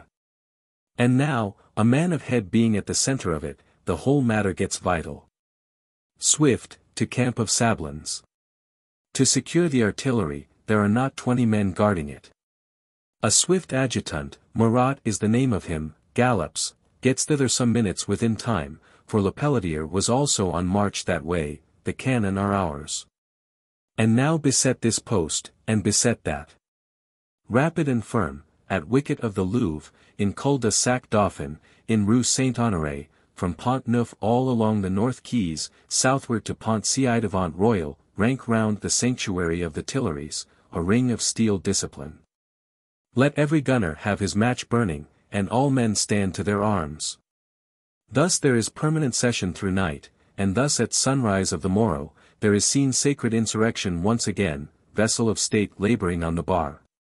And tumultuous sea all round her, beating general, arming and sounding, not ringing tocsin, for we have left no tocsin but our own in the pavilion of unity.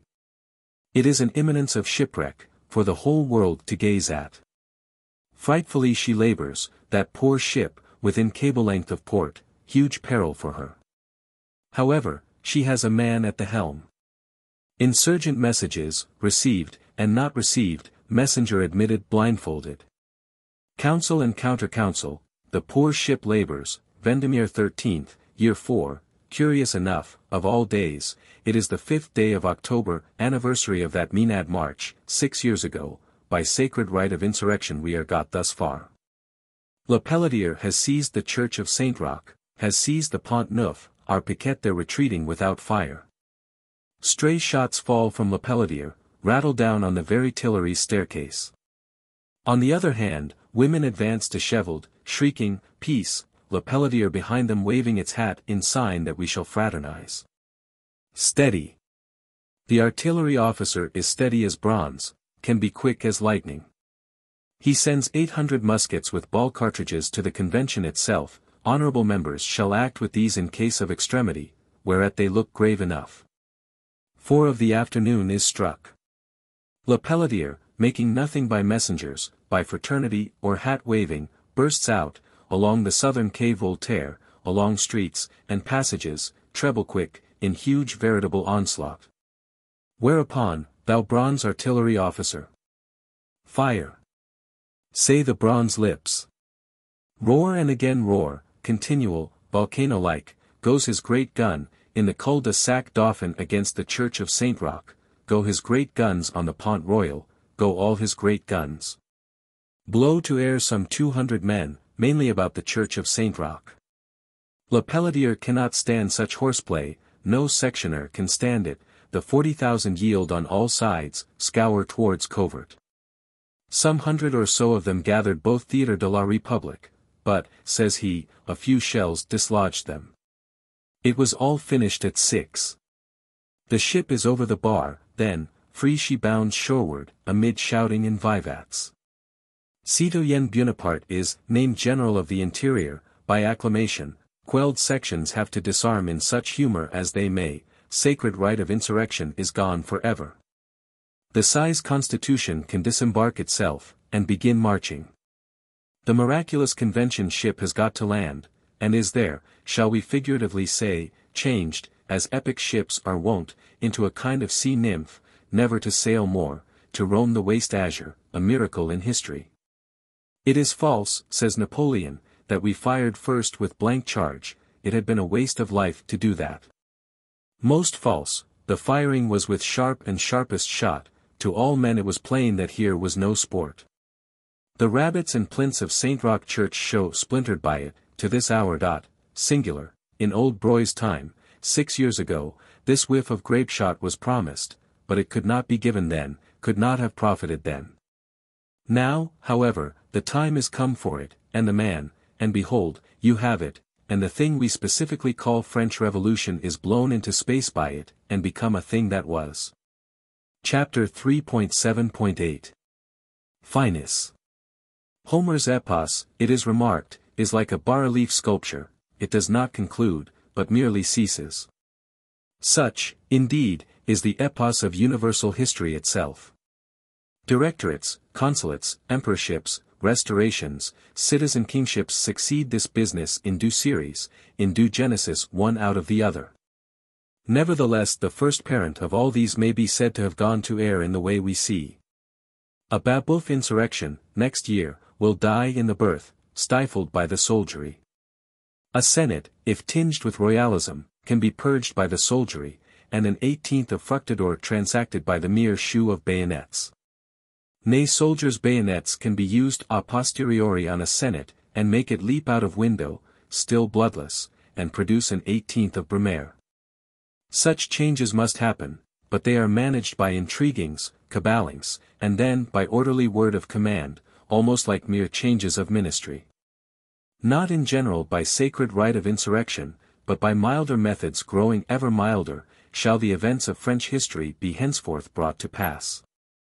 It is admitted that this directorate, which owned, at its starting, these three things, an old table, a sheet of paper, and an ink bottle, and no visible money or arrangement whatever, did wonders, that France. Since the reign of terror hushed itself, has been a new France, awakened like a giant out of torpor. And has gone on, in the internal life of it, with continual progress. As for the external form and forms of life, what can we say except that out of the eater there comes strength, out of the unwise there comes not wisdom. Shams are burnt up. Nay, what as yet is the peculiarity of France, the very cant of them is burnt up. The new realities are not yet come, ah no, only phantasms, paper models, tentative prefigurements of such. In France there are now four million landed properties. That black portent of an agrarian law is as it were realized. What is still stranger, we understand all Frenchmen have, the right of duel, the hackney coachman with the peer, if insult be given, such is the law of public opinion. Equality at least in death. The form of government is by citizen king, frequently shot at, not yet shot. On the whole, therefore, has it not been fulfilled what was prophesied, ex post facto indeed, by the archquack Cagliostro, or another. He, as he looked in rapt vision and amazement into these things, thus spake, Ha! What is this? Angels, Uriel, Anachiel, and the other five, pentagon of rejuvenescence, power that destroyed original sin. Earth, heaven, and thou outer limbo, which men name hell. Does the empire of imposture waver? Burst there, in starry sheen up darting, light rays from out its dark foundations, as it rocks and heaves, not in travail throes, but in death throes? Yea, light rays, piercing, clear, that salute the heavens, lo, they kindle it, their starry clearness becomes as red hellfire.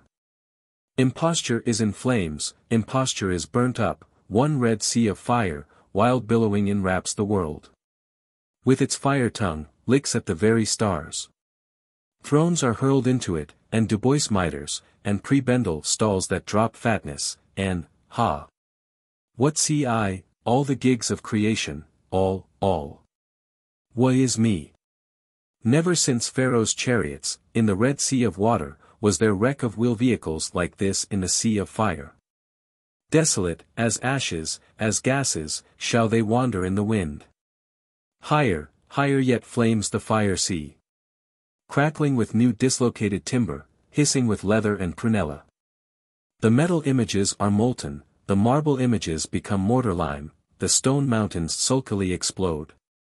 Respectability, with all her collected gigs inflamed for funeral pyre, wailing, leaves the earth, not to return save under new avatar. Imposture, how it burns, through generations, how it is burnt up, for a time. The world is black ashes. Which, ah, when will they grow green? The images all run into amorphous Corinthian brass, all dwellings of men destroyed, the very mountains peeled and riven, the valleys black and dead, it is an empty world. What to them that shall be born then? A king, a queen, ah me. Were hurled in, did rustle once, flew aloft, crackling, like paper scroll. Iscariot Egalite was hurled in, thou grim Delaunay, with thy grim Bastille, whole kindreds and peoples, five millions of mutually destroying men. For it is the end of the dominion of imposture, which is darkness and opaque firedamp, and the burning up, with unquenchable fire, of all the gigs that are in the earth. This prophecy, we say, has it not been fulfilled, is it not fulfilling? And so here, O reader, has the time come for us two to part. Toilsome was our journeying together, not without offence. But it is done. To me thou wert as a beloved shade, the disembodied or not yet embodied spirit of a brother. To thee I was but as a voice.